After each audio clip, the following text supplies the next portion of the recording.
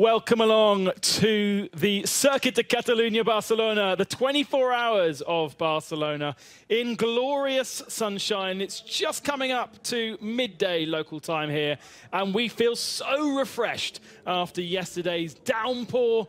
We are back to sunny conditions and expecting beautiful sunshine throughout this 24 hours of Barcelona, the 24th edition of this famous race, which began as a touring car race but now includes a plethora of GT3 machinery, GT machinery generally, and we've got a really fantastic grid of five separate categories to celebrate and so much festivities down on the grid. It's absolutely packed full of people because uh, the local crowd here are allowed to come in for free. Mugello started our European tour with the 12 hours there in March. Spa-Francorchamps, Monza, Estoril. Look at the names that these guys have visited across the season, but this is the sole 24 hour race for 2023. A huge challenge awaiting all of our teams and drivers here in Barcelona. Midday local time start, midday finish on Sunday. And what a difference the day makes. Yesterday, it was incredibly grey, incredibly overcast. Thunderstorms hit the circuit, and then the rain just would not stop. It compromised our qualifying sessions, but no more compromises today. Bone dry, humidity still actually quite high. We're expecting highs of up to 28 degrees today, even higher on Sunday for our tour to the beach post race enjoying the sunshine in his shorts. It was appalling to choose shorts and t shirts yesterday, but Nick Damon has his setup right today, Nick. Ah, good evening, Ben. Good evening, good afternoon, Ben. Good afternoon, everybody. Welcome to the front of the uh, the grid here in the Circuit Catalunya, and welcome to several people with castanets. Um, the uh, the local dancers. It's like the Spanish version of Morris dancing, only perhaps uh, a little bit more energetic. It's come out of breath. Anyway, we had a qualifying session yesterday, as you say. I was erroneously attired, but now we have a grid, and the grid was set in just that one session yesterday, so it's a kind of a mixed-up grid. We've got a, a, G, a 992 Porsche in second. This is the uh, the Imsa Porsche, which is in pole. Um, a little bit short of drivers at the moment. I think they're all having a bit of a watch of the uh, um, exciting castanet-based dancing. Over this side, in second, uh, is the Red Ant car. So that's where the 992 car has qualified in second. Again, it's uh, it's Castanetti, but let's talk to uh, Huub van Eijndhoven. So, on the front row of the grid, in a 992, bit of a surprise. Yeah, I was surprised as well, but uh, if you see the lap, uh, I think we could have gone uh, for pole as well. So, really happy to start here, and uh, now we just need to maintain our position for 24 hours. Now, I hope you're going to change the tyres for you, Stark, because you've got wets on in the moment. Yeah, for sure. They are still uh, in the tyre warmer, so we get a fresh head on for the start. You've got a lot of faster cars behind you. Is it a case the first few laps you've got to try and let them through whilst losing the least amount of time? Well, I, I just go for it and um, drive as hard as I can with the tire management and then see how I can uh, let them pass the, the quickest way. Yeah. In, the, in, the, second place car. We'll continue meandering down. We've got a kind of a, a weird front back front back situation here because we've got to get back up for the uh, the front for the uh, ceremonies for the uh, national. Here is the uh, the third place car, and that's the Rinaldi uh, Ferrari. And here's the team, the drivers. It's George Weiss, Torsten Kratz, and uh, Leonard. Leonard, um, you're very fond of a bucket hat. You were even wearing a bucket hat at breakfast. What is it about the bucket hat that particularly it make, makes you happy? Uh, it's really nice, you know. You get sun cover from all sides. Uh, looks good. And the pizza one is the lucky one for the race. Now, the real question is, if you like bucket hats so much, why have you not got a properly logoed bucket hat? Yeah, good question. Maybe we, we work on that. Excellent. Let's go, Torsten. Um, you've got a, uh, a 992 in front of you and a, and a, Porsche in front of you. I mean, this car was fantastic in, in Estoril. Is it as good here in, in Barcelona? Uh, I would say yes. And um, yeah, the training was, was uh, okay. The qualifying was, was, was okay yesterday with the Cup uh, Porsche in front of us he will not last long there, and uh, so and we will find our way to the to the front. And Georg, in Estoril, you drove about nine minutes at the end to bring the car home. Are you going to do the full two hours this time? Ah, now it's 24 hours, you know. But you only have to do two of them. Now I go for maybe 16 minutes or something like this. No, Um, I think in the evening I go in the car for two hours or whatever, and tomorrow also it's okay. So thanks, Gil. That's a team uh, from the uh, Wochenspiegel uh, Ferrari. Uh, next to him uh, on the row, it's the uh, the 23 car, who I must admit I don't know who that is because I haven't uh, studied the thing. That's the car collection motorsport Porsche um, of a number of drivers, many of whom don't seem identified. Um, let's have a, a quick word Alex. So, um, quite a long way up on the grid. Are you surprised about how good a qualifying it was for you? Well, there was Ivan in the car, and uh, I know he's one of the quickest amateurs out there, so he did a very good job in the very wet first qualifying. So a bit uh, unfortunate that we couldn't drive later on, but I would say it's a good starting position for us. Very wet all yesterday. So, have you had to guess the setup, or did you already know a dry setup for Barcelona? Luckily, we have to say that this car is very fast in the wet, so we just had to compromise for a setup that in the end we knew that was unlikely to have wet and rain in this 24-hour race. So we just had a setup to keep it safe, keep it quick, but uh, not uh, not change it too much, uh, so that the the way of the car was handling was quite similar for us and on the dry as well. Great stuff. Best luck. Right, we're going to meander back to the front of the grid because it's time for one of those very important things in every any international race, which is the national anthems. Now, of course, we are in Catalonia, so we have the national anthems of both Spain and the Catalonia region. And it will be brought to you by the group called E Strings by Geo. And I'm not sure whether I cue them in, I point to them, I just say go, off you go.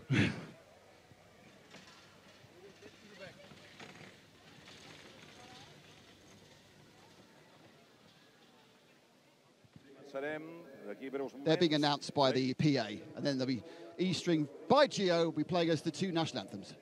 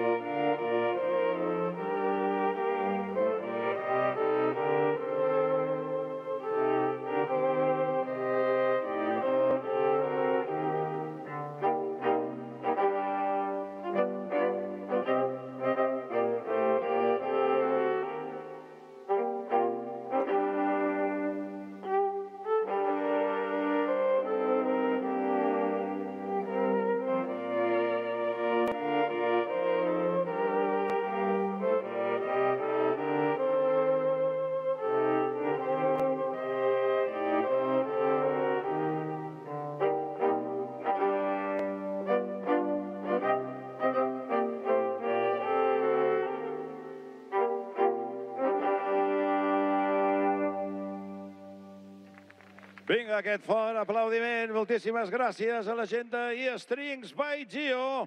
Una Well, més, fantastic there by E Speed by G. And if I find the person who stole half their instruments, I'll, uh, I'll personally sort them out.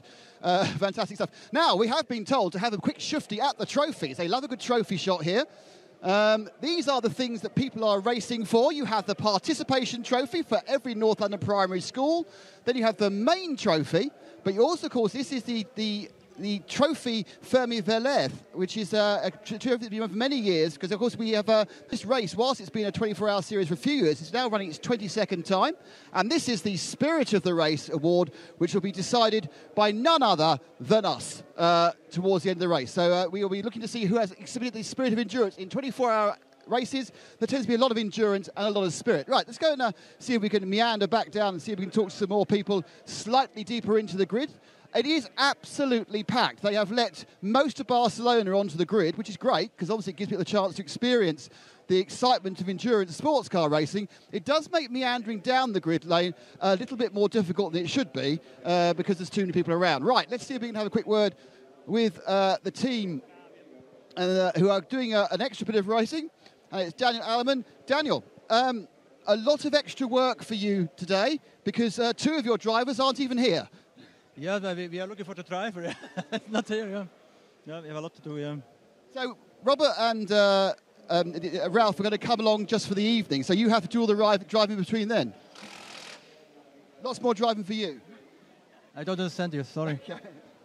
Patrick, um, so you've been you've been drafted into the team to replace uh, Robert and uh, uh, Ralf, who aren't here. Yeah, well, the guys guys realized they have double duties this weekend. So Ralf and Robert are in Valencia for sprint, and uh, that's why that's why I'm I'm going to be here for the night a bit to support the guys. Have you driven for the team before? Yeah, we're doing GT Open together with with Renauers. I drove with Alfred Renauer in um, in GT Open and Paul Ricard together. It's a great team, good fun, good guys. With Daniel, uh, we basically shared a pit box in the past, so that's that. And back to the old car, you're on the previous version of GT3. Yeah, exactly. I mean, the old, old horse, old horse runs. It's a great car. It goes well. We have a bit more top speed than the than the Gen 2 car, which should help us, uh, which should help us in the race, and we'll just roll through. All good. Thank you, Patrick. It's from the 91 Herberth Motorsport car. Just continue meandering down. Ah, there's look. Oh, hang on a second. There's, you've got Simon, my, my, my favourite man. It's, it's, it's Simone De Castro. Don't put, do you have any kinders for me? No, no, no, I'm more, more concentrated. But if you make a good stint, I wait a new package Kinder for me. Fantastic. Barcelona, it's a great track. Do you, what do you think of the track itself? It's like a classic circuit now, isn't it? Track, track is fantastic, it's like Mugello, but uh, now it's very hard because uh, we start with 992 in the third uh, uh, line, uh, and uh, in the rear I have a lot of GT3. So watch the Timu. We will watch, and more importantly, we'll find out a little bit more about the Circuit of Catalonia because Ben is going to talk you round a lap. Well, it's not Ben, it's me, Joe. Joe Bradley, going to take you around this Circuit de Catalunya, well established on the motorsport calendar, the 24 hours of Barcelona, established since 1998, and a very, very demanding from both the driving and engineering sense in the words. Long, long straight past the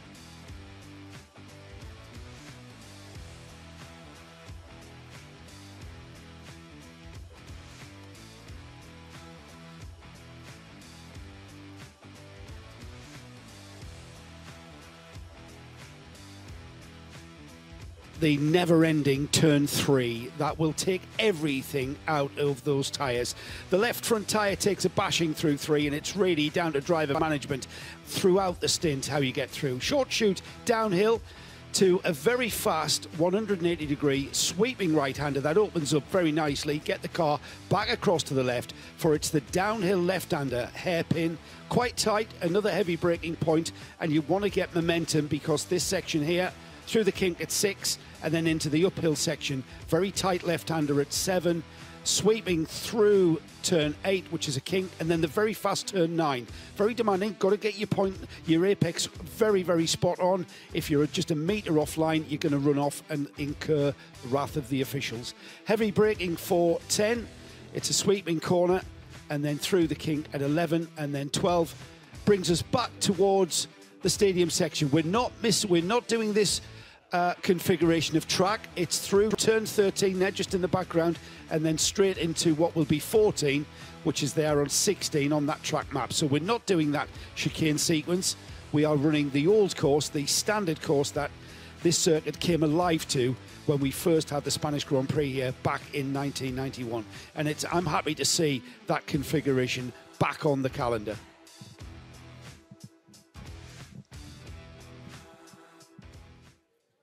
Well, back down here on the grid. Are you with me, guys? Back here down the grid, we have. I wanted to speak to Antonio Sonero, but I'm, I'm not sure which one is An- Antonio. Oh, he's there at E2P. Uh, you appear to have brought your entire family with you, and, and they're, they're very closely together. Yeah, as you can see, I have a very big family. I, I like this particular. The managed the sunglasses the right side. yeah, yeah. The sunglasses are great, yeah. So, how, more importantly, how's it? This is quite frightening. I'm feeling quite oppressed by a number of Antonios. It's actually quite frightening. It's one of my nightmares. I mean, you got. What I have to say is, you've all got lovely hair. Lovely hair. Yeah, of course, of course. My hair is lovely, yeah, yeah. yeah. How, lo- how long did that take this morning? I mean, how long does the hair preparation take? Not that much. The race preparation is, is more important, yeah. And how is preparation for the race going? Um, we are really um, we are going to defend uh, a lot in the start, so we are going to take it calm, and, and let's see how, how it works. Yep. Great. Um, thank you, Antonio. Um, look, I've got great hair, great hair, bad hair, great hair, bad hair. Thank you very much, guys. E2P there, uh, having a bit of fun. Okay, now back down. Uh,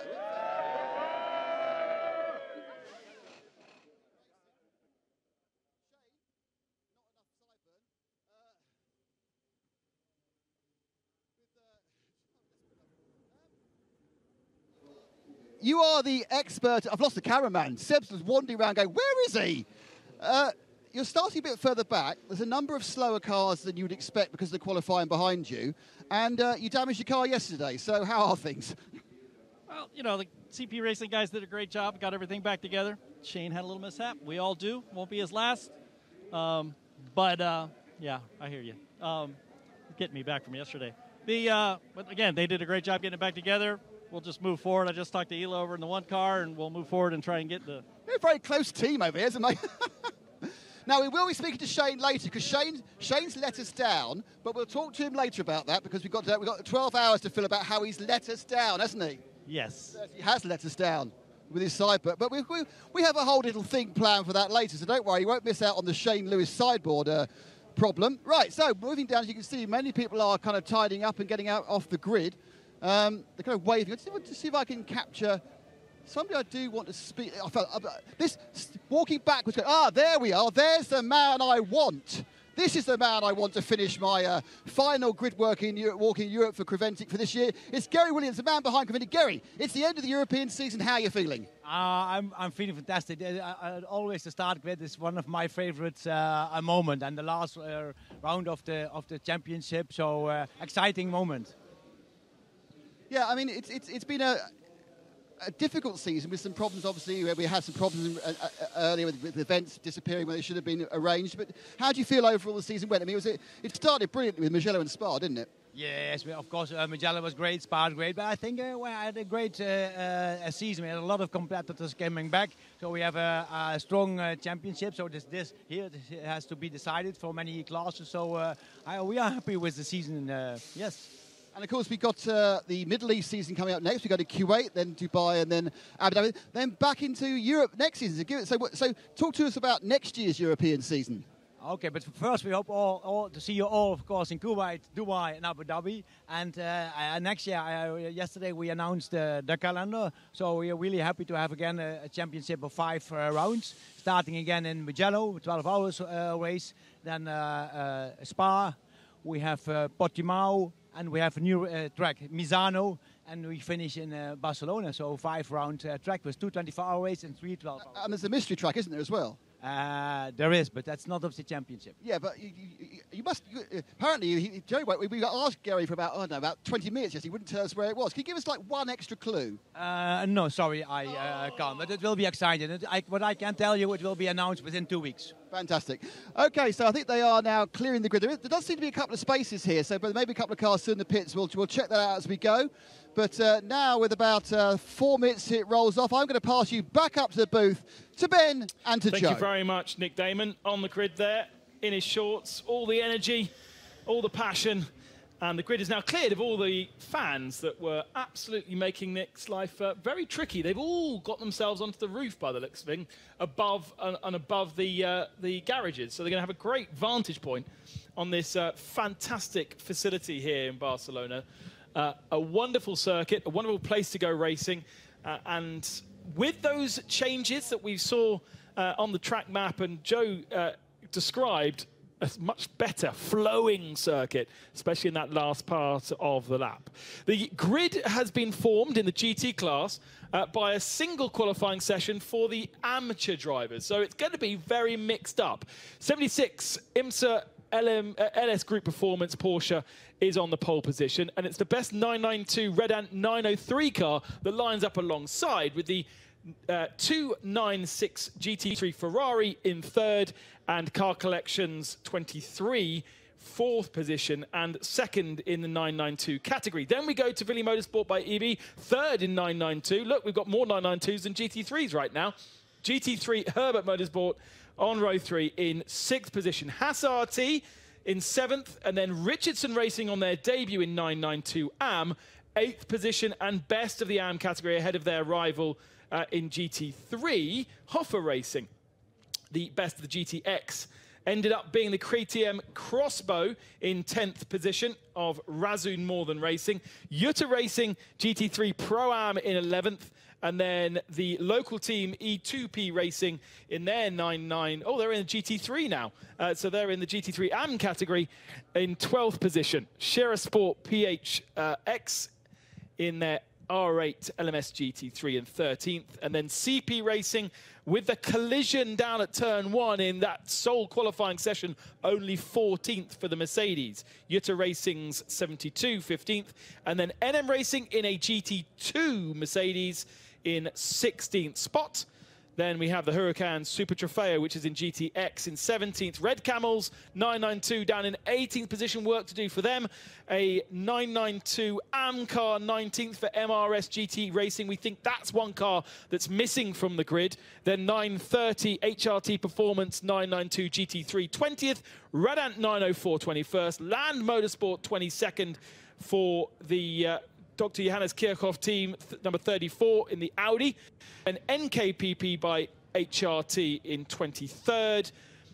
Seb Lajou Racing in 24th in their 992 GT3 as well. And then we have VDS Racing Adventures in their Mark II V8 in the GTX category ahead of an older generation 992 GT3 car. That's why the Escuderia Faron uh, sits in the GTX category. Then we have Orchard Racing and HRT Performance on row 14. HRT and Vortex, the first of the Vortex, is on row 15. Row 16, we're still in the GTX class, is in 31st position, the last, I think, of our GT cars, and that is the Vortex 702. Then Bagheera Racing is tops the first qualifying session. So that was a qualifying session that was full uh, spread of three sessions. Uh, they are ahead of Atlas BX Motorsport, then Hofor Racing by Bonk uh, in an M4, an old GT3 Cup car uh, of Tracy Crone did not set a time, so they're going to start on row 18. Curiously, though, uh, ahead of kind of in the mix of the GT4 cars. I'm not sure exactly why. And the TCE category, Holmgaard ahead of Wolf in their two TCR cars, with Bas Koeten also in a TCR Cupra in third position. Just three TCR cars fighting it out in TCE. Well done, Ben. 39 cars qualified for this 24-hour race. We'll see. We'll get a report from the pits as to whether those gaps on the grid will be filled with cars starting from the pit lane.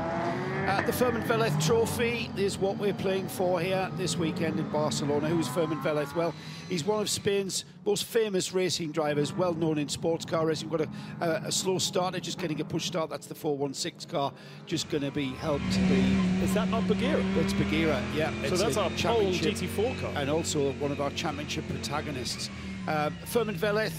Uh, class winner at Le Mans in 1987 in the Spice Engineering C2 class car and renowned also in America, the Doyle-Risi Racing, uh, another first place in class in the WSC class in 1998, sharing a Ferrari 333 SP, would you believe, with Eric van de Poele and Wayne Taylor at Le Mans.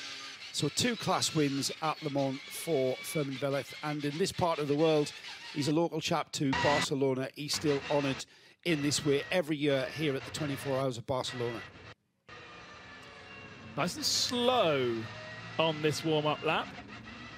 You see the very kind of pale coloured tarmac we have here at Barcelona, almost white in colour. It gets baked so hard over the summer months.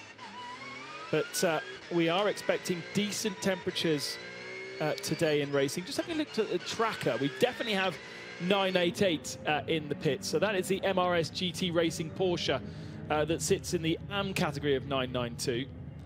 Uh, that doesn't seem to be a starter for the moment.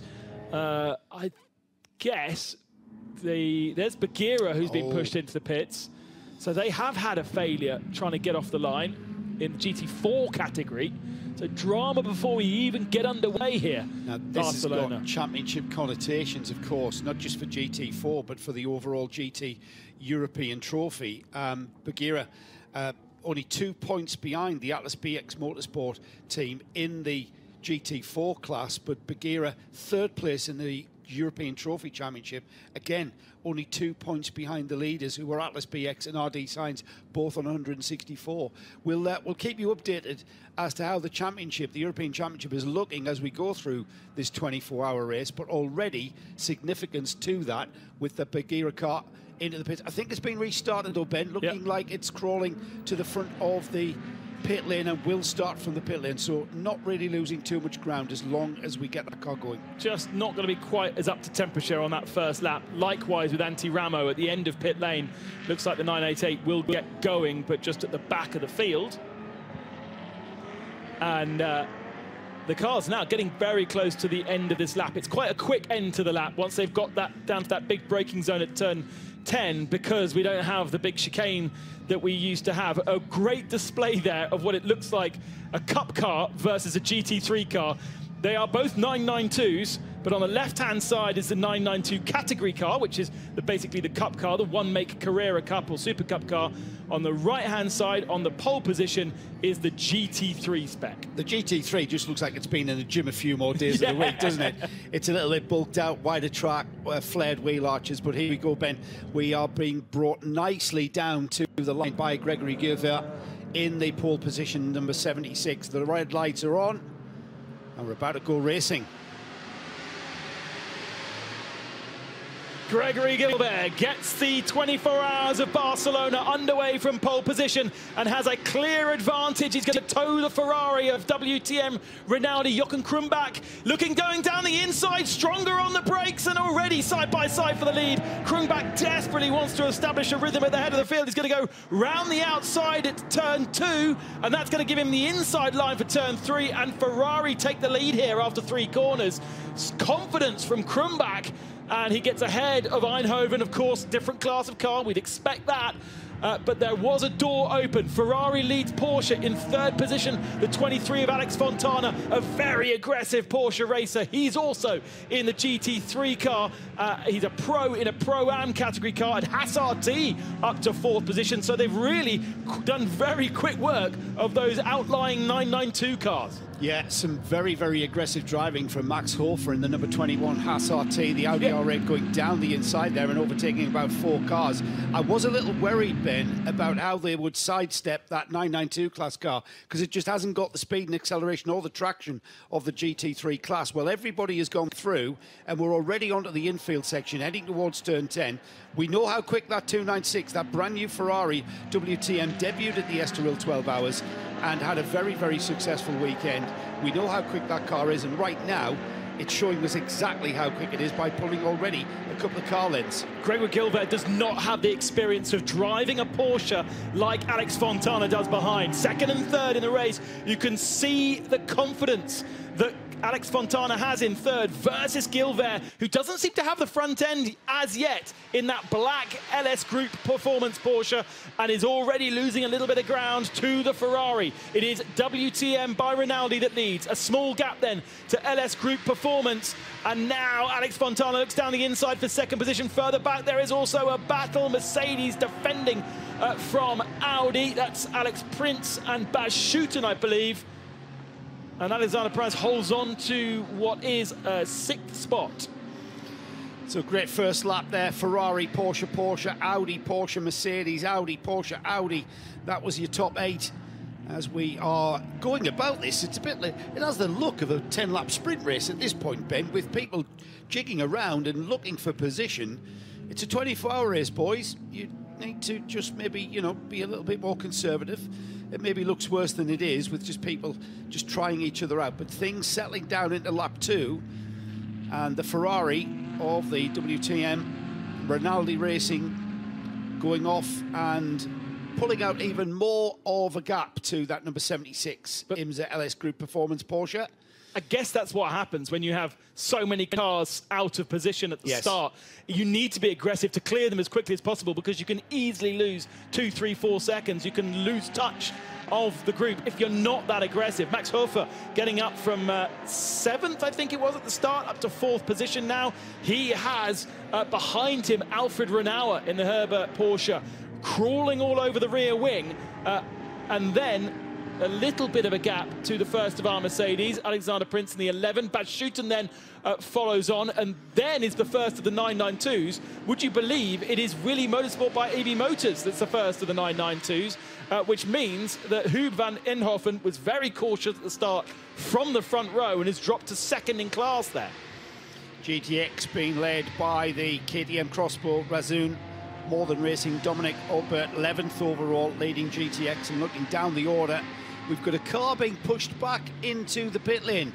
We've now got Dinah Binks in the pit lane. Di will be able to tell us exactly who that is but that looks like David Vasecki in the Bagheera Bagheera ZM Racing Mercedes the GT4 again that's we saw that car being pushed into the pit lane so still those problems remain and that's going to have a massive effect on our championship battle going forward. That's real shame they haven't It been really able is. to get that car.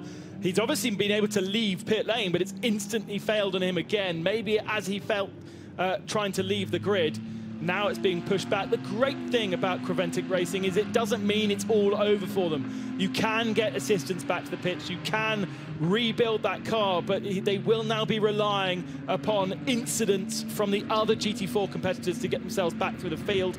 There are points awarded for both the 12 and the 24 hour points of this race. TCR class, the TCE Championship Touring Car Endurance Series, being led at the moment by Championship leader Holmgaard Motorsport, Magnus Holmgaard, at the wheel of the 102. They're all right, they're down the field, but the TCE battle will continue throughout this 24-hour race. And Holmgaard Motorsport, they just basically have to finish to win the European Championship. So they are on um, probably a conservative, uh, quite a conservative strategy already. However, they are leading TCR and TCE, so all good for them so far with leading the class battle. I do like the current configuration of the circuit of Catalonia. That the, the the finish of the lap, we moved to that kind of Mickey Mouse chicane configuration for some years, didn't we? And now we've gone back both in uh, in all categories of racing, and it's a much more progressive way to finish the lap and much more back to the character that was created when this circuit beca- came to prominence with two sweeping right-handers to finish the lap. And you then plough down this uh, I think this straight is a kilometre long Ben. So we do see optimised speeds going into turn one Running on board there with Rik Breukers, who starts the Red Camel Jordan machine, third in class in 992. And we were just getting a quick look at the rear end of the Mercedes AMG GT2 car from NM Racing, the local team here, running a GT2 Mercedes. Uh, and it's a very interesting piece of kit because it's got a lot of grunt, but it's a lot slower through the corners, making it hard for these guys to try and get past it. Because as soon as it can open its doors and get the power down, it's going to sprint away uh, from the 992 category car. But when it gets to the corners, it's quite a heavy machine. It doesn't have the downforce, and it's a bit lumbersome and cumbersome to get through the tighter parts of this track.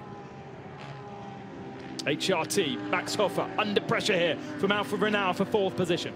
Yeah, that's the Haas Audi. Um, the 91, the Herberth car, here with a change of livery. It's now in red and white. I'm all for cars being red and white for obvious reasons, if anybody knows me. Uh, meanwhile, down in the pits, I think Di might have something for us, Ben. Let's head down to the pits now. Diana.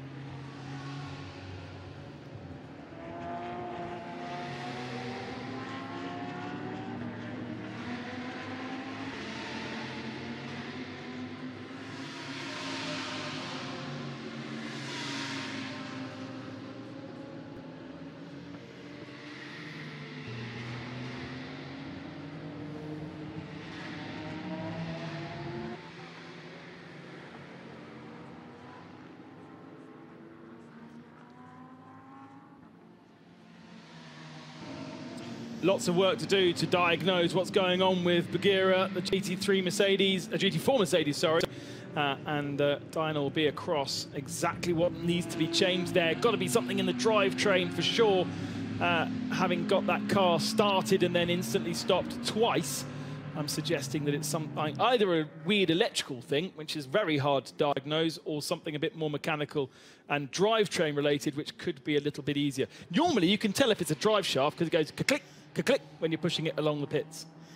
Yeah, that uh, I'm not sure. I can't hear from here. No, we can't hear I can't hear from here. Got no- no, I, I mean, it, it's not good, Ben, because we're already what eight minutes into this race, and being eight minutes down over 24 hours, all right, you know, eh, eh, you you may get that car, you will get that car back into the race, but certainly out of class winning contention and another slow-moving car.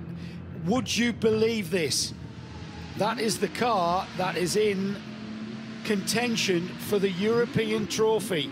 The GT leader of the championship, joint leader with Atlas BX, the slow moving RD Signs Lamborghini, car 720, tying at the moment on 164 points, is now moving slowly. Is this championship going to be handed to the Atlas BX Motorsport BM, uh, Mercedes? Unbelievable drama in the championship. Not just the 24 hour race, but the championship already with just what, 10 minutes of racing? And already the championship coming to the fore. Palis Blaskovic aboard the Super, uh, Super Trofeo uh, Lamborghini. Said one of many teams that have got two cars uh, in their garages to be able to pilfer parts. He had some drive to be able to get up the hill uh, to the top point of this circuit. He's pretty much at the highest point now. He does have to go back up again at turns uh, 10, 11, and 12 before then probably could freewheel. But now the car seems to be rolling a bit faster again. So very curious issue, and he's going all right. He's he's moving. He's fine. Is he, I mean, sure, he's got- got to come into the pits and check, but it's going a lot faster than it was at, uh, at turn seven. Diana is down on the pits, and we have Bagheera with bonnet and boot up. Yes, they've taken the car into the garage now. They think there's an issue with the fuel cell. They're not sure. They're just going through all the diagnostics at the moment to try and work out what the problem might be. And I may try and uh, speak to someone, but if you give me two seconds while they're having a look, but they're definitely got the laptop plugged in and checking. I just quickly asked one of the crew, and he said, I think it's the fuel cell. So they are looking at all that information now. 720 Lamborghini seemingly had Actually, we don't know it. Most likely the fuel pump burned, but we don't know. That's incredibly frustrating at the start for you. But that's racing, so you have to take how it is.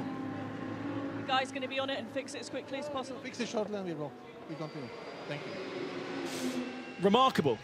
Well, it's one of those things, Ben. Um, you can, you know, your fuel pump's either working or it's not. It kind of, you know.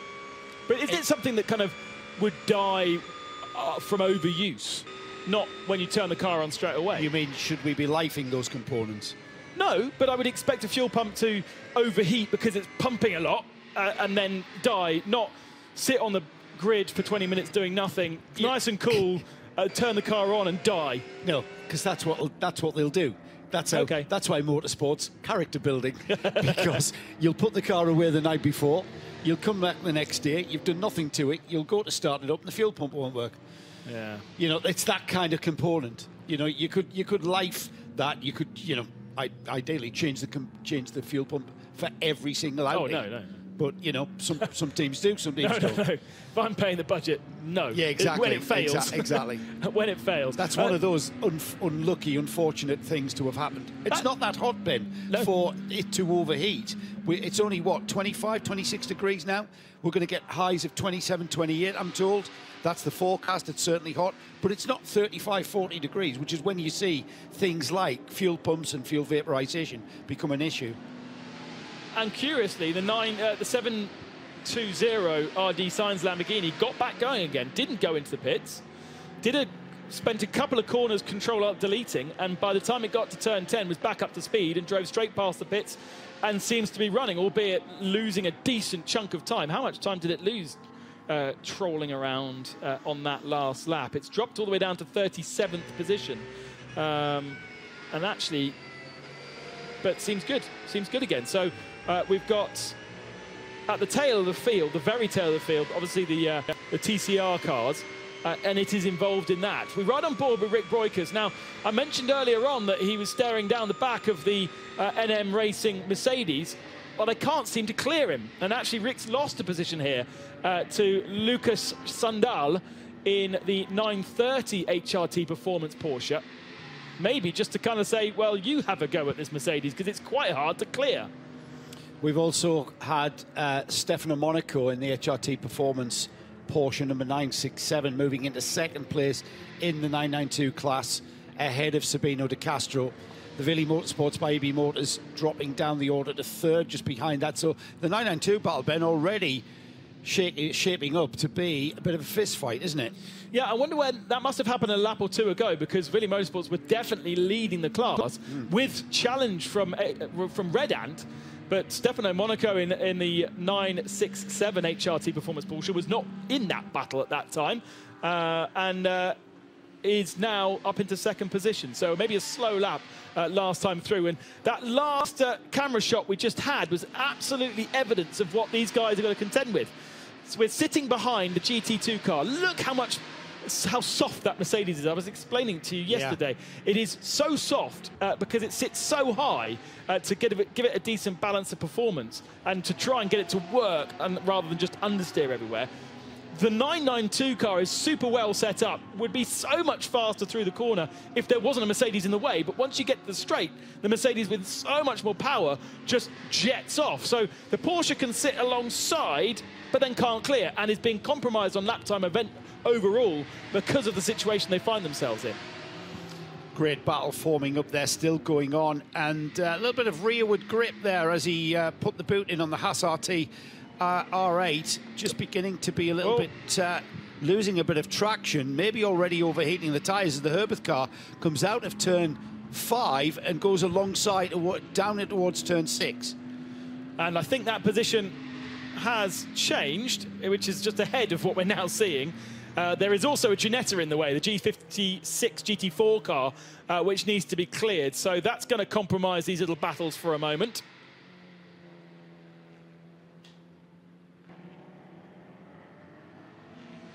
And yes, Renauer are now ahead of Haas RT.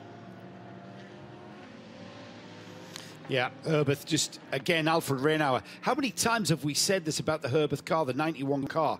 It goes about its racing very stealthily and just waiting, playing a waiting game there. Alfred Renauer just picked his moment. He followed the Haas RT for lap after lap after lap. And then I think that was more down to Max Hofer losing a bit of traction coming out of turn four, losing traction equally through turn five. And that allowed the Herberth car to pull alongside. Let's head down to the pits. Diana? Thanks very much, Joe. Yes, we I have a bit of an update here as to, to what's going on. Um, I'm sorry, I've forgotten your name. Martin. Martin, Martin thank you. We did speak yesterday. Yeah. um, you've been looking at the situation here, but you've got a bit of an update as to what's happening now. Actually, we can expect the same trouble to happen to, to many competitors here because the fuel supply and fuel we're using here is extremely dirty and it's clogging up uh, the fuel filter and then the burning the pump. Yeah, so more of this happening will uh, will come uh, throughout the race for sure. Just one of these unexpected things. It like always it. seems to be like that, doesn't it? So we cannot do much because we have a, one fuel supplier. We cannot choose the fuel. But since yesterday, we know that fuel is, is extremely dirty and uh, that's not really good because it's affecting the competition. The team are working on it. You're working as quickly as you can to get back out to rejoin. Yeah, in a couple of minutes we start again. Thank you. Work to do then for Bagheera. Bagheera because uh, of the Jungle Book, because the uh, black emblem of the leopard and the leopard in the Jungle Book is called Bagheera. It's always it panther. Yeah, that. It's a black panther in. It's Jungle not a leopard because leopards aren't black. Leopard has spots. I just couldn't remember what it's a panther. Big cap was black, called. Big black, black cat. Yeah, big black cat. There you go. Bagheera, Bagheera Racing. which are most famous for um, truck racing and That's right. their Dakar exploits. Ali Kolik, uh, the female racer aboard that team, is uh, unique in that she's uh, taken multiple championships uh, in off-road truck racing. But they've been with us all year, and it's great to have them with us. And they're looking for a great success at the end of this uh, season, the end of this race, because the end of the 24 hours of Barcelona concludes our European part of the championship.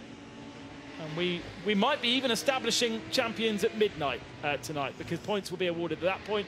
Uh, therefore, gaps may be uh, established that are unclosable before the end of the race. Half points at midnight, double points at the 24 hours. So big points haul available. The 910 Porsche, Laurent Cochard in the Sebelgio Racing with Duo just pulling back onto the track after a little bit of an excursion. I think that's down, be- that's between turns three and turn four. So just coming out of that sweeping right-hander and then easy to do, just getting it a little bit on the dirt, perhaps having a bit of a pirouette onto the grass on driver's right. That car resuming, not causing any problems for anyone else, only itself. As the Hofor car continues to lap just ahead of Bas Schouten in the JUTA Racing Audi R8. The Hofer car with Alex Prinz at the wheel. Great to see the Krolls and the Prinz families back out with their Mercedes AMG GT. And Alex showing great pace there in the Mercedes. Currently seventh overall, Bas Schouten in the JUTA car, just trailing him round. And we're seeing a lot of this. It's uh, I use this term a lot at this stage of any endurance race. It's a high-speed game of chess by any account, isn't it? Um, some drivers forgetting that part of the script and uh, battling it out. But at the moment, the 909 of Rik Breukers thinking he's a GT3 car by the looks of that. the- the he's prob- in amongst it all, isn't he? Well, the problem is this GT2 car that's sitting ahead, and, and it's stopped the 992s from clearing it, uh, and it's allowed the GT3 cars, the final two GT3 cars in the field, JUTA Racing and Land Motorsport, to now catch up. So we've got uh, Jablon, Jablonskis and Ingo Vogler in their two GT3 cars, 11th and 12th in GT3, joining third uh, and fourth in GT in uh, 992, all stuck behind second in GTX, which is that uh, GT2 car, and it is, as we've just, just already described, difficult to clear. Aboard the NM Racing Mercedes is Jörg Viebahn for the moment. Car collection Audi. look, if any, yeah, so it- it- frustrated. it's a cork in a bottle, isn't it? And then we've got the 909, 992 entry of Red Camels, Rik Breukers, stopping that car collection Audi going. It is the car collection Audi, Yeah, yeah. Rick, isn't it? Uh, stopping him progressing any further. But it is that GT2 Mercedes that the spec of the car, performance level wise, has got it's got a lot of power, but not as much aero and handling. Hence, it's very quick on the straights, but not as quick through the corners. Now, the GT3 Audi here might have the opportunity uh, to get past. Side by side, though, for third position overall. Renauer, uh, sorry, second, Renauer and Fontana going side by side because Greg Guilvert has dropped behind this lot. Guilvert's now down uh, to fifth position in class. Uh, he was second. And so Fontana and Renauer are now fighting over second spot. There's a BMW uh, ahead of them from the, one of the lower classes. The Lappery begins then. Uh, and there is Fontana. And Fontana with the second of the hour, the Eddie Erhart, right on his tail. So uh, I talked about Guilvert's lack of experience in a Porsche, lack of experience in a GT3 car. He did such a good job on the early part of the uh, stint to stay in second position, but he's struggling now. You can see that through turn five. And Erhart's got a little bit of a sniff down the inside here to get himself up uh, into fifth position and does so. It's not going to be long before Elia Erhart uh, moves up the driver rankings from an AM plus to a silver because he is a rapid AM plus, very very useful tool to have in the toolbox, and they're showing his prowess there in being able to just circumnavigate that Porsche of the IMSA LS group. Gregory Guilvert now dropping behind to sixth. Meanwhile, Alex Prinz in the number 11, still fends off the Bas Schouten, pardon me, the number 71 Audi, just slotting under the rear wing of the Mercedes and keeping the pressure on. That's simply what you've got to do. Meanwhile, the battle for second rages on. The leading Ferrari, 13 laps completed, has already pulled out more than, well, it's gone up again. It was 12 seconds, it's now 13 seconds. So the Ferrari of Jochen Krumbach, out in the lead of this 24-hour race, continues to increase that gap. Behind him, though, Alex Fontana in the 23 car collection Porsche, Alfred Renauer in the Herberth Motorsport car. They are battling it out. And then just behind them, that's that battle there, the number 11 Mercedes with the 71 of Bas Schouten in the JUTA car. They're still going to circulate together and just wait for an opportunity to overtake. Does seem as though the NM Racing Mercedes has now been cleared uh, by at least JUTA Racing 72 GT3 car. Not sure whether any of the 992s were able to follow him through, though, I'm afraid. Uh, so they're still struggling to clear the Mercedes. Uh, but uh, JUTA Racing, fifth in AM, in GT3 AM, I should say, but 11th overall, uh, has been able to clear. And that means he's given himself a little bit of space between himself and Ingo Vogler in the uh, Land Motorsport Audi that sits in 12th. We're looking at uh, the number 11 machine, Alexander Prinz, in the Hofor Racing Mercedes GT3 AM, second position in class. But unfortunately, the leader in his class is the leader of the race, 19 seconds up the road. Other drivers to share the number 11 come with a full driver uh, quarter here. Michael Kroll. Michael has campaigned this car for some time. Chantal Prinz, Alex Prinz's wife, formerly Chantal Kroll, remember, our former ladies champion here in the 24H series. And then we've got Karsten Tilke sharing the car and Manuel Rubov, who I'm not quite sure I'm familiar with, to be honest, Ben. Manuel Rubov will be in the car sometime over the course of this race. Uh, battle for second, they're still raging in the foreground. The Haas RT Audi coming through. So car collection Porsche still second. Alfred Renauer in the car still third. Haas RT having a bit of a, a, lonely drive in fourth there, not really being able to get on terms with the Herberth Motorsport car ahead. And then behind the, the Haas RT car, Elia Erhart in the another Audi R8, this one the Scherer Sport car and then Gregory Guilvert in the IMSA LS Group Performance Porsche started on the pole position, dropping down to sixth, and then behind them is the Hofor Battle. That is the number 23. That's the second place Porsche of Alex Fontana that we just mentioned. And we've got development in the pits. Let's head down to Diana. Diana, more development with the 416.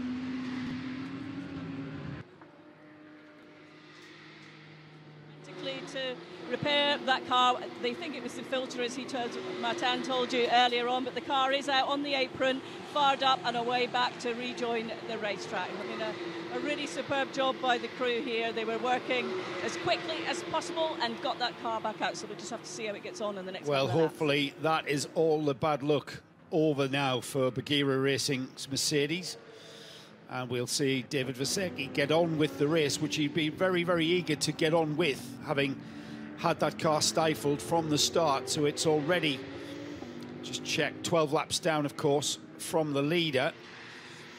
The cars around it for the GT European Trophy, the Atlas BX car and the RD Signs Racing Lamborghini, they are the two cars. And it's ground to a halt, oh. I'm afraid that fueling issue, they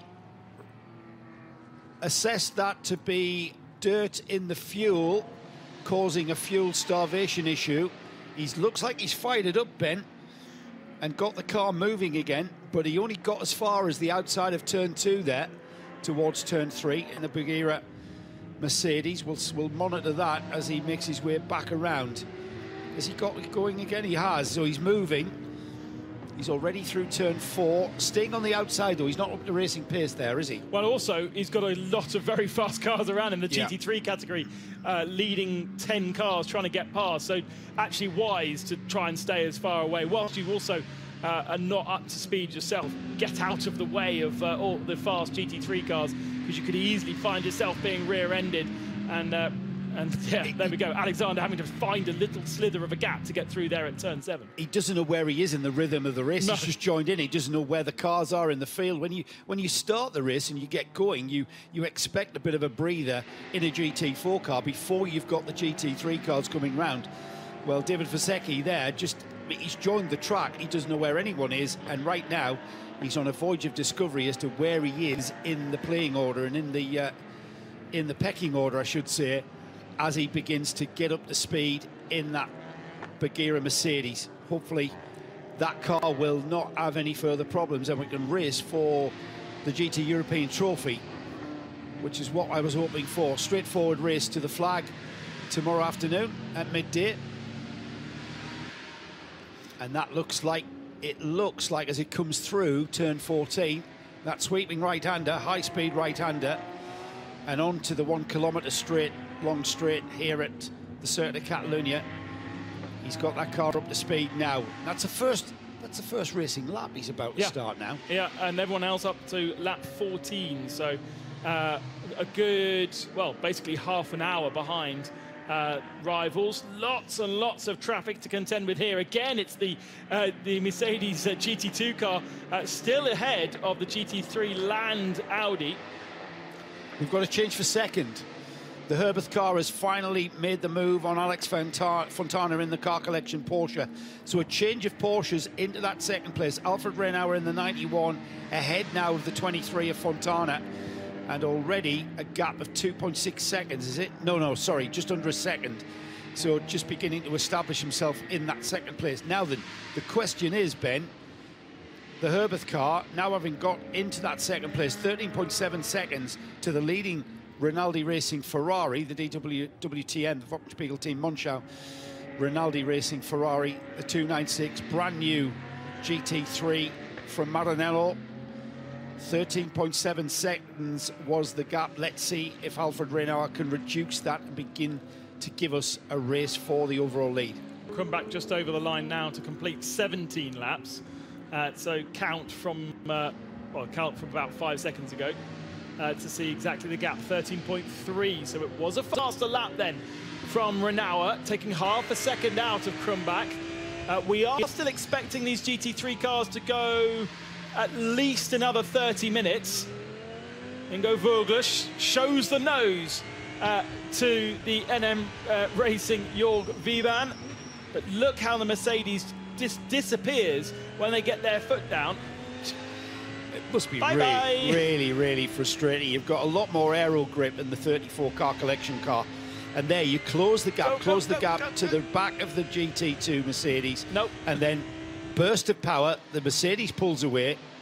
You've got to really throw the dice, roll the dice and go down the inside. I mean, I'm sure the Mercedes drivers in that car are aware of you Oh, know, nice. performance levels. That Has was he got through? Yeah, that was very nice. He, he held the inside line, and with the ability, with the Mercedes up to the outside and the track clear, he was able to hold on. Now down the inside, having to be really squeezed through there was Harley Horton in the 992 sixth position for the 929 car. That was very aggressive, and I think the Mercedes was happily going to be turning in and claiming the apex of 13, but the Porsche was alongside enough. What are we about to see? Oh, round goes the KTM X-Bow. Harmless spin for the number 714. Leader in class. Now wait Yep. for the Mercedes to come past here, and Mercedes will move into GTX lead. There it goes. It gets going. The engine has remained on. Just trying to find out. I'm just trying to establish where that is, Ben. T- turn one. It is turn one. Yeah, good spot. Yeah. So again, tricky, tricky. Very fast entry into turn one. It's not as slow as it looks. You can carry No. a lot of speed into that right-hander. And the 714, the KTM, has gotten underway and is back in the race, just trying to get back into that rhythm. Dominic Olbert at the wheel of the Razoon car. And back into the pits has come Bagheera. Bagheera ZM Racing Mercedes still with fueling issues. We'll wait to see if we get anything further from them. But it, it's one of those niggly problems, isn't it? Fuel starvation, fueling problems causing the engine to, I would imagine, keep cutting out. And David Vasecki just can't quite get this race underway for the Bagheera team and bringing that car back into the pits. More time being lost. When, when anybody ever tells me that you can carry a lot more speed into turn one uh, than it looks, because it does this. I mean, it's a 90 degree corner, but because turn two is then going left and there's a lot of camber, it, you can throw a lot more speed at it. I always cast my mind back to Antonio Pizzonia in a road car Jaguar. If you, uh, if you have another open window, go onto YouTube and watch Antonio Pizzonia Jaguar Barcelona. He carries quite a lot more speed into turn one than a road car was able to do so. Legend has it that he basically braked at the same point as he had done earlier in the day in his Formula One car, but he was in a road car. what, 75 metres? Yeah. It's, it's incredible. It's, I mean, that iconic shot of Senna and Mansell going wheel to wheel down there into turn one. Oh, that is worth a watch. Yes, yes. Um, and when you get down there, it, it, it looks quite open from where we're sitting, it feels a lot more claustrophobic when you're at speed going into that corner in anything, whether it be a road car like Antonio Pizzonia or indeed Mansell and Senna, as they did in 1991, the first time the Spanish Grand Prix visited here, the Circuit of Catalunya.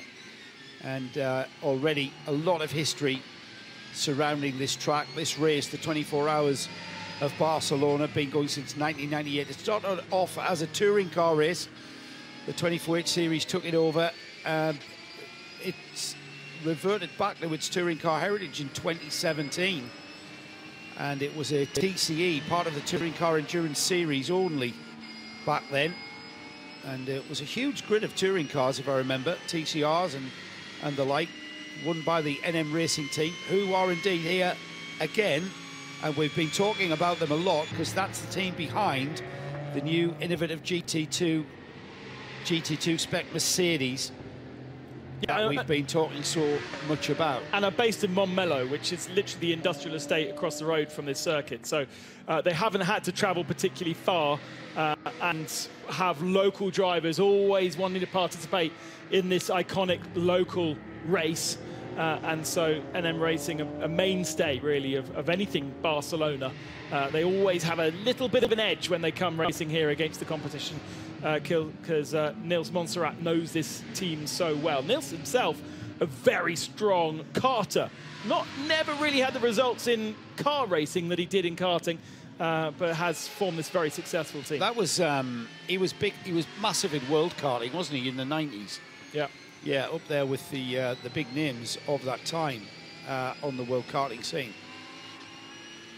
And of course, becoming a big name in car racing needs a, a, bit, a bigger bank account than it does in karting, of course. But uh, great to have them here, and great for a bit of insight as to uh, as to the difference in the GT2 class. And it is when you see them with GT3 and GT4 cars, sharing the same track, it really does bring home the difference in the performance levels and the spec and the class spec. I'm just a little bit disappointed because GT2 should be quicker than GT3. Logically. It's sort of going back to the days when it was, but I'm talking about the early 2000s, I think. Uh, we are 20 laps in with Jochen Krumbach still leading as he did from, I think, about lap two, didn't he? He took over. We expected the Wochenspiegel team, Monschau Ferrari, this brand new GT3 spec Ferrari 296, it does look the absolute part and you expect to see great cars coming out of Maranello. Well, this continues in that vein. He's got a gap of 12.3 seconds, so it has come down ever so slightly to Alfred Renauer, who now holds that second place in their Porsche, the Herberth Motorsport Porsche. Alex Fontana, Alex dropping back four seconds off the rear wing of that Herberth car in third. So that's your first three. Let's head back down to the pits where Diana's got something for us.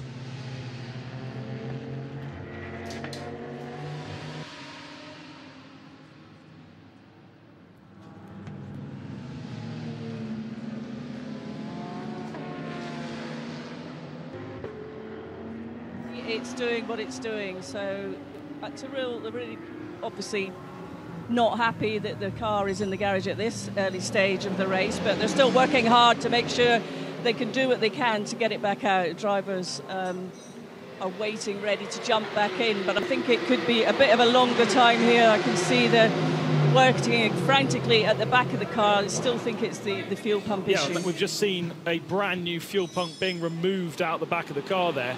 Uh, so they've had an old one, put a new one in, and have the same issue. It can't be coincidental that it's the same issue again with a different pump, surely. The, the, the problem is, if it is indeed contaminated fuel with dirt or whatever, it could be all sorts of things in there. Whereabouts in the system Is is, the the, blockage? yeah. Is is the problem? And you know those fuel pipes go from that that fuel tank all the way in the back of the car, all the way through to the front of the end where, where the engine is on that Mercedes, and it, it's you know it's a, it's a tricky job flushing the whole system out and trying to get down to the the uh, the literal gritty bit that is causing you the issue. Don't forget to get in touch with us. Hashtag 24H series, hashtag 24HBCN is what we're following. I'm Ben Consti. Uh, we are at RSL Studio. Uh, and uh, you can chat with us and enjoy this 24 hour race uh, throughout up until 11 o'clock this evening and then uh, back on at 7 o'clock tomorrow morning local time uh, through to the culmination at midday as our leaders now have significant traffic, different traffic to what they've dealt with before. They've got past the TCE cars, they've got easily past the GT4 cars. Much harder to clear slower GT3 and 992 machines as our leaders are having to do right now. We've just had a quick look at the 296 Ferrari. The gap is down to 9.4 seconds now as it was trying desperately to get past that NM Racing uh, Mercedes GTX machine that leads the class now. Interestingly, though, by only 2.2 of a second. There is a battle on for GTX between the Mercedes and the KTM X-Bow recovering after that spin down at turn one. I have just checked the start, and the Wochenspiegel Team Monschau Ferrari actually led across the line on lap one, so he is our only our only leader at this point. He really did go at it, hammer and tongs to start with, and he was bagging in the fastest laps on at the very start of the stint. His last fast lap came on lap five and established that Ferrari at the front of this field and is managing to manage that gap. It is coming down though, Ben. It's down to nine and a half seconds, 23 laps completed. Nine and a half seconds last time through. We're just waiting for the Herberth car to come through now. The Herberth car just coming through underneath us. And we'll be able to check. It's gone back out, so it was nine and a half. It's now 11 and a half. And that's traffic, isn't it? Yeah, it's traffic ebbing and flowing. But overall, just looking at the lap time that these cars are producing, a 145.3 for the Ferrari 147.2 last time by. But that is coming down overall. We'll see. We'll keep an, an eye on that gap because that is for our overall lead. Ferrari versus Porsche.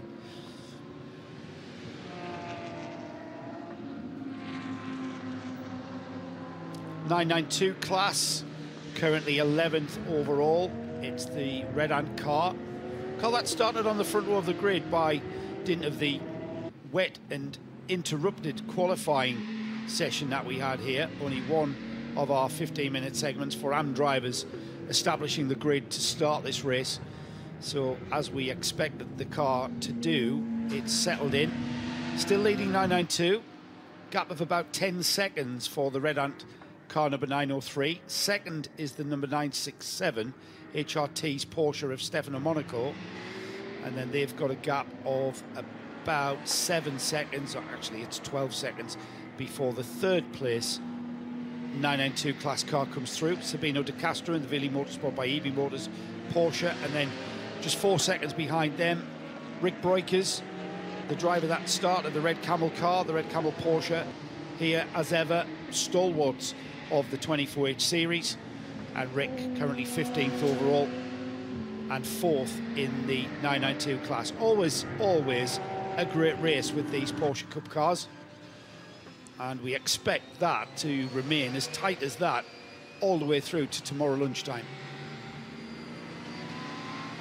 On board with the RPM Krohn racing machine, which uh, had an incident in practice and therefore didn't do qualifying. But because the GT qualifying was only one session, uh, it, well, I suppose it still ended up at the back of the uh, pack regardless. Patrick Huisman is uh, driving that machine, a very, very experienced uh, campaigner over many years. And actually, if you look at that driver lineup with Tracy Krohn and Nicholas Jonsson, it's a strong lineup for uh, RPM Racing. They sit ninth at the moment in 992, but actually are second in the AM class because uh, Mark van der Aar is the leader in that class and he's only a couple of positions. He's only about 10 seconds up the road. We've had a response from the leading Ferrari, another fast lap put in there, extending the gap to 12.7. So Alfred Renauer, we're getting towards, we're not that far away, Ben, from expecting these GT3 cars to require a bit of a top up of fuel, probably Yeah. in about, what, 15 minutes or so? So we have still got a few, a, a bit of time left before we uh, we change the Hankook tyres and maybe have a top up of fuel as we continue to watch the GT2 spec Ferrari 715 Ferrari Mercedes I'm looking at a Mercedes and I said Ferrari I've got Silver you know as what? well. I think I'm in love with the 296 that, the 296 Don't tell your wife. they've managed I think she already knows um, I think they've retained that elegance that we saw in the 308. If you look at the body shape of that 296, they've, they've, they've clearly they're clearly hanging on and understand the history and heritage that the Ferrari name makes. That KTM X-Bow uh, in the hands uh, of Dominic Olbert a lot stronger than Jörg Viebahn because uh, already the whole start-finish straight between the two of them. Haas RT here uh, with a little bit of actually getting past Alex Fontana there for third position. So Audi ahead of Porsche. This is the time where the Porsches might start to fade a little bit if they've been overdriven in the early part of the stint. But that's good work from Max Hofer. Haas RT Audi up to third position. Ahead of them, Renauer, 11 and a half back from Jochen Krumbach in the Ferrari. So it's Ferrari, Porsche, Audi at the head of our field. Brilliant, isn't it? Ferrari, Porsche, Audi, Porsche, Audi, Porsche, Mercedes to give the rundown to seventh spot. So the gap's come down to 11.5. So that is remaining in that area of just over 10 seconds for the lead. But we are interesting to see the Haas RT Audi R8, Max Hofer at the wheel of that car. A little bit of a driver change on that car than what we've seen this season, at number 21. We've got uh, Milka Panu, Matthew Detrick, who's a driver we've seen in that car, Max Hofer. I think we've seen Max out in this car before, but two, two other drivers, Gavin Pickering, the British driver, onto the driver roster for the number 21. And we've got a car off, Ben. Who's that? Facing the wrong direction. Uh, it is one of our 992 class cars. The spotter's guide never came through, did it? No. Uh, out of memory. Um, and so I think, and we're about to find out because it's actually going to get closer to our camera. 910. Uh, so that is Long Kuchar in the Seb Lajou Racing, uh, and they are sixth in AM 992. So right at the back of the field, and here 13th. is another Ah, replay no, of it. Sorry. Last. No, no, sixth in the AM category. Sixth in the AM, Sixth yeah. in the, in Yeah. the Cup, yeah, but 13th overall in 992. And he's just basically looped it all on his own. But he's running again. Ko- Kochar? Kochar. Laurent Cochard. Kochar. You live in France, how do you say that? Yeah, yeah, exactly. L- forget half the letters in it, All right. and you might be all right. Laurent with no T, even though there's a T. Kochar with no D, even though there's a D at the end. Basically, you would be Jo Brad. Bradley. Bradley. Bradley. Bradley. Yeah. Je Bradley. Yeah, there you go. Perfect. You're speaking perfect French, Joe. Your wife's French. I know she is. Even her, ask sur- her? her surname doesn't has a letter on the end that doesn't actually get pronounced as well. Such a waste. Su- Such a waste. Such a waste of letters. Uh, that battle for third isn't over, is it? SRT being hassled by the car collection Porsche, Fontana in the Porsche, Max Hofer in the Audi R8, just in the foreground there, just going out of uh, sight into turn seven. I like what you did there. Hassled. Hassled, yes. You didn't even realise it, did you? I did actually. Oh, you did. Okay. just, uh, I'm glad you're awake. yeah.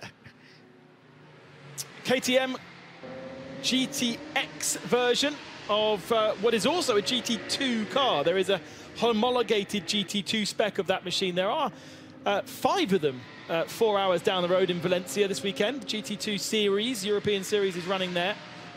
Uh, but we have the GTX version here, which actually has more power uh, than the GT2 version. When you drive a GT2 car to GT2 spec, because they're trying to balance it with all the other random machines that are part of that particular category of car, uh, there is a lot of limitations that you have to run to. Whereas when you get it to a GTX spec, as we do here, it's almost more open. Although, of course, 24H series are trying to balance uh, a Vortex uh, with a new GT2 Mercedes. They're trying to make them as competitive to each other. Uh, but there is a lot more liberty uh, in GT, uh, the 24H series, which is a great thing, which allows us to see uh, some weird and wonderful machines like the Vortex competing alongside the MARC II V8. We haven't seen that kind of Mustang shaped thing very much. Uh, it's out there. Yeah, it's great. I love those cars. The silver liveried Mercedes of the Atlas BX Motorsport team, John Kim Kim, at the wheel of that car. That car currently leading the championship, and it's ahead of its other protagonists. Um, but not leading today so far. Leading Third- the championship, but second in GT4 at the moment. Yeah. Hofor Racing by Bonk in their BMW GT4. M4 is uh, 14 seconds, 13 seconds ahead. And that, I think, is our leading TCR car, just uh, just ahead of us. One, no, that's the, the third TCR car, the 125. We've got three TCR machines 125, 121, which is the Wolf Power Racing Audi, and 102, which is Holmgaard's Cupra. The Vortex are here. Vortex bringing two cars. Three cars? Three. Sorry, yes. Yeah. Two cars on the track. Very exciting to see. One see. in the paddock. Waiting to see Nick do a walk around of the brand new Vortex 2.0. What a, what a fab. Yes, so yesterday we had the launch of the brand new Vortex that will be used in the 2024 season. And with two cars out on track at the moment, just going to give you where they are 29th overall, currently 5th in GTX, and 31st overall, 7th in GTX.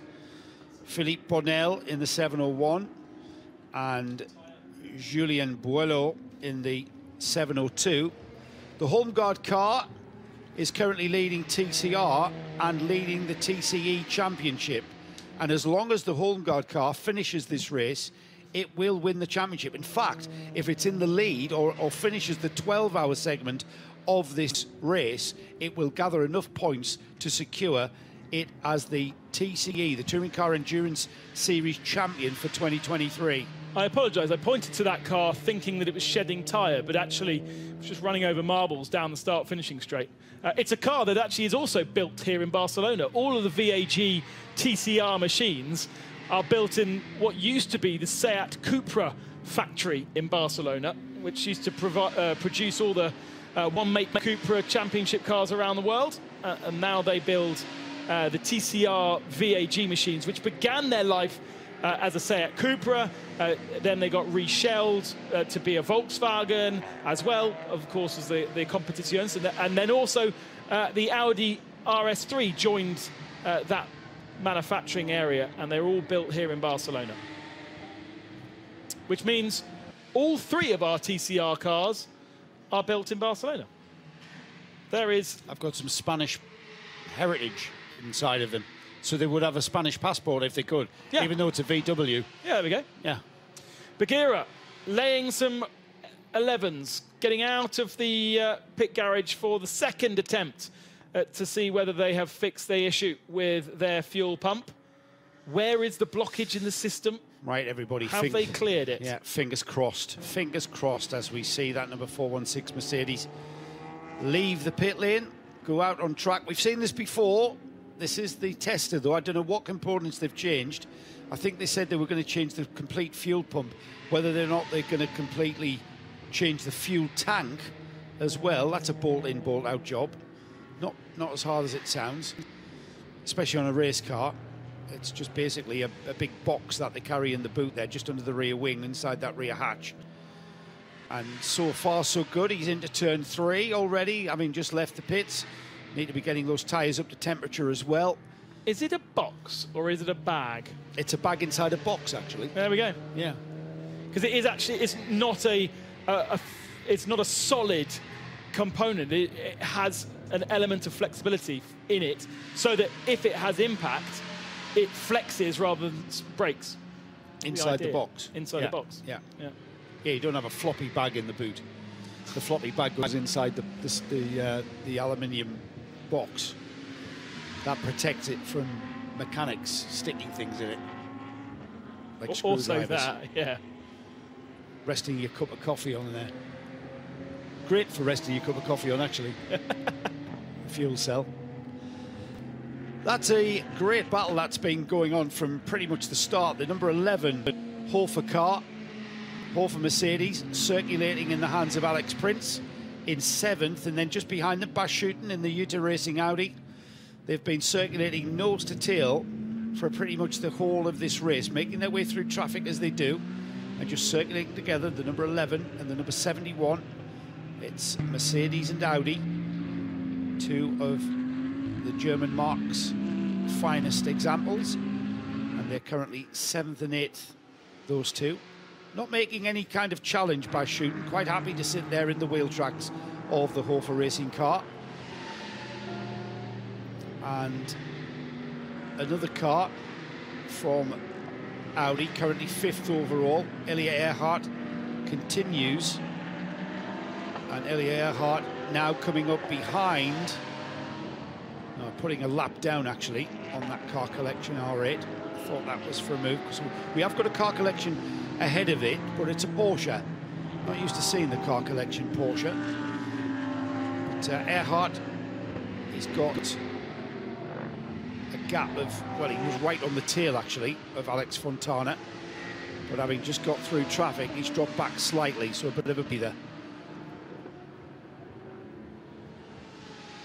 Willie Motors losing another position to the second of the HRT Performance Porsches. That's now dropping to fourth position in 992. Lucas Sandell's been working on that for a while. Sabine de Castro at the early stages of this race leading 992 with a great start, uh, but has now faded down to fourth position in that class. They don't need to pit as frequently as our GT3 cars, as we've got. That's the same. Yeah, it is the same. That's Porsche. the 910. The 910 Porsche has another pirouette. Lauren Couchard finding it, uh, finding this stint a bit tricky. It's a couple of spins that we know of, and that's out of turn three again. It wasn't it turn three No, that caught him out before. I'm saying that's 12. Are you? Yes, I think you're right. Yeah, it's the arena section, isn't it? So turn 12 this time for It's a, it's a very odd view of turn 12. I don't think we usually have a camera position in that spot, or certainly in other forms of racing we don't. So it makes that it makes it look a little bit. I think it's usually a bit further round, but uh, gives us a good view, a different view. I like it when you get different views I do. racetrack. I It's absolutely do, yeah. Mighty confusing for Yeah. a commentator, but Yeah, once we get into it, though, um, we, we've got that number one, 910 resuming. We've seen him do that a couple of times. He's now back in the race. He's still down there in 35th overall and has dropped to the tail of the 992 class, down in 13th. So a bit of a struggle for Laurent Cochart in the SebLajoux Racing by Duo Porsche.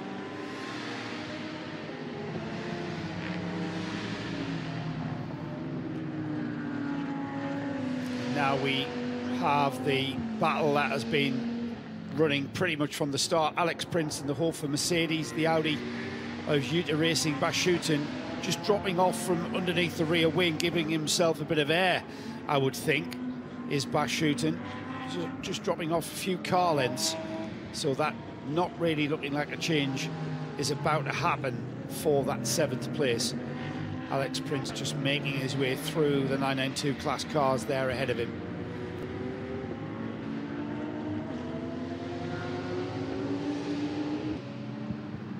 A few questions on our uh, YouTube stream about the VIT Vortex 2.0. Is the 2.0 smaller than the 1.0? No, it's a it's a completely different car. It's a, a carbon fiber version of a, the Vortex uh, that we see on circuit right now, being a space frame, so big steel frame with uh, fiberglass wrapped around it. It is a fully carbon car built by McGill, uh, using the same engine at the moment, big chunky V8.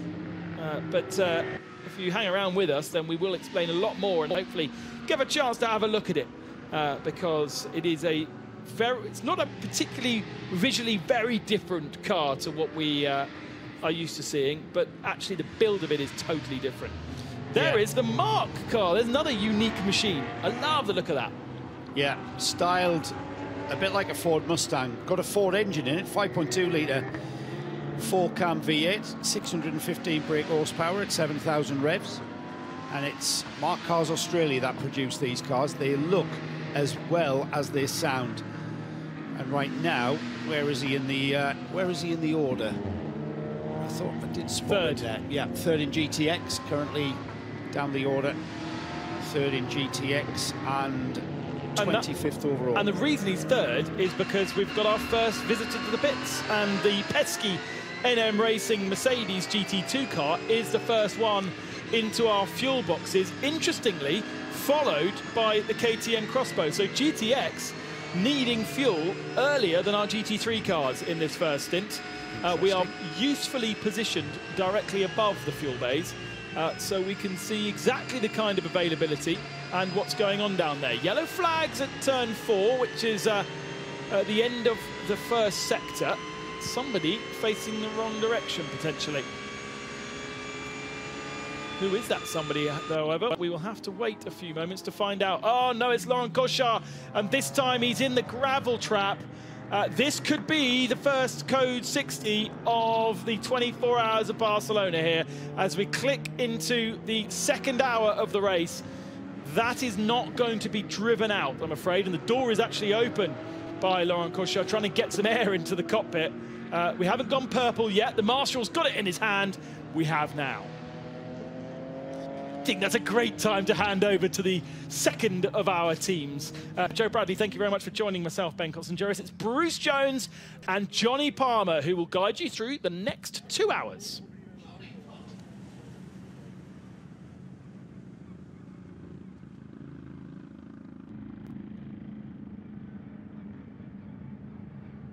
Well, thank you very much to Ben Constanduris and Joe Bradley. The seats are still warm as we climb aboard. 26 degrees outside. Tomorrow is going to be hotter still, but I think 29 is the peak, peak of what we'll see. But uh, Laurent Cochard, who've been going very well in the Porsche Cup class, obviously a little bit of a setback down at turn 10. That's the left-hander at the end of the infield straight, and that little slide wide, very, very frustrating indeed for all concerned. Code 60, just at the point those first cars were coming into the pit stop, Johnny. So, you know, it's that classic case of scramble and all your plans suddenly get uh, thrown a little out of kilter. Yeah, and it's also about when you manage to get into the pits. Some cars possibly manage to pit just before the caution. Others will not have done and therefore have to adjust their stops accordingly. What a queue. I mean, those that don't want to get into fuel, and why would you at this stage, actually can't get by the, uh, the end of the queue that's stretching out towards the pit lane itself. So then there's a fight as the Villy Motorsport car just about squeezes ahead. But we've only got We've got five one, pumps. two, three, four. Is it five? Yeah, the five pumps, unless one's been removed overnight. Oh, yes. And uh, it just doesn't have an awning, the first one you get to. four canopies, which is the thing that's confusing me. Um, but yeah, so many cars, therefore, just waiting their turn, and mechanics, engineers will be on the scene.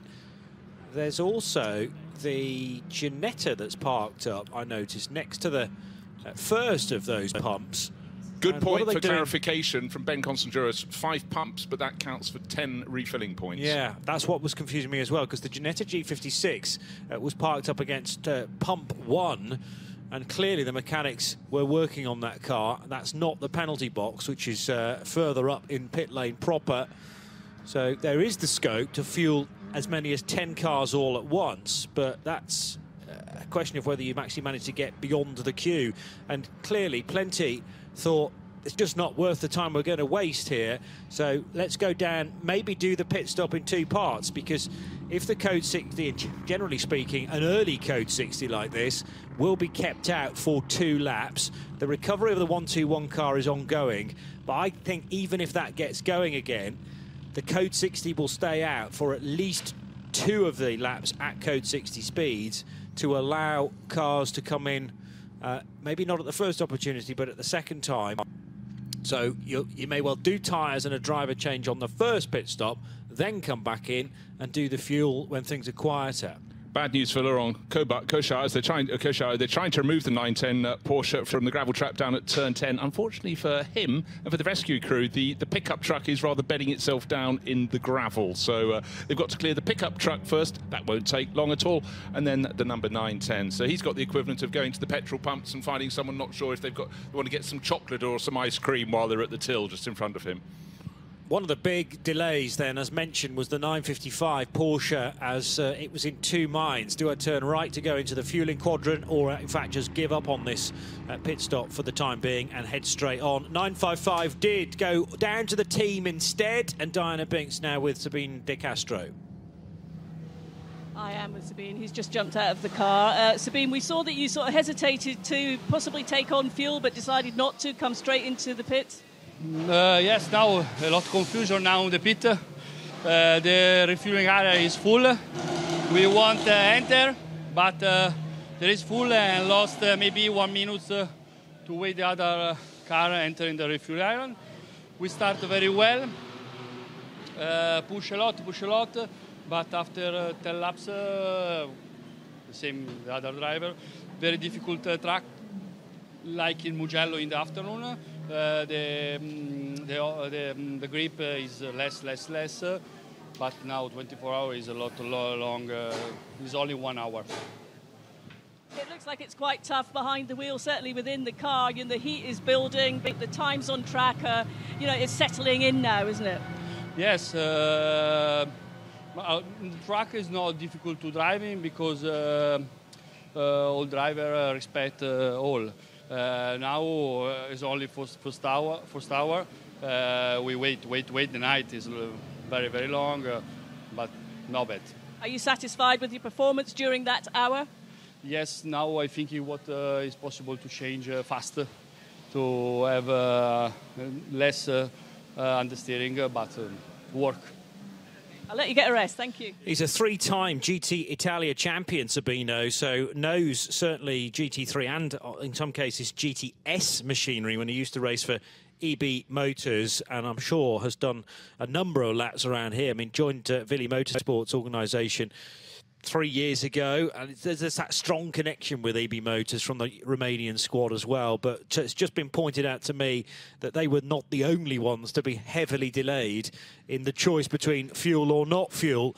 Uh, Code 60 is still out. There were two cars off the road. Certainly the 121 TCR car has been recovered. I reckon the 930 car is moving again now. Again, li little bit of front right damage. Uh, thank you for for Cochard there. That possibly came when he was being pulled out of that deep gravel gravel trap at turn 10. So circulating, but uh, very frustrated. He probably shed about three laps there uh, during that moment. Yeah. So he could go back to green straight away, but as I say, I reckon the choice has been made by the race direction crew to keep this code 60 out. There's under a minute to go till the end of the procedure. And have you had chance to come in on two separate occasions? It's not going to be far off that now.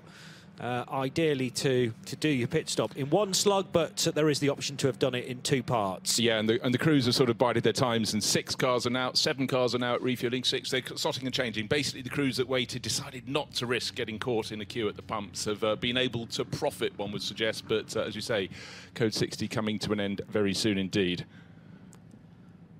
Vortex rejoining. There's a good example of the blend line, so you have to stay well over to the right-hand side and not cross the white line before it runs out. Green flag is out again, though, now, and uh, after a relatively short Code 60, we are racing again let's hope that uh, from a distance record perspective, those code 60s are kept at a minimum. The difficulty with this place is there's some runoff, but there's also a lot of wide and deep gravel traps. So if you do make a mistake, you're unlikely to get out of the stones and need outside assistance, and they'll always do that on the whole under a code 60. So we will lose crucial mileage. Here's a glimpse of uh, Harley Horton in the HRT Performance Porsche, 11th position overall, but leading the class of 992s. 929 ahead of Huub van Eijndhoven, who slots in behind the Red Ant racing car after its first pit stop, and NKPP with another HRT performance prepared car running in third in the 992s. Yeah, and for Harley Horton has yet to visit the pits. That's why he's uh, vaulted to the front of the class in 929. But uh, now just a handful of cars in the refueling. CP Racing's Mercedes coming through to slot into position. But I think the teams have all done that uh, rather well indeed. Harley Horton uh, visiting, well, he, used to say high, wide and handsome. Brian Jones commentating at Brands Hatch. That was turn nine, which is quite high. Not quite so handsome racing line there for Harley Horton. Out way beyond the white line at the top of the crest there. But such a difficult corner, Johnny. When you go up the hill, you cannot see. It's a bit like a couple of corners uh, up at the, uh, two-thirds of the way around the lap. At Donington, there is blind turning. You have to have faith, but at least there's plenty of runoff there. And then, of course, runs all the way down the slope to turn 10. Very, very tricky corner. But I guess a lot of the drivers here for the first time in this championship, most of their running yesterday was in very, very wet conditions, so they're learning as they go, and Harley most certainly be one among those ranks. Yeah, that's really tough when all the early running has uh, been hampered by the rainfall. All of a sudden, you know, in a GT3 car, there is a possibility of a 143, 144 second lap, but where do you find the time? Where do you want to risk it? It's a question of just chiseling away at uh, those lap times as much as possible. If you're an AM and you're still learning the behaviour of the car in these better conditions, Vortex working its way through the lingering right-hander at turn three with some traffic in sight. Often that's useful as well to have a car that you can monitor your progress with, although there are now laps between these cars. 7.01 with Lionel Amrouche at the wheel with the sister car behind it, in fact, on the timing screen. They both run in GTX. Now, the vast majority of the runners have made a pit stop. The car in second place was not Antonio Sainero, who Nick made laugh so much down on the grid. E2P, big wink from Nick, Nick there in the back of the commentary box. Uh, good humour, it must be said, down on the grid, but he uh, is in second place over us overall, owes us a pit stop. The next highest driver who hasn't made a pit stop is Harley Horton, who we've been looking at, who is leading the Porsche Cup class, but uh, they will have to come in very soon. And you know what? They can take their pick of fueling pumps. The last of the cars refueling has just moved away. So for maybe for Harley Horton and for Antonio Sainero, that was a very good tactic indeed. Well, let's find out. Jochen Krumbach due across the line in the next two seconds, and uh, again, it's a, it's a decent lap of 145.9, just working his way back up to full race speed. The incident involving car 76 and that 121 that was in the gravel trap to partially cause the code 60 is now under investigation. Ivars Valles is Wolf Power Racing Audi, in fact, now in pit road for a well, the cle cleaning up of that car, I suppose. I was going to say scheduled pit stop, but it'll certainly need a new set of tyres, and they'll be checking it over as well to make sure that no gravel has worked its way into all those awkward positions. Could I possibly offer you some good news after almost almost missing the first hour of the race. The Bagheera ZM Racing Mercedes in the GT4 class going very well, and, and, with each lap it's going faster and faster in the hands of David Vasecki. But what a frustration for them, having to start uh, from the pit exit, and then it wouldn't start whatsoever. An hour, or the best part of fixing that. So the crew will have earned their lunch, and David Vasecki now is completely out of sync with everybody else. All they've got to do now is just plug away.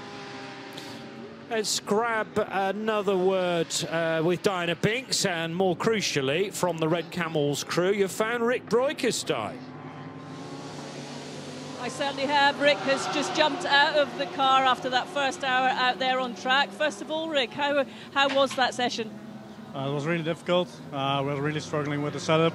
We don't have any grip in the front, so we have to carry the brake almost to the exit of the corner, and uh, yeah, it's, it's, it's just really difficult we, we lose around one second just in the last two corners, I think. And uh, it's really frustrating to drive, to be honest.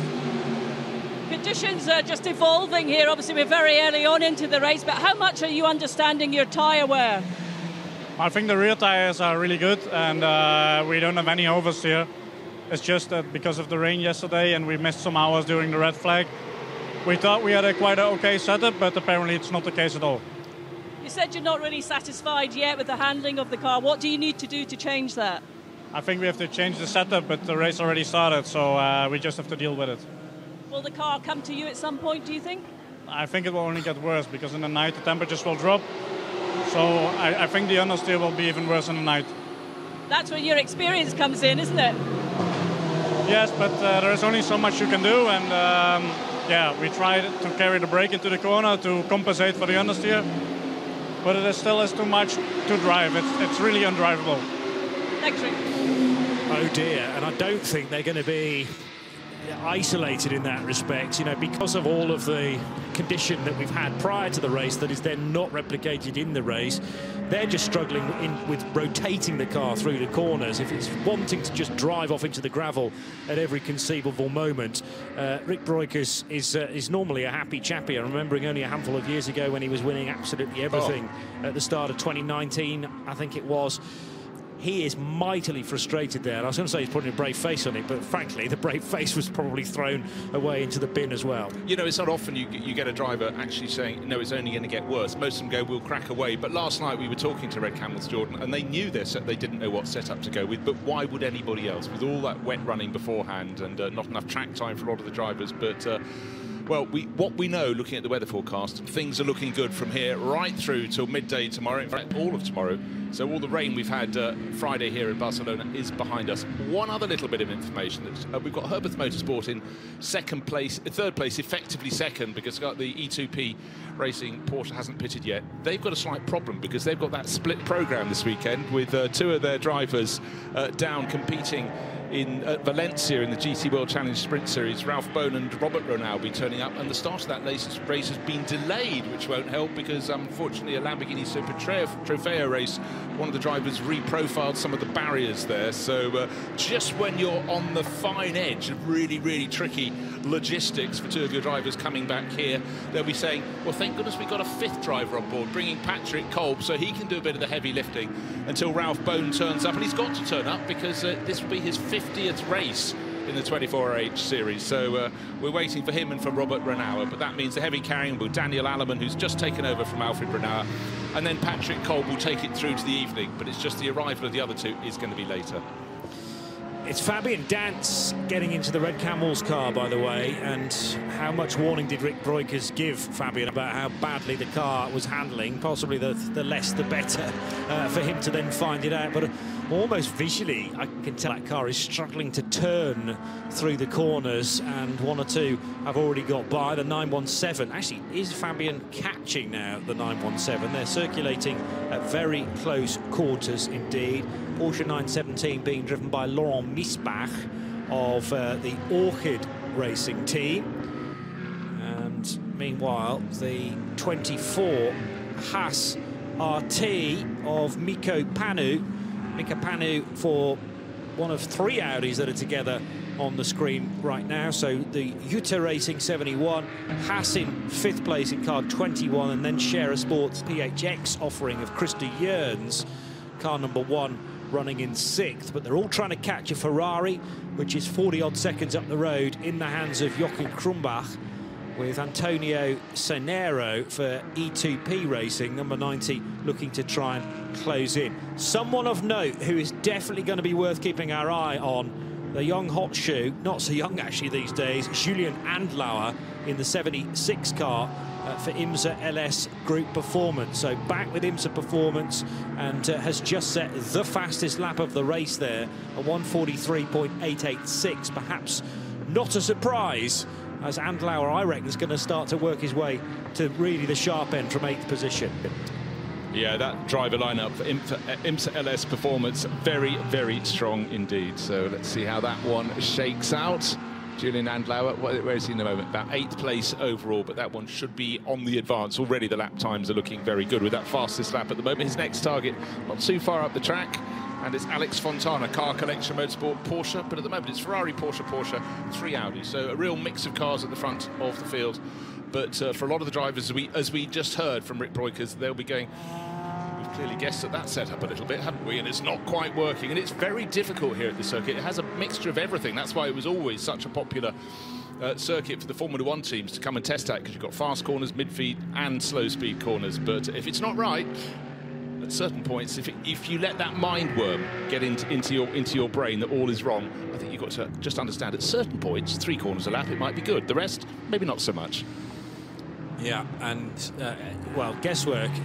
You're sort of half joking there, but there will be a, a, strong element of that because you're having to see where the car was quick in the wet and then somehow adapt that in the dry. Side by side cars there, although in different positions within the race. The 955 heading to the inside in the hands of Papi Cosimo, and that car is in 25th position, although 10th in the 992 class. Bugera having had that big delay at the start, now firmly in the race and rounding the first corner. David Vesecki, fourth placed in GT4.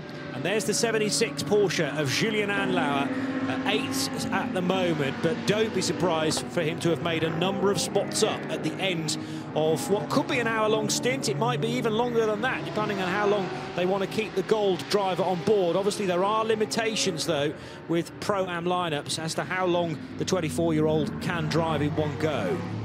It's amazing. You have a, a, a code 60 and uh, people decide when to come in, when to get fuel, and then suddenly, just after that, you get a gaggle of eight cars going down the start-Finnish straight, almost as tight as they would have been on the opening lap of this race. And in among those are those three Audis running fourth, fifth and sixth. Jonas Karklis, JUTA racing, tucked in behind. Second driver in the Haas RT Audi, that's uh, finish racer Mika Panu, and in, just behind him, Scherer Sport PHX. Expect that number one Audi, Christer Jöns at the wheel to keep advancing. It's a very strong lineup in that one. Started by Elia Erhart, did a great job. He's got Pierre Kaffer we found in the pits. If you've got a Pierre Kaffer in your pit garage, you've got to feel, yeah, there's a bit of a spring in my stride. Yeah, he just has that influence on a team, doesn't he? And uh, will have helped no end during the trying sessions uh, yesterday. And he will, no doubt, be able to put uh, together with the other brains trust within that team, try and put their heads together and think, right, how are we going to make this car quick in a session in a uh, track that we haven't yet experienced. They will have lots of data from previous years, though, as well. And that's maybe the slightly confusing thing about other teams that have struggled, uh, because surely they can draw on setup um, annuals, if you like, from uh, previous visits to this circuit. Through the left-hander, oh, a slight squirm there from the Kirchhoff-sponsored car collection Audi and more so just a slight drift from the front. But that, again, would indicate to me maybe a, a, touch of understeer from the 34 car. And it is definitely with company heading down that short hill between 13 and 14. Just want to take my hat off, my metaphorical hat, to whoever decided about 18 months ago that uh, chicane should be removed between the penultimate and final corners. So, so much more uh, to talk about. Let's go down to the pits because uh, Diana Binks has her next victim. The 121 car is in the garage. Iva Valles is chatting to me now. Iva, what's happened to the car to bring it into the garage? I, I sort of didn't notice it until I was walking up the pit lane and saw everyone working frantically on the car. Yeah, the problem was that uh, I lost the grip in the turn, uh, I don't know, five or seven, I, I don't remember, the, from the numbers. And um, yeah, there was just no grip anymore because my tires were gone. I killed them actually very fast because I was maybe a little bit aggressive on the front tires and uh, didn't take the right line. So yeah, and went in the gravel. And if you go with a TCR car in the gravel, so you have to change the drive shaft definitely. How, how tricky is it to manage the tires? It's very tricky in this in this kind of temperatures. It's very tricky. It's very very very. You have to really be patient on the throttle. You have to be patient on the on the on the on the car. So and as, uh, when when you're driving, like I I was driving all this season the sprint races, so I used to drive a little bit more aggressive and yeah, just uh, yeah, my mistake. Sorry for that. We lost, I think, a lot of time, but it's still 24, 22 hours to go, so we will fight, try to fight back. A lot of cars out there on track. How, how are you managing the traffic? Yeah, actually it is quite difficult because you all the time have, with a slower car you all the time have to watch the mirrors because uh, the fastest cars try to pass you even in those places where sometimes it's impossible to pass. So you have to be re- really careful. Okay, but it looks like they're nearly done and they're going to get the car back. Yeah. Thank you, thank you. Ivars Valles there. I'm not sure what the record time of changing a drive shaft is on a TCR, but I would imagine it's going to be a little while longer. Although suggestion is that uh, the crews are maybe clearing the garage so that car can head back out into the race. But that, along with one of the Porsche Cup cars, the cause of our first Code 60, and keeping my fingers crossed as I say that, uh, that is the only difficulty we've had in the early stages, and the teams would dearly just like some sustained running now so that they can get into a rhythm and work out also things like fuel consumption levels so that they know when they're most likely to need to call into the pits next time around. It's that classic case. You know, the drivers did have time on track yesterday, but track, you know, a canoe would have been a little more handy uh, at certain times. It was so super wet. And yes, you have experience, but things do change from year to year. And if they missed last year's race, it's just coming here and racing without that final chicane. We were talking about it off air. You save you save a bit of brake life by not having the chicane and braking heavily into it, but therefore without it, you're carrying more speed down the start finish straight. And what happens at the end of that? Some drivers apparently brake into turn one. I've never met one yet who's owned up to such a heinous crime. But yes, so uh, where you gain with one hand, you lose with the other. But I thought very interesting uh, from Eva Valas there to talk about just driving too hard too soon. Yeah, uh, it's more of a lift, turn one, surely. I'm joking, I'm joking of course. Uh, but you are going to be reaching that corner at a higher speed. 991, or, or the 91 Porsche, I should say, with its red and white livery. Tidy little move there down the inside of the 9T car. So uh, that is Herberth overtaking E2P Racing. And to be honest, Antonio Sainero not really making a big deal of that, perhaps knowing that the next time around he would be into fuel anyway. So pointless holding back a Herberth Motorsport car that is in a good phase of the race. You're only going to delay yourself if you continue to defend overly. And he was one of the last cars, certainly the last cars in the GT3 class to come and make that first uh, visit to the refueling. Still a couple of cars in the Porsche Cup class have stayed out. Another car from GT3 I've just spotted. Oh no, that's come in. Uh, yeah, sudden change around on the order just outside the top 10. But certainly the tactic, their decision was let's not get tripped up by anyone else. One person I quite like to talk about, he's doing quite well in this race. His name is Jochen Krumbach. WTM by Rinaldi Racing. Brilliant start from him up from the second row, and he's just driven away. Just waiting to see what the gap is between. He's got 45 laps under his belt in that uh, new for 2023, the 296 GT. Three Ferrari looks fabulous. The team has, of course, winning pedigree here just 12 months ago, but that was with the 488. But uh, lap after lap, Jochen Krumbach is looking super comfortable in the lead of this race. While his uh, rivals are lapping generally in the 1 minute 47s, he can do 1 minute 45, 1 minute 45. So the gap goes up and up and up. Very impressive. Yeah, it has been from a bronze-rated driver, although uh, really experienced with WTM through the years and with their link-up with Rinaldi Racing. Uh, knows the Nürburgring Nordschleife like the back of his hand, but uh, yes, having competed with the team, although not been part of that winning lineup last year in the 488, uh, he has driven here a, a number of times and just knows GT3 cars. I think it's also important to know that you're not going to be one of the quickest compared to someone like Julien Andlauer, and it's pointless trying because you may well just uh, ping it off into the scenery. Find your ideal lap time that you're comfortable with and just keep ticking off that delta time. And strangely enough, the stint will start to come to you. And to, to have over 60 seconds now as a race lead is mightily impressive after barely an hour and a half. Yeah, you can actually see on the opening laps of the race, we weren't in the commentary booth, but I was watching trackside. You could see some who absolutely decided to ignore the sort of red rag and go chasing after everyone else. They were straight into their program.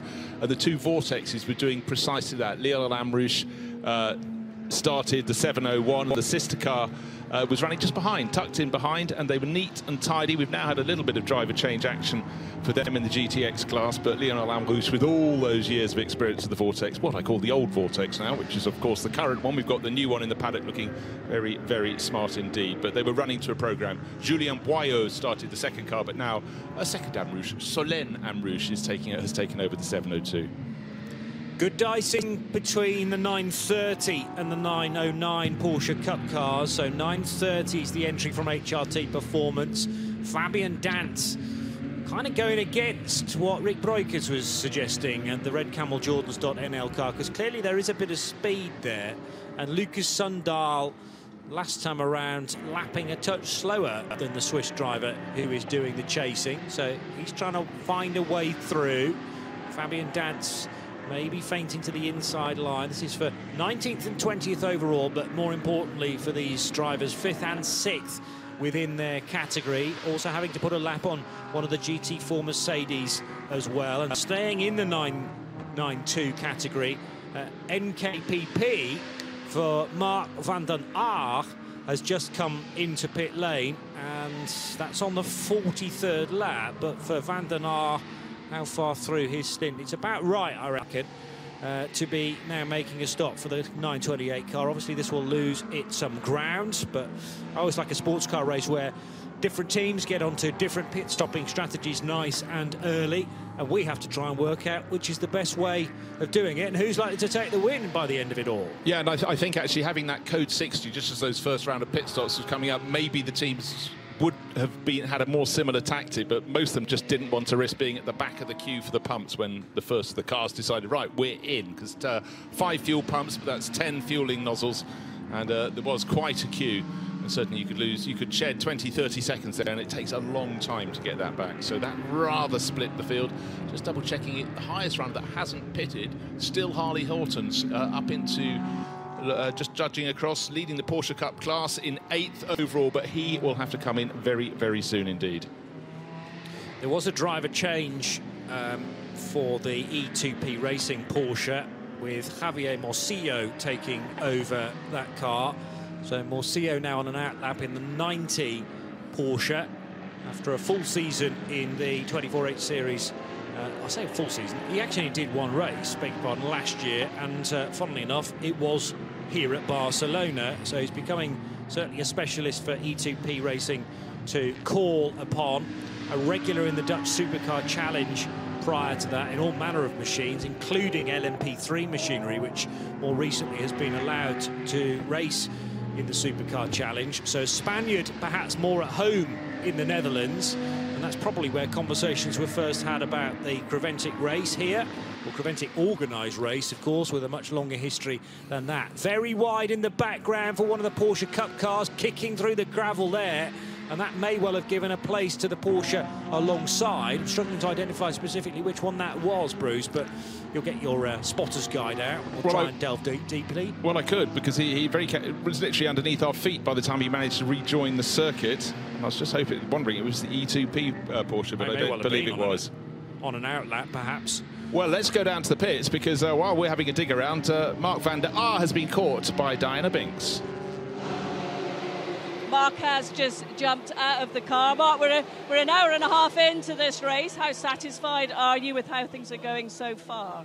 Uh, to be honest, not really happy because uh, we lost the power steering after six, seven laps. So I tried to communicate with the team and it didn't work. Um, so then you lose time in this communication, and uh, afterwards it was quite heavy because uh, you really need the power steering.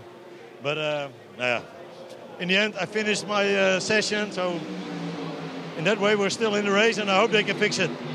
I mean, it must be, it's incredibly hot behind the wheel, so that must make your job even more difficult. Yeah, definitely. Yeah, it's uh, we had a code 60. I was able to drink a lot, so I finished the whole bottle.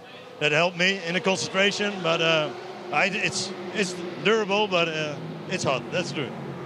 When you came in for that pit stop and driver change there, the team were working very efficiently on that. It was a quick stop. Yeah, yeah, they train a lot for that, and uh, HRT is a, a, team with a lot of experience, so uh, yeah, we hope that helps us to get a good result. How much do you enjoy this race and the challenges that it brings? Yeah, it's my uh, second time in the Porsche and then do the start. That was cool. I really overtook, uh, I think, maybe five, six cars. Uh, that was nice, but um, yeah, then I had to try to find a rhythm, and then the power steering stopped. So uh, it was a bit uh, mixed up, but I'm happy. Thanks, Mark. Thank you. Well, the driver who's taken over from him is Guy Spesham, who was standing ahead of me in the lunch queue. All looked good and calm for him as he piled up a plate of salad, but clearly now he's going to have to work for his living a little bit more. But, you know, being a, a driver of the tall persuasion, he should have no problem at all. Doesn't need power steering. No chance, all these mod cons. I don't know what you can do in the middle of a race about trying to fix that because it will need a, a very lengthy pit stop to turn that around and maybe even component change. It depends really what bit of it has failed, I suppose, and does the telemetry on the car tell you how to fix it? Uh, is the other question. But I mean, it's a 24-hour race and you have a major, as in power steering failure, in hour two. Uh, these are modern race cars, but it just shows that it depends where they've been running recently, I suppose. They'll try and uh, strip them down and start again from fresh each time, but sometimes things slip through the net, Bruce. Oh, they do, and it's often a question of degree. Sometimes you have intermittent failure. It could just be a valve that's not quite uh, clear. Other times it's complete, but uh, again, it's different drivers would get in and manage the problems in different way. But obviously the team will be thinking, right, can how long a stop will we have to have to change? It's going to be a fairly comprehensive one. But you might be saying, tough guys, you just got to nurse it to the finish. But when you've still got 22 and a bit, nearly 22 and a half hours to go, perhaps a little bit of sympathy because with, with every lap, if they're losing a modicum, but also if it's tiring the drivers in their stints, what happens when a driver is tired, Johnny? That's the moment at which they may just run a little bit wide on a corner, as we've seen already uh, with the number 9, 910 Porsche, just riding a little, running a little wide at turn 10 means stuck in the gravel, lose immediately three laps, yeah. at the very least. The problem with it being in the 992 class or any one make category within the race is that the cars are so close anyway you're now fighting cars with power steering with a car that hasn't got it, and that is just huge. It's tiring on the drivers, yeah, but it's also, you know, you it is virtually impossible to extract a lap time like everybody else is doing when you've got one hand tied behind your back, metaphorically. Yeah, it certainly comes at a cost. Just spotted that uh, the Harley Horton Porsche has come in to make a pit stop. I think that's pretty much, yes, everybody but, oh, I found another NKP by HRT Performance, but that has made a pit stop. It's shown as not having made one, but we've uh, just heard from the driver who got out, and we've reported that Guy Spesham has taken over. So the 928 Porsche has made a pit stop too. So I think that's a, a clear round for everybody. The only one that hasn't really made a pit stop is Bagheera ZM Racing's uh, Mercedes. That's because it spent the best part of 55 minutes in the pits before it got going with that fuel pump problem. And David Vasecchi's been been doing a very, very good job in that. But uh, 18 laps down on the car in front, all they can do is chip away uh, and enjoy the rest of the race as much as they can. Bear in mind, of course, Johnny, they were very, very tight in the battle for GT4 uh, honours in this series. Only two points in it. Was it 164 to 162 against Atlas BX Motorsport? And, and that silver Mercedes is going very well, leading the GT4 class, still with the opening driver, JK as they call him, or Yong Yong Kim, one of the uh, Korean racers there, and so big frustration. You know, it's just unfortunately could strike at any moment in the season. It struck them just as they were coming round to the grid. So frustrating. Terrific fight for third position and downwards in the 992 class. Getting glimpses of uh, Fabian Danz, very close indeed to Tracy Krohn. The engine you can hear in the background is that powering the Krohn Racing and RPM Run Porsche that uh, had a terrible start to the weekend with a big off yesterday that then needed repairing, and that took a, big chunk of the day away from RPM. HRT performance in this fight for Lucas Sundal and uh, Javier Morcillo in the GT3 car is on the same lap and only tenths of seconds away. So four cars in quick succession there, 16th down to 19th position. And now a pit stop for the 929 Porsche, which is uh, Harley Horton. This is the one we were expecting, Bruce, and we reckon the last car to now pit after a lengthy opening stint. So, yes, we had that good, chunk of code 60, but an hour and a half just over of fuel mileage looks to be very impressive for HRT number 929. Yeah, late, wait to see who takes over. I'll give you a choice. You could have uh, Anthony Lees from Down Under. You can have Michael Pitamber from uh, South Africa and Julian Hanses, young German racer who was very, very impressive when the track was at its wettest. But that, a very good opening stint there from Harley Horton settling down into this circuit. It's dropped the car down to 20, nearly 30th position as it rejoins the race. But of course, that will be the last one in next time around as well. Quite a few of the crews have kept their driver in to do a double uh, stint at the start of the race, and most notably Jochen Krumbach continues to stretch his advantage. One minute 13 seconds in the lead of this race, but for 929, slossing back into the race, uh, and that's running in, of course, the Porsche Cup class. It was seven minutes and three seconds to be exact under code 60, just the one caution to date, and otherwise uh, we've been, well, uh, nearly 40 minutes out of that code 60 now because Bruce and I took over from Ben and Joe at pretty much that caution period. Very busy indeed through turn five and now there's some damage on the back of the eighth place Porsche which is the 903. I think that's possibly bodywork peeling back from the rear right. Better view of it as it headed, there it is, down to the down the main straight. That looks to be possibly side to side contact. Yeah, it's a bit of the rear wing in fact which is just edging away from that rear right tyre. Let's get to Diana Binks, who's in the pit lane for us once again. I'm with Harley Horton, who you were just talking about, just pitted from the 929. Quite a lengthy stint out there, Harley. How was it from your perspective? Very good. We made up a lot of places. Uh, we struggled to pit under code 60 because the refueling area was full. So we just made the stint go as far as we could, made up a lot of places, and now Julian's in the car. I think we're going to see where we really are. How's the balance of the car developing? I know it's obviously an hour and 40 minutes or so, still quite early, but what did you notice? Well, it's so hot out there. I mean, start the stint, balance, lovely, and you just feel the rear tyre start to slip. And as soon as you get that slide, it's gone, and you lose a second, two seconds. So it's really hard to keep the pace throughout the stint, loss of concentration, but it was really good. How much are you understanding the tyre wear? Well, through uh, Wednesday, Thursday, Friday testing, we ran the tyre very far uh, to check how the wear would be and what the time could be like. Now it's a bit hotter today, uh, but we think we can take them an hour 40, maybe longer in the night, but we'll see. We're a little bit blind, but we did all our testing, all we could, so. How important is it to have such a team behind you? I mean, every time, well, your sister car and yourself came in for a pit stop, very quick, very slick. Yeah, I mean, last night we were here till midnight practicing, practicing driver swaps to get it on point, and it's paid off. Hopefully, it pays off for the rest of the race. We'll see. I don't think you can be perfect throughout the race. It's such a long race, um, but yeah, we're looking good. Thanks, Harry. Thank you. He became the youngest ever Brit to race in the Nürburgring 24 hours uh, this year, and uh, after a couple of seasons in the Ginetta GT5 Challenge in the UK with Eddie Ives' outfit Elite Motorsport. This is some step now up to proper international motorsport, but uh, I think that stint particularly will uh, have looked good to the rest of the paddock. Only 18 years old, and uh, yeah, really spreading his wings in 2023 with uh, Barcelona, with the Nürburgring, and a few other international tracks as well. Good not- interviewee. Absolutely so. And just to clarify, he said Julian's gone out. We were talking about the other Yes. trio in the team. That's Julian Hanses, and it's one of three cars in the Porsche Cup entered by HRT Performance. So spreading that in spirits. But we did hear that one of the sister cars.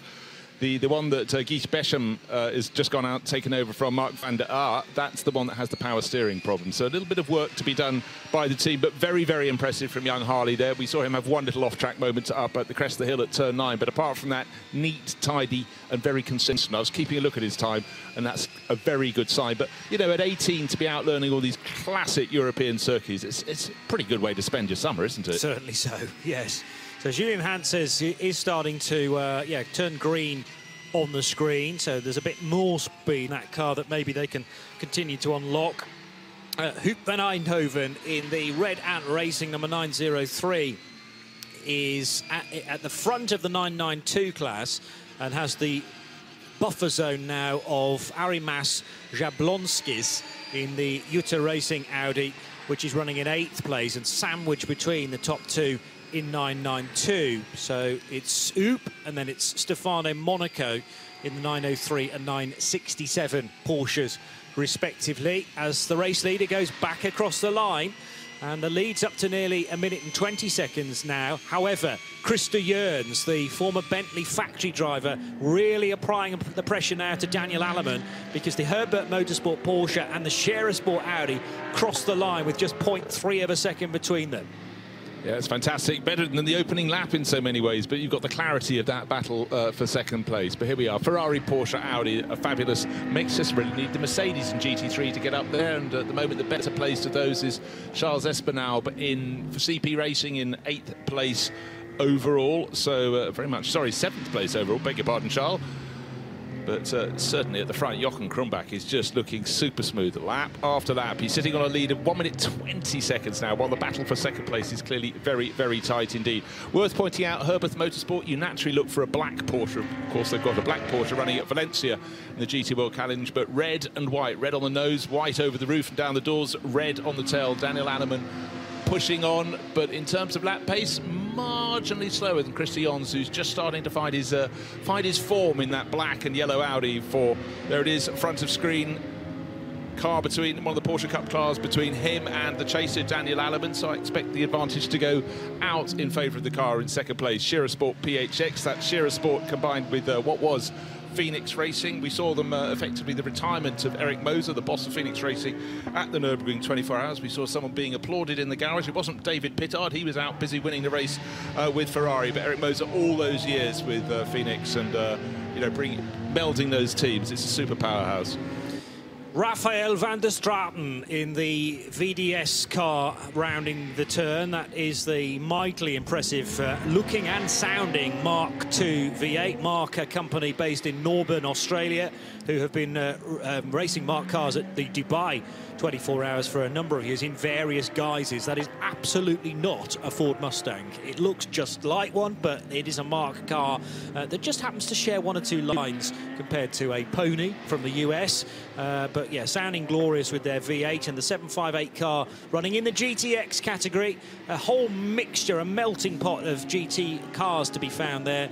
And uh, at the moment, the class is led by the RD Signs Siauliai racing team for Pauli Paulius uh, Pascavicius, number 720. Yeah, very, very close for company with the Razoon than Racing KTM. Very, very tight on times, half a second apart, but by far the best sound. So it comes down the start finish straight underneath the feet of the tall grandstand is the rumbling MARC II, the Ford V8, and it just is exquisite. And you know what? When you walk, do a pit walk before any of these races in the 24H series, that car draws as many admiring glances, certainly at Spa, maybe the Belgians. In fact, they've always, my parents lived in, in, Brussels in the late 1950s, and there was a huge number of American cars. They've already had, always had a penchant for American cars, so that was drawing a lot of admiring glances. Yeah, and you can understand why. Uh, it uh, instantly becomes a fan favourite, and uh, the, the design process often sort of derived in the, in the Ford designing uh, board, if you like, because we've had previously the MARC car looked a little bit like a Ford Focus, but we also had the Mazda body shell that goes on top of a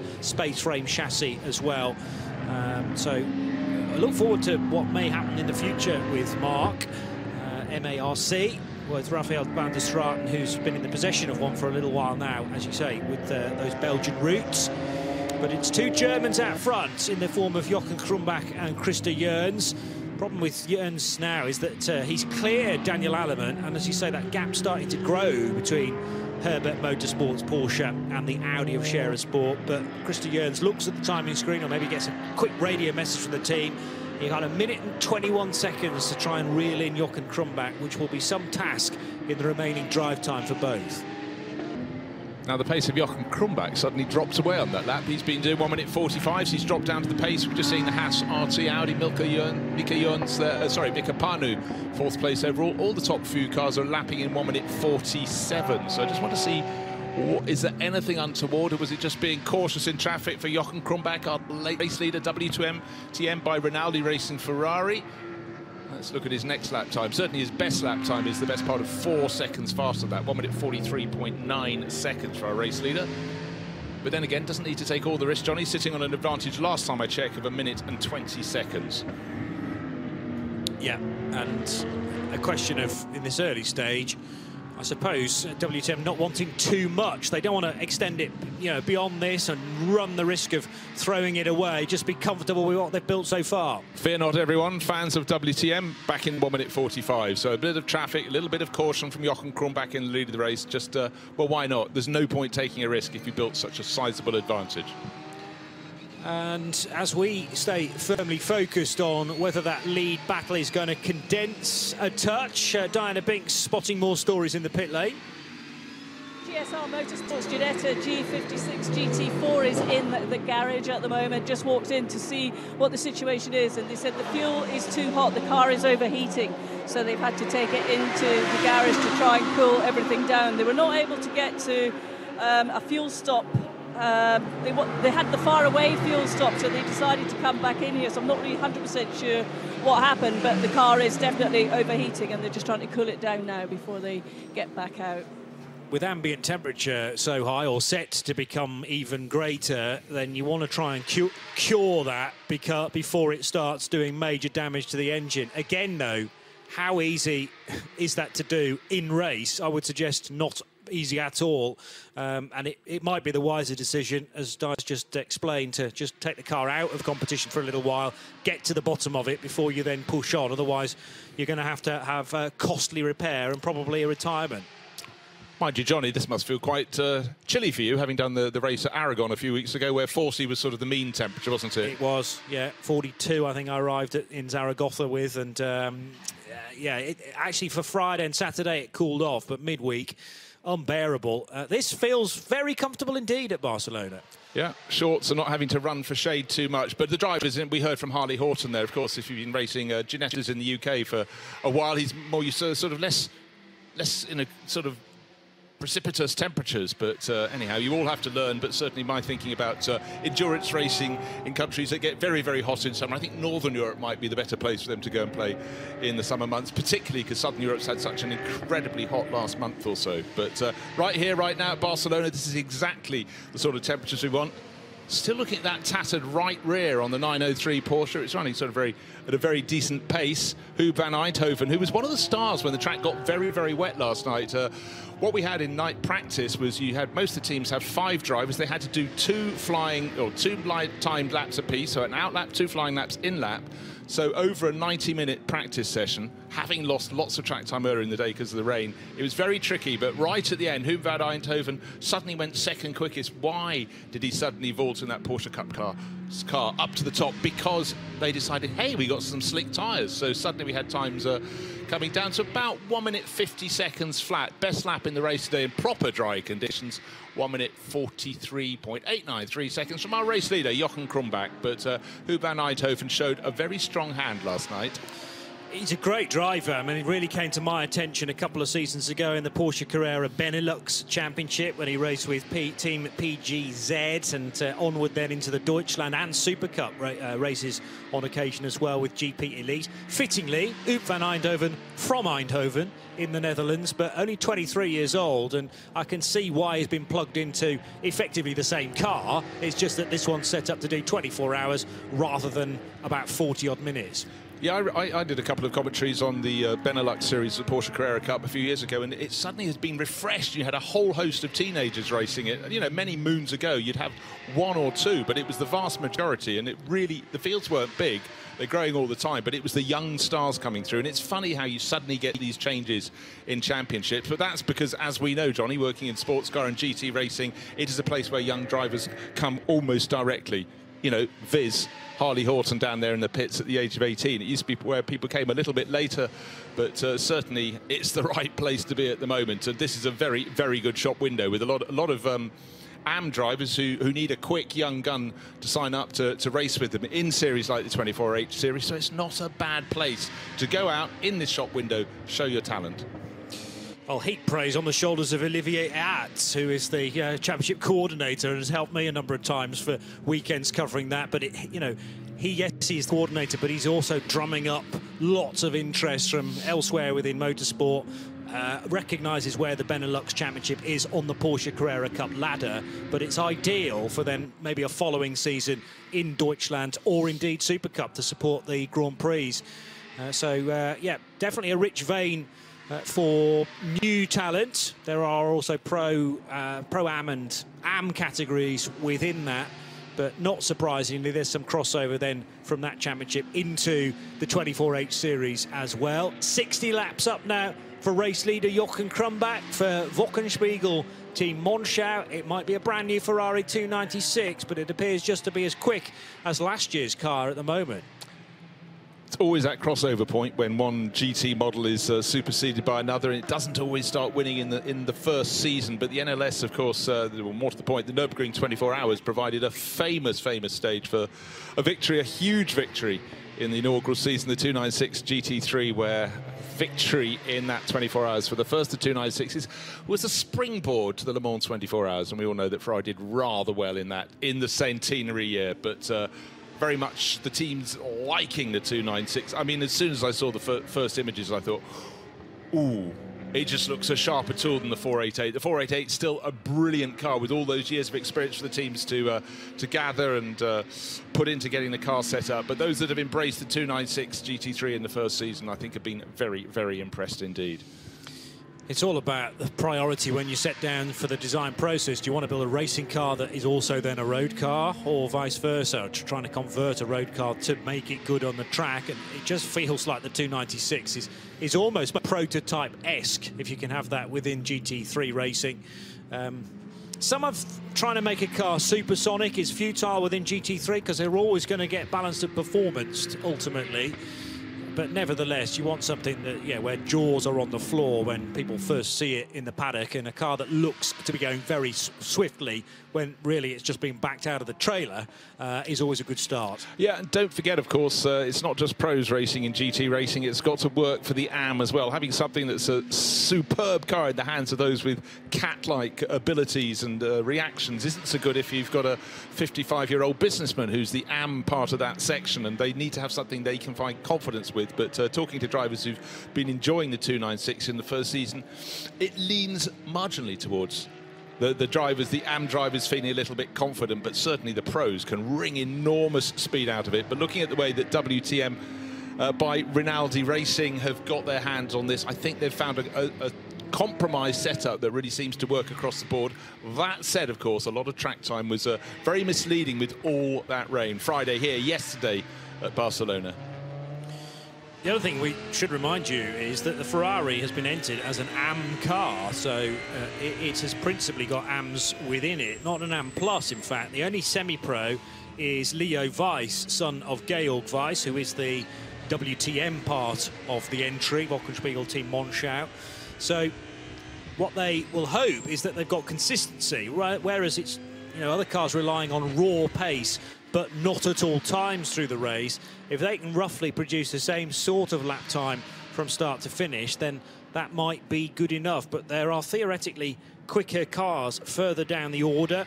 For instance, the number one Audi of Scherer Sport is a Pro-Am entry with Christer Jöns in the lineup, along with Elia Erhart and a certain Pierre Kaffer. We've got a Pro-Am car in the form of 21 Haas RT with their Audi Mathieu Detry and Max Hofer are the two semi-pros there. And then the IMSA LS Group Performance car is not a, a Pro-Am or an Am. It's got uh, two semi-pros, the pro of Julien Andlauer, who's at the wheel, and then Laurent Hurgon, who is the Am. So some some teams are not necessarily showing their full hand right now, uh, but no doubt about it. If if Jochen Krumbach continues in this form, um, the early gaps that is that is building in this opening couple of hours almost might be insurmountable. It's possibly a bit too early to mention that because I haven't even talked about the issue of reliability yet, and that does come as a bit of a question mark with a brand new car. It certainly does. Always can be a little bit misleading in these, uh, particularly if you've got five driver lineup. But of course, you've got to average out their, their pace across all five drivers. But uh, looking at that lineup for IMSA LS Group Performance, the 76 Porsche, Julien Andlauer, Gregory Guilvert, who's, who's won race after race in class in the French GT4 series. Simon Thurman was one of the coming drivers uh, from the Alp Alpine Europa Cup a couple of years ago, and Laurent Hurgon, well, he's there as the AM because he's uh, north of 50, but he's been a, a test driver for the Alpine uh, squad and all those cars. He's got plenty of track experience. That is why you've really got to look for that lineup. And at the moment, it's uh, sitting not at the top of the field. It's sitting down. In fact, it's just come out of the pits after the second pit stop. Julien Andlauer just waiting to see if he has remained on board, but it's down in ninth place, but that should bob into the top six and stay there or thereabouts, I'd suggest. And certainly with Julien Andlauer, could sort of reduce the number in front of its name, so it could be going higher up the order. Yes, um, every chance of that. He's only been at the wheel of the car for 43 minutes. The clock ticks by in the stint column, telling us how long a driver has been at the wheel, and that should not include the time in the pits either.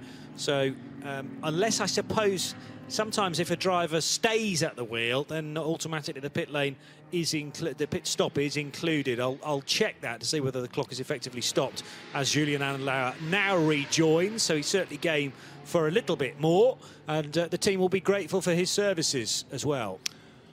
It's very hard to explain how dire the weather was yesterday evening when the drivers wanted to go out on the track and uh, all track action was suspended for a while. When you get a high shot looking out over the circuit to Barcelona, Catalonia, and just see the glorious hills in the background, the circuit looking supreme, and it looks all the better for the removal of that final chicane, the one that nestled between turns 13 and the final corner. It does give the, the groups of cars a wonderful sweep down from 12 dipping through 13, through turn 14, the final corner. We've seen a few drivers, Johnny, running wide in their attempt to try and get close to a rival to get a slipstream down the start finish straight. It is a very, very broad gravel trap. We were talking this morning about how it used to be uh, rather less of a gravel trap, but rather more of a tire wall just beyond the gravel trap uh, back in the 1990s, and it certainly caught out a few drivers. But right now it's a wonderful sweep, all the better for not having that chicane, and it does lead to some really great little um, attempted moves down into turn one. So far, I think the drivers have been quite sensible. A lot of them have read the manual that says you are in an endurance race, 24 hours is the required distance. So uh, haven't seen too many daft moves down into turn one. No, uh, sometimes, of course, you go for an overtake, assuming or hoping that the car you're about to pass has seen you. Uh, that's not always the case, and we've had some collisions uh, earlier on in the weekend there. But yeah, better to have discretion as the thing for, most forefront in your mind to keep all four corners of the car as straight as possible. So wonderful. I hope you're enjoying our coverage in both sound and vision because there's some crass, cracking drone shots from the top of uh, the circuit that uh, angles I've never quite seen before, frankly. No, it's very exciting. I'll tell you what else is also exciting, but entirely predicted that Jochen Krumbach would, uh, with uh, almost precisely uh, two hours completed, come in from the lead of the race. He's in re refueling. The Herberth Motorsport Porsche is in almost a lap behind him now, actually. That was in just first. Yes, it pitted a lap earlier. Daniel Allemann in refueling. And Christer Jöns, the Scherer Sport PHX Audi, has just completed his refueling and he's uh, trickling in that awfully agonizingly slow feeling pace into the pit lane itself under the under the control tower. CP Racing Mercedes in the pits as well and a host of others uh, making making their stops. But most notably is our race leader Jochen Krumbach a double stint two lots of one hour in and we'll see who's going to take that one over next Georg Weiss, Leonard Weiss, Thorsten Kratz or Isaac Tutumlu Lopez. That's your choice. You've got a choice of four in the five-driver lineup. Have had, just had a change of position out on the circuit. Carsten Tilke has just been overtaken by the Land Motorsport Audi. That's car number 34. And Carsten Tilke was driving the Hofor Racing Mercedes AMG GT3, the only one in that top class. That's running in the sort of a silver grey livery. And down in the pit lane, though, we've got uh, Diana Binks, where it's sudden... No, not, not getting busy. Sorry, misheard something. Yeah, it's uh, it was almost Binksy's voice, but uh, actually begins with Natasha. Natasha. Yes, uh, and we'll be uh, running down the standings in a moment or two, but you're tuned to the Radio Show Limited network of channels for coverage of the 24th edition of the 24 Hours of Barcelona. It's Bruce Jones and Johnny Palmer, and we've now done two hours of this year's race. Uh, time to check out what order the various categories are in. Two separate races in one, remember, the GT Series and the TCE Series under glorious skies here in Montmelo, Barcelona. Uh, 22, car 22 for Wochenspiegel Team Monschau and Rinaldi Racing's Jochen Krumbach leading the way. We have only had one leader so far. It's always been the 22 after the pass was made into the first corner ahead of the 91 Herberth Motorsport Porsche. In fact, both of those cars are actually getting fueled right now. So the bizarre situation, the two race leaders stopped in the pit lane, but it's all part of the plan. Third place is the 903 Red Ant Racing and uh, actual class leader in the 992 class. Then it is the Scherer Sport PHX Audi now in the hands of uh, Christer Jöns, still in the hands of Christer Jöns. CP Racing's number 85 is running in fifth place with Charles Espenlaub in that almost all-American lineup. They're joined by Phil Quaife this weekend after Adam Christodoulou was part of the lineup last week at the Nürburgring. Haas RT's number 21 Audi with Chris Cools is in sixth ahead of the Land Motorsport Audi of Tim Vogler. And then it's the Hofor Racing Mercedes number 11 in eighth place. IMSA LS Group performance still with Julien Andlauer driving that for his second stint now is ninth ahead of the car collection Audi in the GT3 Pro-Am category.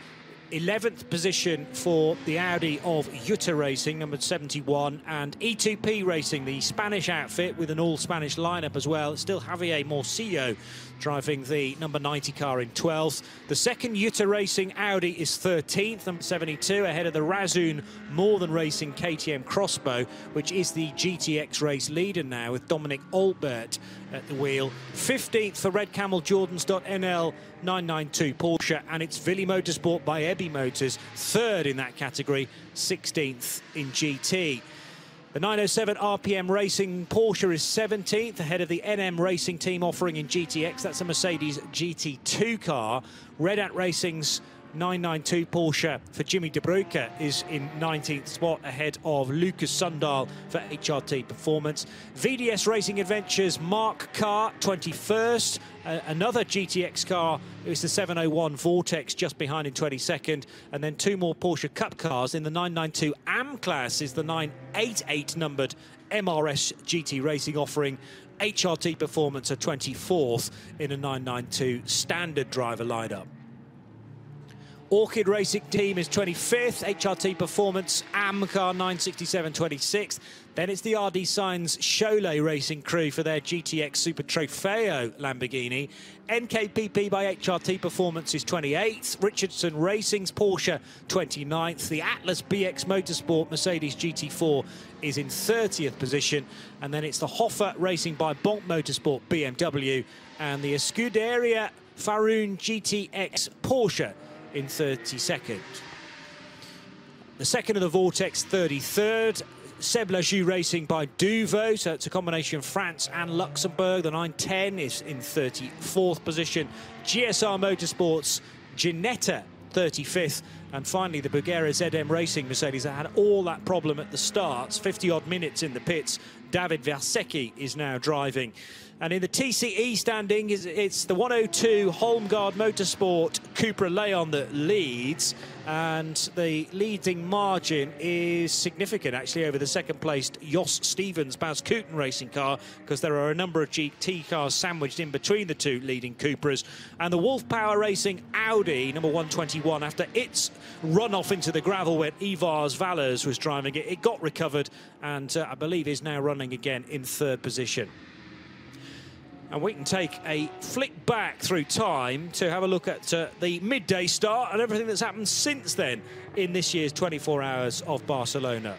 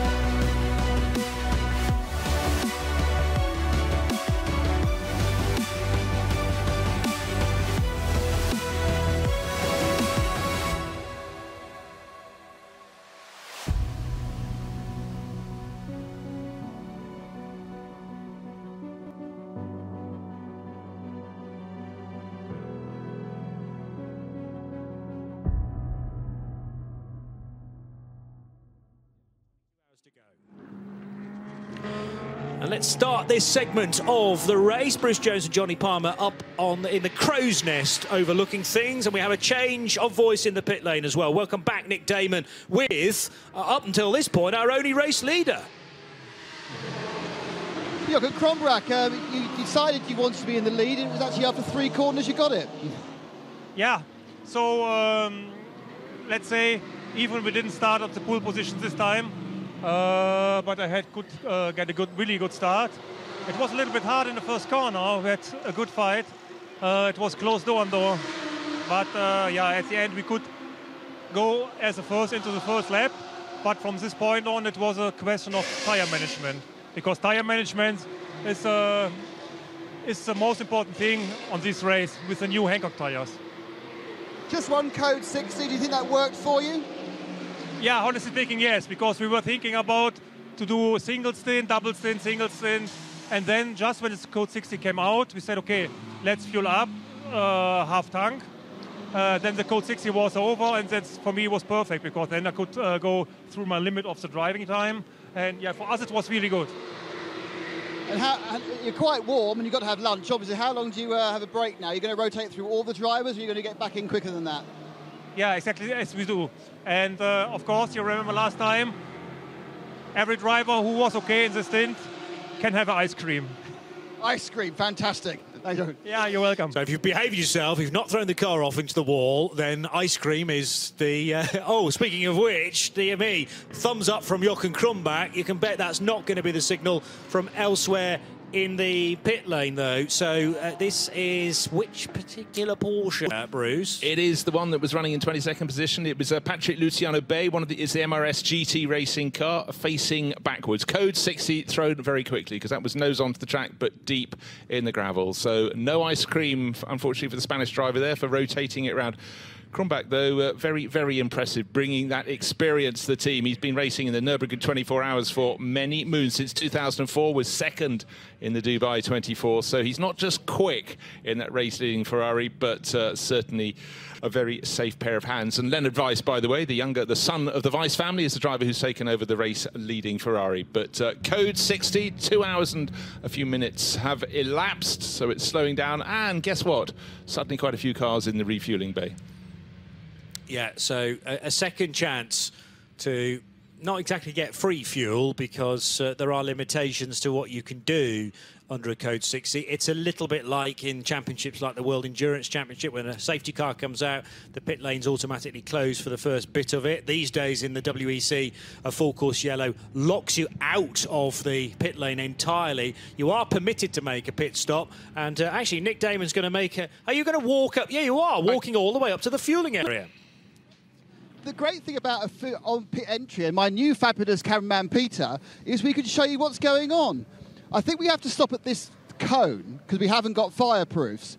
But um, as Peter can show you what's going on up there, you can see all the cars up there. The first car to refuel actually is Daniel Allemann in the uh, Herberth car. That's 91. Behind him we have the, uh, the Lithuanian Audi. We've got um, just going past now and deciding not to fuel is the Hofor GT4 uh, BMW because it's now all full up. There are five Bowsers, ten hoses, all of them petrol. Do you remember the old days when there were diesel cars in Creventic as well? And all the diesel fuel came out of a big bath, basically.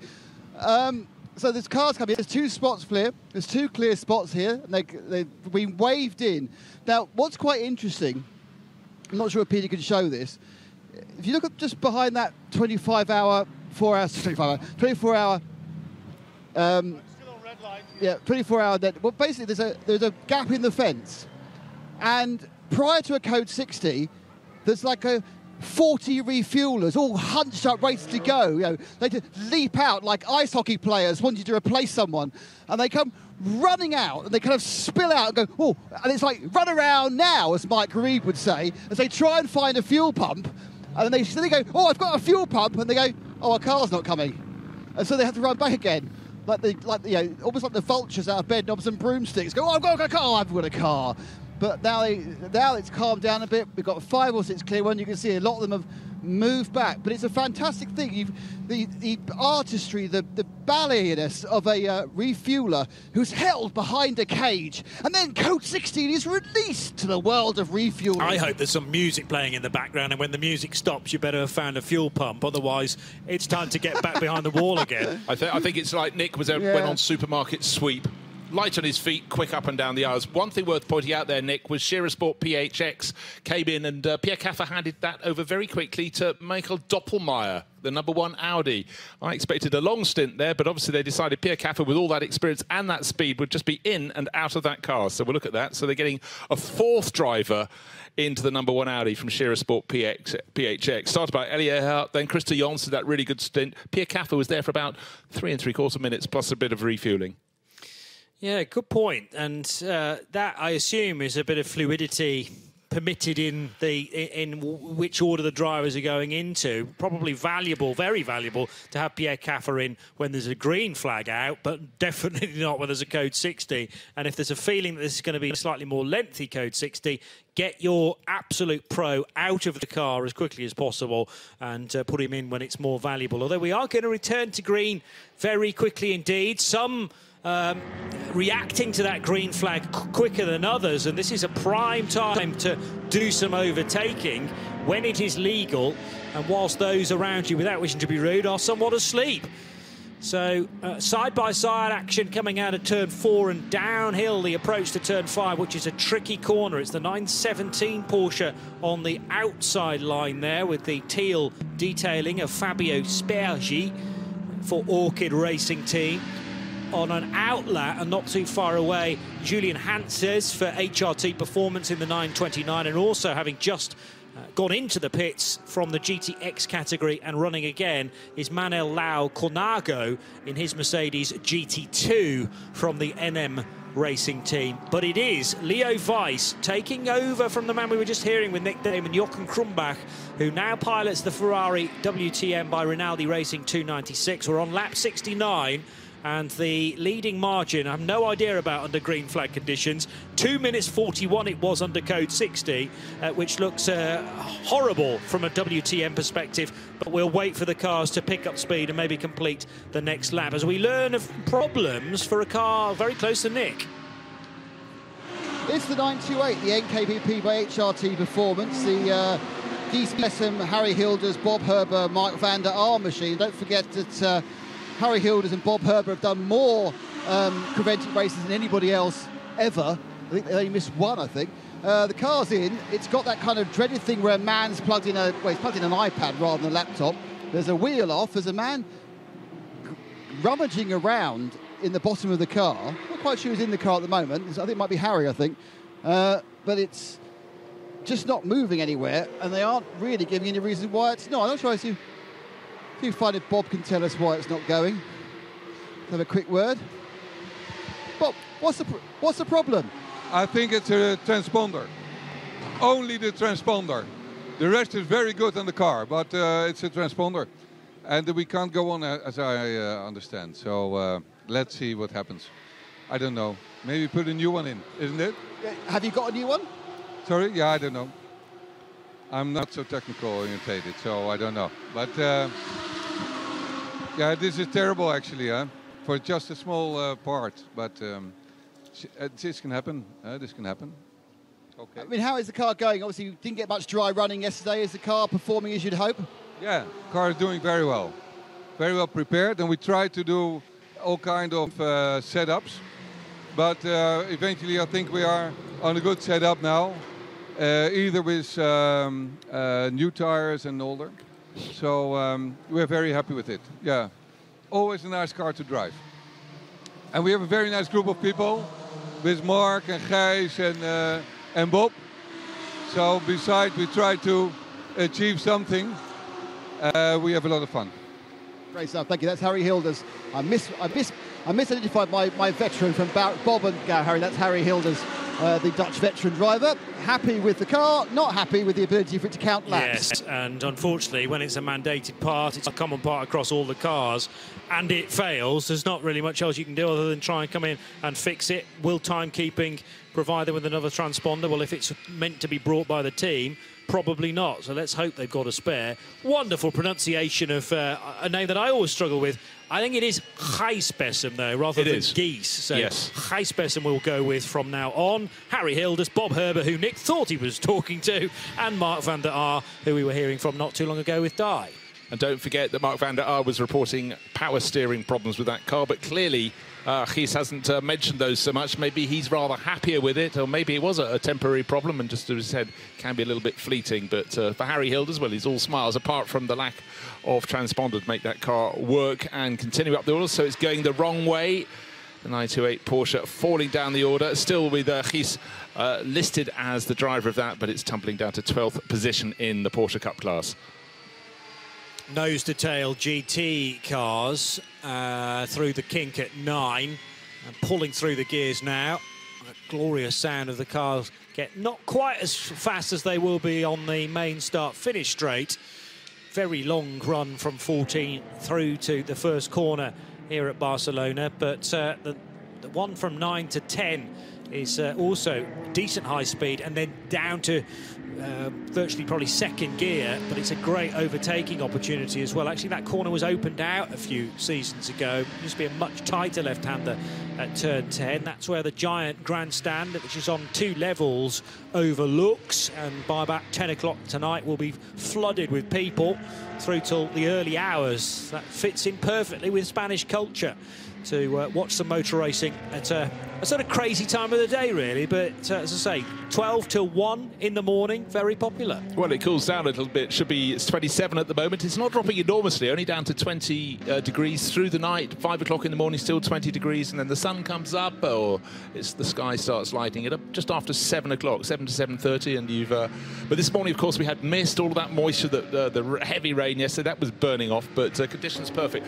What I really love here in the 24H series, the paddock is absolutely packed with people, but so many parents with young children coming at this time of day when the vast majority of the crowd come to sit here late into the evening with something to eat, something to drink, to watch the cars. The age age range will rise, but it was fantastic. You see so many uh, children under the age of 10 really having a fabulous time getting up uh, close to the cars, taking a look, and uh, good to see the parents, of course, being fully responsible. Almost every single one I saw had a pair of ear defenders. That's the child, not the parent. Yes, very wise, I would say. Uh, Luc is now going quicker than uh, anyone else has gone, done in the 909 Red Camel car. So is Luc able to cope with the understeer issues a little better than older brother Rik right now? He's just done a 148.655. The team, you can be uh, sure, are trying to work to not necessarily a full solution for that, but just making the drivers slightly more comfortable for the remaining time, which is 21 hours and 40 minutes.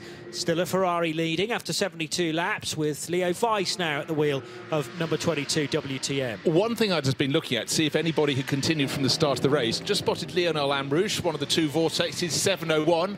Two pit stops so far, but he's still circulating. Then at the bottom of our timing screen, it says car 701. Oh, that's his car. Team manager to report to race control. So we keep an eye on that one. And uh, obviously, Lionel, the most experienced driver in any of the either of the vortexes, but uh, maybe he's just uh, run a little too long, or maybe it was an infringement under those two uh, code 60s. We'll wait and see. No further information at the moment, but one to watch. Indeed so. Um, a variety of uh, Vortex he will have raced through the years, even going back to the GC automobile that looked like a BMW saloon car in the mid 2010s, and then onward into the Vortex V8s in their various iterations. Has raced with Porsche Lorient Racing before as well. Hails from Nantes in France and uh, just loves his motor racing as much as possible that he can do around his uh, business commitments through the rest of the year. But an exciting weekend for Vortex to launch their brand new car here at Barcelona. That happened yesterday, unfortunately, in miserable weather conditions, although they did find some gaps in the rain in order to do that. Yeah, they wanted to drag it out of the awning at the back, but then they didn't want to fill it up with water. But the most crucial element, when you look at the, the, the car for next year, much, much lower at the back, and uh, they've re removed pretty much all the metal bits. It's now going to be all carbon fibre with all the associated extra structural rigidity and therefore handling. So uh, was looking very mean, slightly damp. Oh dear, the race number 22, our racing Ferrari, has been damaged. It's sitting sideways in the track, and Leonard Weiss has dropped it coming out of turn two. Was someone else involved? Got to see that was sitting on a lead of, uh, well, the best part of one minute and 20 seconds. It's now reversing back away from where it's hit. It's gone off. Imagine going through turn one, turn two, where the track goes left. He's gone a little too far left, and now he's trying to avoid dropping into the gravel trap, but time is being burnt. But if he can tidy it around, He's got to wait for a gap in the traffic. You don't have a long line of sight from the exit of turn two to the exit of turn one. He's going to have to spin it through what 150 degrees to point the right direction. And I suddenly think we could have the IMSA Porsche going into the lead any moment now. Just about the worst car to be next on the road is Julien Andlauer, the quickest guy out there, and he hasn't crossed the line yet to complete 73 laps, but he does so now. So look out for the 76 all-black Porsche about to work its way into sight. Turns one, two and three. Still the Ferrari, no fire in the belly. Or is it just that they're waiting for a gap in the traffic? Now it can lurch forward and almost into the path of the CP Racing Mercedes. I reckon that was the Porsche that I'm talking about. There are the flashing of the lights, and it's a lead change at Barcelona for the first time today. Julien Andlauer knew exactly what was going on, I'm sure, because the team were on the radio. The, the driver, the car you're trying to chase down is facing the wrong direction at turn two, and Andlauer needed to slice by as quickly as possible. That's a huge amount of ground got gained back again, and just put your mind in the in the garage of WTM by Rinaldi now, having spent the first two and a bit hours building up almost a two-minute lead. It is gone in one moment. It was a, it was a minute and 18 seconds at the end of the previous lap, but of course only just started this lap, getting it wrong somewhere between turn one and two, rotating that Ferrari. Leonard Weiss then had to have the odyssey, just waiting, waiting. First to turn his car around enough to then spin it back into the onto the circuit, but also just waiting for a gap in the traffic. And as I said, you've got such a short line of sight to see people. You, you can only see them once they've come past the end of the wall as the cars turn into turn one. But how cruel for them, for that IMSA LS Group Performance Porsche to be there just as they finally got going and it dived up the inside. Julien Andlauer, Andlauer didn't need a second invitation. Now he's going to be cool, calm, collected, pulling away. But what's the handling going to be like for the uh, Ferrari? It's still stuck behind the CP Racing Mercedes that uh, uh, went through turn two just ahead of the IMSA Porsche. But how's the car going to handle? Did it hit that tyre wall on the exit of turn two? Need to see both flanks. I don't want to make light of this situation too early on, but there's going to be no ice cream for Leo Weiss after what Jochen Krumbach said. What I don't know, what we don't know yet, is whether there was another car involved, because Leo Weiss is the semi-pro. That's the really weird thing about it. We've had uh, just about two hours of bronze driving time where Jochen Krumbach didn't put a foot wrong, and then all of a sudden Leo Weiss, who is very experienced, not only in this championship, but also the Nürburgring Nordschleife, facing the wrong way, possible damage on the car. I can only think that another car was involved, but we haven't yet had a message on the screen suggesting that is the case. I would expect incident involving car 22 and another now under investigation. And until we get that, we have to assume Leo's gone off on his own. Well, is very unusual. Really hard to call, as you point out, when you regularly race this car on the Nürburgring Nordschleife for 172 turns per lap, and he hasn't put a wheel wrong in that this year. Anyhow, we'll wait and see. But the, the long and the short of it, leading the race by one minute and nearly 20 seconds, comfortable, building on the work of Jochen Krumbach, and something untoward happened into turn two, whether off on his own, but it was just the period. He must, must have waited 40 seconds for a gap in the traffic.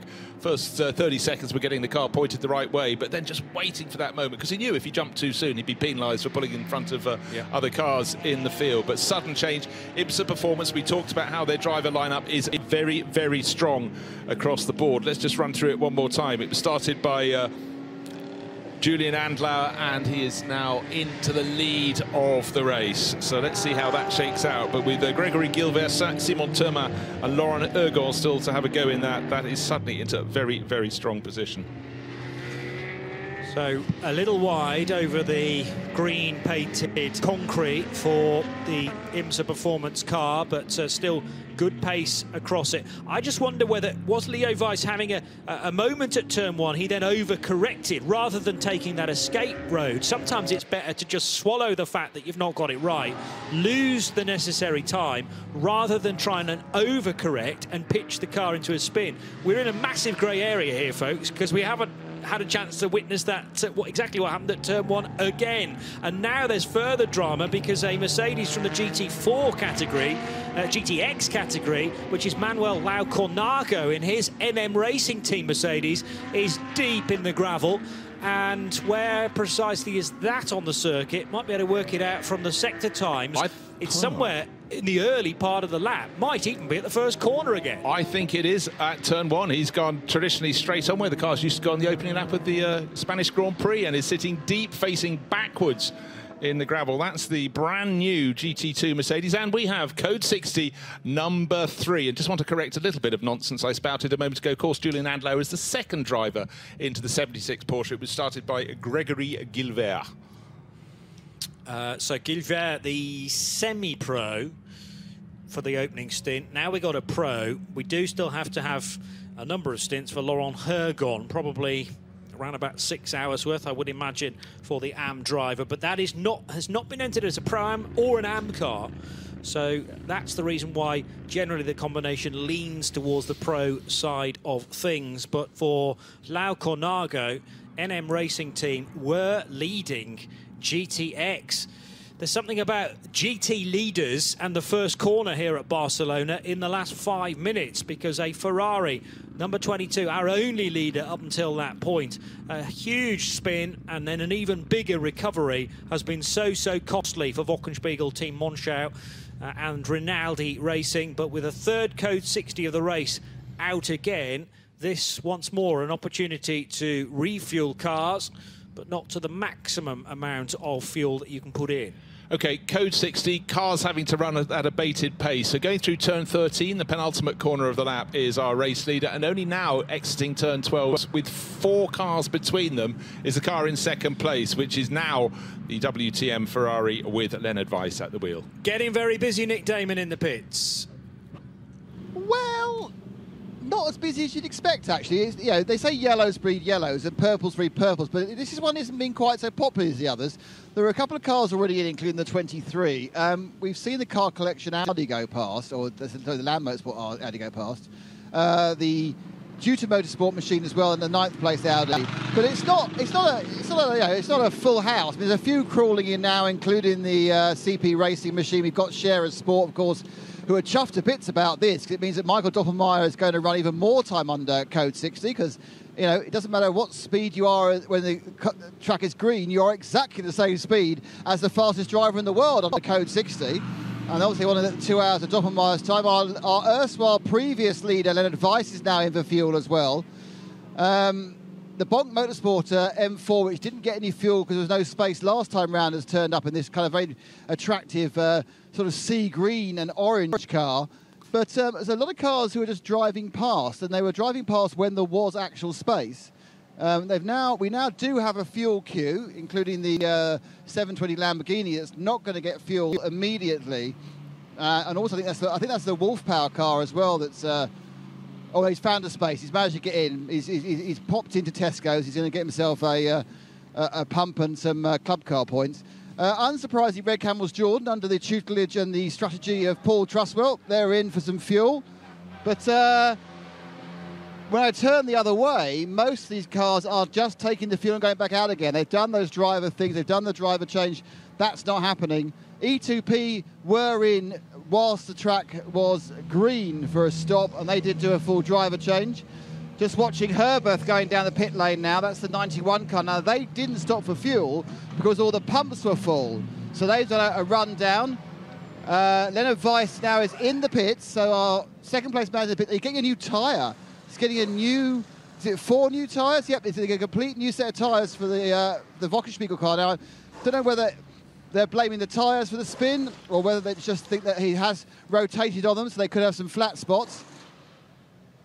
But we're not, yeah, so we're not seeing a huge amount of pit action, but we are seeing a huge amount of let's see if we can get some fuel after a long period of people not wanting fuel. So it's not all happening here, but quite a bit's happening. Well, Johnny. something's still happening down at turn one. They're still trying to retrieve that GT2 Mercedes, the NM Racing car, deep, deep in the gravel, about uh, 20 metres into the gravel trap, facing in the wrong direction. So, yes, whatever happened, what caused the spin for our race leader? The Ferrari now, as Nick pointed out, a fresh set of rubber, and it's on its way down towards pit exit. But that's not the sort of expect mistake you expect to see from Leonard Weiss. Still don't know, did he push or did he tumble on his own? Yeah. Um, you can't really suggest anything was down on the track because nobody else went off other than this Mercedes, but it was earlier in the corner. Um, exactly where the lose was for Leo Weiss, only he will be able to tell us. And you can be sure that either Nick or maybe Di at that point will be heading straight to Leo Weiss to get to the bottom of precisely what's happened. But it's a massive twist in the narrative of this race all of a sudden. That's why it's important, so important, to be paying attention to every single minute of a 24 hour race. Uh, by the way, there is a segment of overnight where you won't get commentary from us, but you will, I believe, still get the onboard footage to keep an eye on the race to, and also.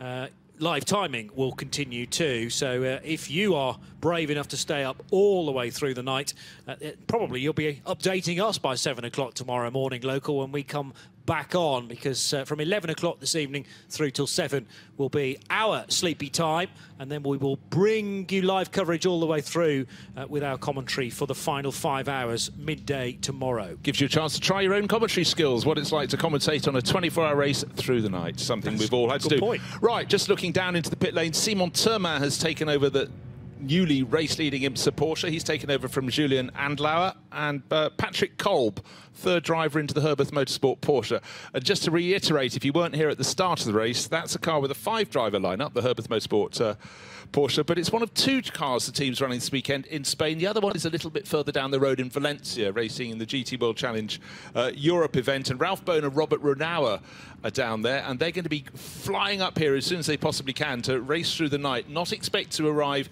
until seven, but I know the start of that race was delayed because of barrier repairs. That'll tighten their logistics, but the, the benefit, Johnny, of bringing Patrick Kolb along, not only a quick driver, but also it just means that we've now got the third driver in that rotation in. He's followed Daniel Allemann. Alfred Renauer has started the race, but they may be running a little bit longer into the night than they had planned. Is the race in Valencia still going to be doing the, the full duration how long is that how long is the race Oh, from start to finish. It's a sprint round. Very good. An nice hour. way of answering the question. Oh, yeah, okay. They're only an hour long, but nevertheless, when you're in Valencia and you're also due to be racing in Barcelona, it is uh, quite a bit of uh, pre-planning, of which Alfred Renauer knew absolutely nothing because he said, "I'm here looking after cars at this event. I don't need to know that stuff." Fair enough. Yes. Uh, he's just trying to take the pressure off his shoulders. So just looking at the uh, GT2 Mercedes pulled out of the gravel, a little bit of uh, under tray damage, not surprising because it was uh, right on its belly, deep down in the gravel at turn one. Still under code 60, but now that's been removed from A, the gravel, and B, from the side of the track. One of the quickest drivers uh, in that stint, the driver who took the lead, Julien Andlauer, he's as quick as Nick because Nick has caught up with him. Uh, Julien, that was a, uh, a great stint because you ended up in the lead, but that was um, because the other car fell off. Did you know you'd taken the lead? Uh, yeah, I mean, I saw the car in the gravel. I mean, spinning. Uh, let's say it was pretty tough. Uh, double stint on my side. Uh, we lost a lot of time in the pits because we couldn't pit under uh, code 60, so we tried to take advantage on the second one. Uh, pace was not too bad, but I mean, it's really difficult to drive out there. Uh, traffic is tough, but also the car degradation is uh, is something to really manage. So yeah, that's what we try to do at the moment. But hopefully, we're gonna be a bit stronger during the night. At the moment, we struggle a little bit with the rear axle and the entries, and a, a little bit of top speed as well. So is the degradation um, caused by the fact that the track got washed yesterday? Yeah, also it's very hot. We know that Barcelona is a, is a, is a track which is pretty tough on the tires, first of all. But on top of that, it's, it's pretty hot. Uh, tri temp is, is uh, I think, 48, something like this. And uh, yeah, I think it's the same for everyone. Uh, maybe they struggle even more than us, but we have to make the best out of it and uh, see where we can, uh, where we can go through. Now, the other thing, of course, this year is we've changed the layout. We're not using the old chicanes, and you've got that, that much faster entry. Is that is that adding to the degradation, or is it actually making it easier? Uh, I have to say, I pushed a little bit on the front axle because we're, try, we're trying to carry a lot of speed in.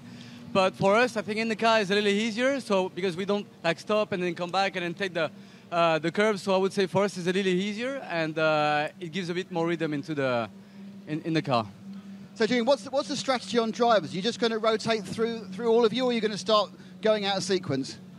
Yeah, at the moment we try to uh, see the pace of everyone in the traffic because it was a bit tough to see during the free practices, and then see what's the best uh, option. Also, I think they're not very very used to drive during the night, so I think I won't sleep so much. Uh, during these 24 hours, but I mean, it's part of the game, so we're just, we're just going to push uh, to the end.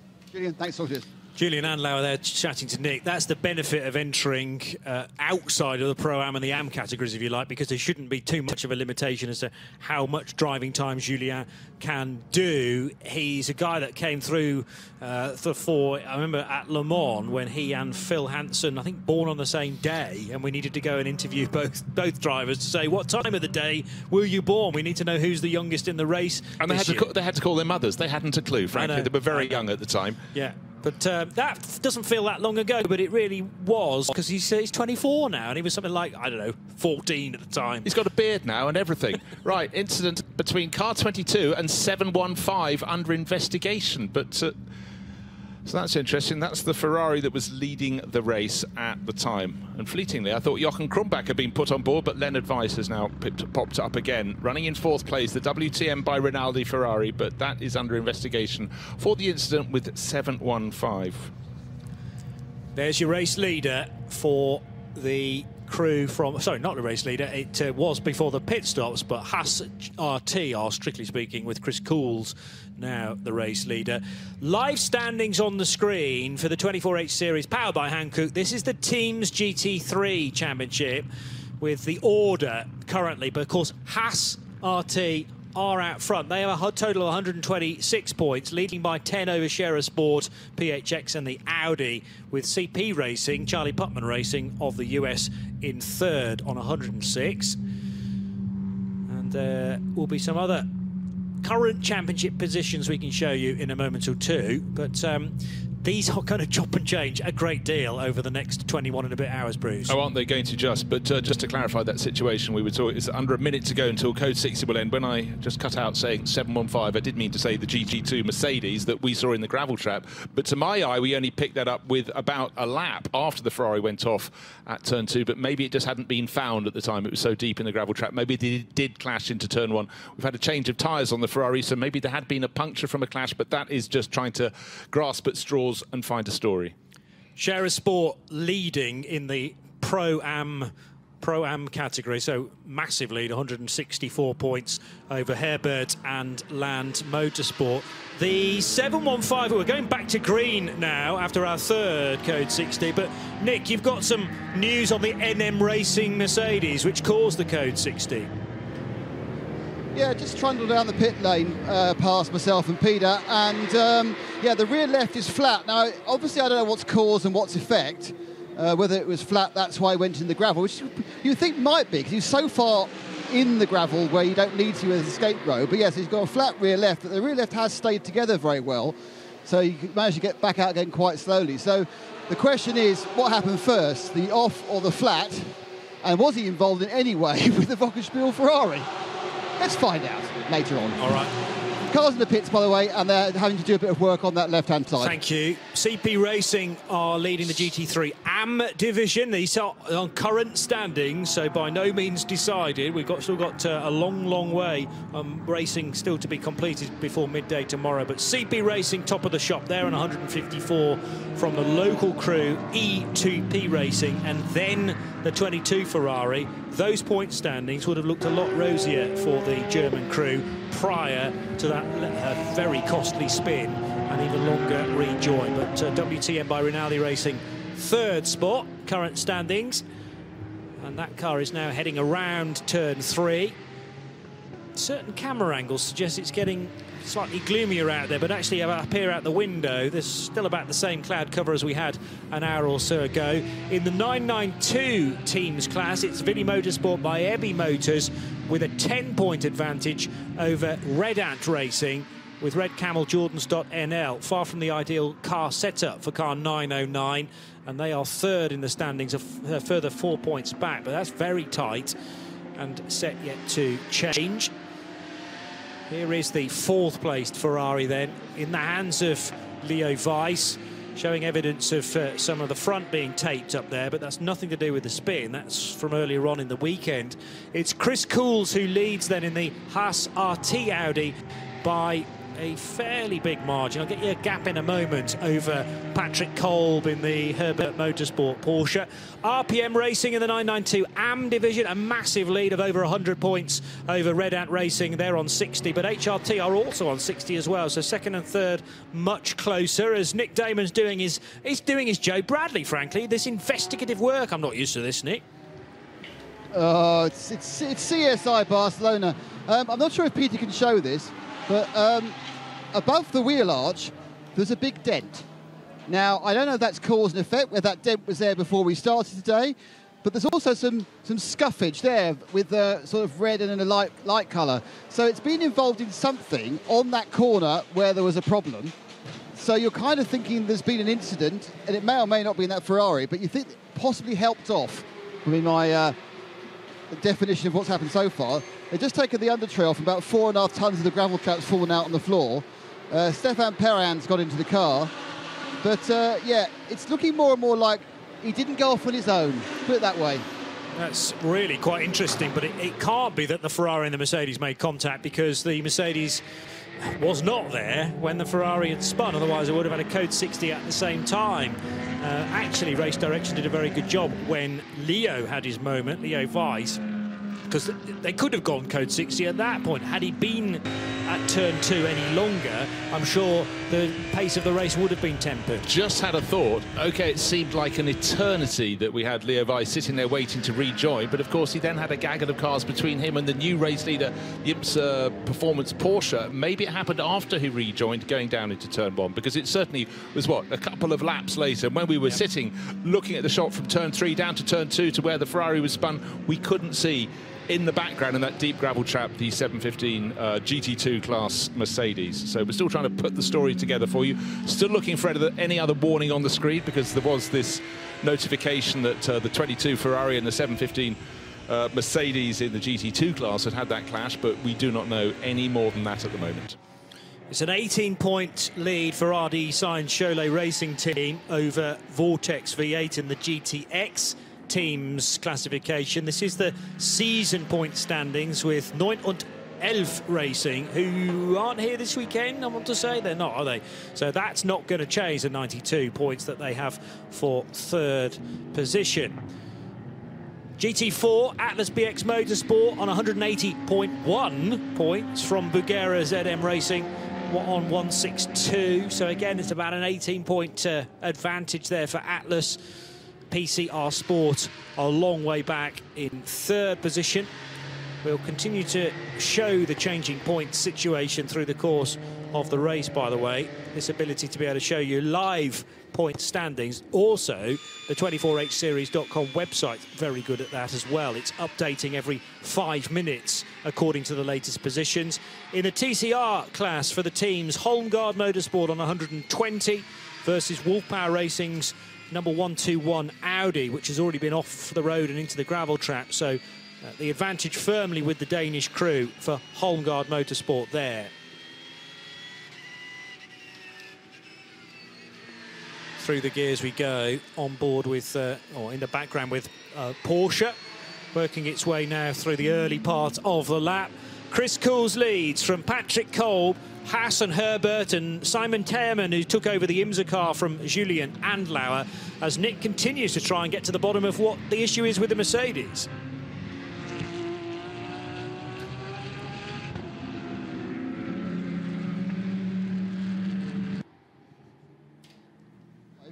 Um, he came up very quickly on a Porsche and a Ferrari, apparently, that were battling. And I think, as we know, these cars have got tremendous top speed. And he was surprised by how fast he could come up. And he actually then spooked himself and did hit. He says he hit the Porsche, maybe hit the Ferrari. And therefore, the, as his team uh, said, it was his fault. Uh, and that has taken out the rear end, as we know, and they're now replacing the wishbone. But uh, they say that this car is interesting because um, it makes its speed very differently from any of the other uh, types of car. And one of the biggest problems is they're losing the tyres after 30 laps. And they lose the fronts, then they lose the rears. So, you know, this car, the Hankook tyres, of course, are one size, one compound fits all. And perhaps the first outing for this GT, GT2 car, they've not got it quite tuned into the tyres. So they're losing them quickly. It's getting more tricky. Also, it's very quick in a straight line. And suddenly you find yourself on top of other cars you weren't expecting. Eek.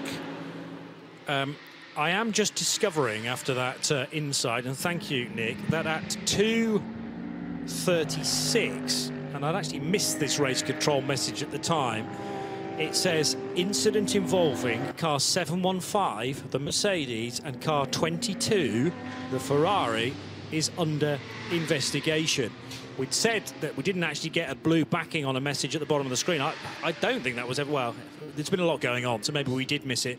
That's been called as the fault of uh, Manuel Lau, and he just fessed up to it to Nick off air as well. So it's going to be a 10 second time penalty for the collision at the first corner. But now that takes away any blame from Leo Weiss, and I have to say I was really quite puzzled by the fact that the semi-pro got on the, got on board the car and then it's facing the wrong way. We didn't see the contact with the 715 Mercedes, which I guess ended up in the gravel straight away. But so deep that it was out of the camera angle. I, I think is a simple question there because the camera looking down at the spun Ferrari was looking down from turn three, and maybe the the Mercedes was so far into the gravel trap at turn one. So we knew it was under investigation. What we didn't know was the outcome. And they've been very quick in ruling that. Just 10 minutes after the uh, message went up, uh, the blame, unfortunately, for Manuel Lau Corlago has, Cornago has gone his way. The team gets an extra 10 seconds, uh, but they're hemorrhaging time as they sit down in the pit garage while that's being repaired. Down to 34th position. Bas Koeten's Racing TCE class car should be going past them within the next few minutes. Up at the front end of the field, though, Chris Cools leading for Sandrine Haas's team. That's uh, Haas RT with their number 21 Audi, the car that's entered from, yes, check your national flags, from Aruba. And good to see some uh, local photographers have been brought over to take take a look at what Sandri does when she's not living in Aruba. And her car racing here is sitting on an advantage of 20 seconds at the moment from Herberth Motorsports. Third driver in the cycle, which is uh, Patrick Kolb, has got on board in that number 91 uh, Porsche. So that's second. And third place, Simon Thurman, not long into his stint in the Porsche that was leading when that little, well, took the lead when that sort out happened with the spin for Leonard Weiss in the WTM by Rinaldi Ferrari.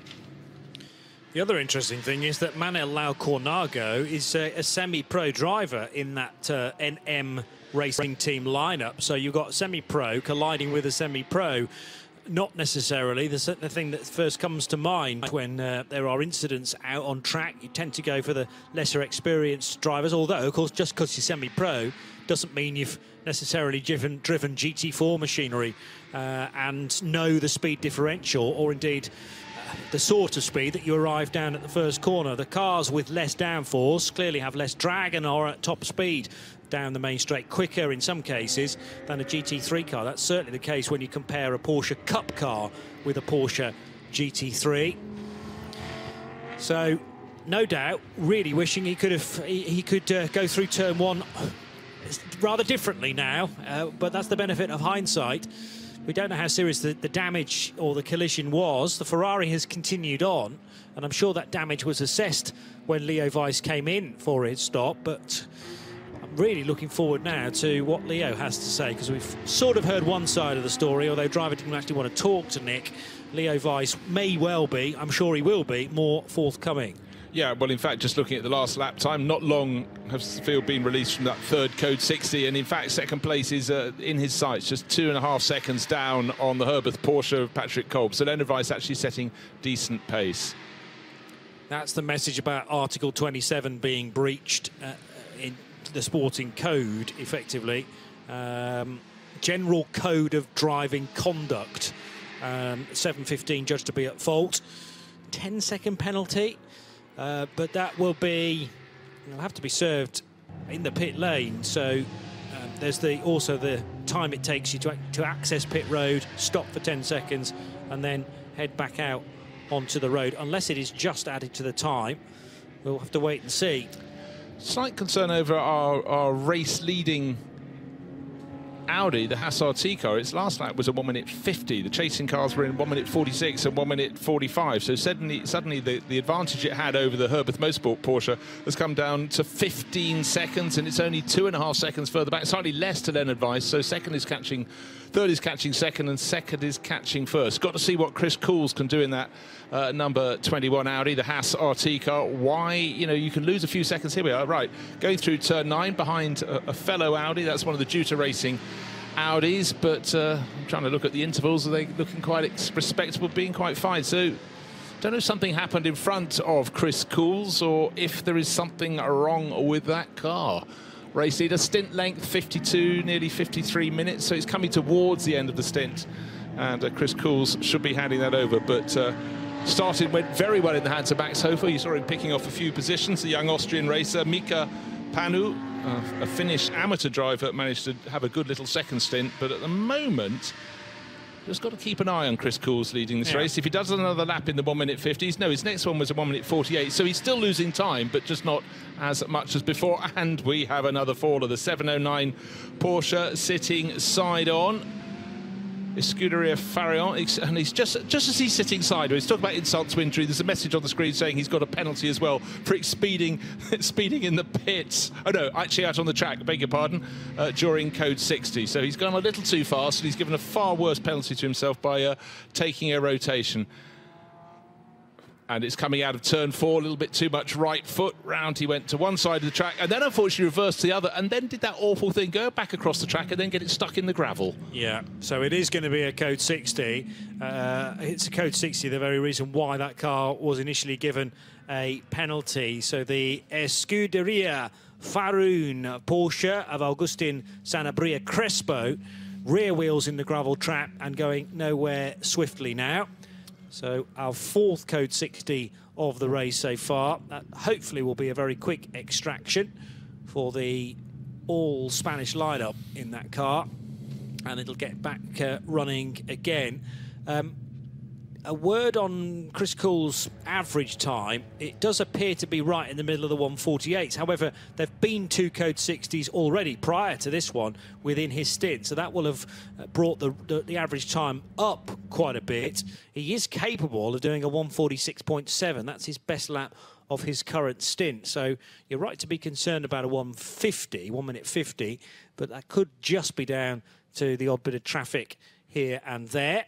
Patrick Kolb, 13.8 seconds through the last split down on Chris Cools. That probably was at green flag speeds as well. Leo Weiss, who's only a few seconds back from that. So if there has been any damage done to the rear of the Ferrari, and I'm, I'm sensing perhaps it was front of Mercedes into rear of Ferrari at the first corner, then hopefully the diffuser not too badly damaged. He may well be feeling it just a little in the setup, but principally that's still the Ferrari that he was given, or rather Jochen Krumbach was given at the start of the race, and that's the nature of a 24-hour race. Uh, you're going to get a car that is in perfect conditions at the start, less so at the end, and it's a question of how you deal with that. Shall we take this moment to just uh, run you through who's leading the classes? Obviously, outright race lead, Chris Cools, the Haas RT Audi. Good to see that 709 Porsche is back on terra firma and is now about to drive away from turn four and probably come back round to the pits. Uh, Porsche Cup class led by uh, Luc Breukers. So despite Rik Breukers saying the handling's bad and it's getting worse, it's clearly good enough now. And Luc Breukers, younger brother, leading the Porsche Cup class in 10th place overall, not too far ahead of Sergio Nicolai, about five seconds advantage there. GTX is being led by the Cholet, Ra- Cholet Racing Team Lamborghini. We sort of have a little bit of an off-track moment to recover in the first half hour or so of the race, but that's sitting on a small advantage over the KTM X-Bow with uh, Polish racer Artur Quist, second overall in GTX. Uh, GT- TCR is uh, being led at the moment by Holmgaard Motorsport. They've really been on top of form this season. They've got the, the Norwegian in the crew, Roy Edlund, uh, leading that class in 28th overall. And GT4, sorry, I've skipped right past that, Atlas BX Motorsport is uh, one position ahead of that in 27th. And that's the team largely crewed by Korean drivers. And it's uh, Donggi No who's at the wheel at the moment. less than a minute before we go back to green. So if you haven't taken the opportunity early on in the Code 60 to get fuel in, uh, probably the opportunity's gone now because uh, it will be a double whammy. You'll only get to take on board a, a portion of your fuel and you'll be stuck in the pits as well whilst everyone else is going green. So one, two, three, four, five cars in the fueling quadrant. As we go back to green, there were one or two in the pits with Nick. Yeah, we had um, not exactly a, a, huge number of takers, and towards the end, we saw people just going straight to the pit lane, including the 903 Red Ant and the 85 uh, CP Racing. Now, the interesting thing is, they actually don't lose any time in doing that, and I'm wondering if they might make a tiny amount of time up, because the pit lane speed limit is the same as the Code 60 limit, and it's slightly shorter if you go through the pit lane than if you go around the whole of uh, the last turn, was it 15 or 16? So a few of them did dive in and didn't just trundle down the pit lane. I think more because they thought the uh, coast wasn't going to last long enough. But yeah, quite a lot, but not a lot of takers. And some of those who came to the pit lane did absolutely nothing with it. I thought I thought it was a 40 limit in the pits rather than a 60, but. I think it's 40 in the fuel zone, isn't it? It's it 20 there. Yeah, it's certainly very, very slow in the fuel zone. Well, what I would say is when they were going down the pit lane and when they go down the straight, it seemed to be the same speed. Ah, okay. But I could be visually impaired. I mean, you're right. I think it may well be 40, but all I'm saying is it did seem that they didn't care. But I think the inroad so. is still 60, and then you hit the white line just before the fueling yeah. area. But maybe that little bit that you can shortcut at 60 is worth doing when you add it all up. It's an interesting tactic. So probably Sorry, what, it, what, it, means yes. is, Johnny, is I think what it means, Johnny, is you can take the risk you can say, yeah, come in, come in, come in, and we'll make a decision on fuel or anything else. Because your net loss of trolling down the pit lane is only going to be like a second or two seconds yeah. at most. So it, it, just throws open strategy options. Now, there's a car. Is that car actually broken down in the, in the uh, fueling area? Perhaps you look out the window, you might be able to see it. It's one of the Porsches. Uh, or are they lifting the bonnet to fuel Is up? that the car that uh, caused the code 60, I wonder? Uh, yes, it is. It's, it's 709, was right. it, I think. Uh, while, while, that's been happening, though, Patrick Kolb for Herberth Motorsport has fallen to third place because uh, Leonard Weiss is right back on it, now only 8.4 seconds down on the race leader, Chris Cool. So that battle was uh, over about 25 seconds. Shortly after the, the code 60, it's down to 8.5 seconds, covering the top three runners. But Leonard Weiss trying to get the Ferrari back into the lead of the race to atone for what happened down at turn one that ended up with the GT2 Mercedes from NM Racing in the gravel trap and him facing the wrong way and losing a lead. What was it? About a minute and 18 seconds, we said. Yeah. Waiting for so long to rejoin before there was a clear uh, gap in the traffic. Got back onto the track just as uh, the Porsche came through and grabbed the lead turning into turn three. Yeah, so a little bit of all change out front. I also just noticed that Leo Weiss has got ahead of Patrick Kolb, and that happened just at the point where we went back to green flag. So uh, half a second or so, and this is a really nice battle now. Patrick Kolb looking for a way in front of the Ferrari.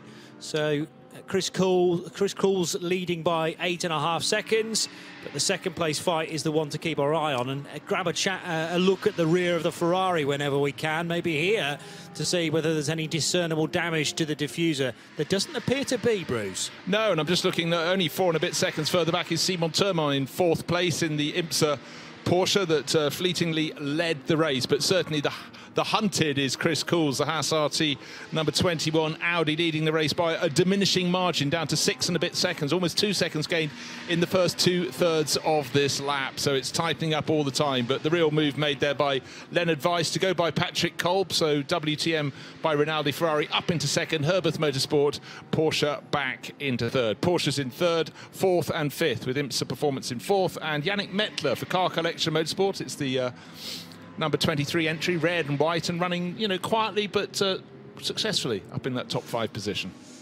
As Bruce Jones, he's off for a bit of a break. I'll be following him fairly shortly as well, as we really enjoy this race that uh, has been thrown wide open. I was a touch fearful that it will be very much a, a, one prancing horse race, the way that the 22 Ferrari shot off into the distance. But uh, it's very much been livened up. Certainly not in the favour of WTM by Rinaldi Racing, but as a spectacle, they are now going to have to work incredibly hard. They're reeling in the race leader, in fairness, in Chris Cools. Uh, 6.3 seconds the deficit by lap 89. And Leo Weiss now having worked his way in front of the Porsche that sits in third for Patrick Kolb and Herberth Motorsport, uh, looking to try and slice into that 6.3 second gap. It's exactly three o'clock here in Barcelona. We've had three hours of running and uh, a very decent temperature. Pleasant to be out there at least if you're a spectator. Different story in a very hot race car. Uh, the front engine, that's where all the heat obviously then works its way into the cockpit for the mid-engine cars, all the heat sitting right behind you.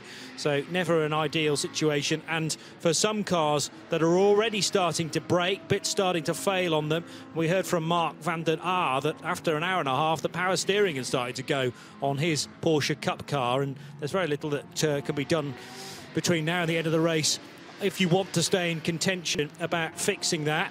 James Littlejohn's just gone across the line to set uh, the 906 Porsche Cup car's best lap of the race so far. Well, after an hour's worth of uh, Ben Constanduros and Joe Bradley earlier on, it was a very beha well-behaved race, I would say, but uh, probably just the influence of me and Bruce has spiced it up. It took us a long time, Joe, to get to the bottom of exactly what had happened at the first corner, but it was contact to take out uh, Leo Weiss in the number 22 WTM Ferrari. He had a lead of a minute and 20 odd seconds and collision with a lower order class car, which can happen so often in a 24 hour race. He's then stuck at the first corner for basically a minute trying to rejoin and loses the lead. You messed it all up, didn't you? It was in lovely order there. The 296 Ferrari, the brand new Ferrari in GT3 spec, was. Uh, uh, I'm not going to say walking away with it because we did we did have a race developing between that Wochenspiegel team, Monschau, Ferrari, and the Herberth Porsche. However, Ben Constanduros just settling in now. Uh, we come back after our little break, and the races took on a full, fully different complexion with the SRT Audi now heading the field. Chris Cools at the wheel of that car, and it's got about five seconds on the recovering Leo Weiss driven Ferrari now. Herberth's still in third. Simon Thurman in the IMSA LS Group Performance Porsche. That car started on the pole position. The car collection Porsche with Yannick Mettler just behind that. But Ben, um, I've got to say it. We've got a race in our hands, and it just shows. You know what? You can have the you can have the fastest car, which clearly that new 296 Ferrari is. Very, very, very competitive package there out of Maranello. But it's still endurance racing. It's still multi-class racing, and in 24 hours, uh, anything can actually happen. And we, you know what? Still got 21 hours of the 24 to go. So it's probably going to it's probably going to do exactly that. Probably going to change again. It and, is. and what we uh, uh, and what we obviously can't necessarily follow uh, at this early stage in the race is how the stints have worked out for the various different cars, how they've reacted uh, to the various code 60s that we've had, and, and what kind of fuel loads, therefore, are in the cars. Because the first hour of the race was very simple no code 60s and very, very easy and clear race. Uh, and we went through to the second hour with just a single code 60, which kind of actually fell at that hour mark. Uh, and so for the GT3 cars, it's a very easy choice as to what to do fueling wise. It was just were you compromised uh, in the fuel bays by missing uh, the, uh, the, the eight, uh, sorry, 10 available slots? Uh, like we saw from Haas RT, who were about 12th car in and had to wait a long time. So then, two hours ago, you said Haas was on the on the back foot, but they have ignored all the code 60s since then, haven't pitted uh, throughout those two code 60s, and therefore, because their last pit stop was under green flag conditions, they had a full tank of fuel at that point. We will expect to see Haas RT, I think, at any moment come into the pits because Chris Cools has been out for an hour and six. There have been three separate Code 60s within that time, which extends his stint, allows him to go longer because he'd have saved fuel within those Code 60s.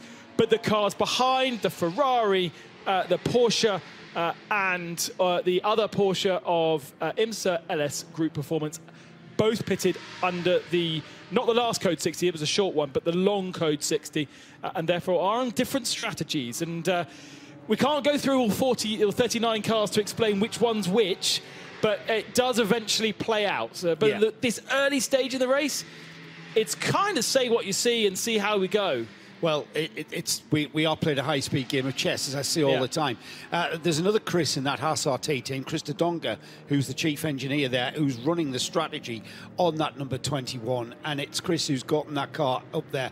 He's the sort of engineer that's very calm and composed as we uh, as we go forward. We're about to see a change of lead, though. I'm pretty sure because uh, Leo Weiss in the Rinaldi Racing Ferrari Wochenspiegel car, uh, 1.1 seconds uh, last time by, and they were taking chunks of time out of that leading Audi. So next time by, I'm pretty confident we're going to see a change of lead. Meanwhile, we're staying in the land of the 992 Porsches as we've got, I think, information from the pits that the returning GT2 Mercedes is back out of the pits. Did I hear that? Let's go down to Nick. Nick, I, I know you shouted up that uh, we were seeing the Mercedes leaving pit lane, and I'm just wondering if that's the case. He has left, yes, uh, sheepishly he replaced uh, left wishbone and deposit four and a half tons of gravel in the garage. Uh, man responsible coming together, which we will find out about what happened from Leonard Weiss. Uh, the car is back out again. Stefan Perran was on board that one. And Stefan tries another car. I think that's four different cars he's been in this season in the Creventic I- series. I'm wondering if Stefan is in the market for a purchase of that AMG GT2. Um, we'd love to see it running regularly in the series. Um, yes, Ben, uh, we have had that change of lead. You just spot, spotted that. I, I mean, we're following an insignificant car in 24th position with the leading car behind that has just taken the lead. Not only that, but Herberth Motorsport directly behind them. Look at that, 1.1 seconds separating the top two cars. And no sign in that shot of Haas RT. 2.4 back already on that last lap. Uh, very much Chris Cool's at the end of his stint, and I think both at the end of his tyre stint, just trying to stretch the fuel as long as possible. But there's a big gap already after a single lap between our front two. The Ferrari now clearing the uh, MARC V8 Racing, the Porsche now clearing the MARC V8 Racing as well. Uh, what is curious is that they've replaced the rear, was it rear right or rear left wishbone? I heard um, on that Mercedes, but it's been given a penalty for contact. Yeah. Well, the contact would have led to a damage, but that's the rear of the car. It's quite hard to cause an incident with the rear of your car, and certainly for me, it looks as though there's a bit of damage to the front of that Ferrari. Well, he might have turned in. He's probably turned in on the Ferrari and, and gone out of that. But I mean, all right, you you could say that punishment enough from that incident was the damage you've incurred on yourself, but it's still a, a driver infringement, isn't it? It's still a it's still a, a, you know worthy of a, worthy of a penalty, or else we uh, will have drivers uh, just become it's going to become a bit of a Mad Max situation out there. Uh, we've got a challenge for this lead kicking off, haven't we? Because that Herberth car of Patrick Kolb right on the tail of the Ferrari as This the could Ferrari change here. trying to get through traffic, and now the flashing lights of the Herberth car just going down the inside of the crossbar. The Milwaukee liveried 714 numbered car there, just getting out of the way as the leaders come through. And this is turning into a sprint race kind of format now, isn't it? He, he did very well there because Patrick Kolb moving around in the mirrors uh, of the KTM X-Bow to make sure uh, that Arta Twists, who is driving that, could see that he was coming through. And they will probably not have been aware that this is the battle for the lead of the race. Ferrari ahead of Porsche. But for the few corners where they were trying to clear that Mustang shaped MARC V8, it was advantage Ferrari. Easy to clear the M4 GT4. But uh, Patrick Kolb joining that team in, uh, uh, in the 24H series, although part of the team uh, in ADAC GT, giving Leonard Weiss a really hard time right now. And they are on a very similar strategy as well, to be fair. If you look at the, uh, the last pit stop, Kolb was a lot shorter in the pits than Leo Weiss. Uh, and this is Kolb's first stint, whereas Leo in the car uh, since the two hour mark. Yeah. Uh, Weiss's stint length uh, just over an hour, 64 minutes, 38 minutes for Kolb. Not that that uh, will have a bearing on, say, driver fitness. I don't think that's going to be a factor as these two continue to chase one another down just ahead of this pack here.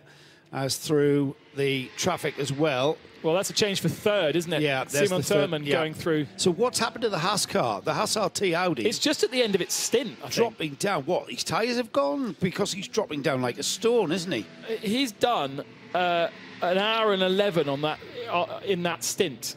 Yes, there's been three code 60s within that stint. The last uh, service was in, under green flag conditions. So I think they're just trying to stretch this out as much as possible. Maybe waiting for a code 60. Uh, I don't know, but ultimately, I think you're beyond 33 laps. You're almost beyond what the uh, the tyres in the very heat of the day now, three o'clock local time, possibly are willing to achieve. The leader just coming through turn nine, which is the fast sweep, the right-hand sweep, and then that straight down to the uh, this short straight, short-ish, long enough to get a, a braking manoeuvre going at turn 10, which is a, a lot more open on this configuration of the Circuit of Catalunya. As we come through 10 and then on through 12, still no change. Remarkable news from pit lane: the fuel pumps are out of service. So cars that need to pit, and I'm going to suggest that Chris Cools in one of those cars in the Haas RT machine, have no ability right now to get fuel. We have a view over uh, the pit area, and I can't see why it is out of service. It doesn't seem like a huge amount of movement going on down there, other than teams kind of frustrated uh, that they aren't able to do any servicing of their cars. Well, if you're new to the Creventic series, basically the refueling aspect of these cars. Generators off. Ah, is that what it is? So the pumps aren't. Yeah, okay. Just to give people an idea if you're new to the series, um, unlike other series in endurance racing where cars are refueled in front of their garage, in front of their pit garage, uh, we don't do that in 24H series. We have a fueling area. Uh, that th- there's, there's a lot of benefits from that. It's all about cost and savings. They're basically service station fuel pumps the like of which you will see at any kind of service station, like at your supermarket. There's a car just come in there, Ben. It's the 906 numbered Porsche, which is currently 26th, James Littlejohn. It's the Richardson racing car, currently in 10th place in 992. Now, I just, I'm not sure how desperate that Porsche is going to be. It's the only car that's been in since the, we've lost the generators. I would have thought if it a is a generator issue, then it's not going to be long So before they- we can get that fired back up. pitted under the last code 60. But David Waddington had done an hour and a half before that and ignored various code 60s. So they, I think, would have had half a tank in that car and James Littlejohn out there for just eight laps. I, I think that's a very odd reason. I don't know why James Littlejohn would have been coming up, coming in after just eight laps of a stint. So Nick, head down to Richardson Racing and see what's going on there because that would only be their third pit stop. Um, Let's head- let's head uh, down we are Nick. here. We are hearing now that the fuel station is available. Right, Uh, so that's a bit disastrous, I think. Nick's got more information on that. Nick, what, what can you tell us about what's happening down there? Well, it, was, it was a power failure that stopped the uh, fuel going through. But what's happened is that there's been uh, one of the uh, Italian officials, Italian, the Spanish officials has walked down with the thumbs up. There was a kind of an agreed thumbs up from some of the yellow uh, overall, uh, again, Spanish fueling uh, regulatory officials. But um, again, it's a bit of consternation. I think it's working. Uh, until someone actually stops for fuel, uh, it's quite hard to tell, is it one way or the other?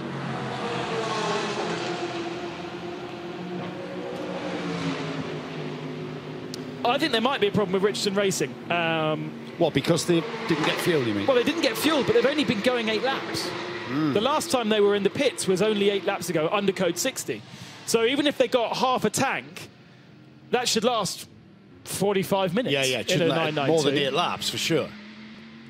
Um, so now, okay, so uh, the race control is saying fuel station is available again. No cars to prove it uh, as yet, uh, but I would say that Haas RT are probably one of the first to prove it. I mean, an hour and 16 in a GT3 car? That's a well, lot of. we've had a code 60, remember? well, they've had three actually yes, since so they were within last that in. stint. Yeah. So yeah, that's that's well doable. They've done a lot of saving at that time. Yeah, that's well in the window, isn't it? Three code 60s. Um, uh, without even knowing the duration, just the, the fact that you will fuel save, because what, they, they'll do about an hour and five minutes, won't they? So, The saga of James Littlejohn continues because that was actually his second visit. So he did eight laps. He came into the pits um, literally one lap before we just mentioned it, and he's back in the pits again now, this time at the fuel bays. Uh, so he's done a full tour, so they must be absolutely desperate for Yeah. fuel, which is a bit of a surprise. Oh, bits of car flying off on the start finishing straight. Someone's delaminated or something has delaminated. I think that's the number one, the Scherer Sport Audi there. Left rear tyre has just exploded as it the car got to the braking area for turn one. Just seen that car with what looked like a shredded left rear corner. It's the bright yellow and black liveried car, the number one. Currently in seventh place. Michael Doppelmayr is the driver at the wheel of that car. And he, having gone through turn one, will be limping his way around, just looking on the tracker, Ben. Don't forget Um, the tracker is guesstimating. Yes, I know. Yeah, and it's that's why it's held up. It's waiting for it to catch up. Yeah. Now it catches up. So that number one just going through turn four now. Um, I'm not quite sure whether that was. There oh, there he goes. There he is. He spun on the uh, the lack of a, a, a, a left rear. So he's got to wait for the traffic to get to come through. He's got to be patient. All of your instincts telling you to just spin that car to the right and get on with it. However, I'm not sure whether it's cause or effect.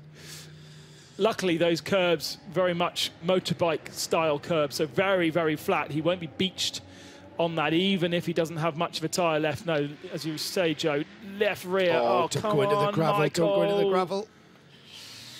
Not with a left rear delaminated as well. Okay, so So that's he's- code 60 then. So what he done was he to return. He didn't quite have the steering lock, and that took him into the gravel trap, quite well into the gravel trap, and now he's beached himself. So that car will need to be recovered onto a flatbed potentially. If they they might not want to just drag him out, we've gone code 60. So that issue with the number one Audi bringing out the purple flag again, and we've gone code 60. amazing to watch the uh, the fuel area because suddenly there is floods of people coming out of the uh, area in which they're kind of chilling out because every team now desperately wants to use these fuel bowsers. Look at the amount of people trying to get their teams and their cars in the right place. Haas RT, one of the first to respond. Great work by those that are in the right place. It's kind of sitting in It's a queue. He's kind of sitting in the middle, though, isn't he? he must, there must be a pump pump available to Uh, him. No, he's he's the, he's at this he's at the number one pump. He's pulled in behind the uh, the Bagheera Ah, no, but Mercedes there. he's not, he's not using the number one. Look, there's, the number Ah, one is, is closest to us. They're using the second pump. Oh, that, isn't that annoying when you pull into the gas station? yes. Isn't it annoying when somebody doesn't pull for, for all the way forward? And Haas has taken three. So actually, there is somebody. No, none of these teams will be able to see it, but there is one pump one available.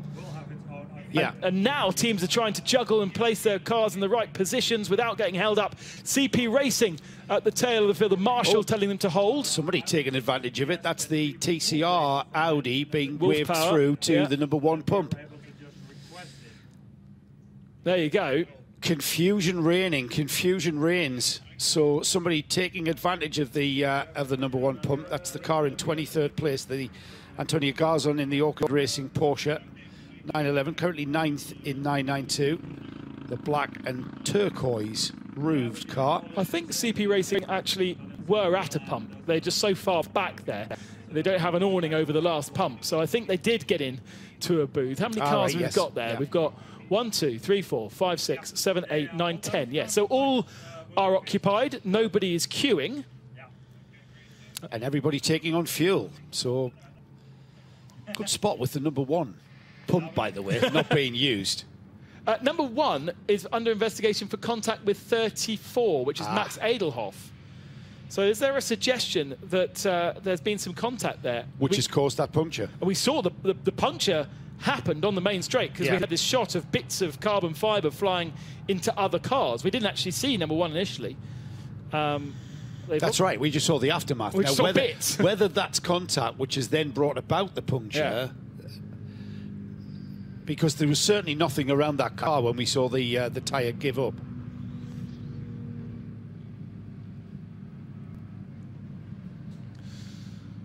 So pit's busy again as everyone reshuffles uh, their stints. I don't know how this affects Haas RT because they would have they they have it's fallen nicely in the fact that they are going to pit under code 60. But remember, only half a tank of fuel versus um, uh, versus.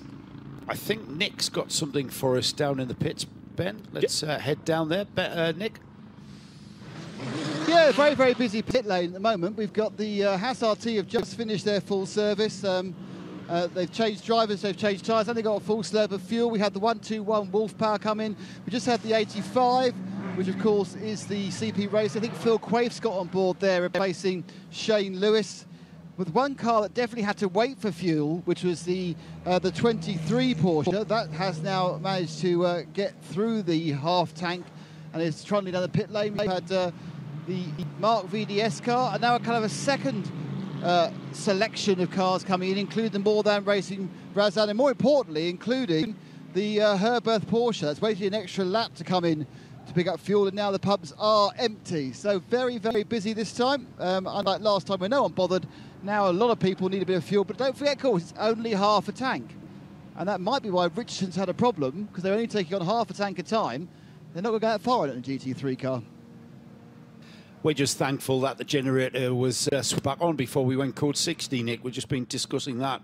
If it had gone code 60, it would have been a lot of tactical refueling, uh, unable to go ahead with. The number one is making its way around, limping its way around.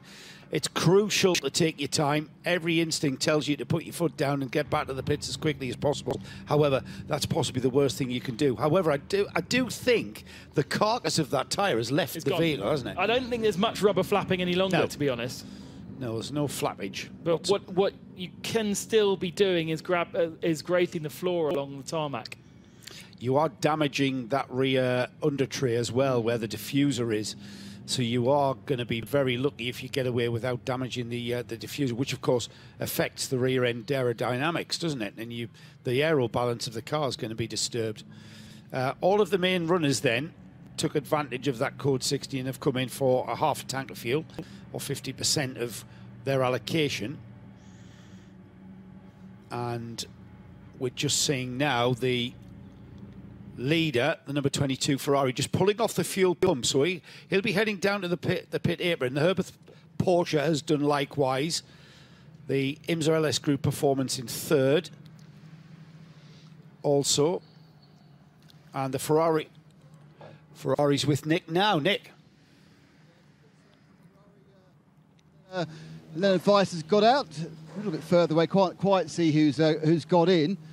Uh, we do have the uh, Scherer Sport VHX out. That's in getting fuel, and then it'll come down about three garages or five garages or so further down than that Ferrari, and they will be taking a driver change and full service. Obviously they'll have to assess the damage first.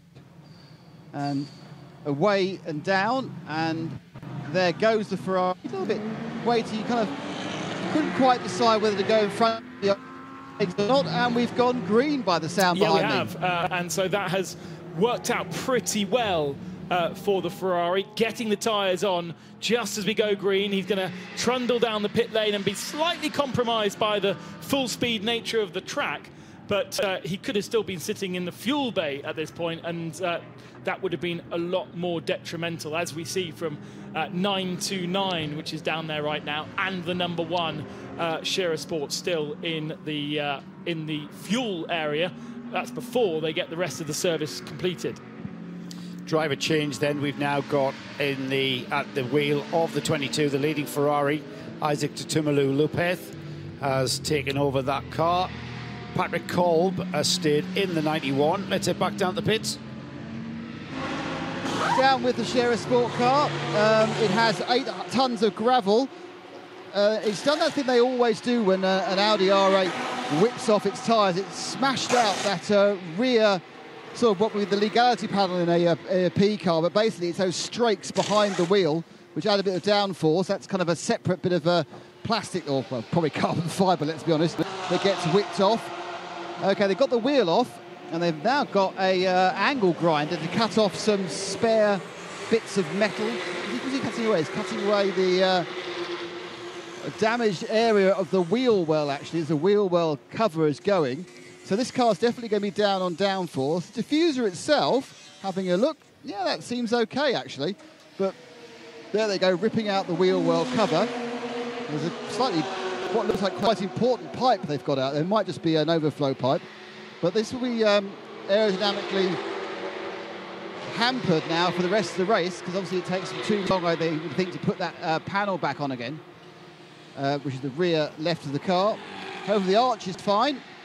It does appear the brakes are fine, It does appear the wishbones are fine. I wonder whether they're actually going to release or drop down the rear diffuser because there is so much gravel being held on the top of it, or they're just going to do the thing which is drive on and go left and right till it all falls out.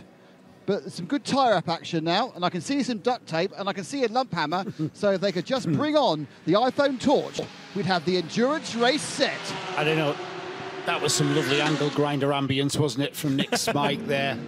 Lovely to see an angle grinder coming into action, especially onto a, you know, a car such as the Audi R8. I mean, you wouldn't dream of taking yourself, taking your Audi R8 into a garage and having the mechanic appear with an angle grinder.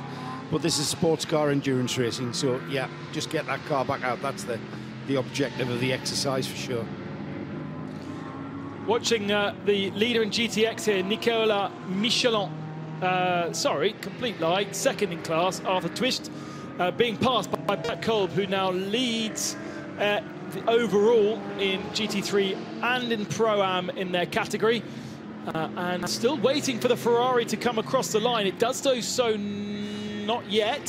So there's a huge gap post code 60 between the 91 and uh, whoever is second, because it might well be the 22 uh, Ferrari 296, but we haven't had it confirmed yet when it comes to the line. Uh, now it does so, and need to need to wait a bit longer, but I think the gap could be can't be a lap. Either way, Ferrari has uh, Porsche 76 win company, Simon Thurman, very experienced uh, Frenchman. Uh, and Gavin Pickering is only 2.6 back. So it's a very interesting battle for second. But now the the uh, dice has very much swung towards Herberth Motorsport, and they are well ahead in the lead. Uh, Nick. An advice just out of the. Um, first of all, what happened in that incident with the Mercedes? Again? Sorry. What happened in that incident with the Mercedes? Uh, yeah, I don't know if the GT2 thinks he has bigger brakes than us, but he completely T-boned me into turn one. So, yeah, I don't know where he think he could brake, but I was already quite late on the brake and he just smashed into my door. So what part of his car hit which part of your car? Uh, yeah, like his front, or like his front and left front left tire hit my front right tire door or something. More generally, what is the track like today? What is the surface what's the conditions like on the track? Yeah, it's quite difficult. I think it's getting pretty hot right now. Uh, yeah, at the end of the stint, I was lacking a bit of with the front tires. Um, yeah, and uh, saw some or one tire explode now on the straight right in front of me. So let's see how the tires will do. Is the is it now consistent or is the grip still coming up? As the as the track rubbers in, is the grip still going up? Mm, I don't feel the grip is getting much better now. It's consistent, I would say, and you need to manage the tire throughout the stint. No, thanks a lot. You're welcome. Yeah, we are very much in the heat of the day, and around this time of year, looking at 3:30 being kind of the heat of the day. But what we have seen over the last two nights is it doesn't seem to disappear the heat, whether it be the temperature and the humidity last night or the night before, where it was just a lovely sunny day. It doesn't drop significantly at night so far, and so. Uh, we aren't. We're going to have this kind of challenge of keeping the tyres good and keeping the brakes good uh, throughout the 24 hours. We've had a change of lead whilst we were down in the pits with uh, Leo Weiss.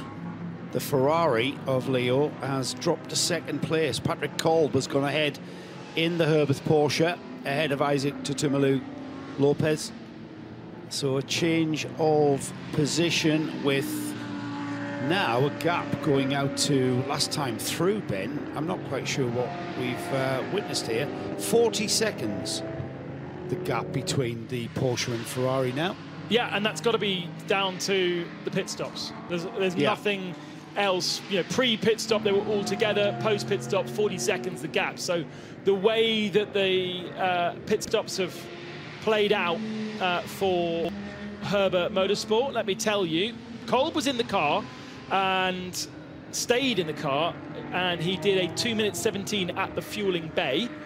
Uh, Scherer Sports getting a uh, causing a collision, getting a 10 second time penalty. So Michael Doppelmayr uh, being given a responsibility uh, for that collision that we didn't see, but it was with car 34, uh, uh, which was. Um, who was in car 34 at the time? I can't even see him. Uh, Max Edelhoff, yes. Uh, so Patrick Kolb, 2 minutes 17 in the pits.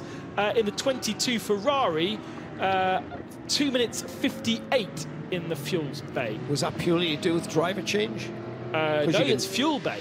Fuel bay. Although maybe my timing screens isn't uh, isn't um, seeing the two separate things. Sometimes Yes. it sees it, sometimes Well, it that, that's where your 40 seconds is for sure. Yeah. That's where that's where go. they picked up 40 seconds. But um, you can change drivers as you change tyres. So So Patrick um, Kolb didn't, and Leo Weiss changing to Isaac Tutumlu. They did change I wonder, if, I wonder if Kolb was double stinting tyres as well and just went straight through. I'm not sure because Nick wasn't in that part of the pits, was he? So we, we're not sure what happened. Simon with Thurman Herberth's car. stayed aboard uh, what is now third place car, uh, IMSA LS Group Performance Porsche in the 76. So, and theirs was only a two minutes and 10, so that's elevated them up. Haas RT, earlier pit stop, three minutes and 20. So they now sit fourth and 46 seconds back from Patrick Kolb. So all down to a single moment of Code 60 and how it played out for you and what you did under that pit stop. Pretty much everyone's reset back into having pitted under that Code 60, so there's a little bit less confusion. But what the state of the car is, what the state of the tyres are, how much fuel you've got in, is not information that we can tell you. And I, and I do think a contributory factor, a major contributory factor, was just how busy the fuel fueling station was there.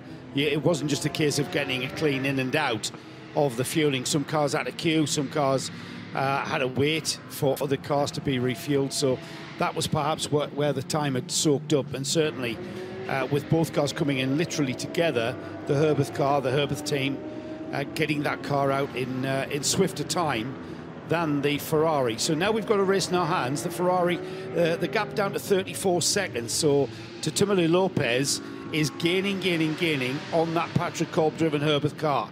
So we're going to see that 91 Porsche, the red and white liveried car, is losing time to the second place Ferrari 296. We'll keep an eye on that gap. It was 40 seconds. He took literally six seconds from him in one lap. I'm not sure if that has anything to do with uh, traffic. I suspect it has, but we'll see. And as ever, these races they may be longer, long and drawn out, but they are constant givers of drama and incident. And once again, we've got drama and incident certainly at the overall at the front of the overall field.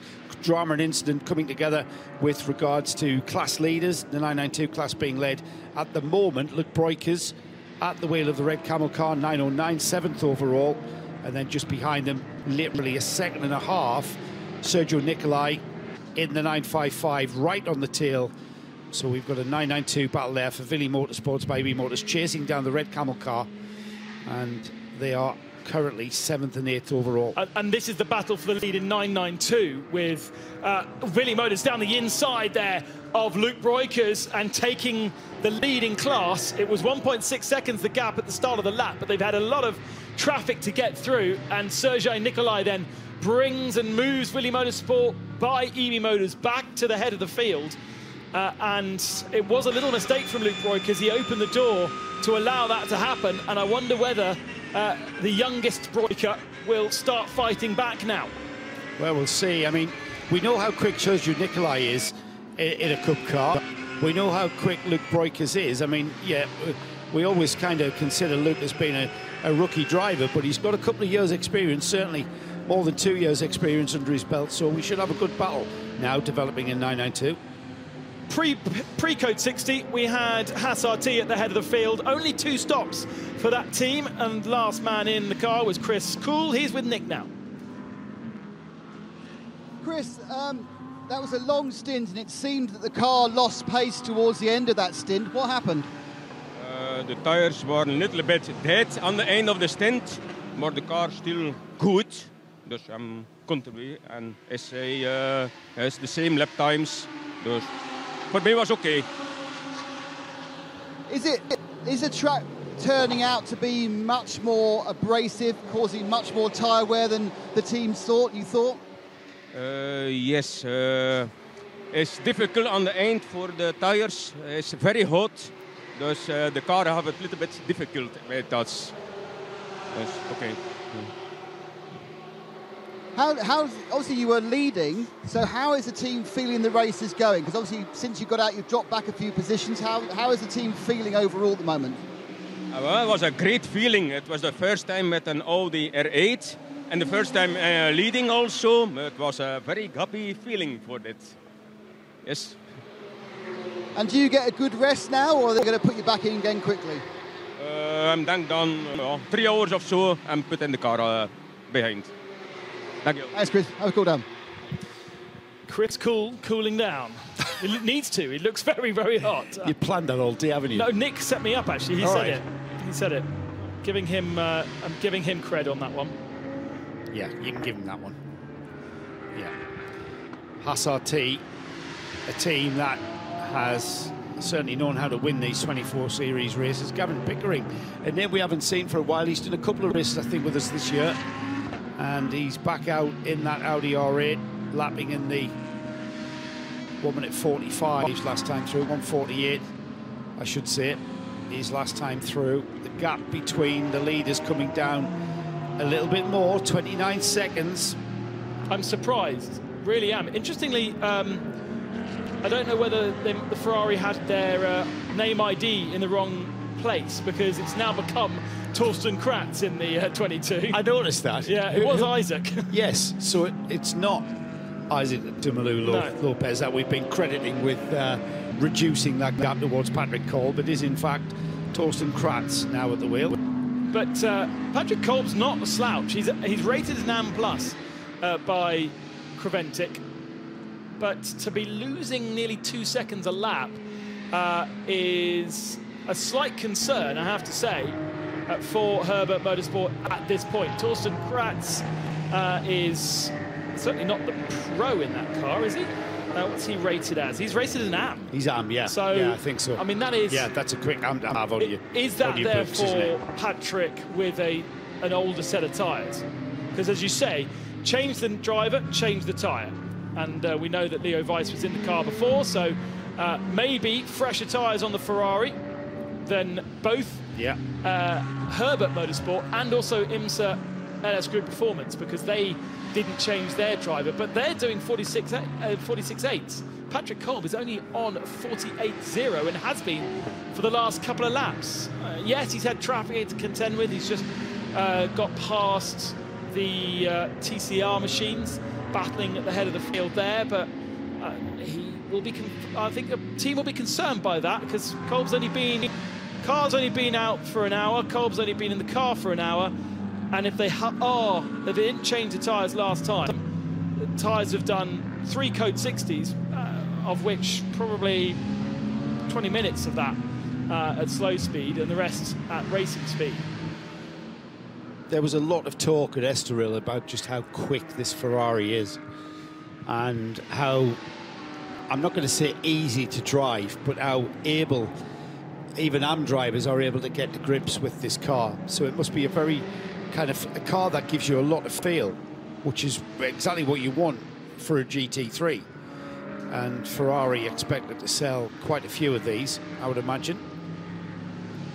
And with this, the only example that we've seen, certainly in the 24H series, the uh, the other GT3 series around the world, it'll be a car of choice because it is a very, very, very quick race car.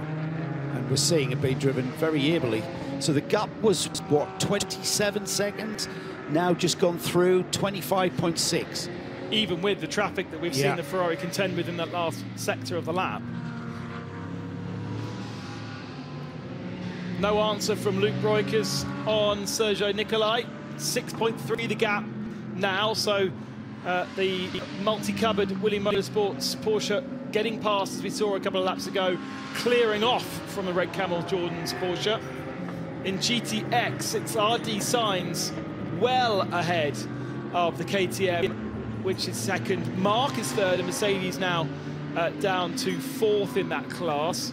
Uh, no, even further down, sorry, because it's uh, had those issues in the broken wishbone. It's the uh, Atlas BX Mercedes GT4 car that leads in GT4, and Holmgaard's TCR leading in TCR. Sorry, Holmgaard's Cupra leading in TCR. No real big battles going on uh, in those lower classes right now. A little bit held up there, Patrick Kolb, as he comes through turn 12 and down to 13, just having to be patient uh, with the Vortex. And that's the 702 because the 701 of Miguel Moya uh, is in the pits right now. The uh, the 24 Hour Series website will keep you informed as to how the championship standings develop through this race. And as we get towards the 12 hour mark, which will be when the points are awarded for half distance and then towards checkered flag. So we'll see how things are developing as they will stand. Already we are preempting where the teams are going to be finishing. And at the moment, the Atlas BX Motorsport Mercedes is the car that's currently in line for the GT Trophy, the overall European Championship trophy at the moment. RPM Racing have come up into second place with joint point score of 172, the way they stand at the moment. Uh, they're joint with the RD Signs Lamborghini, and then only two points behind them is Willi Motorsports by Ebimotors. So that currently leading the 992 class is doing the Willi Motorsports team a lot of good and putting them right there into contention. You wouldn't want to call that. The Bagheera team, they've dropped out of contention slightly by being out of the points with those problems at the start of this race. So at the moment, Atlas BX are our champions elect. And I'm sure that won't stay the same, Ben, as we get towards the checkered flag and even half distance when, when points will be allotted. But right now, the four class lead has been given full a full 40 points and it makes things very, very tight for the European Championship going forward. on board with the uh, KTM X-Bow, GTX version of the uh, GT2 car. GT2 versus G, oh, GTX versus GTX here. I was about to say GT2 versus GT2, but there are differences. Well, actually, there are differences in both cars because they're running to different regulations in the GTX category here to 24H series than they would do if they were GT2 machines.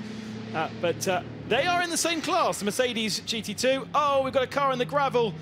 And that is the Hofor Racing number 11, I believe, in the gravel at the final turn. So Chantal, I'm afraid, uh, is it's yeah final turn, and it's going to need code 60 to retrieve it. Now that's a very fast turn. The I, I was going to say She's new far in. new configuration, but it's not. It's the new old configuration, isn't it, of the Circuit of Catalunya? And she'd lost. I think she may have been helped round there. There's a and there's a there's a Chantal and the Hofor car goes backwards into our view out of the final turn and is backwards into the gravel. She's barely into the gravel. Rear axle in the gravel, front axle just on the the green tarmac, that uh, the outer curbing. But there was a car in close proximity, and we've got a code 60. Yeah, and we had four cars in the pits before the Before. code 60 came in. Right. So uh, Nick Damon was watching them. We've got a lot more uh, of the teams going down there uh, to get themselves half a tank of fuel. But there were a few cars, Nick, that preempted this and have got a full tank in there. Yeah, that's one of the rules that's going to change, of course, for the next season as it gets even more complex. So basically, these guys got in before it went purple this year. That includes the 907, the uh, I know it's not the Tracy Krohn entered car, but it's the Tracy Krohn car to all of us, the lime green Ferrari, uh, Porsche, sorry. Um, we also had the Land Motorsport, uh, Johannes Kirchhoff and uh, and friends Audi in there. Um, there was, I think, the JUTA Motorsport 72 car, but so no one of the top leading cars managed to do this. Now we are in a situation of one, two, three, four, five, six, seven. I think about eight cars. There's still three pumps left. Here comes the Bonk Motorsport M4. Here comes the RD Signs Lamborghini. And that could be it. But one more space. And Nick. And that is the Bagheera car. But the, the, the, I'll tell you who. Do you know who's first person not getting a space? Definitely. That's our leader. That's the Herberth car. And take a look at the rear left corner of the 72 Audi when it comes past you, because as Atlas BX pulled out of their fueling area, they simply peeled away uh, the piece of bodywork that sits behind the rear left wheel uh, of the 72 Audi. Uh, it got left on the apron outside of the fueling area, uh, and of course, those four cars were able to sit there for a long time and fuel because they can get their full tanks. So they're almost blocking others from doing so. But damage to the 72 Audi by sitting still in the pits. The Herberth car has now got to a tank. I don't think it lost too much time. It maybe only five or six seconds in total before it found a tank. Someone left. The uh, Scherer Sport car has served its penalty, which was obviously picked up by Michael Doppelmayr. The E2P car is coming out, so there's now space again, so you can uh, pit with joy. Uh, finally, the Krohn Racing car, the uh, 907, that had a lovely full slug of fuel. That's left and leaving another empty space. Not seen the 72 so far. 72 Don't forget still fueling. Sort of rear panel. Yeah, I think they, I think they won the cars that got Here we go, now rolling. The 72 car, the here he comes. I'll just have a look and see what's fallen off it. But it's probably the same bit that came off the uh, Scherer Sport. Exactly, it's exactly the same bit that came off the Scherer Sport car. Though they have got a problem at the under tray side. They're going to have to pull that off as well. It's kind of a, it's a, a bit of the if there's a flick up underneath that quarter is still attached, and they have to yank that out and lose the whole of the uh, I don't know 70 pounds or 40 pounds or 20 pounds of downforce. All that aero course on the rear left, but Bagheera go past me, Herberth go past me, and it's now beginning to empty as this code 60 runs through. Not seeing, uh, but Bagheera changing drivers. Looks like most people are just going fuels. Quite a lot of driving through. So basically, this one's a chance for half a Don't tank forget, fuel. Nick, So that we've, nice. we've now established it's definitely Bagheera. Yes. How is it then that um, when I asked Adam Lacko last night, he told me it was Buggy that just adds confusion. Well, we, we were told this morning by Ali Kolik that it is Bagheera like the Jungle Book. This, and I'm going to say something now that only Joe will understand. This sounds like Kalen Lamont. I don't think I've got the energy to explain that one. I know, but if they can't agree Yeah. amongst themselves, what, chance have we got? Yeah. Uh, the GT2 Mercs in, the uh, more than uh, Razoon, Razoon more than racing uh, c- X-Bows in, uh, the Willi Motorsports by Ebimotors uh, multicoloured Porsches in. These are all going to be getting half a tank, of course. Uh, so it's been a, I think a lot of people have found this particular one quite useful, Hmm. guys. When we get them back to back and they were looking quite short, we had a few non-takers. This looks like a, um, yeah, we'll have half a tank now. Yeah, no Thanks very taker. much. Ferrari staying out for the moment, uh, and the 21 hasn't pitted either.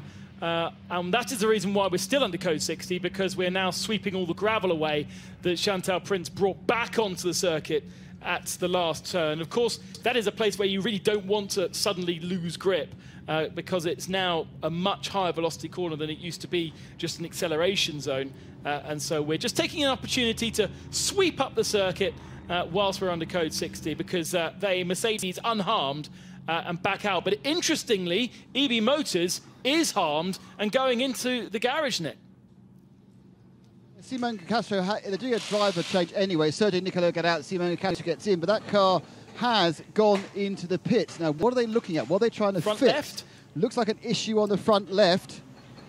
Um, trying to see, I'm I'm slightly wrong, so I can't see what the problem is. I'm going to try to try and stand not completely in the way, but they are, yeah, very much front left issues. And this would be the piece of car that Mechanics may have made contact with Chantal Prinz. We can't confirm it, but uh, they entered in shots Yep. together. Need, need to move the cameraman because he's going to get in the way.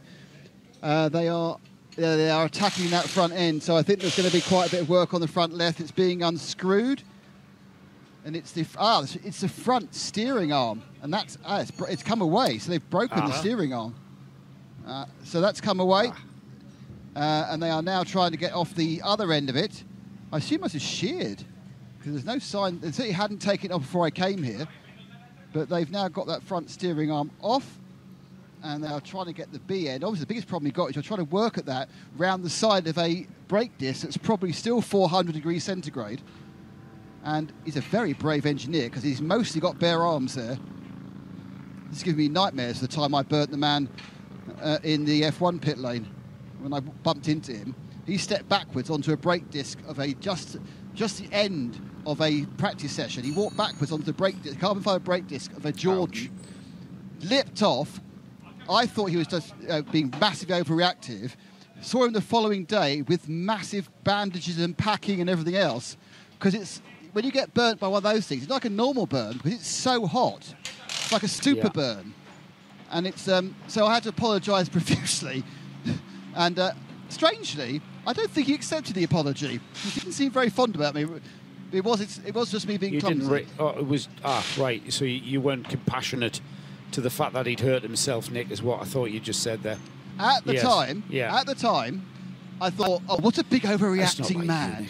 I've just knocked him back a couple of seconds, but he had literally parked his car on a carbon fibre F1 disc that had just come yeah, off the track. it is very...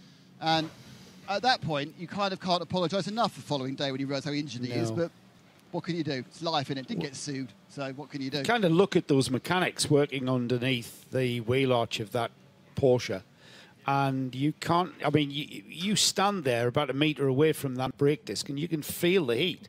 It's like a radiator. It's like a radiator. It's a thousand degrees when you know the brakes have been applied, and it's just cooling off nice and slowly. So those mechanics are working under extreme envi- in an extreme environment under that wheel arch, and it it, it was a steering link that uh, to the um, what am I trying to say? Not steering box, steering rack linking to the steering rack yeah. and the uh, and the upright.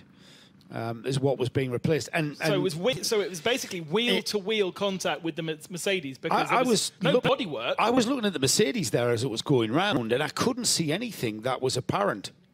The offending bit of the oh, car. Nick's look. got the. Uh, Go ahead, Nick. Is it hot? That there, is the steering oh, yeah. arm. You can see it's a bit of a bend. They've almost replaced it. They're looking to get it out, but this is the broken one which I shall have on eBay within half an hour. mahogany. Um, uh, yeah, I, I, should. Well, actually, what I'll do is I'll get you to present it to him for some reason, Joe. But that was a fantastic bit of uh, engineering because that's that bit there, which is the B end, is right inside the car. Yeah.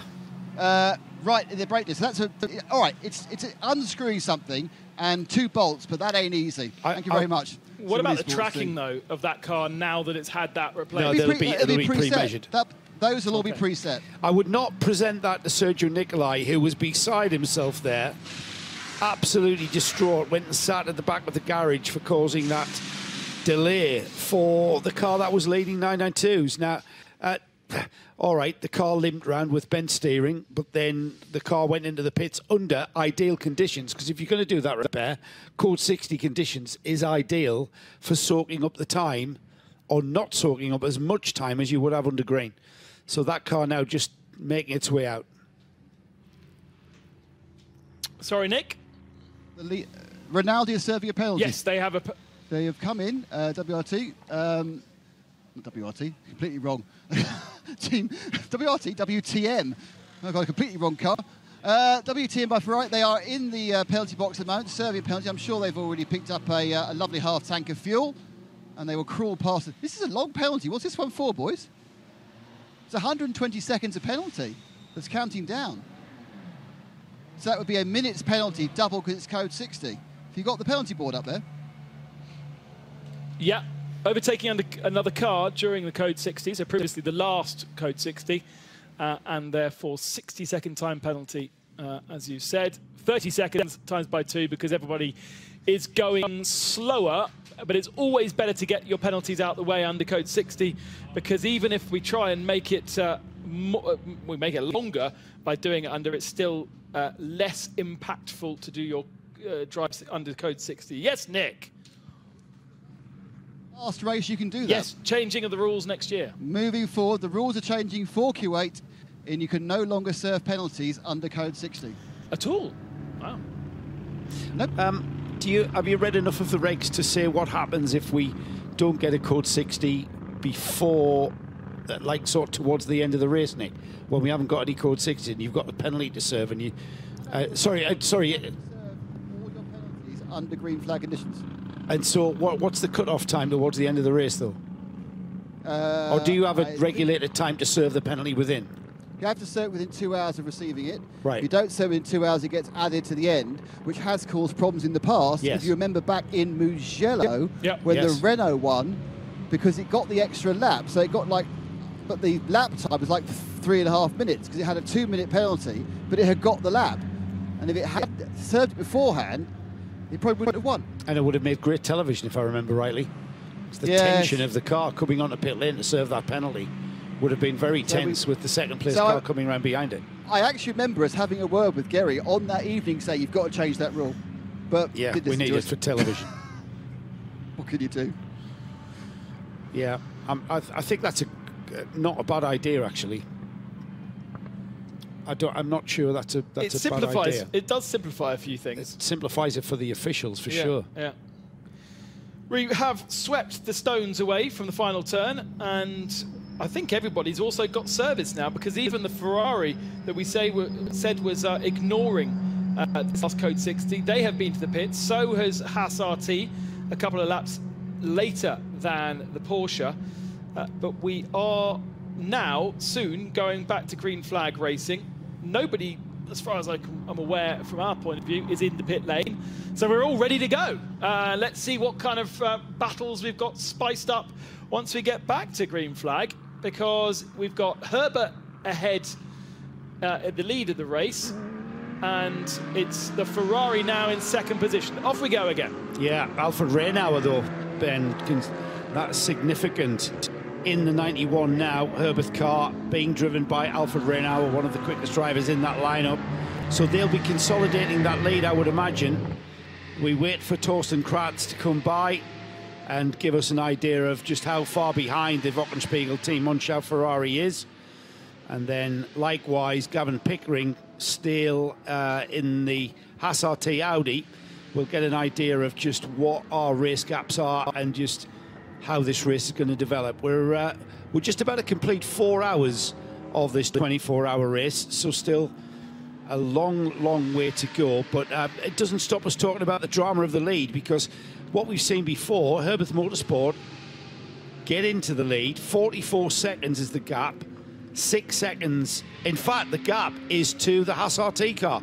So Haas RT moving up to second, 44 seconds behind Herberth. In third place, uh, Laurent Hurgon in the IMSA LS Group Porsche. Remember that was the car that started on the pole, and then the Ferrari. And despite Hurgon doing two stops under the last code 60, so not only uh, has he jumped aboard, they have a full tank of fuel because two consecutive laps where they will have filled that car up means that their tank is now completely full. Uh, and probably not to the same level as the cars ahead, who also pitted, but not twice. Uh, and it's interesting that the Ferrari has actually lost ground. Torsten Kratz, uh, despite only doing the one pit stop, uh, it was a long pit stop for Torsten Kratz. He was at the fuel bays four minutes, um, but uh, he has. We're not actually still waiting for him to come across the line. No, we're not now. They've dropped a minute behind the Herberth Porsche. So that's a huge chunk of time lost. So for the Ferrari to gain ground on the IMSA Porsche ahead of him, 10 seconds is the gap. The IMSA Porsche's got a six second gap to pick up on the Haas RT car. So Gavin Pickering, just have a look at the lap times last time by. It's an insignificant one, of course, because we've just gone green. So we'll pick up on the lap times and what these drivers are capable of. That'll give us an indication of just how strong, if any, Renauer's position in that car is going to be. Meanwhile, 992, Evil Breukers has taken over the wheel of the 909 car, which has taken up the lead of 992, currently in eighth overall. They've got two GT3 cars in between themselves and the next car in the class, which is the Vili Motorsport by Ebimotors. So Sabino de Castro now at the wheel of the 955 in 11th. Uh, and I would say they might have even a lap because considering that car was in the pits for the long amount of time it was, there's no way uh, it, it was. Well, actually, I can tell you exactly how long it was in the pits. Six and a half. No, yeah, six and a half minutes. So even at code 60 speeds, that would have been a single lap. I think Red Camels Jordan Yeah, now have a full lap over the rest of the 992 field. Yeah, you're right. Remarkably, um, I don't think I have them starred on my screen. Hang on, let's have a quick look. And they did pit under the last code 60. Uh, so they haven't done as many pit stops as some of the others, but they are on a similar situation to most. And so, uh, good work from Trussers in the strategy yeah, uh, yeah, of department there. Yeah, of course. Paul Truswell looking after the strategy on that 909. Right, so we're four hours into this race. Let's uh, take a, a quick check of where we're at. Of course, um, massive uh, exclamation asterisk as to the results because uh, they're all on different strategies with different fuels and tyres. But it is Herberth who is 44 seconds ahead of a Haas RT right now. They have a slender advantage over the first uh, of uh, the second of our Porsches uh, GT3 of IMSA LS Group Performance. Uh, and then the first of the GT AMs is the Ferrari of Rinaldi Racing in fourth overall. Fifth is third, uh, second in, uh, third in Pro Am, Car Collections 23 with Hash Patel aboard right now. Uh, and then CP Racing up to sixth with JUTA 71 in seventh and Red Camels Jordan eighth overall and first of the 992s.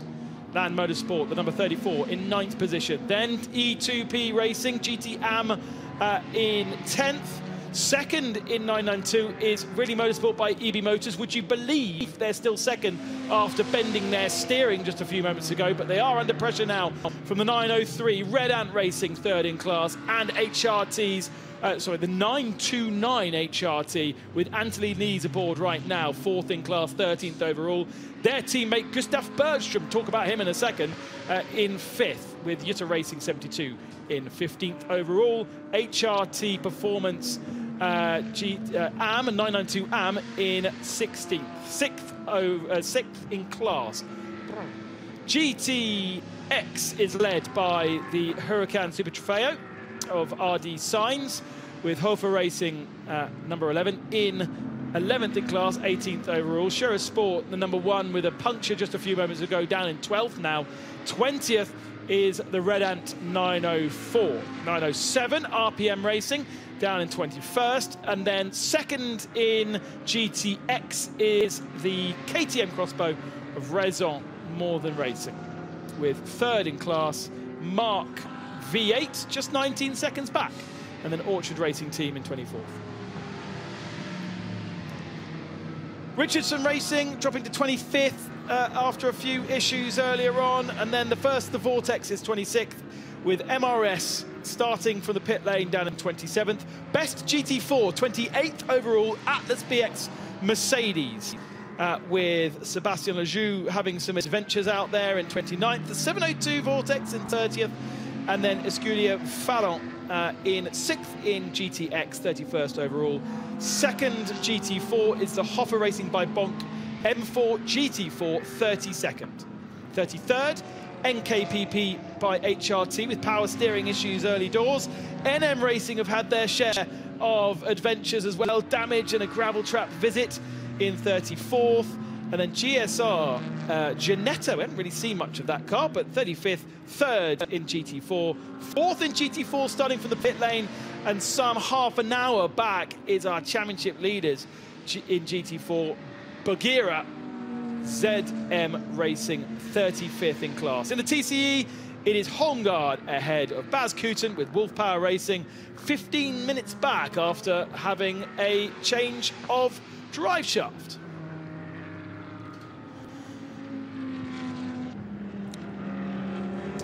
So, one man I wanted to mention, because I've seen him about four times this weekend, but haven't spoken to him or spoken about him, Gustav Bergstrom, the 930.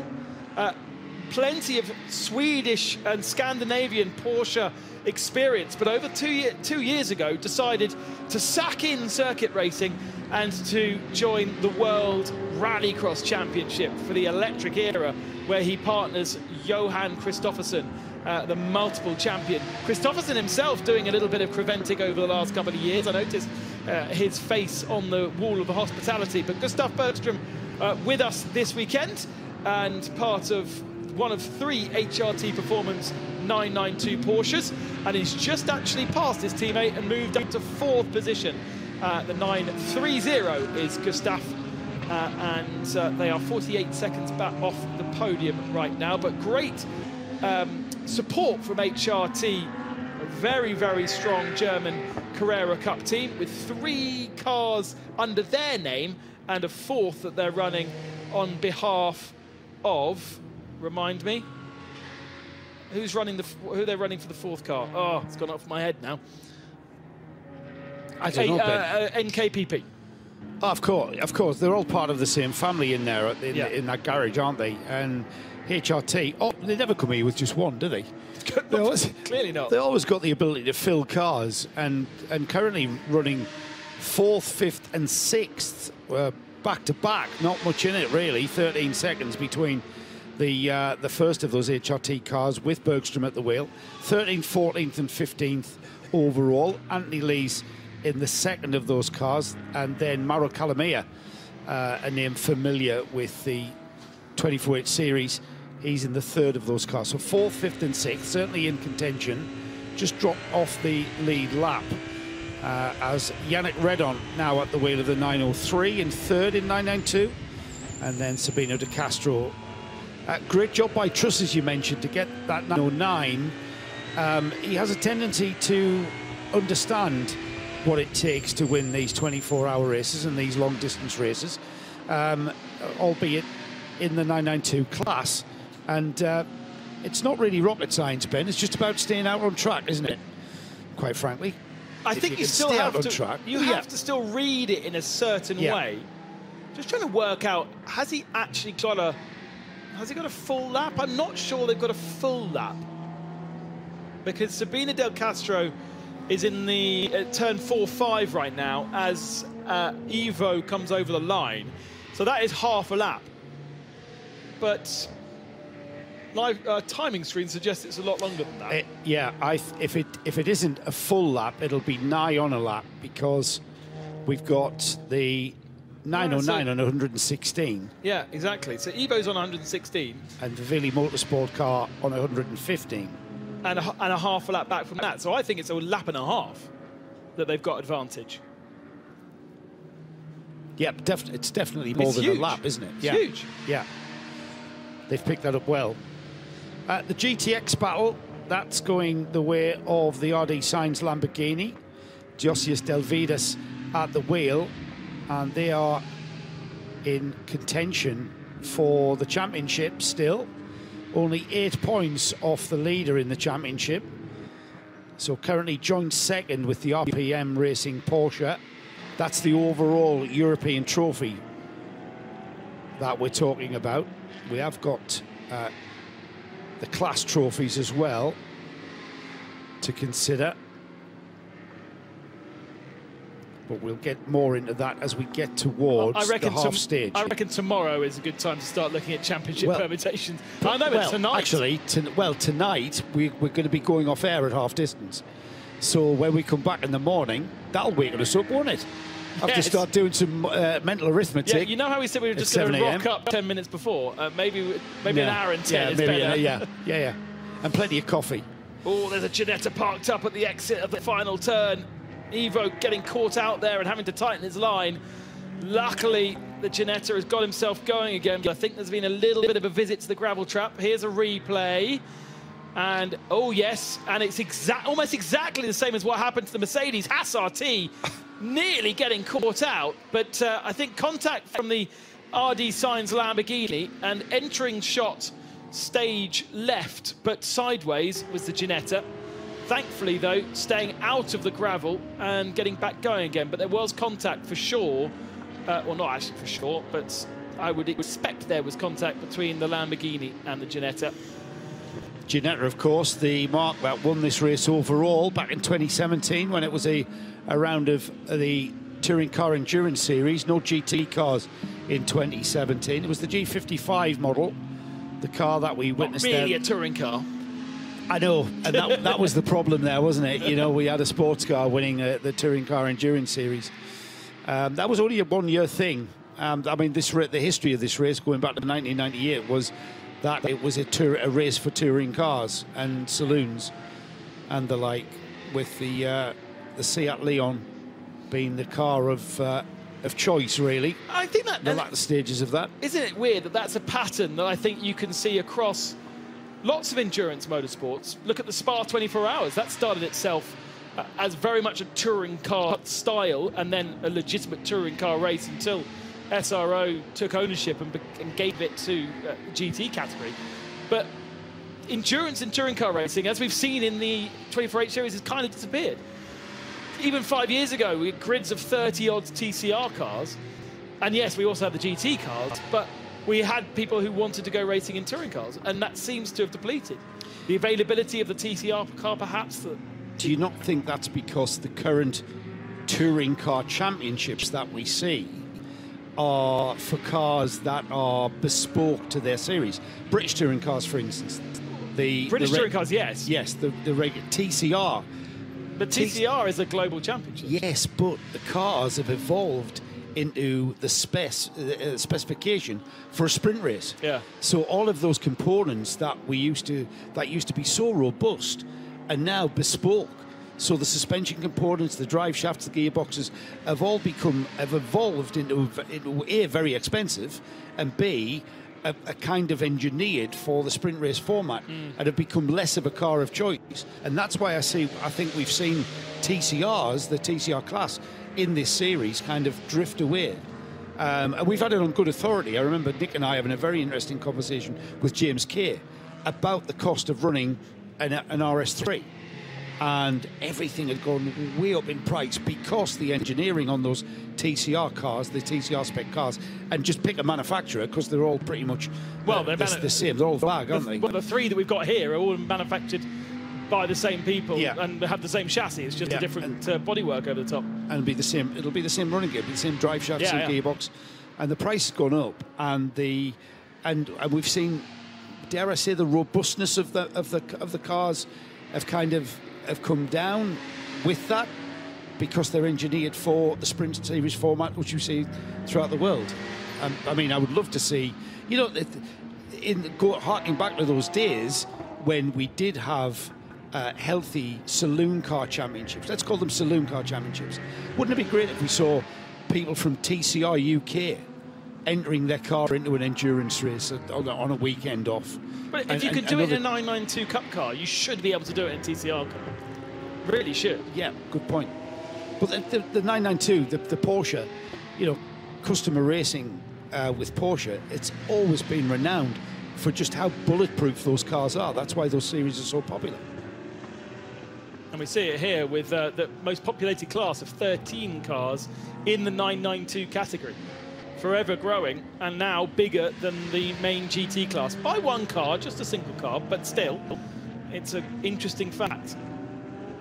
And when you can then rely upon someone like HRT who run those cars uh, in the Carrera Cup Deutschland series, and it'll be pretty much the same cars. It won't be that they have different cars for endurance and, and different cars for sprint. They will, in part, modify the sprint cars for the German series, especially if, this, let's say, the German series is done and dusted.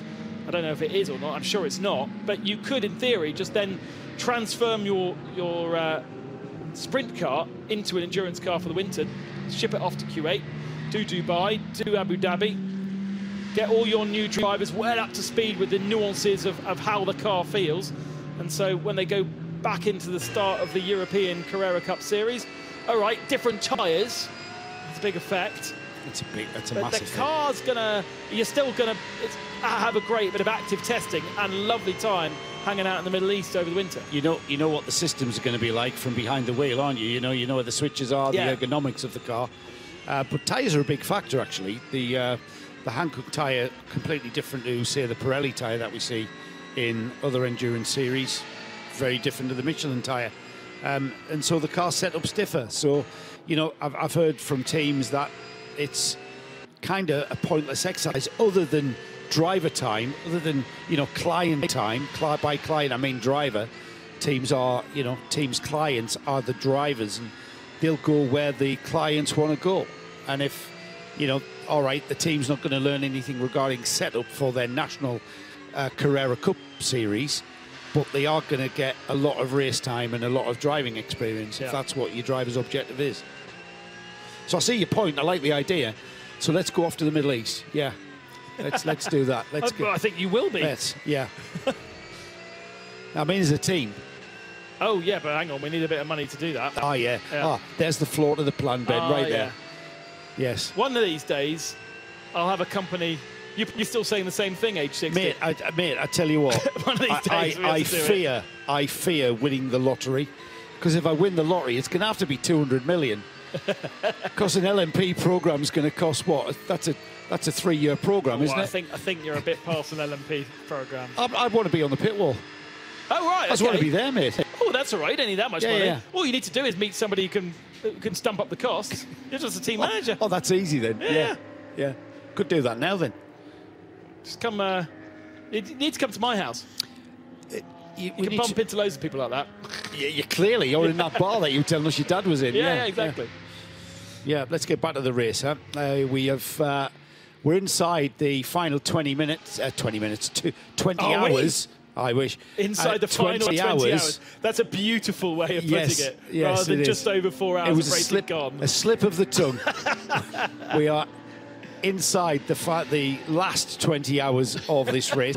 So we're, we're just, you know what, it, it develops in such a way, doesn't it? A, a long distance race does develop. We're having the Ferrari come back into the four. It's only four and a half seconds behind the IMSA LS Group Porsche in second place. Uh, however, ahead of that IMSA Group Porsche, the Herberth car is eking out a bit of a gap. It's over 61 seconds now, almost 62 seconds, and we've seen that not coming down. If anything, it's extending, and that's what we've seen the Herberth team do with their race strategy and, and their driver lineup is very, very strong. Even their AMs are very experienced and strong. So I'm not sure whether anyone in that lineup out there at the moment has got the pace to maybe challenge for that Herberth car going off into the lead. What I want to be looking at is the battle for second because Torsten Kratz is able to lap that Ferrari in the 46s, uh, and we've seen that not very many people able to do that. Actually, Phil Quaife was in the 45s the last uh, time through. So in CP Racing, he's the he's the pro in CP Racing uh, for this weekend, and. So he's the fastest man out on circuit, but Laurent Hurgon in the IMSA LS Group Performance Porsche is being caught by Torsten Kratz. And I think the gap is coming down only by half a second on that last lap, but it's going to get close uh, between those two. And, and they're not massively different in pace. It's not going to be just uh, drive past and head off into the distance. I think it's going to be an interesting fight. There is the Ferrari. Torsten Kratz aboard that car. Last lap was a 49.8, so he got caught in traffic. But look ahead of him, and there is a black Porsche just there going down the inside of one of the JUTA Racing Audis. Laurent Hurgon aboard that car. He is LS Group. Uh, he in, he runs a company which helps develop Renault Sports uh, motor racing vehicles, including the Alpine, the little Alpine, and usually uh, is a mentor in that championship and races in GT4 Europe in an Alpine. To me, he's always Mr. Renault, Mr. Alpine, but this weekend he's uh, driving and has his team associated to Porsche, uh, and uh, is, but he's being caught. You mentioned Phil Quaife. Interesting to uh, hear chat to Phil Quaife in the in catering, and he'd actually forgotten he'd won this race back in 20, 20 2012 in a McLaren, which he shared with uh, Adam Christodoulou, Klaas Hummel, Hummel, and Tim Mullen. Remember Tim Mullen? He was a McLaren Works driver, wasn't he? I'm not sure what. Uh, we never hear Tim's name now, do we? He went off to Asia and he was doing a, a lot in Porsche Carrera Cup Asia. No, I'm thinking of somebody else. Um, Tim Mullen's still working behind the scenes at McLaren Trophy. Yes, yeah, I yeah, think. probably. The McLaren MP4, I mean MP 412.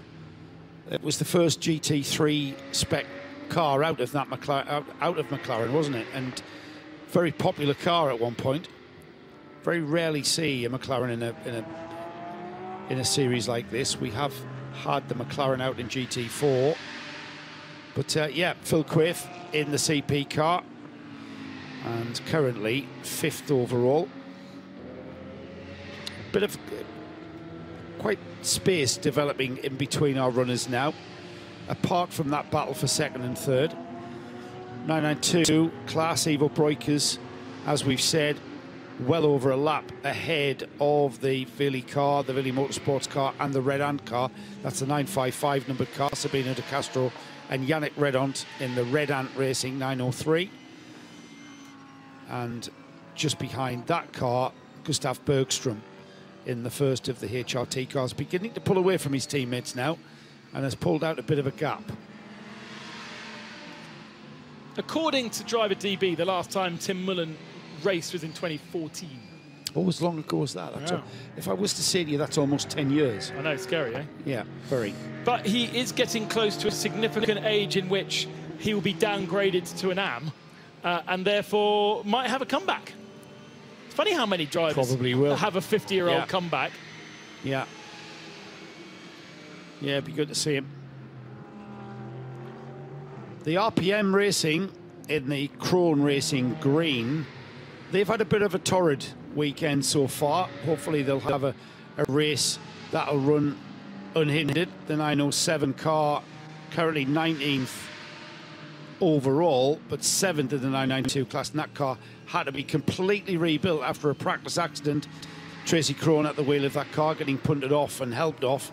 But it's great to see that car now out there and circling. Philip Hamprecht at the wheel. We've had a change of pit reporter with Nick Damon taking a break. We've uh, exchanged him for Diana Binks, who's down in the pit lane now. Diana, what have you got for us? I'm with the 702 Vortex team, and uh, I've got three people to talk to here because Philippe has just jumped out of the car and he's not comfortable that his uh, English is good enough. But I did say to him, we could do it in Scottish if you want, and he laughed, so we'll have a go. Philippe, obviously you've been out uh, during your stint. How did you find it, and what challenges did you have to face? ¿Y it's no problem, no problem. Um, las ruedas traseras, ashes. It was a, a really challenging stint because like the wheels were kind of like used. Uh, so it was tough, it was really hot, and it was not the best stint for him. This is Philippe's daughter, by the way, who's doing a, a translation. Look, we just want to include you because you're part of this race, and it's important to know what what your race is like. Are they satisfied of where they are at this point in the race? I know there's 20 hours still to go. Et avec euh, la course maintenant, comment c'est passé Si vous êtes content ou non Yes, yes. She's also she's also part of the team. She can respond. Yes, of course, it's very, it's very good, uh, very happy. Perfect, perfect, perfect. You always uh, you always come with a, a lot of people, good team of people here who seem to work incredibly hard during a race weekend. How challenging is it for everyone? J'ai pas compris. Joanna. Joanna.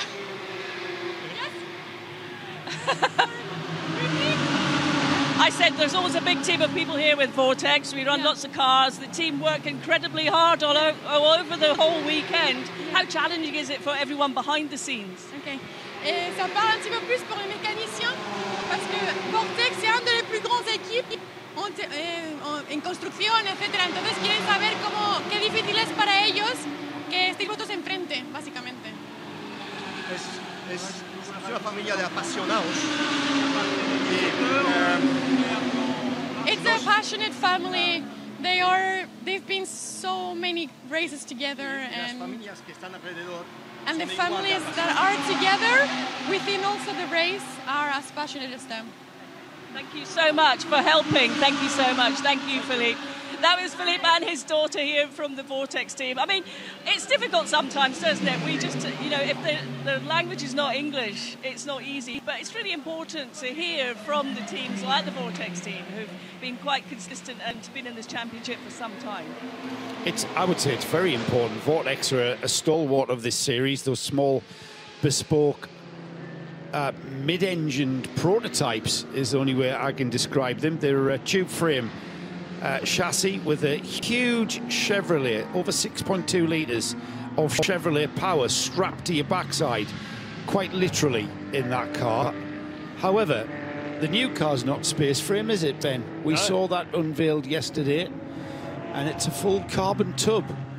And we're hoping to get a bit of a piece for you later on tonight.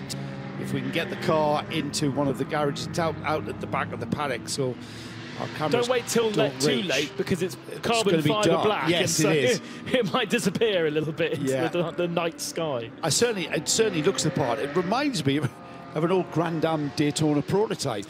Uh, if you It's squint, stubby. if you squint, it could well be. It's got the same stubbiness as the Vortex 1.0. but it's got some very interesting aero styling at the back, and and the car has been and done some wind wind tunnel Yep, development work on the car.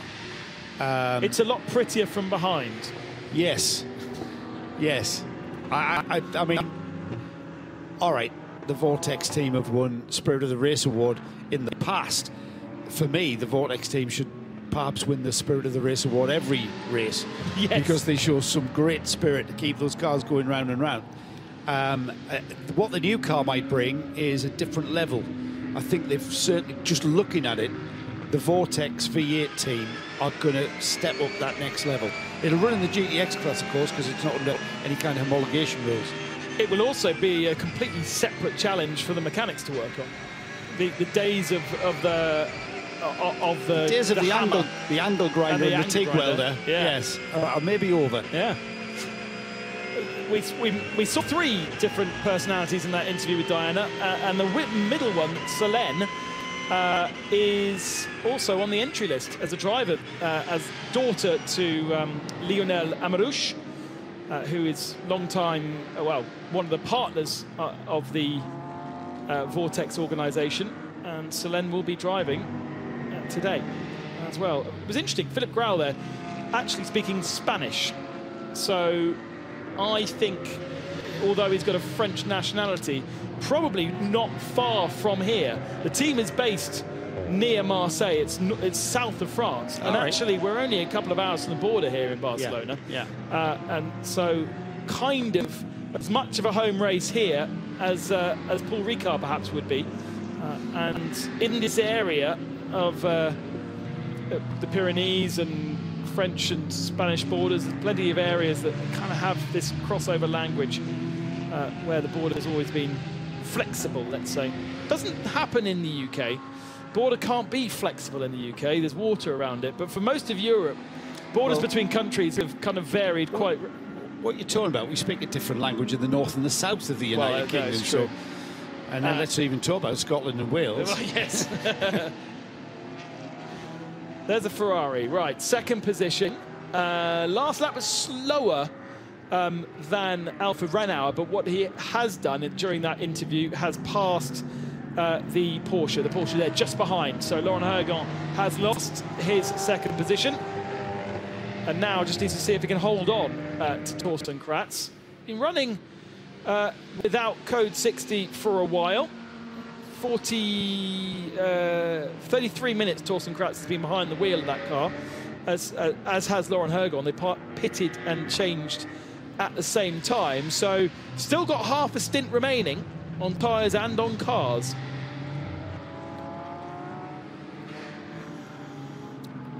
The question is, now having cleared the cars ahead of him, that is in the field, can Kratz make an impression on that Herberth Porsche? Ah, but Alfred's got So, such yeah, pace, hasn't he? Well, well, you know what? Last time through, 46.3 for Alfred Renauer, 46.7 for Torsten Kratz. So perhaps coming together now, lap time wise, 47.4 for Renauer.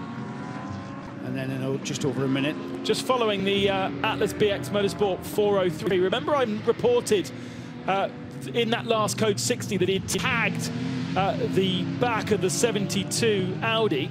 Well, he has been given a 15-second penalty for that uh, tiny tag. It, you would not call it an unsafe release. He just misjudged the length of the bonnet of the uh, Mercedes and just lightly tagged the back of the car so that it ripped off a little bit of a panel on the 72. But he has been given 15-second penalty uh, for that little infraction, which is, I, I, feel, unlucky for Atlas BX. Yeah, he probably he probably thought he was free. He threw. He was so close. It, it? wouldn't. It wouldn't have even felt it. Yeah, it wouldn't not. have even felt it.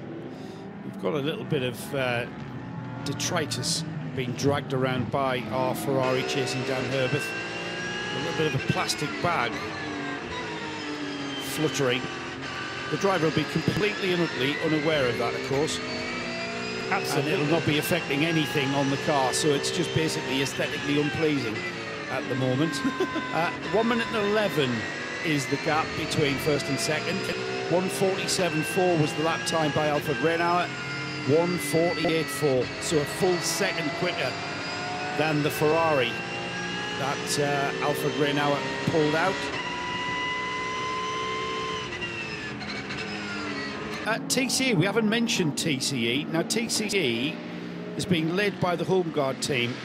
Tom Kloot in at the wheel of the 102. Now, championship-wise, the TCE battle is going to come down to, I'm just trying to find it, the TCE trophy is very much in the hands of Holmgaard. If they finish in this position in the lead. If, in fact, I've, I've, been told even if they just finish the first 12 hours, they've clinched the European trophy for the Touring Car Endurance Series. And this this year will see the final running of the Touring Car Endurance Series. It won't continue into 2024. It'll be coming back as it was before we split the GT trophy and the Touring Car Endurance Series trophy before we split it, it was all just one big race with the mix of classes. We go back to that. We'll still have the Touring Car Endurance Series classes. However, it'll just be in the same race rather than two races in, in one as we've got now. So still all to play for, and it's easy for me to say, if you just stay there until midnight tonight, you're going to pick up the Endurance Series European Trophy. Well, we've still got to go round and round, and right now, they are doing that. They're going round and round. They're Cupra Leon Competition, leading the TCE category from the Cupra, Cupra TCR of Bas Koeten. Christian Frankenhout, the driver at the wheel of the 125. Now, Christian, a, a big name from this series from uh, a few years ago. He was one of the main drivers with the Hofor team. He shared the car with Chantal, Michael, and uh, Kenneth Kenneth Heyer was a Kenneth Heyer was a, another stalwart of that team. Uh, he's been missing in action as Christian Frankenhout, but uh, very, very, very strong driver there, and he's back out in unfamiliar territory there in the front-wheel drive Cupra of Bas Koeten. But no doubt this will probably just whet his appetite, won't it, to get back into the series proper and, and do a full, a full championship, perhaps.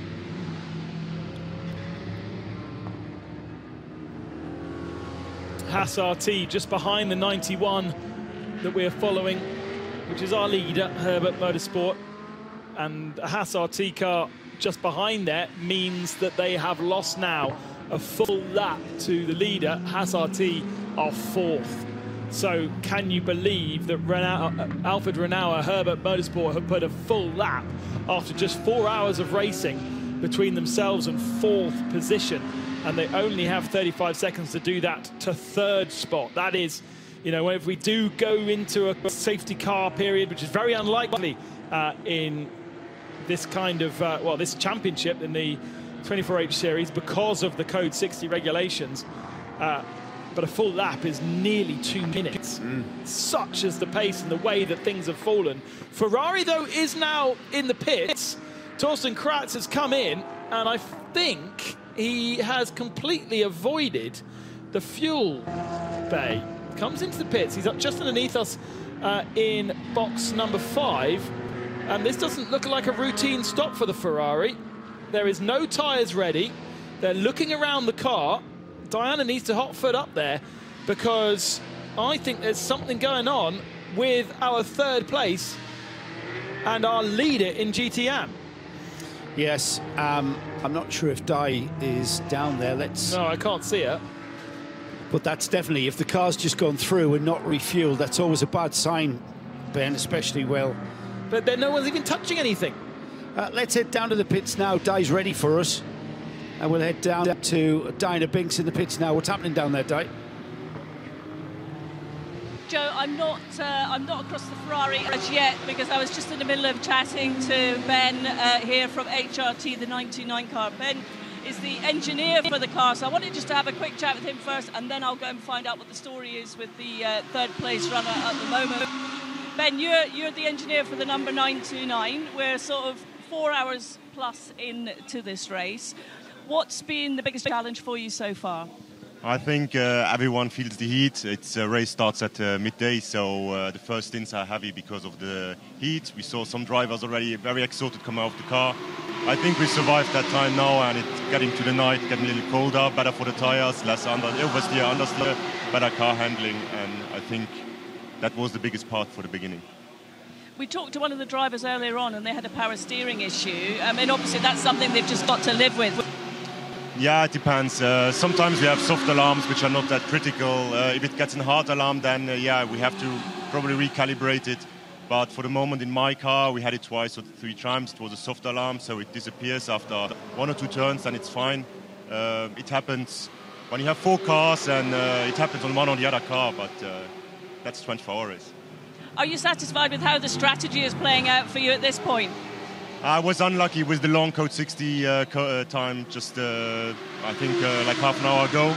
But up to there it was fine. But uh, yeah, I missed the opportunity. It could have been uh, five laps later. How much are you sort of in communication with the driver while he's behind the wheel? Um, I'm trying us. I mean, we have the radio communication. I have telemetry. I have before a stint. I talked to them like one two minutes, giving them advice about the driver getting out of the car. So I have a good team this time, a good car, good driver, so then it's easy to communicate. And how much will the strategy plan change between now, going into the night stage, and coming back into the daylight again? Yeah, it's difficult to say now. I have a, we have all a run plan for the 24 hours completely. We know exactly what we do. We need to adjust it uh, depending on the situations, depending on car behavior of, of drivers. Also, the speed of the drivers is important uh, if you're getting a little bit earlier out or in. So difficult to say now what happens in the morning. I'm happy to know what happens when you go into the night. And I'm assuming you don't get any sleep. Uh, not for me. but I'm used to it. It's my 25th 24 hours, so I know how to handle it. Ben, thanks so much for chatting to us. We'll, we'll come and find you in the night time and see how you're doing. Thank you. Bye. Joe, I will now go and see what I can find out um, about the Ferrari that you said had just come in. But that was Ben here with HR2, just giving us a little bit of insight as to, to what he's doing. Amazing, so many 24 hour races. Yeah, great insight there from the HRT engineer. Di will hot footed down there. Ben, I think you said that the Ferrari's been pushed into its box. Ferrari is in the box. Uh, from where I can see, I can only see the front end of the car. The lights were still on. It, the car has now been powered off. Uh, there doesn't seem to be any work on the front end of the car. It's all on the back end of the car. Uh, but this is a real concern. They had great pace. Torsten Kratz was doing such a good job. Uh, interestingly, HRT also in the pits right now from fourth position. Uh, and they are getting a full, proper tank uh, of fuel.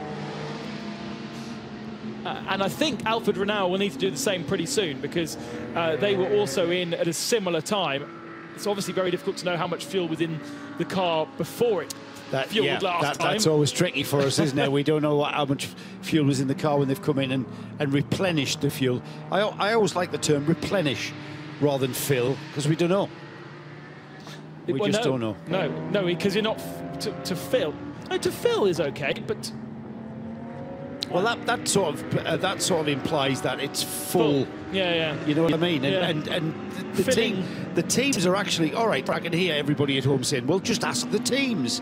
The teams don't want to tell us that. I We know. can tr- we, we, we quickly lose we quickly lose track of, of how much time the cars have have gone into the pits. Um, so Di is down there with the Ferrari now. Shall we head down to her? What's going on though, Di? Yeah.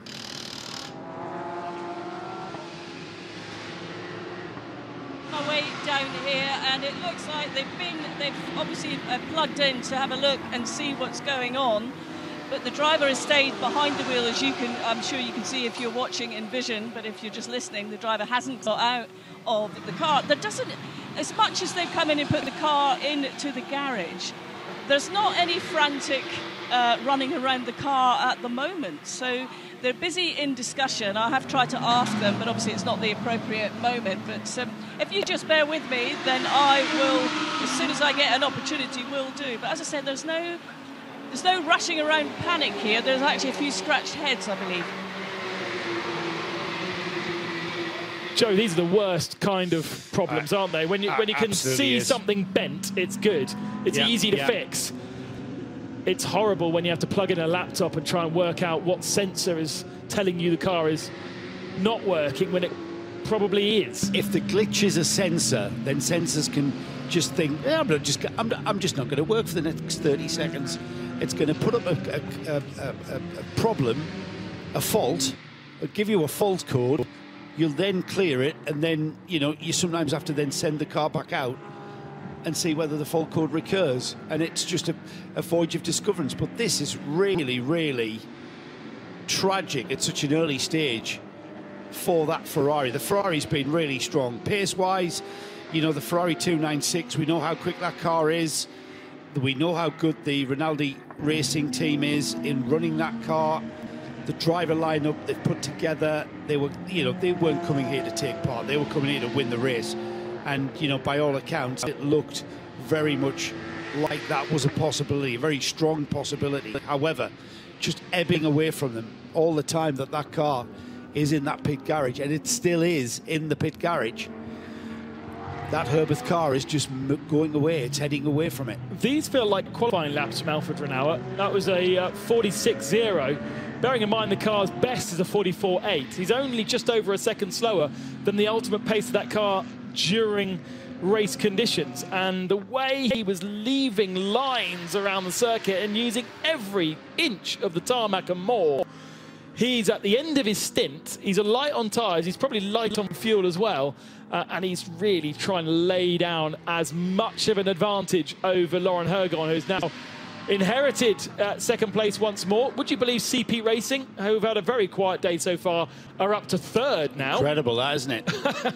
Incredible how they've just snuck up on us. and Phil Quaife has just uh, passed Hash in the uh, car collection uh, number 23 that was there and thereabouts in the early running.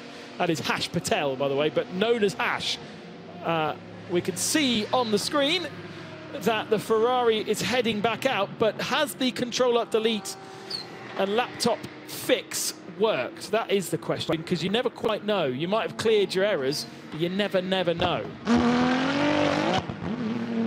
Yes, Diana.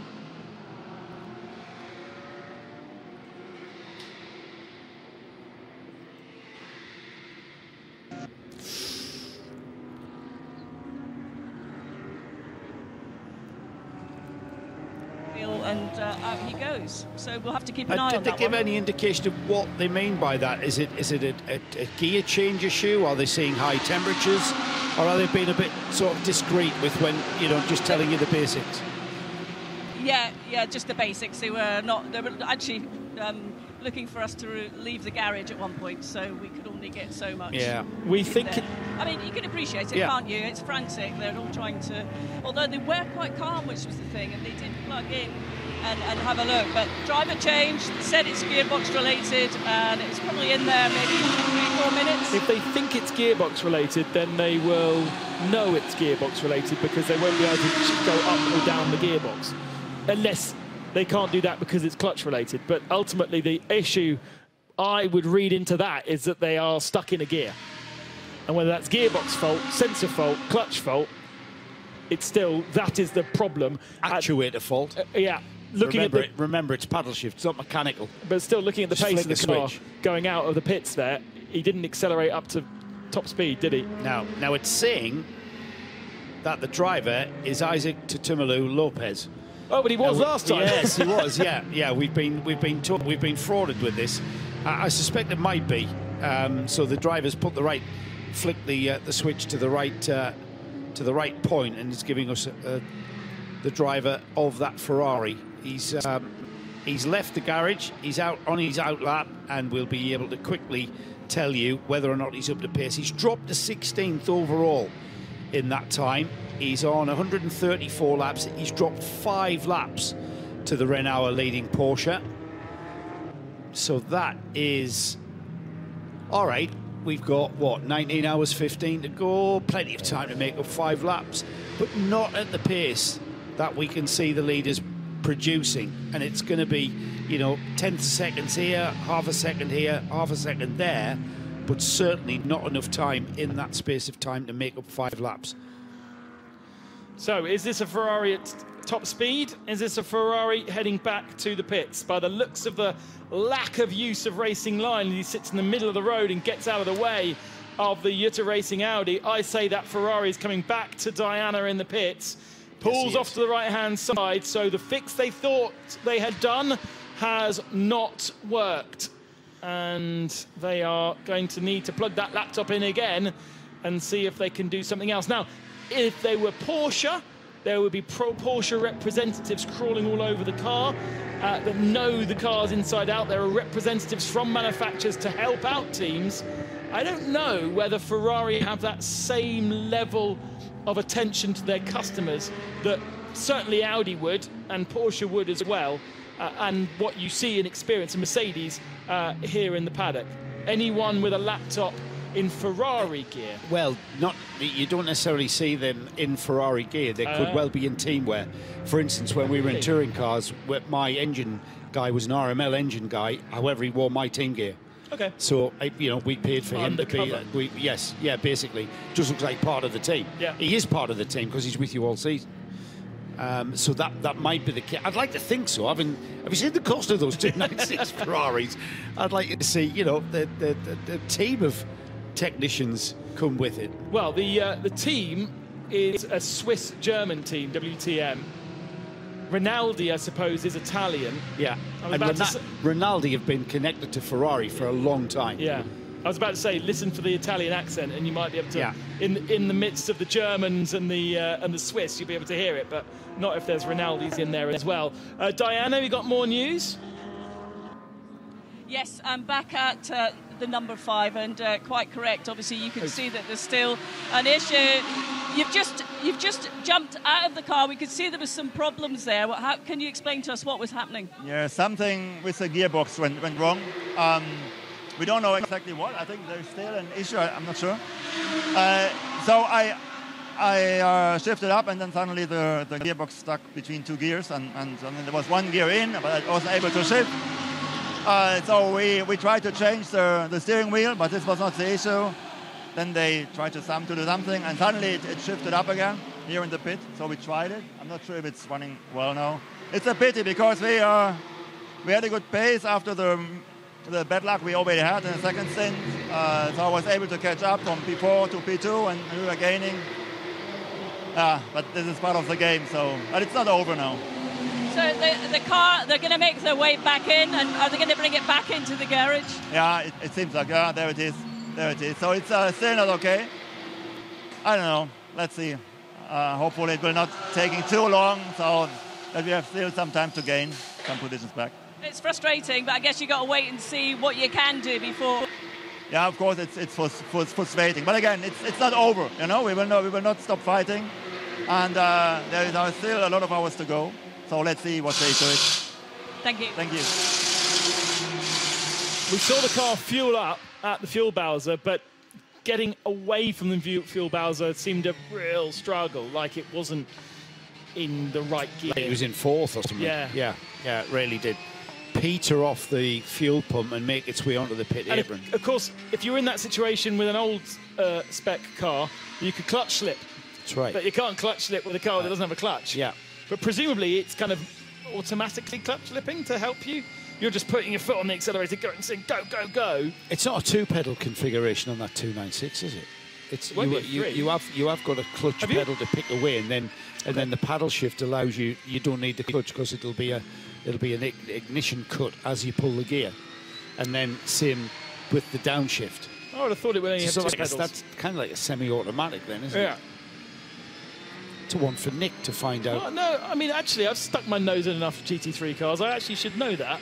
Two pedals or three, Bruce? Three, four. Oh yeah. one for the front brakes, one for the rears. Oh yeah. Nick Nick can find out whether or not that certainly the, the Ferrari 296 the car we're talking about whether or not it's a two pedal or a three pedal configuration the clutch being used to pick away um, he can, sure you use Nick, Nick's. Nick's fine with sticking his head in places where he's not wanted Remember, in endurance racing, you don't tend to have race starts as That's right. standing starts, so you don't That's right. necessarily need a foot pedal. no you, you I think it's. I think it's a. I think it's a hand. The only reason you the only reason you need a clutch pedal in, in any format, even with a crash box, even with an old stick shift, is to get away.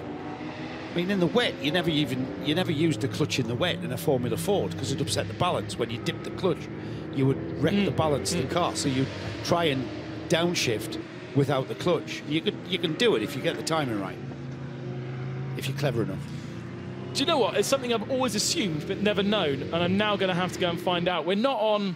We're, we're stopping soon, aren't we? Yes, we Let's are. go and Nine stick our minutes. nose in a car and find out. Yeah. I'm pretty sure there's only two pedals in most GT3 cars, if Yeah, I not all. I know you got me thinking now. Yeah. Ah, talk amongst yourselves. I know someone who'll be. If we we're, we're off in five minutes. It's fine, I think. Yes, we are. Yeah. We'll have to break up Johnny Palmer. Be asleep on We'll have the to bench wake him up. outside again. Is he really having a little nap, is he? Who knows? Here's Sabino De Castro. Last time out uh, was the start of the race where he started in the lead in 992 and dropped down to fourth. Inherits the car second, would you believe, in class. And actually, at present, 56 seconds off the lead. So they have gained time, but that might be a false positive depending on if they owe us a pit stop or not. Let's have a look. No, they are on a similar strategy, Bru- Breukers and Sabino de Castro. And so, actually, the 955 has done an amazing job in this last stint to get back onto the lap of Ivo Breukers because, uh, well, last time we checked in with them, there was over, we thought there was a lap and a half difference between the two of them, and down to definitely half a lap. Now with uh, Yannick Redant in the 903 sitting third in that class. And now Gustav Bergström with a great stint up to fourth in the HRT performance, leaving the two teammates in HRT behind. And getting back, I wonder if this is the first time back for him to circuit racing. As I mentioned earlier, been uh, doing rallycross. His championship, of course, stopping due to the fact that uh, Sebastian Loeb's uh, Lancia De- Delta Integrale caught a light on its own at Lydden Hill in the middle of July. Yeah, that was big news, wasn't Uh, it? setting mas- setting the whole of the uh, Shishery team's car, other car and paddock alight, uh, cancelling the next round and the next round after that of the World Championship because why, was it all? Why did it all just come to a? because there's no guarantee of safety under the battery. The, Is bat- that the right? Battery, that- yeah. the car was charging. Suddenly it was alight, and because of the heat, so then it sets the other car alight. All the other electric cars had to quickly be moved away, and there is no guarantees on the safety from the FIA and also the, the battery manufacturer that it won't happen again. So they haven't been allowed to go racing since, and uh, and so two rounds of that championship cancelled, and therefore Gustav Bergström without the ability, his car's fine, it's sitting in uh, Sweden no doubt, but with the ability not to go racing Hmm. until they restart the championship in South Africa in a few weeks' time And using a different car. Right, so that is this that is happening. They've done something with regards to with the a, re- with a recharging. One, no, using a completely separate car, using effectively. Think of Formula One. Formula One car is deemed unsafe, but we need to carry on racing, so we're going to use Formula Two cars. That's what's happening in Rallycross at the end of the season. Right. One make, and so they're all one. They're using one make RX2E cars, uh, to finish off the championship. Two rounds in South Africa, two rounds in China. But The same recharging process. Uh, but di- completely different manufacturer of car, and therefore different battery and I all the rest of it. So the RX2E car is safe, by, deemed by the FIA, but the RX1E car hasn't got those guarantees. Remarkable bit of uh, motorsport things going on. Yeah, If, you, really if you like the politics and you like all the backstories, uh, the World RX has been tumulus the last couple of years. It's been very tricky for them. So Nick's done something Nick- really Nick's- clever. Nick's either just and he- sworn at he's, me He's used Google, Oh yes. and that's a Ferrari 296 with a with a two-pedal configuration and a hand clutch. Is it, Nick? Yeah. You found out that there's a hand clutch on there. Have you seen how many switches are in that cockpit? There's about 47 different modes that you can put that car in. And, uh, and So thank two you, pedals. Thank you to Limited Running at Limited Running on Twitter. Ian McCarthy always with us, uh, and he's just sent the sales brochure of the Ferrari to us as well. Two pedals, pretty much two pedals. I'm being told three. You only need the clutch to pull away only. What? So it depend. Right. So Depends on the car then. In fairness, the question was in GT3 these days. Okay. So we were specific there with the 296 Ferrari. Yeah. KTM has two pedals from memory. Is my, KTM? my source. Yeah. As in the GT, the X-Bow. The G. Yeah. So we've got we've got uh, we've got people. Other people are messaging other people as well. so we'll get an overall view on this. I just think the GT just makes it's a GT2 car. A GT3 car is a, a race machine. One foot, one foot per pedal. So therefore, you've got two feet. So How do you pull away pedals. though? You just put your foot on the accelerator. So it's semi-automatic. So it's a semi-automatic. Yeah. With You select set- with a- first because I know you can. You select first and stay stationary, and then accelerate away. Okay. And the car goes. And of course, you don't need it from a from a standing start because we have rolling starts in Yeah. GT3 racing. Yeah, yeah. So it's only pit stops. Right, the Ferrari heading back out onto circuit once more. Have they fixed it this time? It's all rather unravelling though, which is a real shame because the pace of that car was ferocious at the head of the field.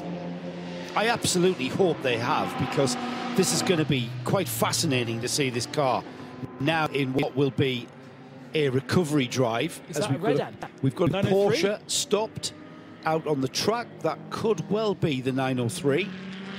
Now, the 903 of Yannick Redant was third in class. Turn nine, so let's have a look. Lost it coming through turn nine on its own very early on and is off into the kind of the motor, motorbike section of that circuit. Ah, he's regained. It was Yannick Redant in the 903. And so. Uh, but yes, that was second, third in class, wasn't it? So that would have Yeah. lost that third in class to Gustav Bergstrom. Wasn't far away. Odd one. Kind of just leant on the rear of the car and it didn't stick. thankfully, the uh, thankfully there's lots of runoff there on the outside of nine, and he's resumed, pulled back on the track, and he's back into the race. The Ferrari of the Wochenspiegel team, Monschau team, the number 22, was going round at what looked like race pace. So that gearbox glitch has rectified itself. Whatever the team have done, they've done a good job on doing whatever, change the sensor. Thankfully, it wasn't, or it doesn't appear to be, the actual mechanism of the gearbox itself. Look how busy. Very busy fueling area. And now, is that them looking at what was going on with uh, the Red Ant car and preempting a code 60, which is obviously not going to happen? Or I feel as though looking at strategy, we are a bit early, but no, we're not actually. Alfred Renauer an hour and 10. Uh, so that makes sense that the leader has come into the pits and Laurent Hurgon has followed him in from second position uh, with an hour in their stint, uh, even though they did uh, two pit stops. So that puts, would you believe, Philip Quaife into second in this race uh, for. CP Racing. He owes us a pit stop as well. It won't be there for very long, uh, as does Hash in fourth position uh, in the car collection Porsche. There's another Porsche for car collection sitting in the paddock, would you believe? So we go, we go like, oh, the car collection do Audis. They've got more Porsches here than they do Audis this weekend. and it's available. It says in the window, available for hire. You know, like when you drive down the street, it says car for sale, call Yes. this number. Yeah. Pretty much that. Have you already made inquiries? yeah. Known you as we do. Apparently, I haven't got money. Uh, CP Racing, all right, they started what I would say out of position because Yeah. of the truncated qualifying. So they've done a cracking job there. Strategy coming to the fore, and with Phil Quaife now at the wheel, bringing that car through the field in the last four and a half hours. The car, well, five hours actually, because we're just clicking towards the top of the hour. So it's took them five hours to get in contention for what will be an overall win here at this rate. Fabulous, fabulous endurance racing from the CP Racing team as ever. Whatever happened to Yannick Redon, it's uh, not affecting his pace. He's back underway again, and he did lose that third position, but only now 10 seconds behind Gustav Bergstrom, uh, and back under full pace. There might be a little bit of damage to the tyre uh, on the 903, but I think they will be joining us in pit lane uh, soon enough. I'm not quite sure why I haven't got that car highlighted, but uh, I will highlight it now. And yeah, an hour and 15 minutes that car has been running without pit stops, so uh, it will be coming soon, I imagine. We're having our next pit stop here in the booth. Um, myself and Joe Bradley taking our next break, and it is uh, Johnny Palmer and Bruce Jones taking you through the next two hours. Thank you very much, Ben. We'll leave you and Joe to go and look in the footwells of all the cars up and down the pit lane, and we'll count, find out what the average number of pedals is when you come up next in two hours' time. But thank you for leaving the race safely for us to take you through for the next two hours from five o'clock local time until what I call supper time, seven o'clock. So don't be late when you come back to relieve us. Because the food absolutely fantastic here at the circuit. But CP Racing leading the way, as you say, but owing a pit stop. So Phil Quaife looked on good form in crew catering earlier today and uh, now leading this event. But the real story of the last half hour or so has been the decline of the Ferrari. It was leading when we clocked off two hours ago.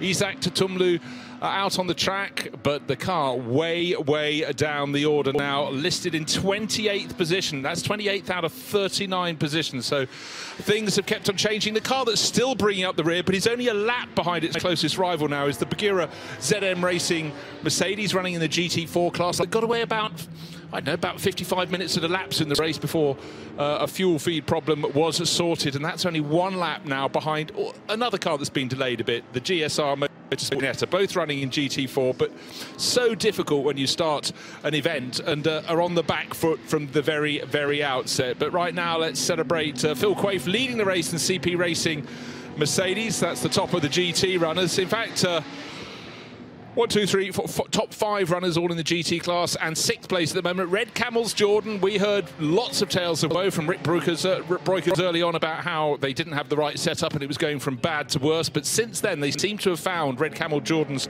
a very good balance because Ivo Breukers sixth place overall, Johnny, and leading the Porsche Cup class. It was in good position two hours ago and it's still in good position now. Uh, Luc Breukers, I think, more at home with the uh, far from ideal setup rather than older brother Rick, and he was putting a brave face on it. Now, what on earth is going on at the first corner? Because all of a sudden, the Ferrari uh, having to straight line the left-hand king at turn two, in CP Racing's Mercedes, the race leader, looking to try and get through all of this traffic. It's almost as if there was a bit of confusion there. Were we under code 60? Were we not? We absolutely are not. The Ferrari unlapping itself, in fact, on Phil Quaife's CP Racing Mercedes. Whilst all that madness happens in the first sector of the lap, let's get to Diana Biggs, who has this from the pits.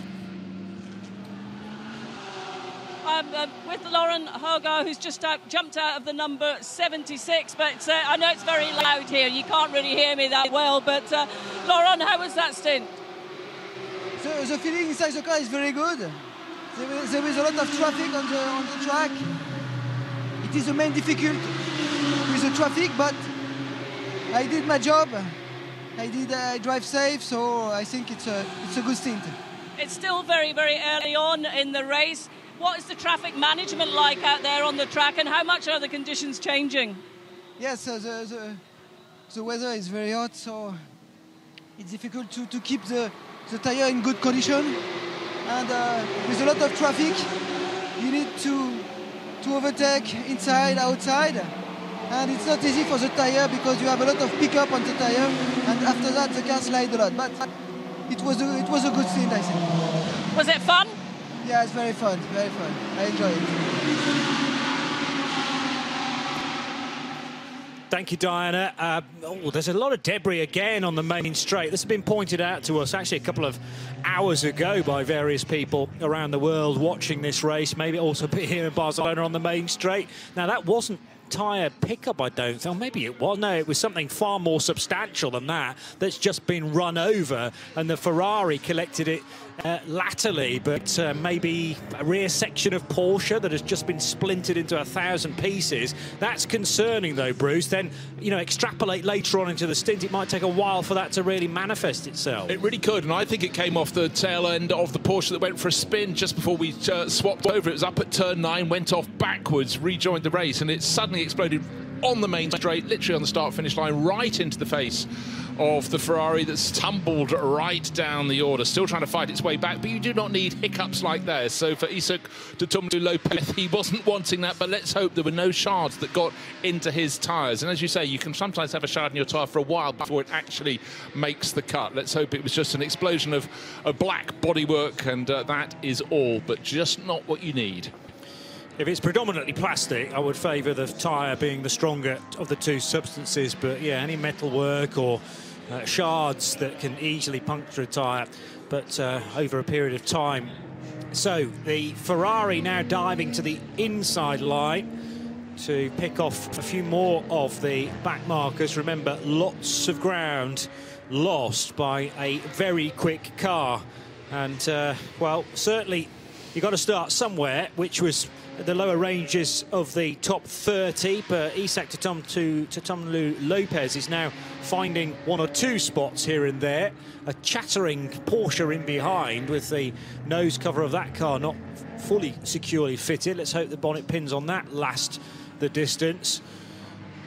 Great looking car, but all manner of uh, issues latterly. Clutch that's been the problem for the Ferrari, the 22 car? We don't know. Okay, so it's been in and out of the garage, and maybe the team don't know either, and that's precisely why it's taking so long to diagnose and then to solve. But car 22, at least back in the race and able to lap in an attempt to keep up with Phil Quaife in the Mercedes, Daniel Allemann in the Herberth Motorsport Porsche, and in third place, Julien Andlauer, that man again, back in the IMSA Performance Porsche. Well, he's Tutumlu Lopez driving that Ferrari at the moment for WTM by Rinaldi. He's lapping just about the same pace as, in fact, slightly faster than the race-leading Mercedes of Quaife, but he's 11 laps down. Yes, we have time of plenty, but I don't think I've ever seen magic that can find 11 laps in a speed in a race as competitive as this. More penalties being given out. Red Camel Jordan's the car that's uh, leading the Porsche Cup class, or was before it dived into the pits. That's just picked up a penalty. There it is at standstill. Ivo Breukers climbing out and presumably uh, it'll be one of the two other Breukers, both of his sons. Rik, I would think, would be getting back in uh, right now. We'll confirm when that goes out. It's been having a good run, but they were querying the setup, and so many of the teams saying we just simply didn't get the track running because if you weren't with us yesterday, it was uh, wet with more rain on top of it. It was hideously wet and uh, really hard. It was a case of survival for a lot of the drivers when they went out in night practice to get the job done. Yeah, and rotating a car over a, a, a, course like this, when you've got many different corners, there was almost a big problem at the pit stop there. I think everyone kind of knew what they were doing, but uh, driver about to take over in the 909. Rik Breukers standing in slightly the wrong position and nearly mown down by his father, but he's now on board that car. And, uh, well, let's see whether the the situation of that car has evolved at all since Rik was at the wheel. But you were talking earlier on about this being such a popular test venue because you've got every single corner known to man. But if you can't turn the car through them, if it's just wanting to understeer off, at every possible moment. That is a real challenge. Also, you're not going to get very even tyre wear across a stint, but if you can start to just back it into the corners and help the rotation that way, that's adjustment driving, and that's why we see, you know, so, some some people with such high skill doing well in longer distance racing.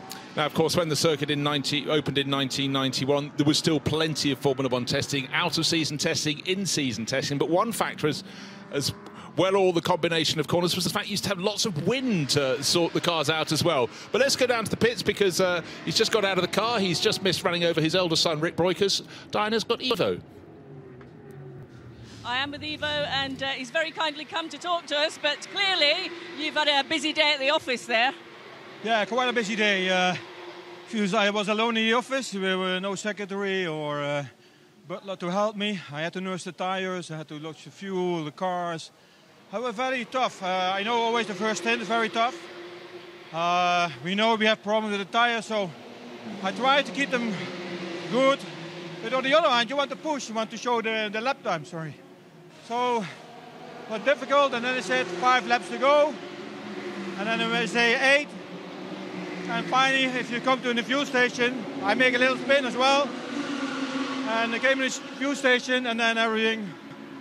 So uh, I'm happy. I think uh, we are still in the top three, so uh, it's looking okay. You've got to be proud of yourself. You've given it your all in that stint. Yeah, I did. I did. I, I did some workouts um, before, and I think it helped me. No alcohol for five days, so it's paying off. Ivo, is this job getting harder and harder? Sorry? Is this job getting harder and harder? Uh, yes, but uh, it's, a, it's, it's on me to do something about it. I have to improve. Thanks, Ivo. Go get a drink. Well, straight out of the car, and there's a flavour of just how tough it is. But I think inwardly, very, very happy with uh, the work that he's done, and he's going to get congratulations from all around the team as well. Little spin as he came in for fuel, but I mean, there is a guy who, yes, he's challenging himself, but it's ultimately so much fun, even now after years of racing, and he's still getting the same buzz as he did probably the first time he got into a racing car.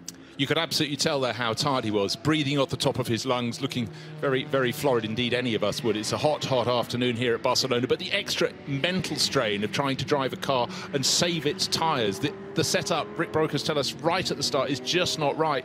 It's another factor that's super difficult. Also, driving a Porsche Cup car, you've got the GT3 cars, which are marginally faster. You've got to look out for them and their battles. So it is a real, real strain. But, you know, Ivo Breukers still at the top of his game, still learning, still improving as he goes through the years. But obviously, with a hard taskmaster and his uh, pro son, Rik Breukers, and Ivo Breukers getting quicker all the time, the younger of the two brothers, it's uh, they're a competitive family. There will be, uh, you know, little digs here, little digs there. Uh, so maybe it wasn't such a mistake that he seemed to be heading, heading straight to Rik in the pit lane before jinking in front of the pit garage. All said in mirth, of course. But again, just a real clear sign about 100% application there from Ivo Breukers. Likewise, when you look to the Herberth Motorsport crew, who are a very well oiled machine, although there's been an adjustment to the driver lineup there with the introduction of Patrick Kolb and the restriction on driving out for Ralf Bohn and Robert Renauer, who are also doing a different meeting this weekend in Valencia. Uh, that is tough but we will see those two at some point in the overnight stints. The 91 car now being driven by Daniel Allemann about across the line. He's actually finding a bit of time here and there on Phil Quaife. That's probably down to Phil finding these batches of traffic in the most awkward of positions. But Daniel Allemann is one of the most consistent drivers out there. Again, he knows the pace that he's comfortable with. He's, you're not going to get any heroics from him, but it is consistency that always, uh, you know, accompanies many trophies actually across the years for Herberth. Yeah, and I think, you know, it's three things combined. It's the natural pace of Daniel Allemann, the Swiss racer, combined with the fact he's raced a Porsche for years, combined with the fact he's raced a Porsche for Herberth Motorsport for years. And continuity really is something that, uh, particularly for a team with the two Renauers running it, they're always looking for performance advantage. They're brilliant at race tactics, but I think continuity is something that just helps improving drivers because they all sit down together, they all discuss it, and they're, they've got a sort of shared platform of knowledge. And I really, really think that is a huge help. But uh, right now, Daniel Allemann doing a very good job. He's lapping yeah, a, last lap or so, he's taken one and a half seconds out of the race lead. But almost every time you look at the circuit, there are gaggles of cars. You can mm. see how easy it is to squander a bit of time. Phil Quaife in the white, blue, and red-nosed. Uh, Mercedes from CP Racing, car number 85, making space for others down the start finish straight, but being cautious into, into the first of the corners, and that's very wise indeed. His margin at the moment, best part of 50 seconds in the lead of this race the Lumirank positional number, which occasionally changes to the first three letters of the driver on board, flashing away on the leading car. That, I believe, to let everyone know it's a leader.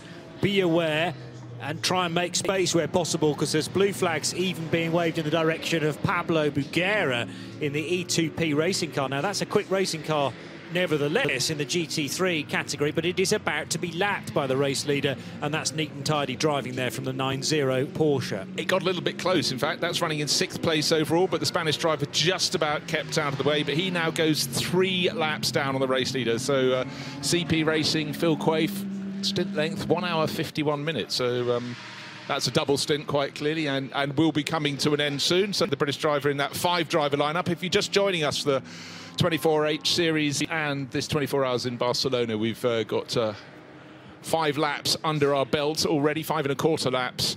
Um, but it really has been, uh, we've just welcomed the fact we've got dry weather. Yesterday was so, so super wet.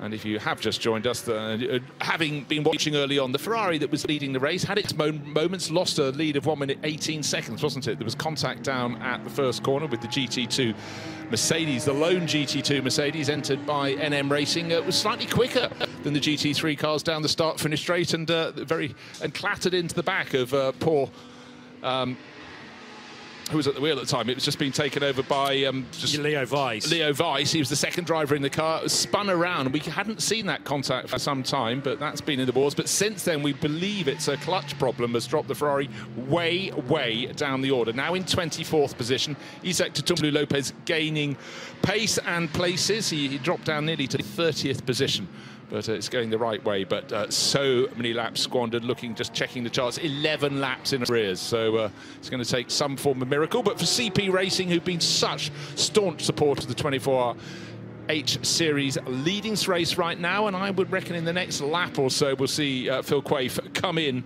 and hand over to uh, well, Charles Putman and Joe Foster would like a play as well. The car was started by Charles Espenlaub, and then Shane Lewis went in second. But they're running long stints, these early ones, and uh, doubling up in many ways. We've got, what are we looking at at the moment? About another two hours of uh, clear sunlight, daylight, and then we will drift into darkness.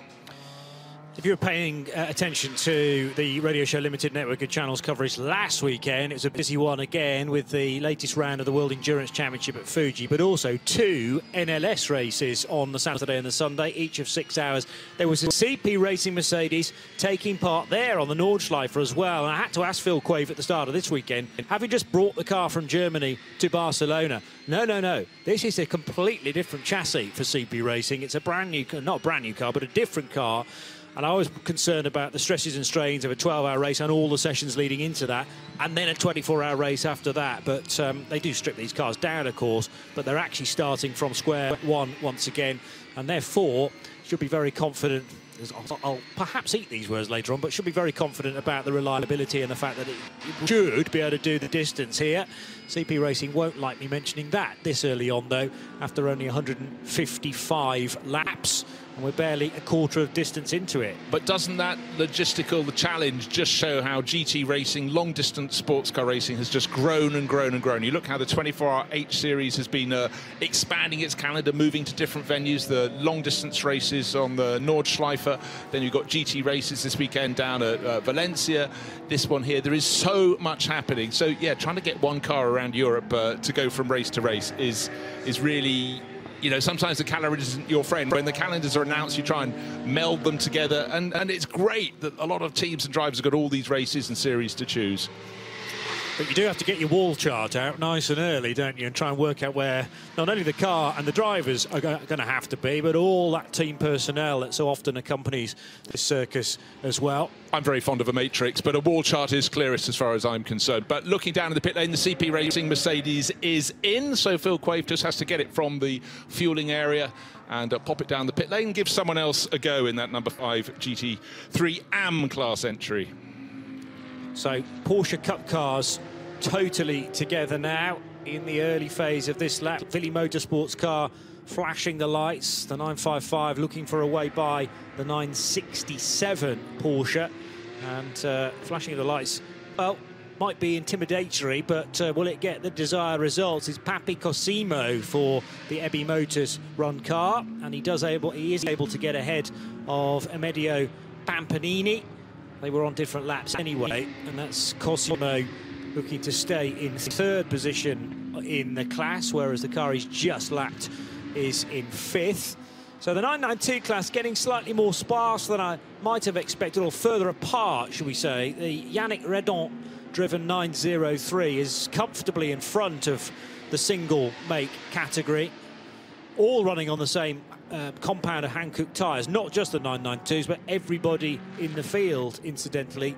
But although there's then six 992s locked together on the timing screen from second down to seventh in that subcategory, we do have a runaway leader with a cushion of not one, not two, not three, but four Audi R8 LMSs in between the first 992 and the second place car. So that's the two JUTA Racing examples. The Scherer Sport car, which has had its hiccups along the way. I'd expect, I would have expected the one car to be further up the order than this. And the Land Motorsport car with Johannes Kirchhoff at the wheel of the 34 machine. So that's the car, actually, I was calling the car collection machine earlier on. In the, Reflex action. Yeah, I, yeah. I, white Easy and blue race livery, I know. At Land, I need to be in green and white, uh, not in the Kirchhoff livery. But I mean, yeah, yeah, things chop and change. We've got to move with the times, Bruce. Well, another thing, just looking out from our lofty commentary position, is how long the refueling stops are when it's under green. You get accustomed to the half tank load you're allowed under Code 60. When the majority of the runners came in, the very first uh, Code 60 was pretty much uh, as the cars were wanting to make those first uh, pit stops, so it seemed quite natural. But uh, right now, the CP Racing Mercedes doesn't have to go very far, just has to go into the pit lane, past the uh, circuit-shaped uh, podium, and park at the first pit garage. They don't have far to go from refueling. Another car sitting in there at the moment, lights flashing, waiting to get going. Is the Scherer Sport PHX Audi? You just mentioned that, so that's a reason why it's falling down the order a little bit. And the E2P Porsche that was uh, running in sixth place, uh, Pablo Pablo Burguera, he's moved up to fifth, but he's at a standstill, still being refueled. Burguera, no relation to the Buggyra team, completely different spelling, uh, but nevertheless, we've gone through all sorts of different pronunciations of that, I think, over the weekend's coverage. I call it the car 416, actually. Much Mercedes easier. 416. Much easier. Uh, but Buggyra with a steep uh, heritage in European truck racing and uh, moving to GT competition in the last two or three years. But they're not last anymore. They have moved from Oh, 39 to 38. They've just got ahead of the Ginetta. Uh, they're in refueling at the moment. Jaromir Jurek just waiting to. In fact, he tried to move away from refueling, and I don't think they'd quite finished. They stopped the 416 Mercedes and uh, moved it back a metre or two. Or maybe he was just positioning the car. But that has been last from the very outset, and now it's risen from 39 to 38. So it's all slow progress. Their next target, alas, the NM Racing team, Mercedes that spent so long in the gravel down at turn one. The GT2 entry is. Uh, 16 laps ahead. A new leader because the CP Racing Mercedes has been in, and there's been a driver change there as well. No doubt a new set of Hankook tyres for Charlie Putman. It's Daniel Allemann who is out front by virtue of being effectively a pit stop behind, and also moving up a spot, Julien Andlauer for IMSA Performance. Onto the provisional podium slots, Mathieu Detry for Haas RT. This is nice to get a good bit of rotation every time one of the leading cars has to make a stop. As we head back to the pit lane, who have you got this time, Diana Binks? I have uh, Phil Quaife that's just jumped out of the CP um, racing car. Uh, Phil, you were making, you were punching in the times out there on the track. How was that stint? Yeah, very happy with that stint. The car was running well uh, with this game. It's just pumping in those consistent laps, staying out of trouble, and uh, yeah, maintaining those tyres so they don't degrade too much uh, throughout the stint. And I think we achieved that, so pretty happy. From a driver's point of view, how difficult is it to sort of manage and conserve the tyres when you've got conditions like this here in Barcelona? I know you know Barcelona well, but the, the track conditions and the temperatures are changing all the time. Yeah, as the day goes on, the track temperature goes up, the ambient goes up. So it's all about managing that tyre uh, tyre deck, and we've got that our right foot, uh, but also we have driver A to manage the, the wheel spin and the slide, uh, and basically we have to do that throughout just to keep those tyre temps to a minimum. And what's the traffic like? I was quite lucky on that stint, to be fair. Um, it, it's obviously busy as usual. There's 55, 60 cars out there, but um, it's just about managing that and uh, picking them off one by one in a, in a safe way. That doesn't cost you or them too much time. And as ever, a fantastic uh, pit turnaround by the crew here. I mean, they they are just on it from the minute you're coming in. Oh, these guys are amazing. I've done two Dubai 24 hours with them. This is the first Barcelona 24. they're just awesome. A great bunch of guys, and they just work so hard. The car prep is absolutely second to none, and the amount of work they go into the pit stops, as you can see, is uh, is brilliant. Well, thank you so much. Thank you. Well, without the Phil Quaife element, they managed a third place finish in last year's Barcelona. That was the Putman Espenlaub Foster Lewis uh, combo that we're more used to seeing. So theoretically, you had uh, Phil Quaife in there as well. As he said, he's done two Dubai 24 hours with CP Racing. First action with the team was actually last year. It feels like he's been associated with CP Racing for slightly longer than that, but um, he's been in and around the Dubai 24 hours, of course, for various teams. And with, I mean, he's raced TCRs there in the past too, so uh, a useful number to have, I would think, because he can drive anything. And a former winner here, which he'd rather forgotten about, hadn't he? He told us earlier. He won here in 2012 in the McLaren with Klaus Hummel, Christodoulou, well, he's uh, Adam Christodoulou and, and Tim Mullen, so very handy. Mm. Uh, McLaren win. So that was an MP412. Gosh, how the models move on through the years. Looking on screen at the moment as the recovering Ferrari, the WTM by Rinaldi Racing Ferrari, a dominant leader. We have to, just from the outset, went from third to first on uh, by the time it got to turn two on the opening lap and uh, was driven absolutely superbly in the opening stint of the race by Jochen Krumbach. He did a double stint, but uh, unfortunately, just after the car was taken over by Leo Weiss, it went backwards in terms of uh, not only direction, but in terms of time and rejoined just in time to lose the lead. Uh, to the IMSA LS Perform Group Performance Porsche. But at the moment, the Ferrari, the only 296 GT3 in this race, is down in 24th position. Isaac Tutumlu pressing on his lap times. Yep, he's quicker than the race leading car, but it's a long, long way down. 11 laps were squandered. And hopefully, whatever the problem was that delayed the car, that will be behind them now. But 11 laps, uh, well, you know, you just can't expect anything from there. The team won last year with it, but it was a 488. But again, then used the 296. But with every race, they're finding something different. Unfortunately, this time it was something they didn't want to find. Yeah. Of course, 11 laps assumes that the race leaders are not going to have a sustained spell in the pits as well. But it would be a stretch for them all to have a difficulty to that sort of tune. You just got to keep ploughing on round and hope that, uh, you know, the persistency will glean a half decent result, but it seems like we're going to have a different winner from 2022 at this rate, at least. It would have been a different car anyway for WTM and uh, would have extended the dream yet further of 2023 in the Ferrari trophy cabinet. It's been a spectacular one to date so far, but uh, many of the German manufacturers wanting to take the spoils this year. We don't have any BMWs in the GT3 category. In fact, there's only one BMW in the whole race, and that is the Hofor Racing by Bonk Motorsport car. But otherwise, Porsches, Audis, and Mercedes galore. And we have three of those uh, four manufacturers represented in the top four positions. It's likely, well, CP Racing arguably in the stronger place, but they've fallen back to fourth only because they were the first of the pit stoppers, Bruce. Yeah, it's in it's in that cycle. And talking of CP Racing, um, we heard from Phil Quaife, they got a little bit carried away. 55 to 60 cars. It must have been the, the, the light glinting through the rain yesterday. We had 39 starters, and you know what? We've got 39 cars still running, so good job so far.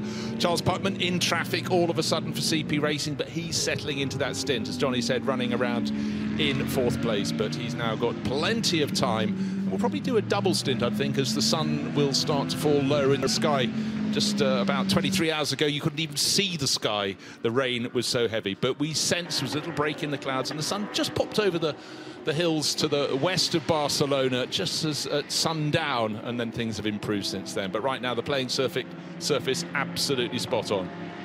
Not far off half past five here in Montmelo, and uh, the official time for sunset is a minute to eight but it'll start to get, uh, well, we'll get those golden skies, hopefully, typical of this sort of place as the sun starts to slowly move to the horizon, and then uh, cracking sunrise here as well, typically speaking, as, lo as long as the moisture in the nearby valleys clears quickly. And uh, on occasion, you get a drone chasing a car on our uh, visual feed. Hopefully you're able to spend a bit of your Saturday and Sunday sitting down to consume this race. But the beauty of our radio-only coverage as well on the Radio Show Limited network of channels means you can take us with you and let us describe what's going on. But I would reserve a bit of time for your weekend because the drone pilot or pilots this weekend, very skillful indeed, mainly in that uh, final sector, but producing some really good pictures of our starting grid leading up to the midday start earlier as well. When you think you know a circuit, as we said, this circuit opened in 1991. Delighted we don't have that chicane between the penultimate and final corner. It's just quite nice to see a few different angles. Keep you guessing when you first arrive at a circuit. Where's that one taken from? Camera mounted low at turn six, looking up to turn five, and so on and so forth. But certainly the development of drone shots in the past uh, 10 years or so has taken us to places we have never, ever been before. But right now, the sun getting a little low in the sky here. Track conditions absolutely perfect, and 39 starters and 39 cars still going. Herbert Motorsport leading by uh, best pass of a minute, 58.3 seconds last time around. Daniel Allemann and his Porsche ahead of another Porsche, the IMSA LS Group performance. Uh, but the best sounding car in the field is continuing to rumble around. It's uh, the MARC II V8, that wonderful V8 Burble.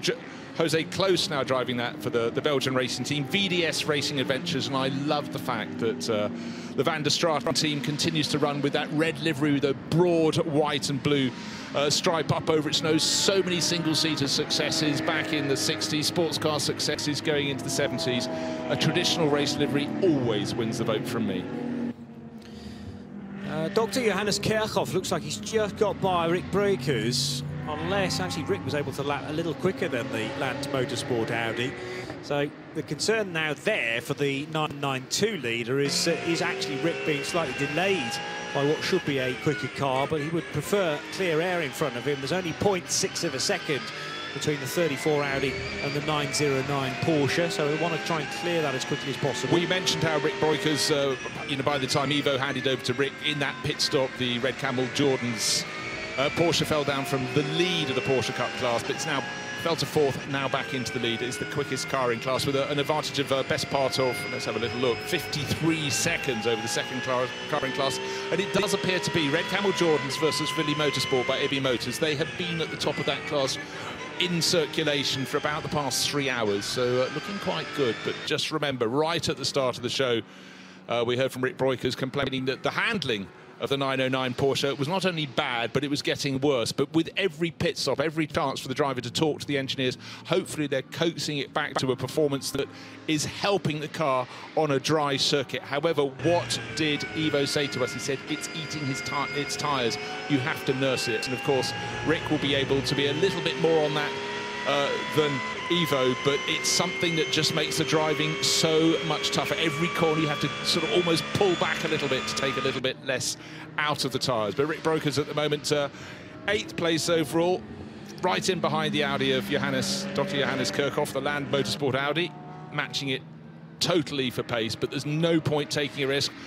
And as I say that, Rik looks almost to the outside line at turn three, but ducks back down. We'll try and go up the inside, the up, 180 degree uphill corner still turning to the right. Now they got the short straight down towards turn four. Actually, you can start to see with every image that Rik's getting a little bit frustrated being stuck behind the Audi. Different classes of car. He's in a Porsche Cup class car and of course the Audi is in GT3 but he's got to choose his moment I would suggest in about four corners time when they go down to the end of the infield straight so turn 10 might be the place and as I say that he goes I'm not waiting that long goes side by side on the run down a hill there's the kink to the left at turn 6 and into turn seven, the move is pulled off. And at that moment, uh, Johannes Kirchhoff looked in his mirrors and thought, oh, go on. Yeah, well, from, from the doctor's point of view, I think it's a bit futile needing to defend that overly. In fact, another car creeps through as well. Well, that's not for position because Papi Cosimo is about 50 odd seconds further back. But uh, yeah, as soon as you start driving in your mirrors, that Kirchhoff was risking doing there, then you're going to lose time ultimately on your delta pace as well. Rik's just quicker in this phase of the race. You don't know what sort of strategy the alternative car and theoretically slower car is on, but we know all about the straight line speed of these Porsche Cup cars. They have next to no aero on them, or certainly compared to a GT3 car.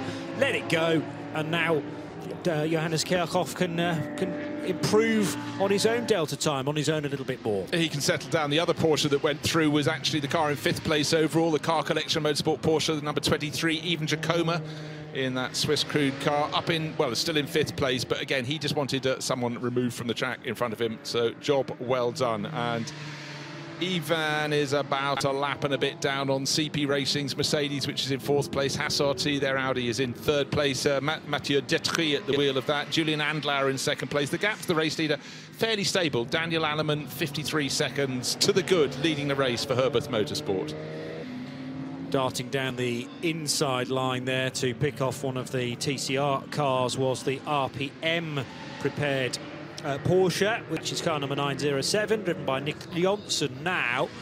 So Nick heading in front of the Holmgaard Motorsport Cupra Leon Competition for Michael Sallenbach of Canada. So the 102 leads the TCE part of the race from the Bas Koeten entered uh, Cupra of Bert Metz, number 125 but it is Herberth Motorsports Daniel Allemann with this 53 second lead now. There's a more of a look at Nick Jonsson, who is driving once again with Tracy Krohn this weekend.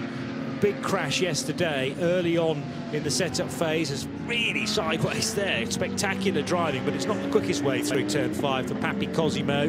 Clearly realising I'm losing time here on the new class leader, Rik Breukers. That's the danger. You start to try a bit too hard in the moment, cook your tyres, and then that really uh, does allow this particular st stint to go south very quickly. And this is exactly when a driver steps up from doing sprint races, how it takes a while for them to understand endurance racing and the fact there's a consequence for every little nanosecond they try to shave off, it might mean you have to pit a lap earlier. It might mean all the last five, six, ten laps even of your stint. You, have got tyres that just don't want to play. But it is a learning process, and we've got drivers from teenagers right through to the other end of the age spectrum. But uh, with, as I said a short while ago, the explosion of series that uh, offer long-distance racing, multi-driver racing, multi-class racing, uh, so many drivers are now giving, getting a chance to do proper endurance racing. Not so long ago, you didn't have these options, with the exception pretty much of the long distance racing on a regular basis around the Nürburgring. But uh, drivers of all ages and all levels of ability really do enjoy these endurance races. And uh, but you just have to learn how to get in the rhythm, how to work with your teammates, but certainly, as you pointed out, Johnny, how to keep your tyres sweet. Yeah.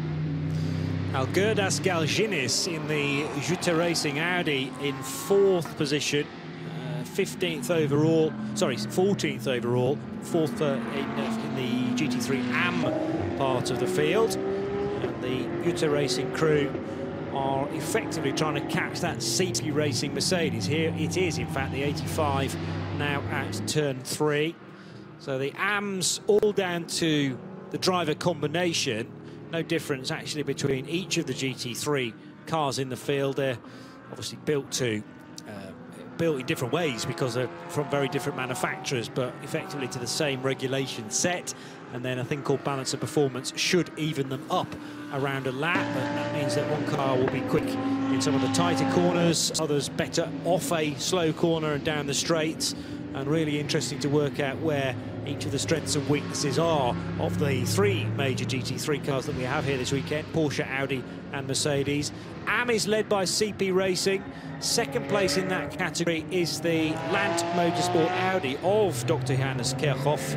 Uh, Pro-Am is the overall leader, Daniel Allemann, in the Herberth Motorsport Porsche from the third place car of Haas RT. And that means that the GT3 uh, entry without the suffix, so effectively Pro, is Julien Andlauer now in the second place position for IMSA LS Group Performance Car 76. Important thing about that is the lead is coming down quite quickly. It's still, uh, it was just over 50 seconds, it's now down below 48, but with every lap, a second or two is being gained by Julien Andlauer. You'd expect that. Daniel Allemann is uh, certainly not of the same calibre as the young French charger. Daniel Allemann, in fact, 64 years old. He's got some great success under his belt. He, of course, won the Dubai 24 Hours with Herberth Motorsport seems a blink of an eye ago. It was already back six years ago, 2017, the start of the 2017 season. So you would expect Julien Andlauer to close in, but uh, bear in mind their, their stint links are exactly the same. They came into the pits at the same time, but clearly since then, the IMSA LS Group Performance uh, Porsche Black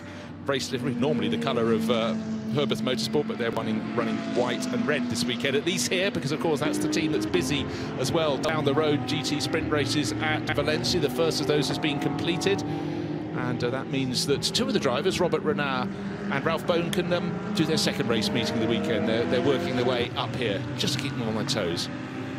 Yeah, well, you always uh, need to know the plans for the day or indeed where you need to be next. But of course, they can come and do the night stints here. Then they go back to race yeah. two tomorrow down in Valencia at the circuit Ricardo Tormo. Very, very different circuit to this one. But uh, again, it's one of those circuits where if you stand on the roof of the main building, you can see probably about 90% of the lab. It's much more compact site than this, whereas at various points at the circuit Barcelona Catalunya, you can see uh, the circuit at other points nipping up and down the slope here. But uh, Ricardo Tormo feels as though it's in about a quarter of the space, but uh, still great fun for the drivers if you can. Of course, they would have rather had them on separate weekends, particularly if it's a 24-hour race. If you're doing a six-hour race and a couple of sprint races, it's one thing, but logistics are clearly massive this weekend for them. Probably sat down and thought, how do we make a 24-hour race even more taxing? Uh, and it's the ultimate challenge within motor racing. Well, no, actually, the ultimate, ultimate challenge is to do another meeting as well as a 24-hour race. And well, they haven't done it yet. Uh, and given the responsibility, we think, of the overnight stints as well. So uh, they're going to need a bit of rest in the week, you would have thought, but they'll probably be back to their day jobs by that point. Day jobs? Who needs a day job? Well, most people, quite frankly. Now, they were due to be getting here to just north of Barcelona. It's about, on a very good run, about 45 minutes from the airport, but at the weekend you never really know. But they were due here at about 7 o'clock in the evening, so about an hour and a quarter from now. We'll see what time they rock up, but certainly bringing Patrick Colbin's team gave the two who were here on a regular basis, Robert Renauer and um, Daniel Adam, a little bit of support, welcome support, because it's a hot day and they would have been rather drawn out if they had to do all the stints until about half seven or eight o'clock tonight. Bear in mind, we started not at three o'clock in the afternoon, at midday, so that would be a big ask for the two of them to be chopping and changing uh, through the first eight hours. The uh, other interesting thing is the fact that uh, Patrick Kolb uh, will alter the driver lineup as well because Patrick, the 28-year-old Silver, means that the 91 car is now a Pro-Am car, whereas I think previously that might have sneaked into uh, the AM category, although Robert Brunauer is a gold, so therefore an out-and-out pro, but Patrick Kolb, the AM Plus, slightly rarer um, designation of driver rating, but puts him between the pace of Daniel Allemann and uh, Alfred Renauer for example. What were you just finding out there, Bruce, from Nick sitting behind? Well, Nick was keeping an eye on all things as Nick does. So down at Valencia, there are uh, four classes in the championship, and they finished fourth in the Bronze Cup. So they're getting some good points to drop into the pot. They'll go back tomorrow to see what they can do. But in between, while other people would sleep, they're coming here to race through the night. Fair play. I mean, you know, it's uh, it's nothing to be sniffed at, but um, at least they're wanting to take that challenge on board, and you can bet that even if they're sort of half asleep, the, the car will still go lightningly quick. Lightning yesterday, thankfully none so far today though at the track. Uh, I'm liking the graphics on the left-hand side of the video stream because that separates out where, where the various top three in the classes are. Doesn't actually differentiate between GT3 Pro-Am non-pro-am and, and am, if you like. But bear in mind the 76 is a is a more or less pro lineup. Uh, Julien Andlauer able, therefore, to put in lots of hours behind the wheel, and he's expecting a busy night as well. Uh, from what he told Nick a little earlier on. 38 and a half seconds the margin between he and Daniel Allemann, but uh, far more consistent right now is the 24-year-old Frenchman compared to the uh, race-leading Swiss. Herberth Motorsport is a Pro-Am car, as I've mentioned, as is the Haas RT, but that's the top three within GT3. 909 still leading the 992 class. GTX in the hands of the RD Signs uh, Siauliai racing crew. So their Lamborghini Super Trofeo car is neatly placed. Atlas BX Motorsport leading GT4 and Holmgaard Motorsport in front in the TCR race just checking out the pace of the various front runners, and Team Jacoma deserves a bit of a pat on the back. The car collection motorsport Porsche, not an Audi. Of course, we've moved on. We've had that little conversation a short while ago. Of course, the colours that used to be carried on there, Audi, uh, is now being run by Land Motorsport. But Ivan Jacoma, fifth place overall, and he is the oh, actually, as I said, he's now the second fastest out on the track because uh, Julien Andlauer has just improved his pace, now just uh, 38 seconds down. So really very quickly coming from the wrong side of a minute down on the race leader, Daniel Allemann. Julien Andlauer, same stint length. They've uh, been uh, 41, 42 minutes into their stint. He is catching, but really, really good pace from Ivan Jacoma. But that car collection, Porsche is still some distance. It's about a minute down on Charles Putman for CP Racing, but with every lap he's gaining whole chunks of time. But bear in mind, uh, CP Racing are leading the GT3 AM class. Very happy to be there. Plenty of people choosing a good vantage point, uh, looking over the, well, from the roof, most of the spectators. And if you're lucky enough to be a guest in one of the hospitality units, you get a really good perch there above where all the business is happening in pit lane. Lots more, or even more atmospheric when we get to the nighttime hours as well. Uh, with uh, the sound somehow changing in the hours of darkness, but there'll be no shortage of light, artificial light that is, with most of the pit lane here well illuminated. Still, the level of marbles is concerning, particularly if you need to go offline to pick your way through the slower moving traffic. And it tends to be flung off the cars on the fastest bit, so even though turn three is effectively a hairpin right, it's a very open hairpin. And uh, as Joe Bradley was mentioning earlier on, chews through the tyres that segment, particularly rear left in these GT cars. So have to keep an eye on that the wear and tear of this circuit over and over again. Amadeo Pampanini for HRT Performance, number 967. Currently fifth in class, but look in front of him. Might as well be out on his own there in a test session. I'm sure it's pretty busy though behind. It will not stay quiet for too long. With, as Phil Quaife put it, 55 cars in the race. Might feel like 55 cars, slightly fewer than that in reality. Yeah, 39 cars, and uh, having praise for the Bagheera ZM Racing for their Mercedes having got off last place. It uh, in the cycle of pit stops has now fallen back before it's uh, one of the rival cars from GT4, the GSR Motorsports, the Lithuanian entered Ginetta. So back down to last place, and now Alia Kolut just getting her run in the Bagheera Mercedes. One position further up in 37th, now on the outlap out of the pits, Jörg v Viebahn. We just saw it, the spectators looking down onto that uh, 715 GT2 Mercedes the NM Racing team. That is now back into the race. Jörg Viebahn should make that go very well indeed. And GT2 means loads of power and down the start finish straight. That is why that car was involved in an incident where it had contact with the race-leading Ferrari that uh, led to the delay for the Ferrari, but the main delay for Ferrari has, alas, been something more serious that's cost them a lot of time. It's fighting its way back, but uh, Isaac Tutumlu Lopez, it's been a long battle to get closer to the car in front. He's gained about four positions, but seems stuck for the rest of this stint, I would suggest, down in 24th position. But the real number you need to put in your in your little notebook is it's 11 laps that were lost with those delays. The first delay being the car facing backwards in the track uh, down at turn two when then advice was at the wheel, but the main delay was lost in the pits. Third place Mathieu Detry should be in need of fuel earlier than any of those cars around. He's been at the wheel now for a little over an hour. So looking out for the Haas RT Audi needing fuel in the not too distant future. The two cars ahead, uh, about three quarters of, their, of the way into their stints for Allemann and Andlauer. And Charlie Putman, as mentioned, uh, was plugged into the 85 CP Racing car most recently. So obviously he can go a little bit further. Similarly, actually, Ivan Jacoma for car collection.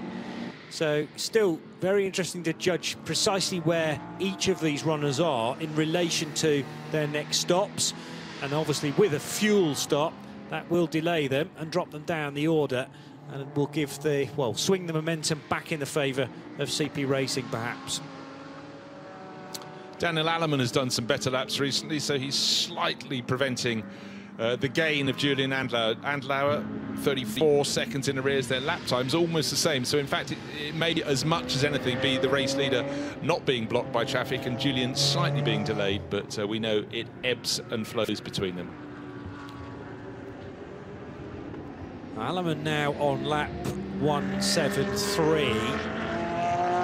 Yes, needing to be a touch cautious about how close Andlauer is getting, but at the moment it'll just be a a word in the ear on occasion, perhaps from the team. give you give him an update on how far back the 76 car is, but he doesn't want too too much information. That will become distracting then. Uh, better for Daniel just to, as mentioned, pick his pace and stick to it.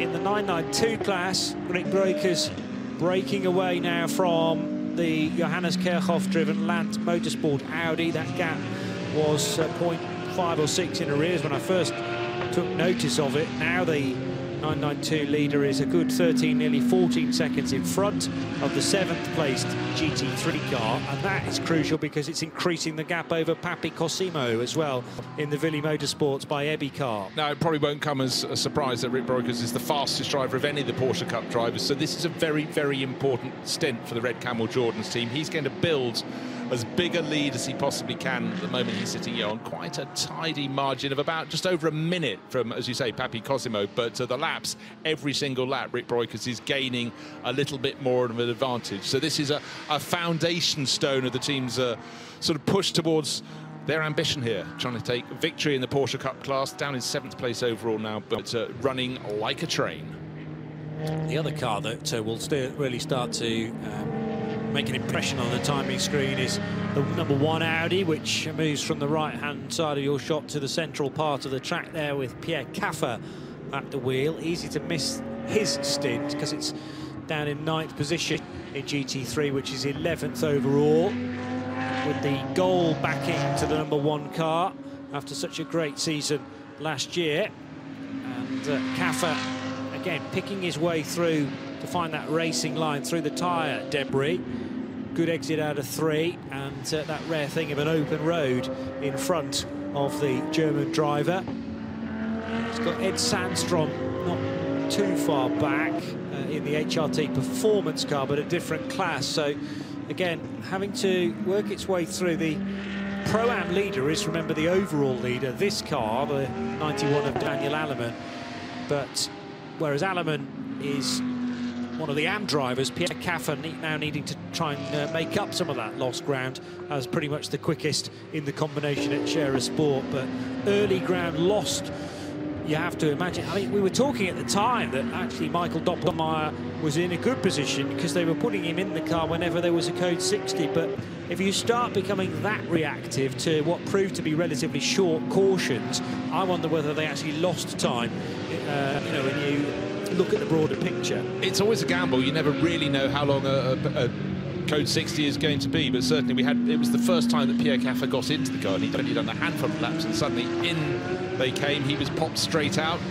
If there hadn't been code 60s, you'd have expected some really quick laps and that would have put the number one Audi for Scherer Sport PHX much closer to the front, but right now, yeah, I don't think they did gain in all of that, but there were two uh, code 60s during Michael Doppelmayr's period. So uh, you commented at the time, well, maybe this will work, but maybe they just exactly so were not long enough. But right now, the pace that Pierre Kaffer's uh, putting in lap after lap, the only driver faster than him at the moment is Julien Andlauer in the IMSA LS Group Performance Porsche that's now just 28 seconds down the race leader. So he's found more than half a minute in this stint, but the stint is, what, 50 minutes long? So it's not going to be a whole lot longer, another 10, 12, possibly 15 minutes, uh, according to if there are any other uh, code 60s in that time. But of course, at that point in your stint, you just dive in anyway, I would feel. Yeah. So Mathieu Detry now well over an hour in the Haas RT car in third position. Gosh, yeah, it's nearly one hour and 12 minutes, so he's certainly eking out a long run. It will, uh, just trying to think whether there was a code 60 Yeah, there was. That. Yeah, so that will help, obviously, it, the fuel guzzle, if you like. Uh, half an hour for Charlie Putman, likewise for Ivan Jacoma. Bas Schouten in the JUTA Racing Audi is 23 odd seconds back from Jacoma. How do those lap times compare? In the favour of the 23 car collection motorsport Porsche. So that's look, looking like it will extend as well. That's now a touch wide from Dr. Johannes Kirchhoff. Uh, and Daniel Allemann in the in the position of Rik Breukers was a few laps ago now.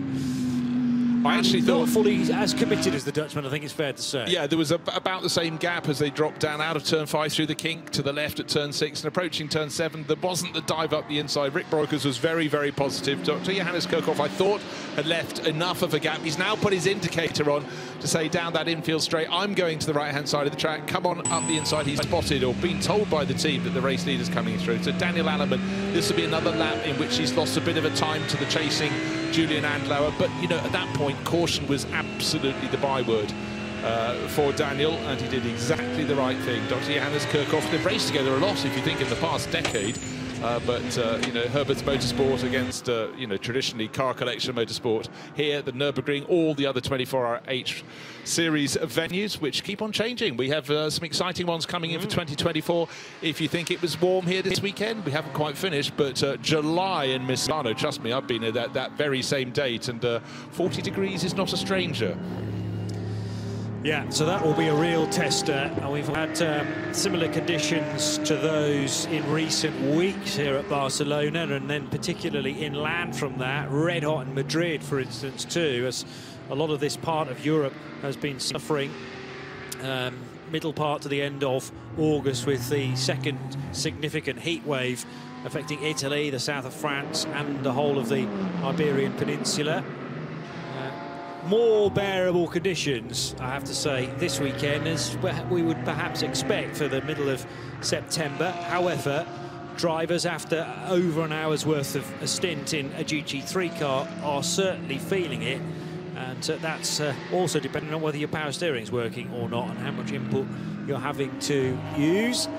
As uh, Papi Cosimo in the 992 division is still in front of the HRT Performance Ed Sandstrom-driven Porsche Cup car. Kobe De Bruyke is only 13 seconds back, actually, for third place in the 992 class and is taking a little bit of time out of Sandstrom at times. Sandstrom should be pretty solid, though, fairness. He uh, used to race regularly Audis at GT3 level, the 930 driver. So, again, really difficult to isolate a lap time and think that's the that's the consistent pace because you never know what traffic it's uh, tripped over on any one lap. I'm just keeping an eye on the GTX class for a moment. That's being led by Paulius Paskevicius, who seems to have been in that uh, Lithuanian-entered Siauliai Racing Lamborghini forever. That's leading the class. The car in fourth place, though, the Vortex number 701, the Vortex V8, Philippe Bonnel, not lapping very fast at all at the moment. He was in the background of shot, limping along. He's lapping in two minutes, and you'd really expect him to be at least five seconds faster. He's about 51 minutes into a stint, so maybe, just maybe, I caught him as he recovered from a problem, but I'll keep an eye on that one because a few laps earlier I was looking out of the window from the commentary box, high over the start-finish straight, and I thought, those vortexes, A, they sound brilliant, B, they're still going. So it was all looking good. I wish I hadn't had that thought now. the 1.0 Vortex then. And uh, they always sound glorious because uh, a lot of the time they run with a Chevrolet engine, so it just uh, just grunts and growls its way around, particularly this venue, which is in places a little bit of a dip, so you get the sound ricocheting certainly off the um, main straight buildings. Big grandstand to drivers left, a significant pit building as well, drivers right.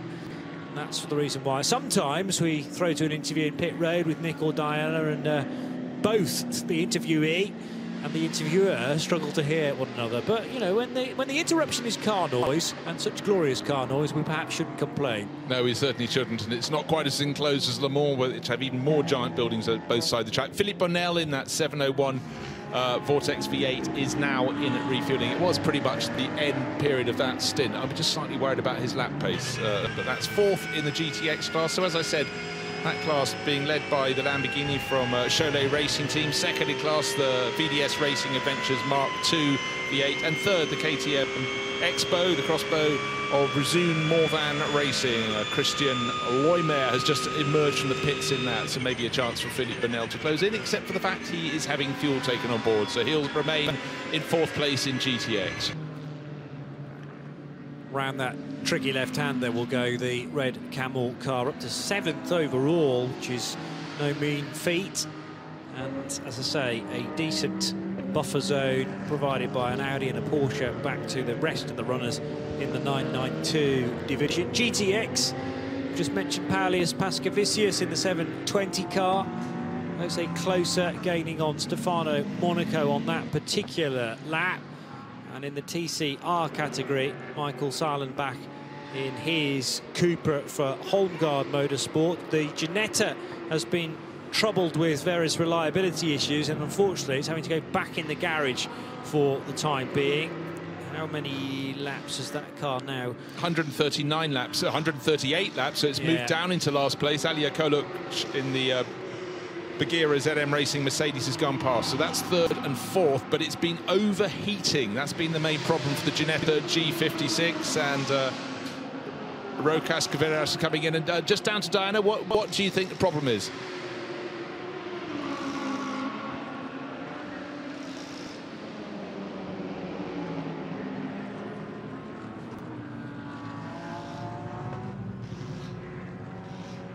Go back up, but they're really struggling with that. They told me. It's about 25 laps down on the class leader, which is the Atlas BX Motorsport uh, Korean Mercedes with Takyu, Takyun Yang uh, uh, driving the 403 car. Uh, but yes, that gives you an idea of how much and how costly this delay has been. We talked about 11 laps for the Ferrari, for instance. Well, double that and a bit more for this poor old Ginetta G56. Right, we've got a change of drivers in there. In fact, uh, we've got Ernesto Globicha uh, climbing aboard and uh, just taking over from uh, Rokas and that's in the GSR Ginetta. Does look fantastic. Emerald, uh, sort of uh, olive olive green with gold trim on that, but unfortunately a car that's in the garage never looks fantastic because clearly it's not working too well. So the work carries on. It's, uh, again, and speaking of great sounding cars, these Ginetta G56s do sound glorious, but um, have to be out on track in order to do that. We're bang on another race hour. So six o'clock here in Barcelona. That marks one quarter distance. Uh, it means uh, an early finish, sort of, tomorrow, but uh, obviously it's a long run till nightfall, which is at a minute to 8 o'clock. Here's the order in the TCE race with the 102 Holmgaard Motorsport Leon Competition leading with Mike and Michael uh, Salen back. He shares that with Tom Chloe, Roy Edlund of Norway, and the two Danes, Jonas and Magnus Holmgaard. Bas Koeten Racing's Cupra TCR is second for Bert Metz in number 125, and it's the Wolf Power Racing car that had a terrible start, causing the first code 60 of the race, and into the gravel at turn five it went in that opening hour. Herberth Motorsport leads in the GT Series part of the race. Daniel Allemann has now been driving that car for very nearly an hour, so they must have put him in at five o'clock on the dot. And remains to be seen whether when that car pits they'll do a switch around for the driver change. I suppose it also depends on the location of Robert Renauer and Ralf Bohn hurriedly making their way towards the track from Valencia. 76 IMSA LS Group Performance and their Porsche second for Julien Andlauer. Then it's the Haas RT Audi in third place. Mathieu Detry, the Belgian racer, uh, in 85. It is the CP racing car of Charlie Putman. And then Ivan Giacomo for Car Collection Motorsport in fifth place. The first of the two JUTA Racing Audis, number 71, is in sixth, ahead of the Red Camel Jordans NL car of Rik Breukers. That is the leading car in 992. And in GT3 AM, eighth overall, it's Dr. Johannes Kirchhoff still for Land Motorsport in the 34 Audi. Ninth place is where we find the 90 E2P Racing GT3 AM Porsche. It's in turn ahead of the second place 992 class car for Vili Motorsport by Ebimotors 955. Scherer Sport PHX with a very quick driver, Pierre Kaffer, but his lap time's not necessarily being felt, I suppose, in 11th position after a tough start for that team. HRT Performance, the all Swedish lineup, and Ed Sandstrom's driving that car in third in 992 and fourth place. Are pretty close to, well, last time I checked, they were pretty close to one another. It's still about 13 seconds in reality for the 13th place car, 903 Red Ant Racing. JUTA Racing second Audi, number 72, is in 14th, ahead of the RPM Racing 992 AM car for Nick Johnson. And then it's Mikael Pitamba of South Africa in 16th place for HRT Performance. 17th, the RD Signs Lamborghini Huracan, number 720, leading GTX. Next up, it's Mike Michael Kroll for Hofor Racing in another GT3 AM car, the Mercedes, it's 18th. Red Ant Racing's 992 19th. 992 AM entry for HRT Performance is in 20th position for Stefano Monaco. Jose Closer, second in GTX in that mighty MARC II V8 from VDS Racing Adventures. Laurent Mischbach for Orchid Racing Team is running in 22nd and in the 992 AM class. The recovering Wochenspiegel Team Monschau Ferrari now 23rd ahead of the Razoon Northern Racing GTX car which is the KTM X-Bow. And then outside the top 24, the 988 MRS GT Racing Porsche for Antti Raamo. 26th is the Vortex V8 for Philippe Bonnel and Laurent Cochard's 910 SebLajoux Racing Porsche Cup car is 27th. The GT4 race leader is Atlas BX Motorsport of Korea with their Mercedes GT4. NKPP by HRT Performance 29th. The Vortex, the second of those cars, 30th. And 709 for Escuderia Faroon in 31st, a slightly older Porsche Cup car. Hofor Racing by Bonk Motorsports BMW, the only Beamer in the race, is 32nd. That's car number 431. And finally, in 33rd place, Richardson Racing's 906 Porsche, the NM racing car, which is uh, Jörg Viebahn now at the wheel, but again, they have certainly had their issues with a prolonged spell in the first corner gravel after contact with the 22 Ferrari. Bugera ZM Racing's 35th for the 416 numbered Mercedes, and 405 GSR Motorsports rounds out our 36 runners in the GT series. And as we venture into our seventh hour of this year's 24 Hours of Barcelona, we uh, are in the 24th edition of this race, and now a chance to wind, to take back a little bit to tell you, if you're just coming in, what you've missed in the first six hours of the race.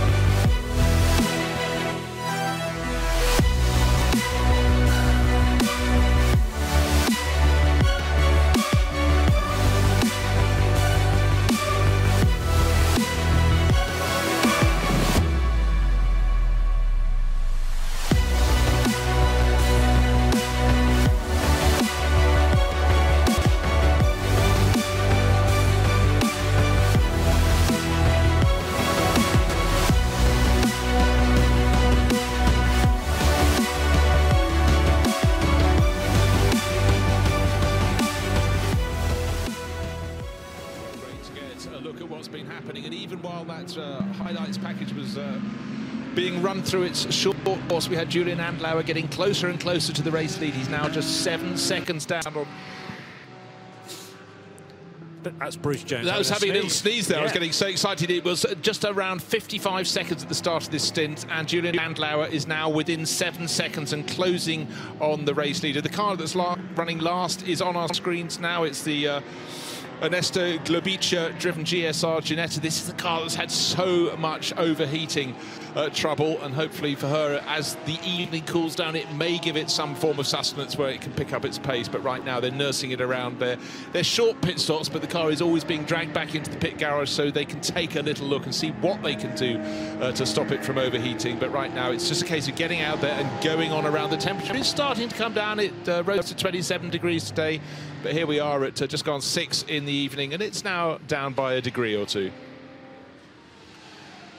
So we are just under two hours away from the sun officially setting. There's a bit of darkness here and there in the sky, but it's uh, generally unthreatening clouds after a troubled day of weather on Friday here. Friday qualifying, there were some test sessions midweek as well, but the opening six hours of this race has been all about trying to find some sort of dry setup that has not been there for all of day one of the meeting. Mathieu Detry, who spent some time um, flirting certainly with the top four positions, has just got out of his car and straight to Nick Damon. Uh, firstly, I've spoken to a number of people today. You don't look as hot as the others. Um, is it? Have you got air conditioning in your car? No, no, we don't have, so it's pretty hot. How, how is it out there now? How are conditions? What's the track like? You, How is the track now after a few hours of running? the track is horrible to drive. There is no grip. Uh, always understeer, so yeah, we have to keep going. It's a long race, but at this moment the track is very difficult to drive. Is, you say there's understeer. Is this a setup issue, or is it just a case that where the track got washed yesterday, all the grip went? I think it's a track because we didn't change the setup, and yesterday the car was good, so we have to see during the night if it's the same issue or not. Is there anything you can do, or just wait for it to get cooler and, and, and hope that as the track will come to the car? I don't know. I have to discuss with the team. Maybe we can do something with the tire pressure, but not so much because we are in, we are in a good position, so we don't have to lose some time. So that Haas RT, you've driven for them for most of the races, but you get a different set of teammates every time. How difficult is it to keep forming new team bonds with different drivers? yeah, it's not easy for sure because uh, every time you have to uh, do it again. The process for the driver change in this race we have some issue with that. We practice a lot, but it's never easy to have the same. Uh, um, yeah, I don't know the word. Sorry, but it's not easy. That's right, Matthew. Good luck and uh, keep going. Now, hang on, don't go anywhere. Well, I, you, you can go, but don't you go anywhere. I want to show you something. I was meandering round the back, as you do. And look, I found this. It's a little gift that uh, Creventic have given to all the teams. Thank you for this amazing season. And now, guess, boys, you've got to guess what is inside the tin. No, no. I think it's Where is Creventic uh, based? in the Netherlands. So, what small sweet treat will be in here? Uh, Stroopwafel. Stroopwafel! Got it in two. I still prefer the thought of mur, but actually, look at those, Nick, I'm now feeling very hungry indeed. You're not one of the three kings. You're a very naughty boy. and are about to have a change for the lead of the race happening right in front of us. It was down to 1.2 seconds at the start of the lap, but Daniel Allemann hanging on to the lead, but sweeping around the outside and trying to make it stick into turn 10 and getting the job done is Julian Andlau. He's gained 55 seconds in this stint. They're an hour and 10 minutes in, so not long until they need to pit, but uh, prize, and no prize as yet. But pride, I said first. Julian Andlau. He's hunted down Daniel Allemann, but Daniel Allemann is still waiting for the cavalry to arrive for Herberth Motorsport. And as it happens so often, doesn't it? Imagine if they'd had one lap before the, more less before their, or fewer before their pit stop, that move wouldn't have happened. But uh, change of lead there. IMSA LS performance, bragging rights to them and Julian Andlau, but a good job still from Daniel Allemann. Good building blocks for Herberth Motorsport. Yeah, and uh, whether they were measuring Daniel's speed to, to the pit stop and saying you're likely probably on your in lap to be overtaken by Julian Andlauer, but don't worry about that because it's all part of the longer term plan. Who will, who knows? But um, Daniel wants useful information, and uh, he precisely when to pit. Now, the slight difficulty could be that the later arriving Ferrari, number 22, has now gone across the nose of the Porsche. So does that mean the release from the fueling area could be a, a little tricky? I think It there's should enough be fine. clearance there. Just actually. enough clearance, yes. The, The tail of the- camera tells a touch of a lie uh, for the foreshortening of it because there's a good, probably car length between the two of them. Uh, to go back to the point that Nick was making about Mathieu Detry and this re revolving door of different teammates, he began the year at the Dubai 24 Hours with Fred Vervisch and Stefan Perrin, and they made up a Pro-Am lineup. But since then, cycling through the car, Olivier Bertels, uh, Gregoire Sauvet, and then here he's got one, two, three, four, five teammates. Max Hofer, Mika Panu, Chris Cools, and Gavin Pickering. And in the case of Cools and Pickering, they have not been part of Haas RT prior to Barcelona. So that's the reason why there's been lots of extra practice for driver changes who were not uh, in the loop before. So three, six, nine different drivers in car 21 through the course of this season already. Again, the under green flag, the refueling stops team to take forever. We should have the CP Racing Mercedes, I would have thought, would should sweep by the moment to take the lead of the race, running at a, a different uh, time. They're about uh, 52 minutes into their stints. They've got about another 18 minutes, perhaps, for Charles Putman. He should go into the lead of the race because the Herberth Motorsport Porsche, which was overtaken just before they came into the refueling stop, is still being refueled, and just uh, the next uh, pump before it, actually, the one before it, is being occupied by Julian Andlauer and will bring their cars into the pit lane for the pit stop, but still that long refueling period and still just alongside them with the tail sticking out a little bit is the Ferrari that led the race early on by a minute and 20 seconds. Had a little bit of a mishap down at turn two. And yes, according to the, the, the gap between the two lead Porsches, the first and second place Porsches, when they came into pit lane, they were separated by about a second and a half after that passing manoeuvre by Julian Andlauer. And as they leave the pumps, it stays much the same.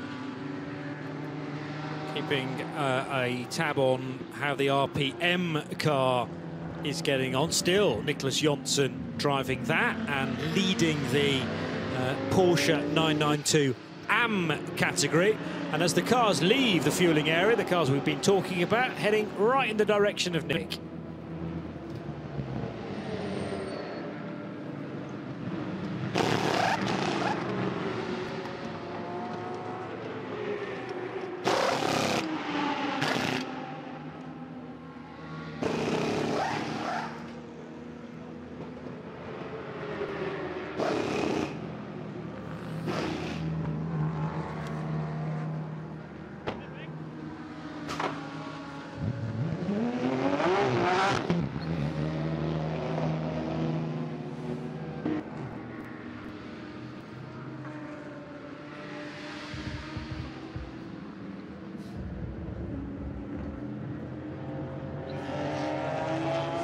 Change round depending on who is in that IMSA car.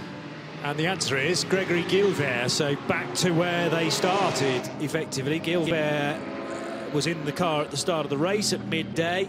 So we've had Julian Andlauer and who else then in the 76? Because you've not Simon Termont. In fact, they've all run because uh, Laurent Ergol had to go as well. We Oh, heard did. from him at uh, around five o'clock when we came back up into the commentary box. He was looking uh, as warm as all the other drivers who've got out. Uh, certainly been a very warm afternoon here. It got to 27 degrees at Barcelona, but we're now at uh, just gone quarter past six in the evening, so it is starting to cool just a little bit. But the flags above the pit lane hanging limpid. So pit stops happening. Uh, well, the, the, the Tree pit stop happened seven or eight laps ago. We obviously heard from Mathieu chatting to Nick, and Mika Panu took over there.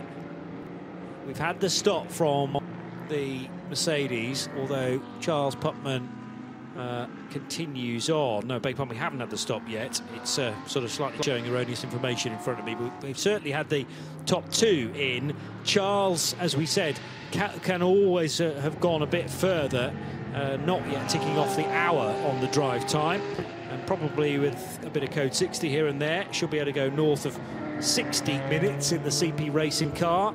So they're leading GT3 AM. This is great, though, from a driving combination perspective. The overall top three in GT have one of each in the different combos. So GT3, GT3 Pro Am second, GT3 Am in third. There are many ways to do well in this race, it Uh, seems. certainly are, and I think this next stint is going to be very interesting. Gregory Guilvert came out in the lead in the IMSA LS Performance Porsche, that uh, Group Performance Porsche. That's car 76, the black one, and the red and white one of Herberth Motorsport, car number 91, has got Patrick Kolb. Patrick has many, many years of GT3 experience, where for Guilvert, who started the race for IMSA crew, he's been a GT4 driver for many, many years. In fact, he's been a double French GT4 champion in 2018, 2019, was a GT4 Pro-Am champion in France in 2020, but he's sort of stepping up, trying GT3, and I think well, let's find out how that. How, I would expect that uh, Patrick Kolb should gain a little bit of that lost time back again. Bear in mind there was about almost a minute swap with uh, Julian Andlauer hunting down the Herberth Motorsport Porsche for IMSA LS, and he managed to get ahead just before the pit stops, and that is why the 76 Porsche for IMSA is in the lead of the race. But I, I'll be really interested to see their respective pace, and uh, next time around I'll give you a clear answer on that for their first flying lap out of the pits. Keeping an eye on cars earlier, uh, further down the order that uh, are gaining a few places. The Fabio Spergi driven Porsche from the 992 class just gained a couple of spots on that lap. Rafael van der Straten and Jochen Krumbach. Remember him? He led the race for a big portion of the start of it in the WTM by Rinaldi racing car. So back into the 22 goes Jochen Krumbach. Big challenge though now for the bronze rated driver to get that Ferrari back into contention after it lost over 10 laps as the race leader Gregory Guilvert heads downhill towards the first corner with its Lima rank number still flashing indicating that that is our GT series uh, race leader and Nick has a little more from the pits for us Yeah, just uh, down with the 11, the um, Hofor Racing Mercedes. Uh, Michael Kroll's just got out and he's walked out of it about as gingerly as I would. Uh, you know, I, I, feel his pain as after an hour in the racing car, everything is completely stiffened up. Now, I'm trying to work out who's got in. I don't recognise his helmet. It's quite a slow stop. Um, may well be uh, the new driver. Well, the new driver to me, because obviously Carsten Tilk has been in the car in the team before, sorry, and the new driver is uh, Manuel Rubro. And I don't reckon it might be either someone's got a very nice new helmet, but away they go. Um, and down here in Hofor Racing, obviously, they, it's interesting because one person who's, who's racing here for one of the TCR teams is Christian Frankenhout, who of course was absolutely a major part of the Hofor Racing team in that before they had that kind of brief well, I call it sort of a brief child break. And they had a break while Chantal and uh, Alex were bringing up their the first couple of years their youngster. They come back now, but they've uh, no more Kenneth and, uh, uh, and no more Christian, who were always the life and soul of the party.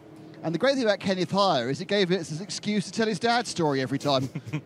which is oh, Bruce is with you. Bruce No, can I tell know. the story well Oh, better yeah. than I can. If someone An needs extra the runner gate in the Grand open, Prix, yeah. you shall have your Formula One debut, whether you've qualified or not. But ever since and ever and even before, you can wear a jaunty hat with a feather in. So that's uh, encapsulated all of that. Uh, Carsten Tilko was the question. That was the uh, the driver who set off in the doing the outlet now for Hofor Racing in their GT3 Mercedes. We were trying to encourage Ben Constanduros this morning as we were driving into the circuit to do exactly the same thing because the Porsches were about to go out on for one of their sessions. We said, "Go on, Ben, just join that." Yes. No one will know. The gate was open, and our little hire car, I think, might have struggled up the hills. Frankly, not overly powerful. Very much not a Porsche, so we may, yeah, we might have been rumbled. Okay, now as I wanted to know the respective pace of Patrick Kolb against Gregory Guilvert. Guilvert leading uh, the race for the IMSA LS Group Performance team, but the gap is coming down because uh, the last lap was only two seconds quicker for Herberth Motorsport and Patrick Kolb. So uh, having had the gap go the other way, it's early days in this stint, so let's see how they settle down. There could have been tra- traffic involved, and in fact. Uh, spotted Herberth Motorsport and Patrick Kolb on his outlap going very wide at turn nine. I thought, hello, but he seems to have settled down very nicely, as you'd expect a driver of his merit to be able to do so. I was interested in looking up when Christian Frankenhout last raced for Hofor, and uh, well, in a Creventic race, it looks like the Dubai 24 hours in 2019. When were Already that long ago, Yeah. no, get away, get. A6 Am, and let's just have a look to see who is uh, in their driving combination. Yeah, Chantal and Michael Kroll, Alex Prinz, Kenneth Heyer, and Christian Frankenhout. So that was when the band was last together, if you like. Sadly, that uh, on that occasion, it ended in retirement. But the start of 2019, time really does fly. But it's good to have Christian Frankenhout as part of the 24H Series paddock once again, although in very much different machinery. He's now uh, rated silver by the FIA. I'm pretty sure he was gold for a period of time. Another seven minutes or so, we'll have another half an hour in the book. And if you are booked in for one of the transition stints, daylight into night time, then they'll be thinking about getting you suited and booted for that. Let's hope that uh, the food that need to be taken on board has been. Our, our fantastic on-site catering here at 24H Series. And then, uh, by the sounds of things, people like Julien Andlauer um, aren't going to get any sleep at all uh, with the 12 hours maximum that he could run. But those nighttime hours are going to be oh so important when you've got a pro like that in your lineup. Okay, as I said, it's very early in the stint for both the, dri the drivers in first and second, the 76 IMSA Porsche and the 91 Herberth Porsche. And uh, Patrick Kolb is actually, as he went faster than the race leader, Gregory Guilvert, Guilvert settles down, is now lapping in the 1 minute 45s, quickest driver out on the circuit. So the advantage from first to second has uh, stretched from 6 seconds to 8 seconds. But again, a little bit of traffic could affect either of them. We've still got 39 cars having started this race, 39 cars still going. Some with a little bit of a trouble, but uh, right now, one thing I think we need to look at, Johnny, is the, the speed, the lap times that the WTM by Rinaldi Racing Ferrari can do. It's still down in 23rd position. Actually, when I said Guilvert is the fastest driver in the race, I hadn't seen the pace that Ferrari's doing.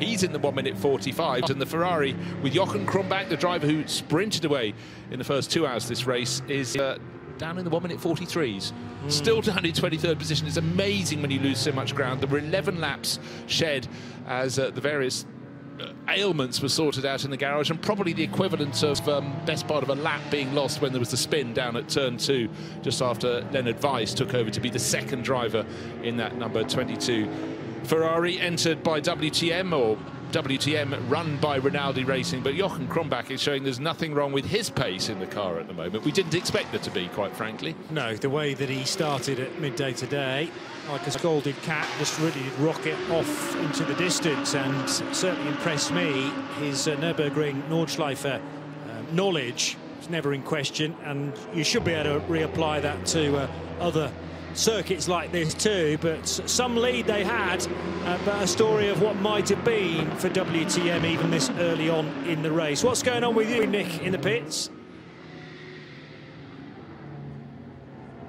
So I'm just wondering whether this is the most um, geographically diverse team uh, where they're based, because you've got um, uh, Anthony Lee from New Zealand, uh, Michael Patamba from South Africa, Harley Hayman from Britain, and uh, Julian Hayman from Germany. So I think if you go from New Zealand, Britain to South Africa, you've covered the biggest geographical area possible. And I was formulating that in my mind as Harley Houghton took over the car from Michael Patamba. And I'm not quite sure it happens because you don't have a clutch really. Somehow the clutch got released and it launched forward whilst uh, the uh, assistant mechanic was still in the car door and he was kind of pulled along, but only about three metres it looked more dramatic than he was. He gave a wry smile as he got out. So that's my challenge for you boys, the full entry list. Is there any other team where the people driving are more geographically spread we'll get back to you, but that certainly appears the initial winner with, uh, as you say, Mikael Pitamba from South Africa, Anthony Lees from New Zealand. And again, just reiterating how this uh, 24H series has expanded through through the years, and more and more people wanted to come and play on some fantastic circuits. You know, you kick off at Mugello, and it seems to get better and better from there. It's really catching on. You've got Atlas BX Motorsports from Canada to the Netherlands to Korea but probably still nowhere near the mileage that Nick's talking about there. Uh, interesting. I, I, might need a bit of time uh, to go away and research that, and that's not conducive to uh, me and you talking. No, but luckily you brought a globe with you to the corner of the well, commentary box, so you and can a few pins. spin that around. Yeah. But uh, I, I, suppose really the prize in terms of the team that comes from furthest away has to go to Atlas BX Motorsport because I would have thought that uh, that is furthest away, based in South Korea. Mm and all the drivers have a Korean element to their to their nationality. And in fact, uh, Roelof Bruins is one of the few drivers I know who I have in my driving records with three different names. He's raced as Ricardo Bruins, Roelof Bruins, as a Dutch Korean, and also MG Choi, when he won the 2019, uh, it was then the Blancpain GT World Challenge Asia title. Battled right down to the line, but uh, again, it's largely a Korean team, let's call it, the Atlas BX Motorsport, and it's been leading its class for a very long time. Top in GT4, actually doing very well up in the hands of TK, as we call him. In fact, that's what Stephen Cho, one of the drive calls him, but his real name is Taekyeon Yang and uh, that leads the class, was 27th. As I said, that fell to 28th overall, but way clear in GT4. Reading about Atlas BX, actually, there are some connections with Hankook as the, the uh, tyre group, also, of course, Korean. So uh, um, interesting that we're generating definitely uh, a following in that part of the world for the 24H series, and uh, helping that along has been the Hankook backing of the 24H series for a number of years now. We're powered by Hankook once again for the 24th edition of the 24 Hours of Barcelona. Here, just up the road from Montmelo, as just a dab of the brakes there into the final corner for the 72 Audi, which will strip across the line very shortly indeed. And we can grab this update from Nick. Um, as I walked down the pit lane uh, two seconds ago, uh, there is literally nobody in the pits, and I'm not sure about taking pit stops. Not one car is not circulating, and I can't remember that ever happening before in six and a half hours into a race. Everyone's out. Now I do believe I may have, even thinking that may have cursed it, and we may be about to receive the 906 again, or possibly even the uh, this, this Bonk Motorsport car, and that's about to go into the garage. But for a glorious minute there, there was no car receiving in-pit attention and that is changing because the man from Motorsport, uh, BMW Motorsport, very smart, is bringing out his laptop. So the uh, the sea green and orange car has been cursed. I mean, just thinking, oh, there's nothing wrong with anything. Let's see if Michael Bonk will talk to us. Quick, quick word with uh... Michael. What's the problem? Uh, gasoline pump, I think. But I don't know. I'm only a driver, not a technic. Your name's on the car. Huh? Yeah, I'm only a driver. I mean, we, we, are used to you guys being running in Creventic races with, you know, quite old BMWs, cars that have been around for many years. What's it like to have a brand new car? The problem was the old one was every time the last car in the field. But now we got a new car and still the GT4 are the last. but we try to get in the forward and so. So basically, you need to buy a GT3. Pardon me? You need to buy a GT3. For me personally, it's too fast. I used to drive with my brother and Chantal, but it's, for me, it's too fast. I'm too old for that. With the new M4, obviously that's got a lot of um, aids you wouldn't have had in the uh, the previous BMW. Is it is it a real pleasure to drive? Obviously when it's working. yeah, sure. It's uh, you you can feel it's, uh, the technique going going further and further and further, but we driver we have to learn it that we go faster and faster and faster. But it's easy because when you're a little bit faster, not so many cars past you, so you get faster as well again. So yeah, you, you, get a chance to get into a rhythm, don't you, where you're not having to look in the mirror the whole time. Yeah, so when you, you can drive, you can drive. This car has uh, air cooling inside, so after one and a half hour you can get out like when you're driving to shopping. Great stuff. Thank you, Michael. Thank you. So part of the Kroll family rather than Michael Bonk. I was trying to work out whether that was Michael or Martin Kroll, though. Um, I'll, I'll stay guessing at that, but obviously he referred to his brother and he referred to Chantal Kroll, now Prinz, who has done plenty of racing in the past, and that goes back to what we were talking about with Christian Frankenhout and Kenneth Heyer. So uh, it's Martin Kroll who we were chatting to. Uh, Ma Michael Bonk is in that car at times too. Um, Nick says they all look fairly similar. Okay, well, we'll forgive you for that, no problem. Um, it's a real shame that BMW uh, is out is, is uh, not in the race right now. It's far from retired, of course, but uh, brand new car with it, I suppose, can come some teething problems as well. Uh, but generally speaking, Martin uh, pretty happy, I think, with the purchase. An interesting comment he made about these days GT3 just just a bit too fast for me. You know what? What people forget: GT3, GT4, nothing stands still. Of course, there's balance of performance across the various championships and things, but. Uh, it was commented a, a, couple of years ago that GT4 cars are now as fast as GT3 cars were when GT3 was introduced. That sort of gets lost in the wash many a time, but you know, uh, for the drivers, they've got to find something that doesn't spook them.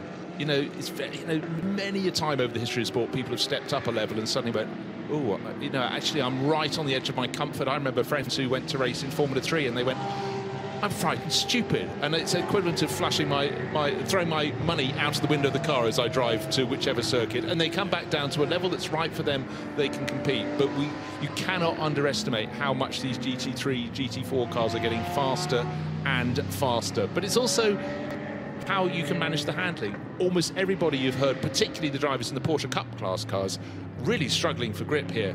Uh, circuit at Barcelona. But bear in mind that we lost so much dry running yesterday. It was very, very wet. A lot of almost every team is going to be on the back foot in terms of what experience they have. And if you're just uh, listening in or watching in, you might go, "Where's the the final chicane?" Thank goodness it's gone, but it has gone. So in terms of setup, the teams racing here this weekend are racing on a different circuit to 2022. Mm. Yes, true. And uh, although you're taking a bit of wear and tear away there.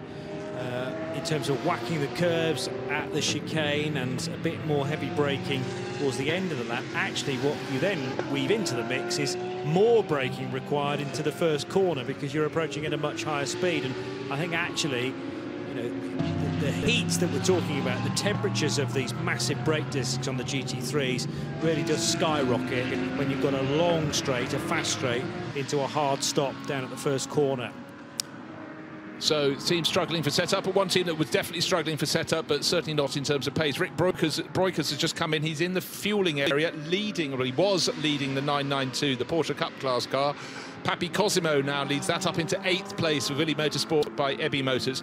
Uh, just going back, if I made that race, the battle for the lead of the race, the lap pace, Gregory Guilvert leading for IMSA, and then Herberth Motorsport in second, separated by under six seconds now. If anything, Patrick Kolb just marginally faster, but I thought we'd start to get an answer in this one. We haven't as yet, but uh, six seconds.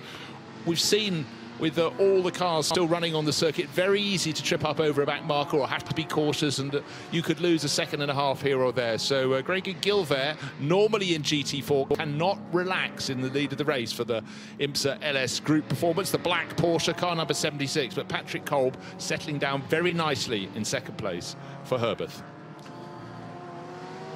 KTM X-Bow now heading onto the start-finish straight. Nice bit of clear road in front, which can be a rare thing around here. There's only one KTM X-Bow, again, in the entry with the flag of Austria next to it, of course, because they're built in Graz.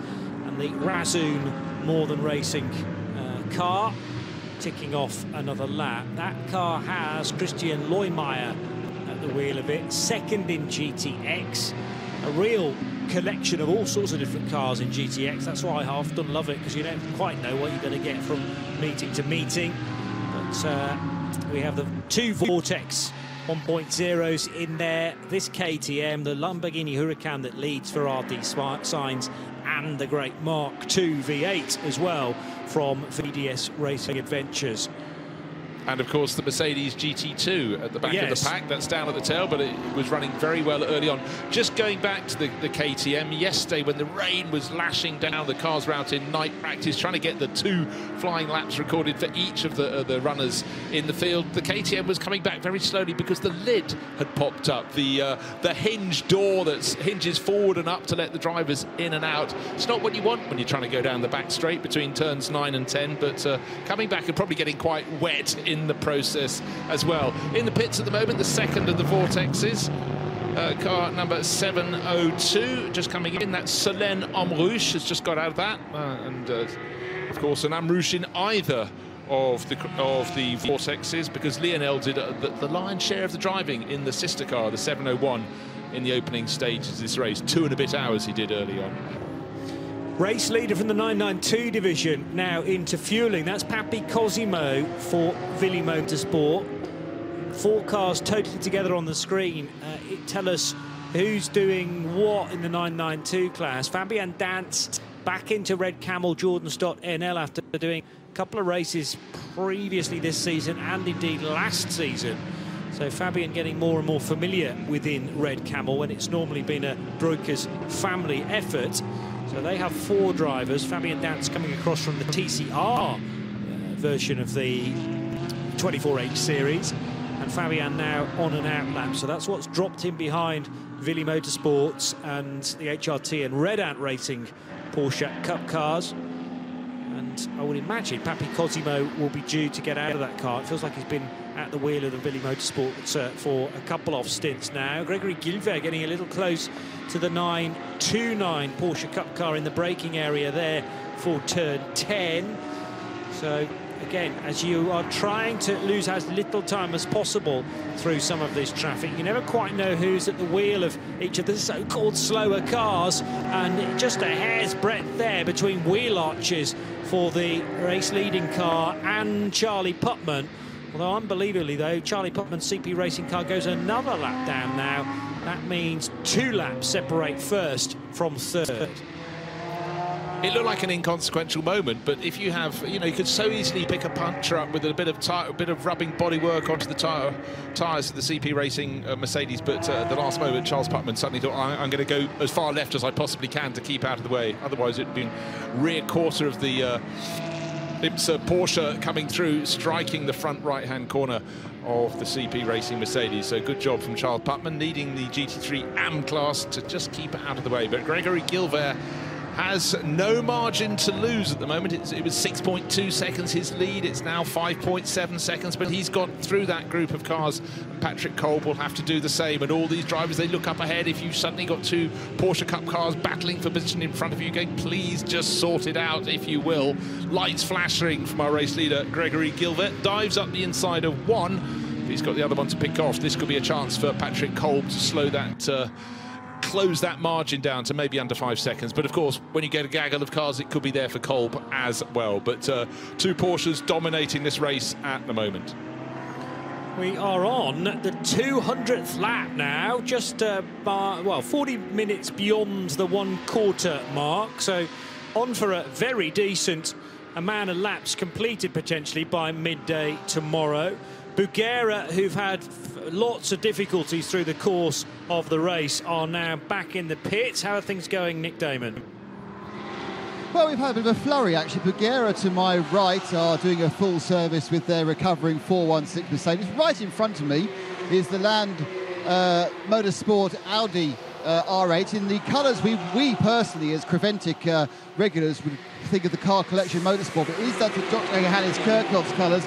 He's just got out the car, Ingo Vogel in. Then to my left, um, it's a real swap of the veterans because Nicholas Jonsson is getting out of the 907 and a man who was absolutely synonymous with racing Porsches 25 years ago and up until a few years ago, Patrick Huisman's getting into it. So anyone who's a big, big motorsport fan from many years ago will remember that Patrick Huisman was often featured for his uh, interesting race reports, where they were always unlucky in qualifying, and the weather report was important as the overall result. But Patrick is an absolute classic, obviously a multiple uh, Porsche Super Cup champion as well. He's now in the 907, so if he, anyone get one of those things to work, it's Patrick. Anyone who wins a Porsche Super Cup title has uh, certainly uh, some feathers in their cap, but uh, four years in a row, 1997, 1998, 1999, guess the fourth one, 2000 for, for Patrick Huisman there and uh, so lost none of his speed. But uh, quite right, Nick. And uh, the team running that Porsche, his Porsche at the time, a certain Olaf Manthey Racing, who are fairly well associated with Porsche racing even to this day. Uh, although Olaf uh, stepping away from looking after the team itself, but Manthey, a key Porsche preparer the Nürburgring and other places too. We've had Manthey associated with Herberth Motorsport in this championship in years gone by too. Patrick Huisman at the wheel of that car and where's he going to rejoin? 16th position for RPM Racing. So yes, that's uh, it's, not, it's barely a, a, change in pace, I would suggest, with Nick Jonsson getting out. The RPM car is still going to go incredibly well. Well, we're having a little debate last night. What is the longest standing driver pairing in motor racing? It surely has to be Tracy Krohn and Nicholas Jonsson. It's been forever and many days. Uh, the young Swede, I remember seeing him racing in in Formula 3. I had a funny funny experience once about the same same time racing in the very early 90s in Formula 3. Um, Gilles de Ferran doing great things, obviously went on to do great things in IndyCar. And he said it's quite extraordinary. We're at the Marlboro Masters in uh, at Zandvoort in the Netherlands, and he said, "Who's that Swedish guy? He uses the clutch when he changes gear." Which you know, no, no one else was doing at that stage. They were just crashing it through the box. But he said, "But he's quick." Yeah, he could be quicker if he didn't use the clutch. But I'm sure soon thereafter. But then coming into contact with Tracy Krohn, obviously giving Tracy, you know, driver support, driver mentorship, but you know they're obviously on the same wavelength, got it to work, and all these years later they're still racing together. That is a partnership. Totally. Um, yeah, I mean, certain driving styles don't feel like they should be quick, but actually they do a very good job. I, remember uh, paying close attention to Shane Van Gisbergen uh, in the NASCAR race earlier this year, where on a street track he was using the clutch. Nobody else in the field had a clue what he was doing, but that's how, on a very bumpy street track, actually you prevent the rear wheels from locking a great deal. So, you know, supercars to NASCAR, and he won the thing. So sometimes different approaches will get 30 years success. the partnership with Niklas Jonsson ah. and let's go down because Nick has captured the flying Swede. Niklas, um, one of the most experienced drivers here, but um, it's obviously hot even for you. Yeah, it's uh, really hot for me as well. It is. I mean, I don't know. We have some sort of issue with uh, airflow in the car, so we have absolutely no airflow in the car, and uh, it gets really hot. We're, we're postulating that your um, partnership with Tracy Krohn may be the longest partnership in motor racing history. You think it's 30 years? What keeps you guys coming back and racing together? Having fun and still be competitive. You know, it's a motivation, right? And uh, you know, it's we, we are good friends, obviously, but Tracy has a huge passion for racing, and we decided many years ago that we're going to try to go racing together and we're going to stay together as long as we can. So we're probably going to retire together. Whenever that is, future you know will tell, but uh, hopefully not you know for another few years. You're a couple of legends of the sport, but you've been joined by another Porsche legend in uh, Patrick Huisman. How did that come about? Well, Patrick and I have known each other for a long time because we both, you know, really old farts, right? We used to race together back in the ALMS days, uh, you know, late 90s, early 2000s, both driving for Porsche factory. You know, me for the American Porsche factory and him for the Nor- European. So we got to know each other back then. And now when we both uh, have been degraded to bronze and uh, amateurs, figured out, you know, why to get back together again, get the, you know, the whole band back together. Just one quick question about the car. Most of the Porsche teams are complaining about complete lack of grip. Are you also suffering from that? Yeah, we definitely are. I mean, uh, Hankook brought a different tire in this weekend, and I think we haven't really been able to develop that yet, so we do struggle with it. I mean, it's a way of trying to kind of take care of the tire. I think the first half of the stint to kind of make it last, but we're not quite sure about pressures and temp and stuff yet either. But we we get in there, but uh, it's definitely a challenge for sure. Oh, I wasn't aware. So is this new tire a track specific or one that will be used moving forward? I think this is the tire that's going to be used moving forward. So we're going to have to go testing over the winter to figure this out. Great stuff, Niklas. Uh, I'll throw that ball to over yourself. Thank you very much. I appreciate it. Thanks, guys. Really interesting. Uh, Niklas Jonsson, we know he's as fit as a fiddle. One of these uh, pro drivers always kept it up, but just when you've got no airflow going through the car, every inch of his body was uh, glazed in perspiration. I'd be like that after two laps, but he's uh, fitter than me. But uh, again, though the temperature is starting to drop a little bit, the heat, it's something if no, if somebody has never seen motor racing before, they couldn't understand the heat just sitting in the car. Plus the fact you're being physical. You've got the two straights here at Barcelona, but the rest of the lap, 12, 14 turns to be fitted in. They're working hard, very hard. And a lot of the teams, again, we mentioned this, particularly the Porsche Cup cars, really struggling to get a setup here. So they're, they're fighting the car much more than they normally would.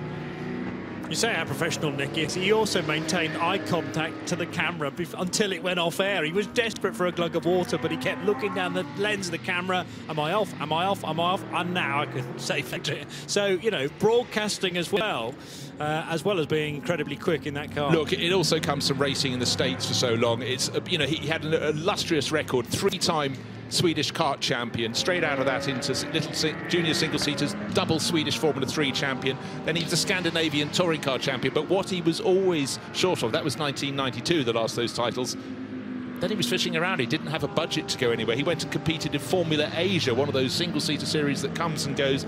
But then he went to the States, and then it all clicked in. He's had to work at his career. But I love the fact he said, we will go racing, Tracy Crepin and I, as long as we're having fun. They're clearly still having fun. Yeah. The fact he's still thinking what we can do over the winter to make us faster in 2024. So well done to Nicholas. You know, it's really great to see someone who hasn't been lined with cash, who's been able to make a career work. I was interested just to look at the statistics of both Patrick Huisman and Nick Jonsson at Le Mans as well, because Huisman there as early as 94. It was a further 12 years, I think, before Nick Jonsson first appeared in 2006. 2006, spot yeah, on. Well yeah. done. So again, that shows you time over in the States doesn't necessarily get the opportunity to go to Circuit de la Sarthe and possibly budget as well, holding him back. Both definitely worthy of going to the great endurance race and of a similar age as well, only two part, two years apart. Anyway, they're in the same car this weekend, uh, and as he said, been mates for years. Speaking of Porsches, second position for Patrick Kolb in the Herberth car, trying to keep tabs with Gregory Guilvert. He's taking a little bit of time out of him here and there, but actually lost about half a second last time through, so 7.3 is a gap that Patrick and the team at Herberth will be monitoring to a certain extent. We are north of 200 laps, though, now. As I said, we were working 200 last time I mentioned that distance. It's 204. And who's best the rest? It's uh, one lap down or around, actually, more than two and a half minutes down. So a lap and a half is uh, Mika Panu for Haas RT, the, the best of the Audis in third place overall. CP Racing, Charles Espenlaub has taken over from Charles Putman. He is leading the GT3 AM class now in fourth place, but we do have these different cycles. Uh, Fabian Danz has taken over the Red Camel Jordan's Dot NLO Porsche that's leading the Porsche Cup. That's down in the ninth overall, two places ahead of Willy Motorsport, but we've just had Charles Putman out of the car, and Nick is like white lightning, and that was the team that uh, Nicholas Jonsson made his debut at Le Mans, but down to Nick in the pit lane.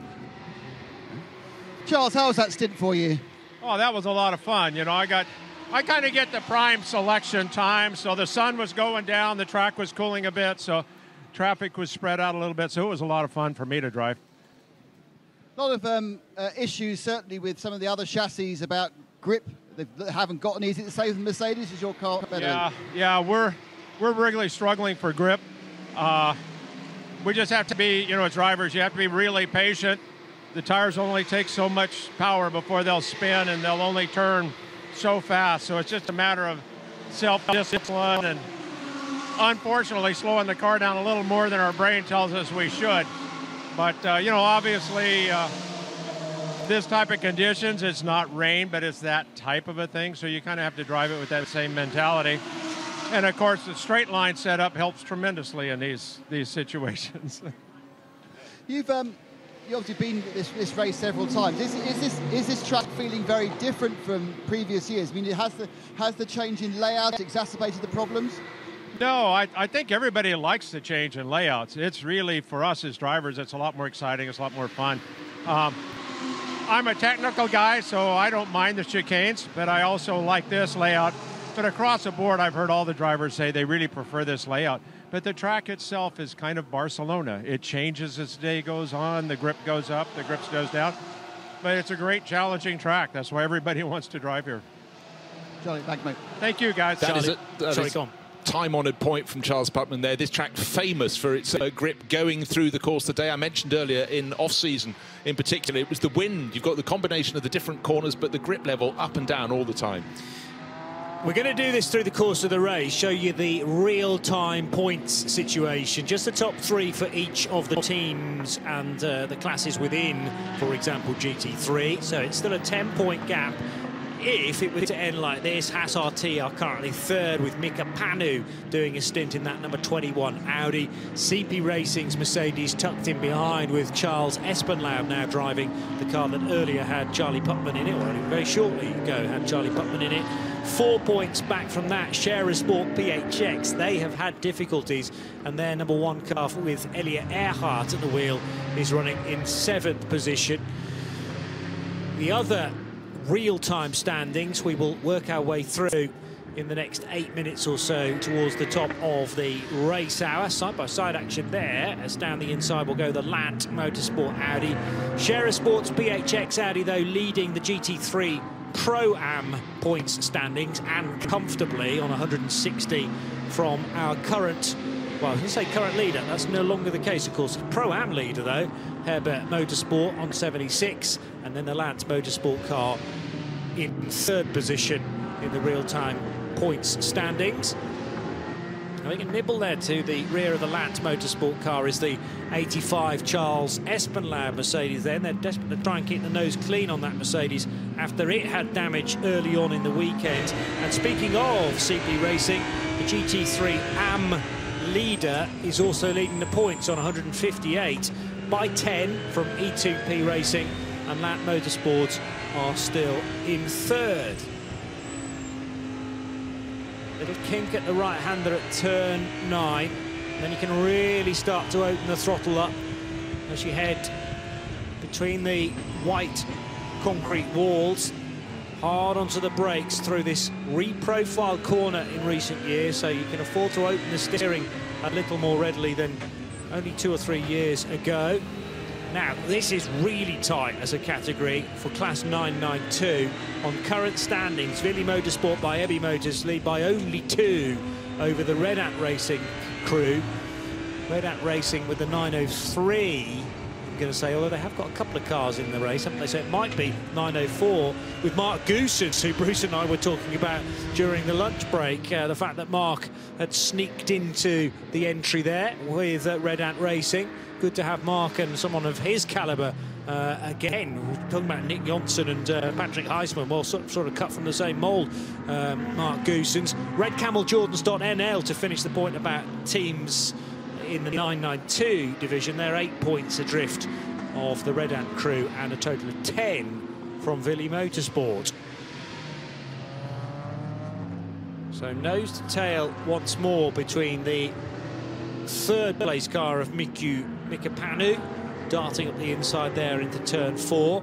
The 992 AM teams, so this is all to do with driver combination, again, similar to Uh, how GT3 works, and runaway leaders are RPM Racing from the sister Red Ant Racing car and then HRT Performance, but Red Ant and HRT on exactly the same point. So that fight's all about second in the remaining hours of this year's European Championship.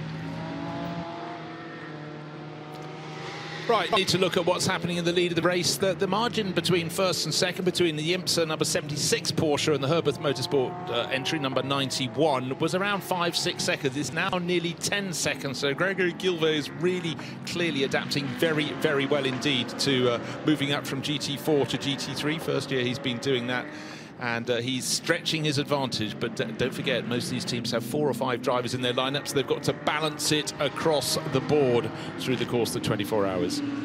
RD Signs still leading in real time by 18 points from the first of the Vortex V8 teams. It's really a two-horse race between those two because 9 and 11, 9 and 11 Racing are not on site this weekend. They are third in the GTX category. One or two cars I notice now with the full beam headlights on as the light starts to fade, although we're just over an hour away from sunset. In GT4, it's Atlas BX of Korea on 180.1 points from Bulgaria ZM Racing 162. And then P6R Sport also not here with us this weekend. So between those two, Atlas versus Bulgaria, and going the way of the South Korean squad right now with their links to, or certainly Atlas BX batteries, uh, now linked company-wise with Hankook, our tyre supplier this weekend. Good to see a couple of R8s going door handle to door handle briefly there and uh, laying a bit of rubber down the Haas RT Audi out of turn five. In TCR, the team's championship very much in the hands of Holmgaard Motorsport with their 120 points, virtually double the amount that Wolf Power Racing have managed to accumulate across the five-race European season that began back in March at the Mugello 12 Hours. But it's IMSA LS Group performance with Gregory Guilvert who leads now by 10.4, so that has opened up by a decent margin since the last time we checked. Three more seconds added. In the GT Trophy, again, it is the story of Atlas BX Motorsports, but it's a closer affair because there's only eight points in it. Back to RPM Racing and then the RD Signs Cholet Racing crew with their Lamborghini Huracan Super Trofeo. There are points, of course, as well, uh, awarded at the 12-hour marker, so that will significantly change. Yeah, well, like, they're quite generous points as well. Uh, Yeah. From first to 15th in your class, if you've got that many people. 20 points for first, 18, 16. And you can see a lot of these uh, groups, uh, championships, uh, categories are separated by a handful of points. So if you get 20 points and one of your rivals is a fair bit further back, you're going to steal a real march. And then, of course, full points at the end of the race as well. So Hol- Holmgaard Motorsport and the Hofor Racing by Bonk Motorsport TCE Trophy teams. There's a 40-point deficit there, which is significant despite the 12-hour points that will be added. And Wolf Power Racing are in third, a further 12 back. Great movement from the camera that's been mounted into the Krohn Racing RPM Run Porsche. Just tilting from left to right. I'm not entirely sure it's meant to be doing that, but it nevertheless gives us a good view of uh, the forces at, at play, particularly these corners that go on, it feels like forever. Turn three and then turn four as well as you end up facing completely the other direction after those uh, right-handers. Then finally the track does turn left, so you can relax the neck muscles on one side. And this portion of the track, five, six, seven, all of a sudden very, very busy indeed, Bruce.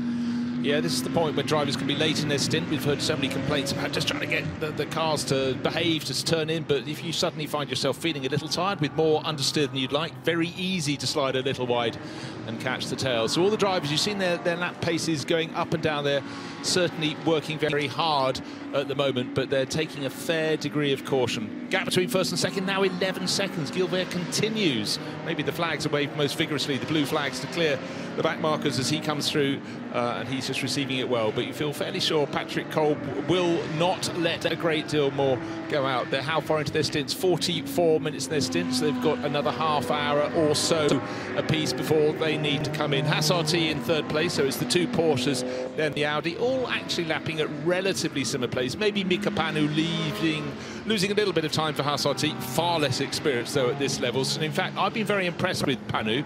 I think he's come in and uh, really settled down. You know, there's a hybrid combination, a team from Aruba with a Finnish driver. We were talking about the spread of teams and uh, drivers. We were mentioning Michael Pitamba and uh, and Lees New Zealand and South Africa, not respectively, quite the other way round. But yes, so it is a global series, the 24H series. Thank you, Bruce, for the last couple of hours. We'll allow you to step away and uh, we'll concentrate in a moment or two on hour eight of this year's 24 Hours of Barcelona. We are live from Montmelo in the northeastern corner of Spain, in Catalonia, for yet another edition of the 24 Hours of Barcelona, live on the Radio Show Limited network of channels both sound and vision as well, but uh, radio only for your convenience. If you'd like to take us with you, that may well suit your plans for the weekend a little more than sitting in front of a TV or indeed a device these days. But I would hope that you can reserve some segment of your weekend to enjoying the, the very picturesque circuit that we're at this weekend. And of course, in the next hour or so, we will be plunged into, well, it'll be a gradual thing, but uh, I'm rather envious of Joe Bradley and Ben Constanduros because you'll be now enjoying that lowness of sunlight, the golden sunset that we so typically get in this part of the world, and then into darkness.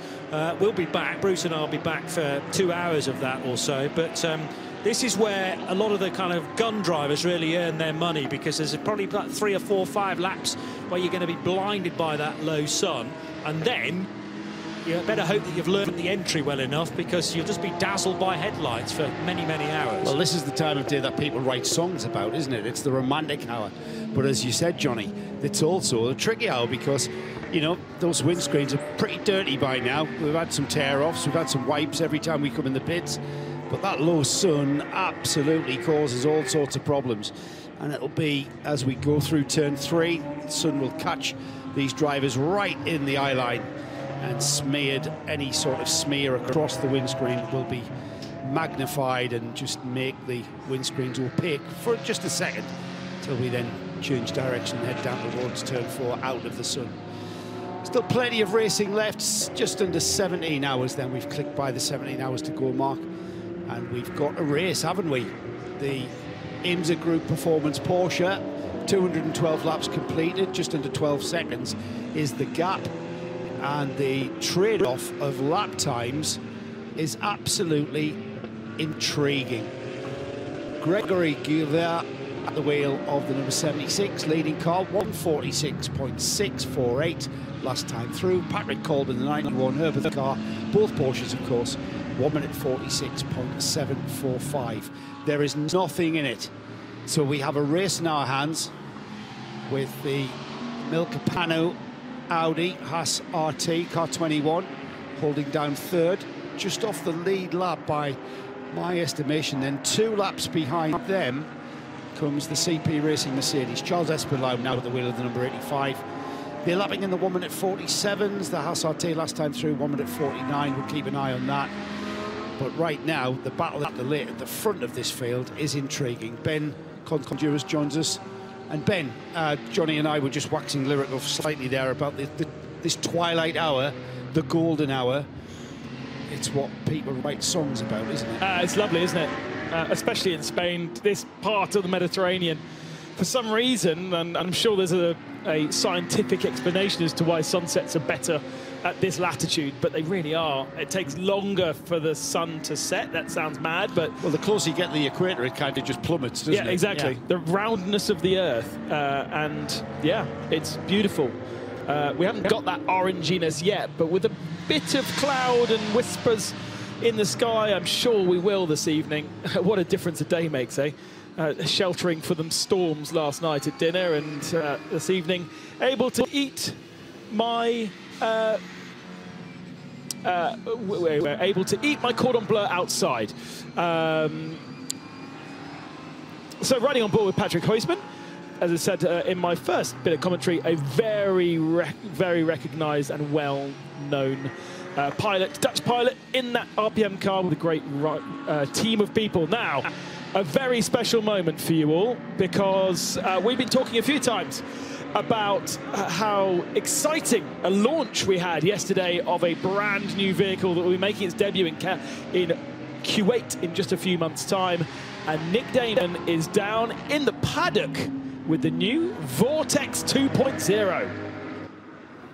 Hopefully you can see me, hopefully you can hear me. It is the new Vortex 2.0.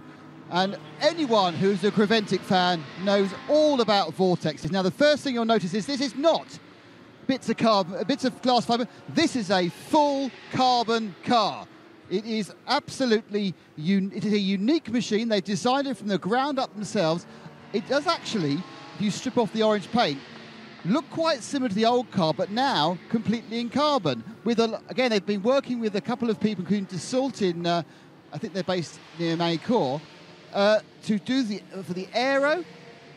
If you look in the, uh, it's the large pieces of, of, carbon. Quite, I must admit, I thought these large pieces of carbon were quite a, uh, a risk. But actually, if you look at this kind of streak back into the uh, wheel arch, it's exactly the same as the current car. So they have done some testing. Now, I'm not sure. I'm going to give this a go. I'm not sure it's going to work. Is their car locked? No, look, I could, I could break into their car. I've stolen the car. It's Gullwing and ready to go. So it's a Gullwing, fully carbon machine. Uh, they are doing some testing on it. Effectively, what they've taken is their, their design, the DNA of the Vortex. They've brought it forward 15, 20 years. They've brought all the modern materials. It's going to make it lighter. It's going to make it better. It's going to make it easier to serve. It's going to make it stronger.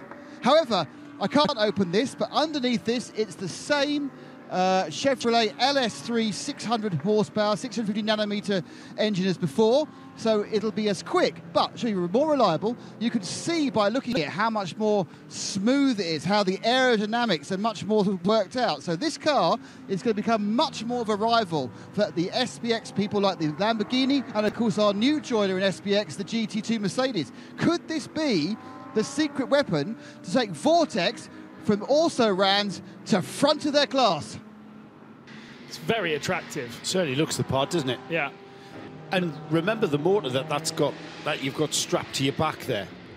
That It's a piece of I mean, engine. that, that- it's like a fire. That'd be like driving a firework. That thing. I wonder how much lighter it is than Vortex. Just about to think that. I was just 1.0. that, Yeah. That's one for you, Nick, uh, to try and work out uh, how much lighter the, the, the car is uh, than 1.0, because uh, and it'll be a lot stiffer as well. Yeah. yeah. Last fibre, there's not much difference in weight. Last fibre but is hang on, you're getting light, rid of the, but it's you're not doing rid of the anything. skeleton, uh, the frame as well. Yeah. Some of the skeleton, yeah. Yeah, of course. The... Well, I'll try and find out. Obviously, there's a there's a limited amount of English in the vortex, so let's just guess and say quite a bit lighter.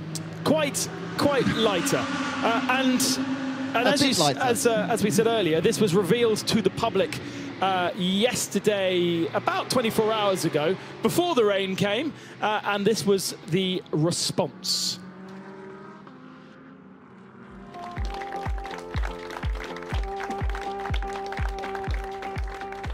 I'm Philippe Bonnel. Uh, uh, I take care of the communication of the French uh, racing team called Vortex. And today for, for us is the, the, the presentation of our new car, the Vortex 2.0. The main change, the main difference between the two cars is the full body uh, work in, uh, in, uh, in chassis in carbon, certified uh, FEA, for the chassis, for the crash box, and for the frame on the top. For the moment, the engine is still the same between the two cars. It's a Chevrolet V8 6.2 liter, uh, 550 horses. The car has been uh, designed by uh, our family, Gomez family, with Arnaud and uh, Olivier, um, and with the help of uh, two main partners called Auxal and Migal in France, for mainly for the, the, the body parts of in carbon. The first race will be uh, with the team in Kuwait in three months. And Arnaud, Olivier, Lionel and me will be in the car at this occasion.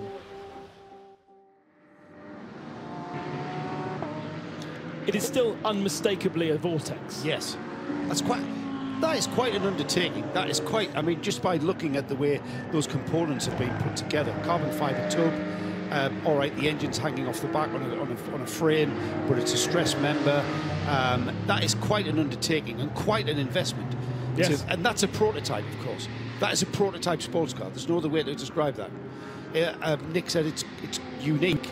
Yes, it is, which is the very essence of prototypes. Um, that's what they are. They, they, you know, all right. I don't know how many orders they're going to get, but um, you know, if we have, could you imagine half a dozen of them in the field at the moment? Just you know, part, part that would certainly you know give us a massive GTX class, and that's what the GTX class is all about. That kind of project. Um, I wish them well. I'm really looking forward to seeing that car on track at Q8 um, and then moving forward into 2024, the full season, full European season. We'll see it in Dubai and Abu Dhabi, of course. Um, but Vortex have been a big part of this championship and the big bright orange livery of these cars that go around. I remember Mugello, was it Mugello last year when they brought three cars? and you know space frame chassis that were looking a bit aged. Um, they still have developed them. They've they've been working on them. They've been looking at the reliability. There's a lot of energy going through that those that little space frame chassis from that Chevrolet V8, and I'm- not surprised that you know attrition has become a bit of a part of the running of these cars. But uh, recently, certainly the last few races, they've gone and had some cracking runs and are a big part of the GTX class. I mean, the, the- if you look at the GTX Championship standings, and I'm going to be quick on the fingers that I can get this. Um, standby caller. I'm getting the GTX class up because they're a, they're a massive part of GTX. They're currently in second place behind the RD Signs Lamborghini.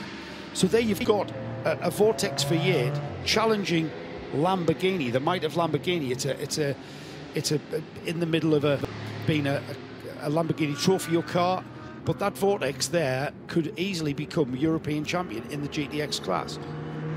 And it is very similar to the Ginetta story in the UK as we see the absolutely. GSR Motorsport Ginetta parked up at turn one, not stuck in the gravel, so waiting to see whether they can re-fire this car up and get back going again. But obviously Ginetta with a one-make series, multiple one-make series in the UK, probably a bit further down the road uh, than Vortex, uh, certainly with a huge amount more investment than, uh, than Vortex has. But Vortex from 2016 uh, building uh, that car, so it is eight years old, the Vortex 1.0. Uh, the dream of Arnaud and Olivier Gomez, uh, who are who are brothers competing uh, in the in various silhouette racing series, and we go code 60. Oh, and look at the reaction of the uh, of uh, the the Urba racing machine there, unbelievable, just diving into the pits at the very last moment. We've got the 76 already in, so Greg Guilvert, that has fallen beautifully for IMSA LS Group performance because this now really resets the field. We haven't had a Code 60, would you believe, uh, for over three hours. It was our mid hour stint last time that it happened. And so lots of green flag running, lots of green flag pit stops. We now go to a Code 60 pit stop for Patrick Kolb in the 91, but a 76 clean full tank. And Haas RT missing the Bowsers and straight to Nick Damon. No, they were already in the oh, fuel Oh, stop beautiful. before Code 60 was called. So they've got a full tank. They half of it, or two thirds of it, was done under green flag. Now doing a full service. Mika Piku, Mika Panu getting out. Sorry, not quite sure who's got in. I was too excited about the. But that's a quick stop. Oh no, stall, but it's gone. But all that part of the pittery, the driver change, the tyres, that was all done for free, effect under Code 60, and most of the fuel stop as well. So the uh, gods have smiled kindly onto Haas RT. Yeah, Haas RT and you would say the... Uh, Everyone actually took advantage of that one. Greg Guilvert, uh, IMSA LS Group, actually Renauers and the Herberth machine having to only take half a tank. They're pitting now. That will take effect in 45 minutes' time when they will have to pit again and the others will be able to stay out. Uh, the Bowsers aren't completely full. Uh, but there is a lot of cars making their way around the final turn, so maybe they will get fuller. Ginetta obviously with a little issue, not stuck in the gravel, now being pulled away. The IMSA's with Nick now.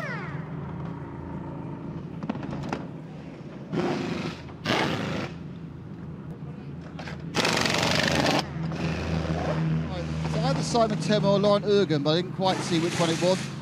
Uh, currently, obviously, in the car was uh, Gregory Guilvert. He's out. And it's already cleaned down the way now. Of course, they've only got half a tank, so they have less fuel added than uh, Haas RT. Oh, no, to say down the way, it was down, but it's not away. Only a few seconds. They've still got a lot of their cooling, uh, the kind of the hip cooling you have on the uh, Porsche 911. They've got quite that blacked off. I expect to have it blacked off for the uh, obviously the much cooler damp weather, but it stayed um, blanked off. So obviously they've got their uh, temperature very much under control. Uh, we've got a bit of a traffic jam, I'm afraid, in the pits. The Ferrari has got blocked in by uh, the Seat Cupra, the 125, trying to find space uh, and couldn't find space, so basically parked up and blocked the 22 Ferrari in uh, for a few seconds. Uh, that has now cleared, the Ferrari coming in to have the rest of its service done. Uh, but everybody wants to get a service done at this point, I think. And IMSA heading out back into the race. Uh, Nick is still watching pit stops. Yeah, down the way already, the uh, the Herberth car. They've done a they've done a driver change. I'm wandering down there now to see whether the driver change they've done is someone who's arrived from Valencia, or is on there is either Alfred. It's Ralf or Bonnick. um, It's Ralf Alleman. Bonnick. Yeah, Ralf. Oh, they back. are. They are here. They have arrived. Uh, that's exciting. Well, I have to see whether Robert Renauer is around because the whole team should be there. Worth a chat. But yep. So that just goes. They said they'd be there for seven o'clock, and quarter past seven, Rolf's in the car. And Trussers has decided to keep the 903 out and not come and fuel it right now. Not very many teams choosing to do that. No, no, the 909's in for fuel, uh, Ben. Sorry, it was the 903 that's gone past then. Which Yeah, that's the red ant car. Red ant car. Different animal. Different animal. Same colour. Yeah. And not dissimilar liveries, I just a bit more a- orangey. And I'm not sure an ant's an animal, actually. It's an insect, isn't it? isn't an insect an animal? I think so. Oh, it's still early. I think so. The uh, ants are animals, says Nick Damon on air. I don't know why you're still on air, Nick, but you are. Thank you very much. That's down to you. That's down to Um, you. And uh, so, yeah, Not interestingly, the 955 and the 903 both missing the pits and carrying on. Not I, not because the um, the fuel bowsers were full, but that's obviously playing into their strategy. Well, it's a way of, of, of gaining ground, isn't it? If the other car, the car that uh, ahead of you, it's a way of gaining ground, and, and while that car pits, you are gaining on it all the time. Um, and if you've if you've got a good uh, chunk of fuel still on board, your tyres are good, your driver's good, then it's a way you know you can you can miss some a pit stop out and, and gain some time back. However, the 909, let me just have a look at the 909, is on its outlap. Fabian Danz now at the wheel of the Red Camels car, still in the lead of the 992 class, and I'm not actually. You know what? Um, it's not really a surprise for those cars to stay out, Ben, because they're trying to make up a lap. Yeah, absolutely. They're trying to get back into contention, aren't they? Let's go down to Nick, who's got Patrick Kolb with him. Uh, Patrick, I mean, it's a convenient time to stop, but had you already had a call saying, okay, Rolf's here, you better get out of the car? Yeah, it was the eagle has landed, so it was get the fuck out of my car. No, kidding. Uh, we were basically six laps to go on the fuel, so it was relatively good timing for us. Ralf is here, Ralf is on fire. He got a bit of a warm up this morning already, so that's good. And now he can go hunt down the leader. And how is the car out there? We were hearing a lot of issues about grip for those Porsches. Yeah, well, I mean, in the end, it can't be that bad because we're at the front of the pack, which is good. Um, we're struggling. We're driving around, a bit around the problems. I think it's new, a new tire for everyone. Feels good. It seems to hold, which is nice. And uh, yeah, other than that, it's just adapting the driving style to the new tire. Great stuff. Thank you, Patrick, indeed. And apologies for language, but he's just out the car and he did need to get out of it. The rest of Europe don't mind. It's only us English. Um, so, to explain then, Ralf Bohn and Alfred Renauer Robert, race. Robert. Robert? Yeah, Alfred's been here. Okay. Have been uh, racing in Valencia today in the sprint series of the SRO Endurance Championship. And that's about four and a half hours drive away. Haven't clarified how they've arrived here. Planes, trains, and automobiles, eh? Yeah, because I think a helicopter would be a lot faster. Uh, but they have now arrived. Valencia race was at two o'clock local time, and so they gave themselves half an hour of uh, a shower. And if they did drive, then they have got here bang on time. They're going to do the night stints and all their duties here. But they then have qualifying tomorrow morning in Valencia and a second race. So uh, double bubble in uh, in an IndyCar, NASCAR, you know, Daytona. Yeah. Six, no, Yeah. what is it? It's Coca-Cola 600, Indy 500, kind of speck of a way. Yeah, we've had people flying flying over from America to do the uh, to do the um, Le Mans Test here, for instance. They've done the Detroit race on the Saturday and then flown across the Atlantic, private jets, private planes, in any way, shape, or form they can get across, and drivers taking part in the Le Mans Test here. So very, very, very international and motorsporty that. Crucially, uh, Urban Motorsport coming back into the pits to get the second half of their fuel done. Uh, just seen that underneath me. Uh, so, and so has the 76 LS Group Performance car. So they must have felt as though they'd missed the uh, the green flag. I thought they're getting a full tank of fuel. We're going back to green flag racing now. Um, Nick, did you have anything else to add?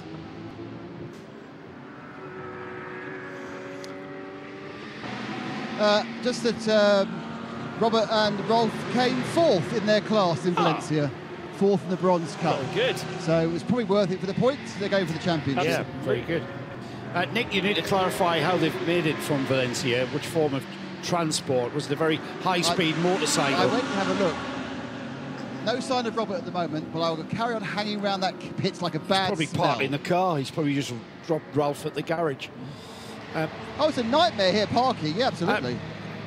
Ralph Bowden, by the way, it's a very special race for him. It's 50th 50th race with the 24 series, so it's something to celebrate, no question. And it's great to have both Robert and Ralf having made it from Valencia. Uh, no pressure at all, is it? There you go, Ralf. Oh, you've arrived. Get in the car. Where are we in the field? You're leading, mate. Yeah, and look Off at the you go. traffic that he's got to contend with here. Already cleared four cars. He's got another four to get through.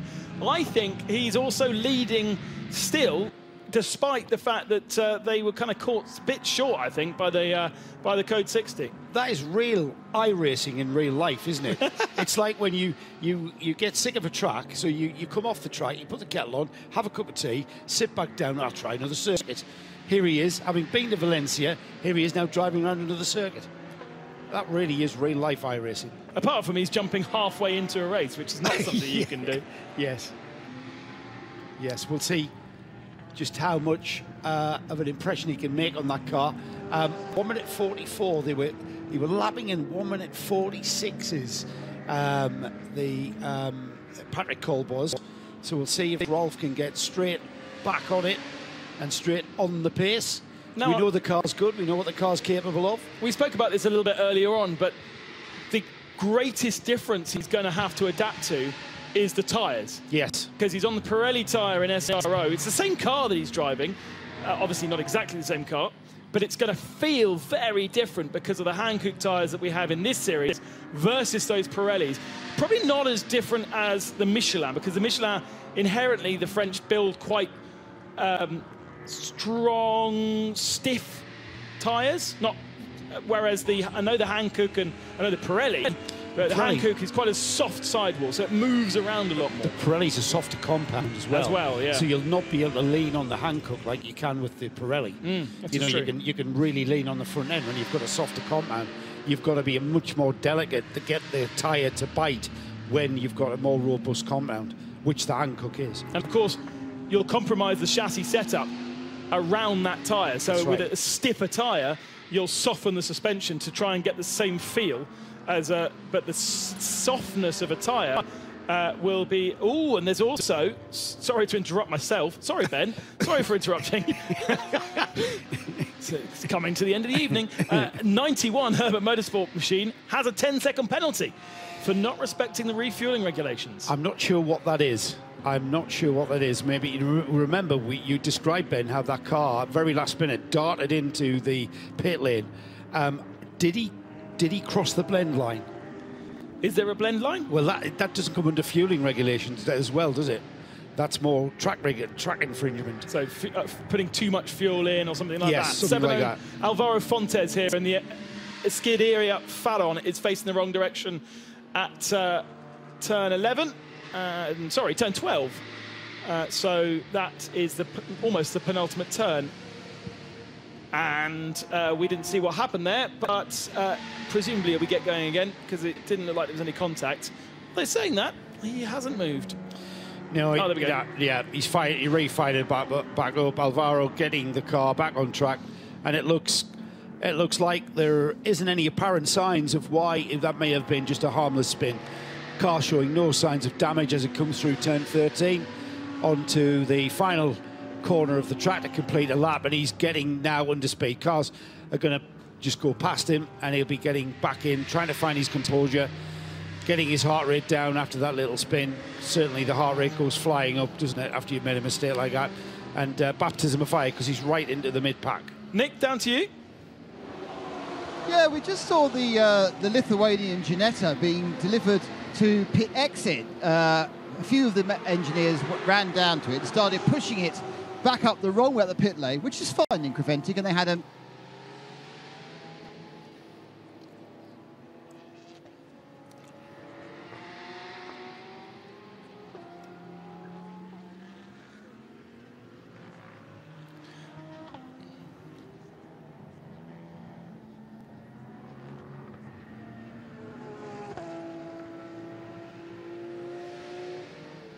Oh, yes. I point. I didn't notice that. Yeah, yeah. Yeah. Good point. There's a lot of 991s, 992s, 9912s, 992, 992 class. this is a 991. This, is, is a 9912. yeah. This is a Yeah. 9912. 9912. Yes, it is. Yes. Only, only our Only boss man Porsche. Hindhoff Yeah. would know. Yeah. Um, we need a Porsche expert. Do we know any? John will be able to tell us exactly the differences from the, you know, even the thickness of the steering wheel. Nick, uh, the, the next thing is to find out what the word for Y is in Lithuanian and ask the Ginetta boys yes. that word. Because it does seem a bit odd that uh, Well, they that- need to have a code 60 towed all the way around the, the circuit to pit it, had, out. It had all the appearance of a control or delete, didn't it? Um, I'm not sure exactly what went on there, but if, as Nick said, they just fired it up and then went back out, that's a bit, uh, a bit, uh, a bit intriguing. So, gaps wise, then, we're watching the leader of the race, Ralf Bohn, in the Herberth Motorsport Porsche 9912.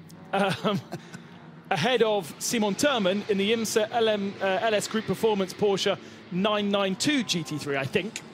Can I just say, Ben? I did. I did say, let's see if Ralf Bohn can get straight on the pace. Look at that, a 145.7. Oh, wow. oh wow, He's on the pace. He's on the pace straight away. His first flying lap past the pits, and a 145.7. Um, in comparison, 146.4 for the number 76 second place Porsche, And a one- 58 seconds is the gap. and 58 seconds is the gap. 149.5 for Chris Jules in the Haas RT Audi. 147 dead for Yannick Mettler in the car collection Porsche. So straight on the pace. In fact, he's gone quicker. 145.3 that time. What we are waiting for, or it, it, we do now have quite a significant gap, don't we, between first and second, and then third, fourth, fifth. Yeah, spacing out. Kris Cools in the Haas RT Audi now, 220 laps completed versus the 223 uh, that the number 91 car has done. So uh, big gap. Then Yannick Mettler in the car collection portion number 23 uh, sits just, I think, just under a lap from Kris Cools. And then just 11 seconds back is Charles Espenlaub in the CP Racing. So that reset of pit stops after that little code 60 has really changed things quite a lot in the uh, in the top order. In 992, it is the 909 that still leads, and the objective of the last code 60 was to try and get 955 and 903 onto their lap. Uh, I'm not sure whether they've achieved it or not. I don't. I don't think they have been there. Uh, so the 99, uh, sorry, the 909 is on 217 laps. The cars behind them in class. Sergio Nicolai in the Villi Motorsports Porsche on 216, 35 seconds behind in third place is uh, Huub van Eijndhoven in the Red Ant car, and a further 18, just over 13 seconds behind is uh, has that got, has that jumped up to the so it's same four- lap? So it is 45 They seconds. have, yes, yeah. yes, they have. They've proved me wrong. But So Red Camels have that pit stop advantage, don't they? Thir- yeah, 34 seconds is the gap in the 992 lead. So that, that tactic did work. And now, if we get another opportunity to pit and everybody does so, the Red Camels car, our, our friend Paul Truswell, can decide whether or not to and stay out. So, as ever, tactics coming to the fore. I've always said it, Ben, endurance racing is won on the pit wall. It is Absolutely. a pure team effort. Half a minute between Sergei Nikolai and Huub van Eijndhoven, but does mean that no, they're all three on on the lap. And HRT Performance 930 is also on that same lap, one minute 30 back. So the top four in 992 are all on the same lap, which is great news. Patrick Huisman is uh, the man we're watching right now in the 907 RPM Racing Porsche, that distinctive chrome green, and they are the best AM competitor in 992, but they are a lap back. They're, they, we are looking at the European champions in the 992 AM class elect in the, in the form of the RP racing team. Little spin for Aldris Navikas in the 72 JUTA Racing Audi. Fifth position in GT3 AM, 11th in GT3. Uh, penultimate position in GT3 now that the Ferrari of Jochen Krumbach uh, has got going again, but they are at the tail of the GT3 field. In GTX, it's the KTM X-Bow that we uh, jump aboard every so often with. 10 seconds to the good over RD Sign's Lamborghini. So there's a battle to watch. Whether it goes out or in, we're not so sure. And then a lap back is the VDS Racing Adventures MARC II V8. And uh, Rafael van der Straten is aboard that car right now. And they are third in class ahead of the first of the Vortexes, which is 701. GT4 is led by Atlas BX, and they are a good chunk ahead of the Hofor Racing by Bonk BMW now. Uh, I say a good chunk, let's be more specific. Nearly seven laps. Uh, and that is basically all the information on our first page. Apart from TCR, which is led by Holmgaard Motorsport, Magnus Holmgaard aboard that car right now. Three laps to the good over Jos Stevens in Bas Koeten's Cupra. Uh, got a question for everybody out there in 24 Series land. What is the connection between the Haas RT team and the Van der Straten team? I don't think anyone would know. No one's going to know the, the answer to that. Yeah, one's one's running a MARC MARC Cars V8. The other one's running an Audi R8. It's not the number eight. That's not the connection. One's, gonna- one's based in Antigua, the other uh, I'm- based in Holland. Say that again, Nick. It's That's all it. Belgian. Everything's Belgian. They're all Belgian. It's a Well, it's Belgian an thing. Antiguan entry, the Haas RT. Well, that's not the answer, though, Nick. Belgium, yes, but Belgium isn't the answer. No, no, I'll tell you the answer. Uh, Sandrine Haas, the name above the door, is a fam is is family connected, second cousins to the Van der Straten family. Is how she explained it to us, and she's only realised that. Did she say she only found that out this week? when she's been chatting or just no, recently? no, it was recently though, yeah. Yeah, fairly recently. And the 758, the car that's modelled on the, the Ford Mustang, it has got a Ford engine, and that's a tube frame car. And if only we could get, what, 12 of them? They sound phenomenal, like any V8 on, on full pipe sound. It, they absolutely sound beautiful. It's music. I'm all for loud racing cars. I'm old school. Have you seen the new Ford Mustang GT3 car? Yes, exactly. And have you heard it? Oh, even the GT4 car sounds pretty yeah, good. Absolutely. Yeah. Talking of sounding good, the Wochenspiegel team Monschau Ferrari 296 doesn't sound too bad either. Did we get to the bottom of what the problem was there? Well, we were told gearbox issue. Well, yeah, we? yeah. There's a one for Nick then. Let's find out. All right, gearbox issue isn't enough for Ben and I. We're geeks. We want to know exactly what the issue is because they they came in, they obviously played around with some sort of software with a laptop, reprogrammed something, car went out, wasn't rectified, came in again, spent a little bit of time. Uh, let's, let's bring Nick in there, Ben. What, what you say, Nick? You, did you find out?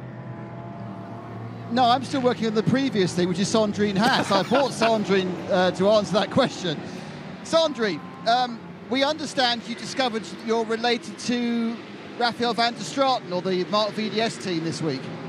Yeah, well, I kind of knew, I guessed, um, and a few races ago, um, I did ask him if one of his aunts was, and yes, we are uh, family related. Is it just because you're all basically Belgian is it- and and all of Belgium's related? No, not all Belgians are related, but all Belgians know each other. Yeah. Now you've got yourself a special T-shirt. If you look on the back, this is the this is the T. It, it mentions all the teams. Now the key point is how do you qualify? You, told me how myself and Joe and Ben could qualify to get on the T-shirt. How do we get on your T-shirt? I think first, have to spend more time with us, and have to drink rum after the race. It's the rum after the race. You're on. We're all we're all fine. The race finished at midday. We've nowhere to go for five hours. Let's drink rum. No probs. Hey, Nick, I may qualify because I've worked in the same race team as Chris the Donker, Chris the boss. Ah, yes. Yeah. So I might be in there, and I can drink rum too. And I, and I, and I visited Antigua, so does Yeah, that count? I think we're in it. Yeah, I, I think reckon. we're in there. Yeah. I even knew the bar that she was talking about. Hello uh, to Cloggies, uh, if you are still watching over in Antigua. Um, I've had a drink in your bar before. Fabulous. Cloggies. Yeah. Owned by A Dutch person, Dutch guy. unsurprisingly. Yeah, a Dutch person, yeah. Yeah. Hello, Cloggies. They apparently are tuning into the race, Ben. So when we go back to Antigua, well, when I go to Antigua, when you go back to Antigua, We can pop into Cloggies and see who we are. Well, and also, if you are a fan of the 24H series and you find yourself in this dilemma that your uh, your partner or your friend has booked you a holiday in Antigua over a clashing 24H series 2024 race, for instance, let's say Mugello, you know that you can still tune in in Cloggies and enjoy your holiday at the same time. Great to be point. fair, I can't think of anything better than hanging out in English Harbour, drinking rum, and watching the 24H series at the same time. There's no pirates there now, is there? Oh yes, lots. Almost certainly. Almost certainly. And parrots? Parrots? It's got to be parrots there if there's pirates. I suppose there's parrots. Don't spoil the illusion. They mate. might not be. They might not be as um, colourful as a parakeet. Is that the right word? I don't know. What, what does pirate? What do pirates have on their shoulder? Parrots or parakeets, aren't they? Yeah. Could choose. But if there's pirates, there's going to be pirates. But that's a great. That's great advice. That's great advice. Oh, it's a macaw. Yes, you're so right, Nick. Yeah. Shame. What was about? Sorry, whilst I was getting Sandrine, you were witching on about another thing you wanted me to do. What well, was it? we are Ben and I being geeks. We're not just happy with the expedition on the Wochenspiegel team Ranchal Ferrari as having a gearbox issue. We want to know exactly what the issue is because the car's going splendidly now. The car's well back in it. It's on 218 laps. Yes, 10 laps down off the lead. However, 146 sixes. Car's back on the pace. How did they fix it? Yeah. And actually, you could go to uh, Bagheera and ask the same question as well. We've got a yellow flag because there's a car facing the wrong direction uh, that we've just decided not to look at. Um, at turn seven, there it is, 917, and that's Antonio Garzon of Orchid Racing Team. They've actually got an onboard camera in that car uh, that we sometimes go and have a look at. They're second in AM right now, but uh, there are only a lap ahead of MRS GT Racing. Wow, this is going to be a bit of a tricky manoeuvre. Reversing into the racing line down there at turn seven. Don't like it. Go forward. Yeah, it's Oh, go- oh, you see? yeah, it's causing some consternation. This isn't he? This is like my, my Ah. bum cheeks are literally squeezed together. Now then, hasn't quite got the lock. He No, has got the lovely. lock. Yeah. No Great code 60 needed, and I can relax. Yeah, great. It was uh, a little bit touch and go there, wasn't it? Very fast section, that, of course, to turn seven. Got to carry that speed up the hill towards turn nine. You want to you want to be on it. So as you come through the corner, they'll have been met with the car at 90 degrees, but uh, no harm, no foul, and that car's back underway. Uh, good discussion on the YouTube chat uh, as the That's a 929 929 with a puncture. with a puncture on the left front. Uh, so Harley Horton aboard the HRT Performance Porsche there, one of three named as such, one of four run by the team. Um, good chat on the YouTube stream at the moment about being Dutch and not related to Belgians, more connected to Germany than Belgian. Uh, Erwin, thank you very much. And Erwin likes to sleep next to his computer with the stream always running when there's a 24H series race on. Great stuff. Oh, now 709 grinding to a halt. What's going on? The attrition's kicking in. Let's head down to Nick Damon. Nick, what have you got? Well, I've meandered around the WTM racing, and I, I thought, you know, I'm going to use my investigative skills. There aren't many spares here, are there, on this thing? There's a new spare. beam. This is an E-shift actuator. Something that actually runs here where your paddle shift, it converts your paddle actuation into a movement on the gearbox. Something that can be unfixed and refixed with three screws. Hmm, that could be a gearbox problem, could it, That's boys? a great. That is that is outstanding work, Nick. You're, you're almost taking an interest there. That is fabulous work. fabulous work. Gearbox actuator. There you go. Yeah, paddle actuator. Great Fla- work. It was a flappy paddle issue. Yeah. Meanwhile, we've got a puncture on the 929. We've got a car that stopped. What was the number on the car that stopped? I didn't quite see it. 90. Oh, there he is. 7 31st. Seven oh, is- what does that say? 709? Fon, Fon, um, It it's Alvaro Fontes. Yeah. Who we who spun um, who spun a little bit earlier on in our last stint, I think. So the 929 has now made it back to the pits and has gone straight through, fueling, and will be heading down to their pit garage. Harley will take the car to the pit lane. HRT Performance will be ready for it. Seventh in the 992 class. So not in contention certainly for a class podium, but that will not do their race any good whatsoever, that puncture. Strange. Uh, we've seen a couple we've seen a couple of deflated tyres, but not that many, so I'm not quite sure how that car's picked that one There's up. a lot of bits out there, isn't there? Uh, Whether Yeah, it be by now there marbles is, yeah. or bits of carbon, there's a lot of stuff on track. And because we've not really had a long code 60 period, there's not been the opportunity for the marshals to go out and do a big sweep. We had that earlier on. I mean, on the look on the this is the start finishing straight, and on the right hand side there is a border of chunks of rubber that have been left on the side of the circuit. And we've seen a couple of tyres deflate on the main straight, haven't we, uh, earlier on today? It's kind they've kind of give up. I think they've probably got the damage earlier. And earlier there could have been damage Yeah, from contact, yeah, which we established. I mean, what, what you don't want to do is run your run your tyres across those marbles, and because all of that melted, all of that rubber will stick to the tyre, and then you'll have a horrific vibration for the whole stint, because it'll be very very hard to shed that amount of pickup. Lots of pickup there, just off off the racing line, literally inches off the racing line on driver's left, heading down the main straight. So we will not want to be doing that for any of our drivers. Uh, the rest of the track looking as fabulous as ever. Sun beginning to just disappear behind the clouds on the horizon. So it'll not be long before we start seeing the uh, the darkness creep into the sky. Last few moments of light here. Actually, looks very light on our camera. It's not as light as that in real life, everybody. We have got tinted windows. Ah. Yeah. There it is. Clever. Have we really? Yeah, we have. Slightly. Great view there. Circuit of Catalonia. There's that iconic shot head on on the pit straight, just going into turn one, and then just see the speed that the cars carry. Yes, it's a heavy braking area, but it's not a stop, is it? It's a carry speed into that section of track. The right, left, and then into the never ending turn three. What a great view there, just looking back down the pit straight. And uh, that undulation in the track is quite a, it's quite a steep entry. The CP Racing Mercedes in fifth place overall, just off the lead, a couple of lap, laps by about three or four laps at the moment. Charles Espenlaub at the wheel of the car, and this car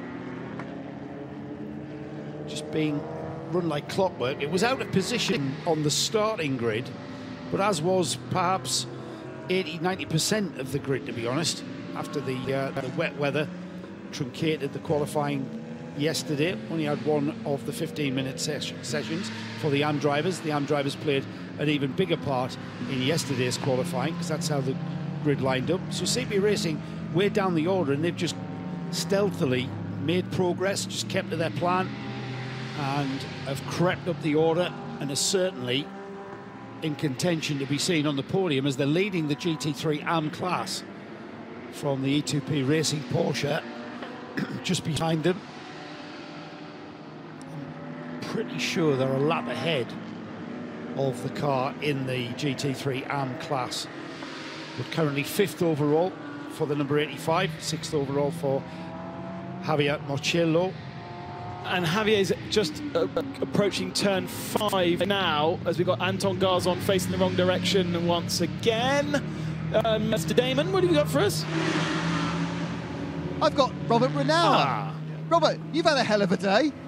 Yeah, it was a bit busy today. Um, coming from Valencia after the sprint race today, now we are here.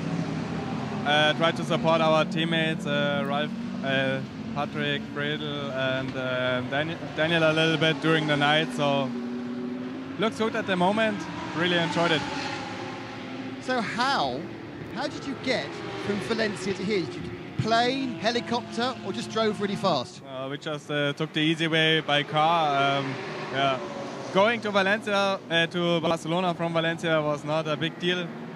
Gonna be uh, a bit harder going back to Valencia this night. So yeah, we will see. We have one guy with us from our team and driving us later, or in the in the early morning hours, and then we see. So the car that's here, is this your GT Open car, is it? That's true. Yeah, it's the GT Open car. Now, uh, obviously Ralf's just jumped in the car and doing Which a brilliant job, but it's a different track, it's different tyres, it's even a different type of Porsche. How difficult is that?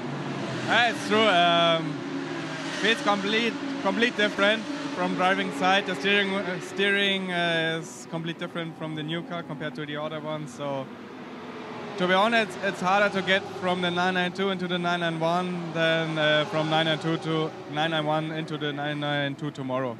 So the step today now back to the old car is much harder than, for example, tomorrow back to qualifying. So has the trip so far been worth it? We know you guys came fourth in the Bronze Cup earlier. Is that enough points to make it worthwhile going to Valencia?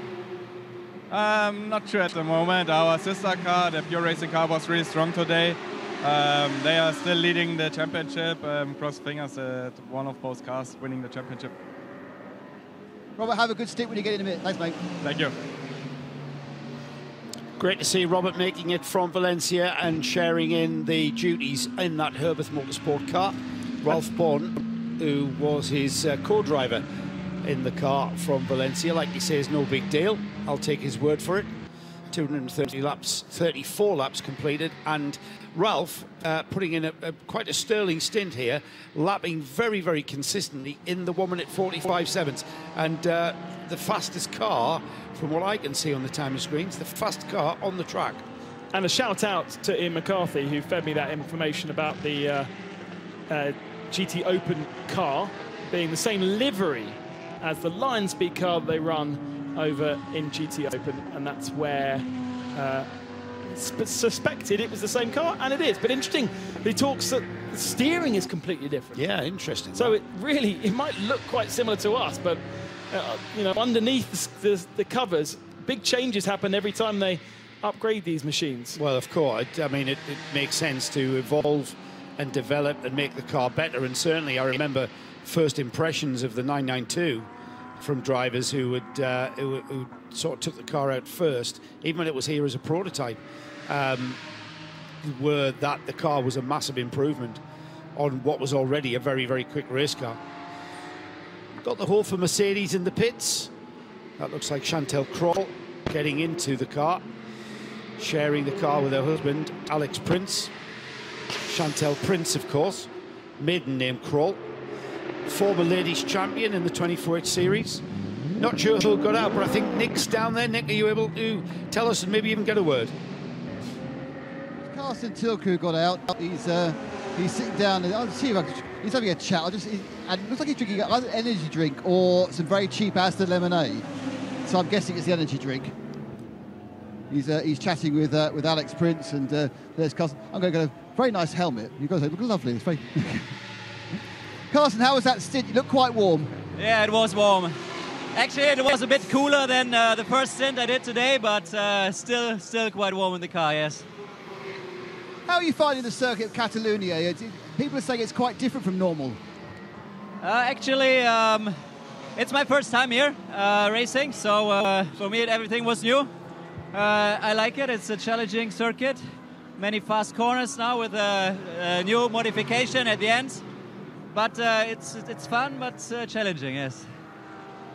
And how is the car going? Because again, it's, it's the again it's been, we've been hearing from all the drivers. It's been very um, uneven grip. The cars are kind of not really gripping well. Sorry, sorry, I didn't hear that. How is the grip on the car? Because a lot of drivers saying it's very uneven. Yes, the grip is very difficult. Uh, at the beginning, it's quite good for a couple of laps, and then, especially in the first stint, it was very difficult. Now, when the temperature goes down a little bit, uh, it felt better. But at the end of the at the end of the stint, it's very slippery uh, out there uh, with the tires. Great stuff, thank you indeed. Yeah, it's a pity he hadn't driven his dad's version of the circuit as well, wasn't it, Ben? we were we were just seeing that. yeah, that's very we were, good. We were just seeing that it was it was his dad's version that uh, was he was brought in. Hermann Tilke, his father, was brought in to slow the cars down through that final turn. And to be honest, he achieved that objective. He was given an objective and he achieved yeah, the objective. He achieved it, yeah. And the, the other idea was to try and encourage overtaking. So bunch the cars up closer through the chicane so that they could then follow easier through the final turn and then outbrake each other at turn well, one. That was the problem because the cars, for, we're talking Formula One here, yeah. weren't able to follow each other through the final turn because exactly. it was so high speed. So yeah. you had disturbed air. So they wouldn't be able to follow each other through at all. Uh, which negated the, uh, the this one kilometre straight into a heavy braking area. So yeah, in fairness, certainly suits uh, endurance sports cars and certainly GT3 sports cars and, and under. Yeah, the circuit itself not built by uh, Hermann Tilke's organisation, built in 1991, around the time of the uh, Barcelona Olympics, in fact, and formed part of uh, various events that year. But it was the Tilke organisation that was brought in to modify the circuit later on. In fact, uh, doing a little bit more research on that, the first Hermann Tilke circuit built was not until 1999. I expected, considering Hermann's age, that he'd been building circuits for 20, 30 years. He was a racer himself and actually really got involved in Sepang. modifying a, the A1 ring, but the first track he built, Nick Damon correctly says, was Sepang. There is a, uh, there's um, a Christmas quiz question for, uh, Yeah. for anybody to add to. Yeah, he, didn't he also um, design the Chinese track at uh, um, Zhuhai? He's done many In at Shanghai. And what's more, he, he was he's responsible for the Singapore uh, night race circuit. And I had a beer with him in Singapore, and he just sat down and started chatting to us. And it took me after talking, oh, so what do you do here? And, and he asking the same question. Yeah. Took good 20, 25 minutes to get to the point where I was going, oh, I'm having a beer with Hermann Tilke. Oh, right. Because he didn't come over, I'm Hermann Tilke, I built the circuit. Right, yeah, just, yeah. "Oh, can I sit Yeah. here? Yeah, you can. Uh, Chat, chat, chat about motorsport. And he was such an understated gentleman. It was a, a lovely discussion to have with him. Uh, but he's had, there's a lot of circuits that you've never heard of that he's now built. One in Kazakhstan, I noticed. The Yeah, theme of the weekend, weird racetracks. Yas Marina. Where, Yeah. You know, you go to Yas Marina, which is where we'll go for the Abu Dhabi six hours in January, and that really is when you go to a facility like that, that is 21st century motorsport. You know, I grew up standing in a muddy field up against a wooden fence, and then you go to somewhere like Yas, and it's like, ah, this is what modern motorsport facilities are. You know, fully paved, brick paved, concrete, tarmac, seating areas everywhere. Don't forget, they What built a facility. marina there as well as part of the build product. The marina wasn't there before the track was there. So it was just called Yas. Well, it was just a piece of scrubland, marshland. Yeah. They built the marina into it to, to create the Monaco feel uh, that, yeah, it, that it now has. Uh, Nick Damon? Nicholas? That was a, uh, a was saying that my lovely Di was coming early after my dinner. Does that mean uh, that you can replace Di earlier on later? That I know would be what a you're great getting- I know what idea. you're That's a, a getting at. fantastic idea. Let- Oh, thanks, Nick. We owe you. Goodbye then. Nick deserves uh, a lovely dinner after does. working out what the uh, issue on the Ferrari was. Exactly. We knew it was gearbox issue. And his but the- Vortex tour. the- and the Vortex tour was fabulous. We'll get, they'll Yeah. be clipped up and used forever and a day until Yeah. we see that car in December. Uh, you'll hear more from Nick Damon before the end of, our broadcast at 11 o'clock local time this evening. Uh, we'll take a rest overnight. You'll be able to watch what's going on on the live timing, of course. Um, we will rejoin you with pictures at 7 o'clock tomorrow morning for the last five hours of this race. Very odd. I don't think I've ever started a 24 hour race so early on in the day and having so much of it before the second day. Actually, we're having completely equi hours, equi hours of time because it's starting midday till midnight and then midnight till midday. A lot of the time you'll have a three o'clock start traditional with Le Mans. Uh, Spa 24 hours tends to be a four, has been a 5.30 one year, and that's painful because you get to the It's second day and you go, hang on a second, oh, I've got a whole day to Yeah. do. Tomorrow, two and a half hours for you and I. Yes. We're and- done by 9.30. And, and when we're back, we're back on air at 7 a.m. Uh, local time here. And what we'll be able to do at midnight, we award ha- half points. We award half points towards the championship. So going into the final five hours of not just the Barcelona 24 hours, but the 2023 24H Series European Trophy for GT and TCE, we'll be able to bring you up to date, massively up to date with the championship standings. If you can't wait till then, it's all going to be updated as it goes, as it evolves organically on the website. So go to 24H Series uh, on your uh, on the internet, 24hseries.com, and check out the championship standings, which, as we go through this race, are updating all the time. So as we change positions, as cars drop and, and or improve, the championship situation differs ever so slightly. Uh, just to give you an overview, GT3, well, let's start with the overall trophy. It's still got the Atlas BX Motorsports Mercedes at the head of the championship table on 180 points.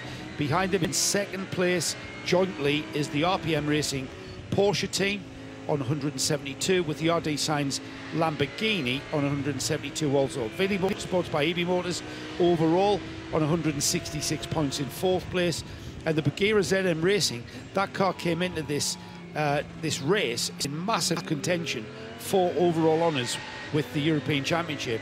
They're in fifth on 162 places, and that's purely down. The reason why they've dropped down the table is because of that problem starting the race. Uh, Holmgaard Motorsport lead the Touring Car Endurance Series, and if they are still where they are at midnight, they will actually take the championship. They cannot be caught going into the final five hours of this race. So if at midnight Holmgaard are there where they are now, they will take the European Championship for the Touring Car Endurance Series, which is indeed the last time we'll be uh, racing for the Touring Car Endurance Series. Uh, we'll, it'll be coming to a, a halt next year, 2024 we amalgamate all of our GT and touring car classes into just one big series. It's the way we did it before. We're going back to that, and uh, so it'll be the the uh, the final award of our touring car endurance championship tomorrow, or indeed at midnight tonight, if Holmgaard Motorsport can stay where they are. Uh, our class championship GT3 is being led by the Haas RT Audi team. They're at 130 points. That's on your screens at the moment. There is your GT3 class championship leader. The GT3 Pro Am championship is being led by the Scherer Sport Audi. The GT3 AM category being led by CP Racing, as is the class in this race. CP Racing leading the class, as well as or am I wrong? Have they dropped down behind the Ferrari? No, they haven't. No, they're still ahead of the Ferrari. And then the 992 class Vili Motorsport by Ebimotors, they're on 166 points. Red Ant Racing's in second on 156, and then just behind them, Red Camels Jordan on 152. That's the 992 class honours there up for grabs still. 992 AM, you've got RPM Racing there in contention for the overall uh, European Championship trophy.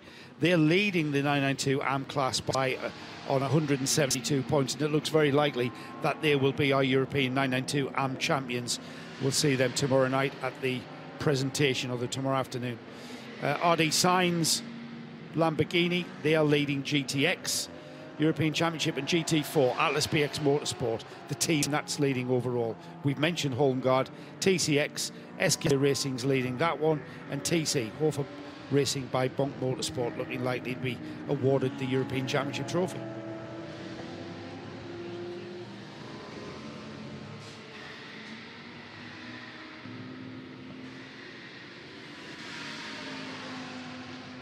Let's take a look then at the results as we click into uh, 8 o'clock local time, 16 hours to go. It is Herberth Motorsports leading by just over a minute over the slightly newer Porsche 911 GT3R of IMSA LS Group Performance with Haas RT's Audi 4 minutes and 15 seconds back. Uh, so that is about two laps back.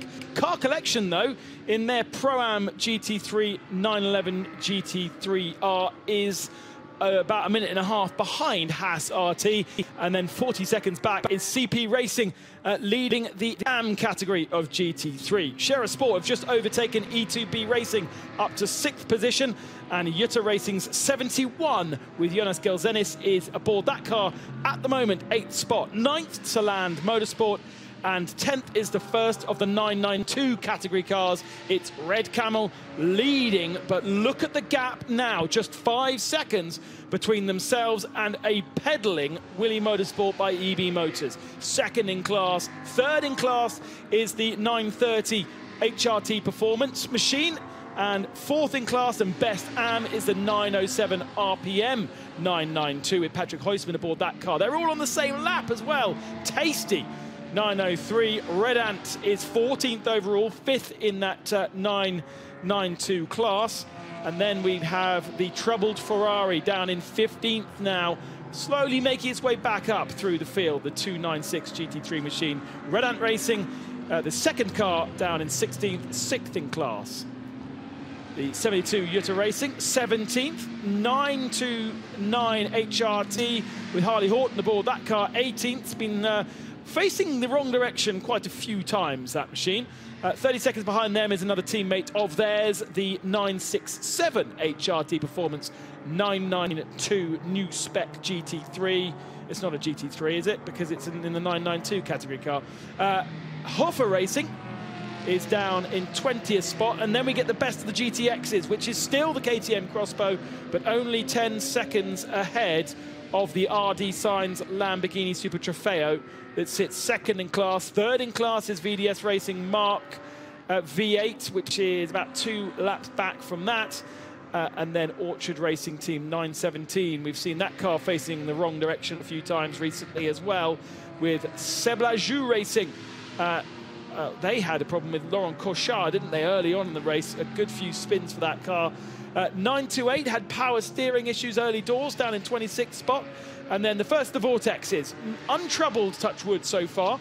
Fourth in class, 27th overall. MRS GT Racing never really showing in 28th with Atlas BX Motorsport, the best of the GT4s in 29th position overall and a good chunk of time ahead of Hofor Racing by Bonk, the second of the GT4 category cars.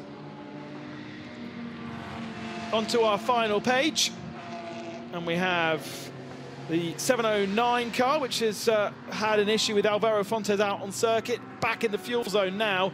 Richardson Racing maybe in the pits, down in 34th spot. Bagheera uh, still not really recovering after their early fuel issues. And GRS, uh, GSR Motorsports Ginetta is overheating. That's the issue that they have got, and they are struggling to get that uh, working properly. They're the three TCR cars. Holmgaard seven minutes ahead of Bas Koeten with Wolf Power Racing uh, a long, long way back after breaking a drive shaft in uh, hour four, I think it was. Thank you, Ben. Let's head straight down to the pits where Binks has got something for us.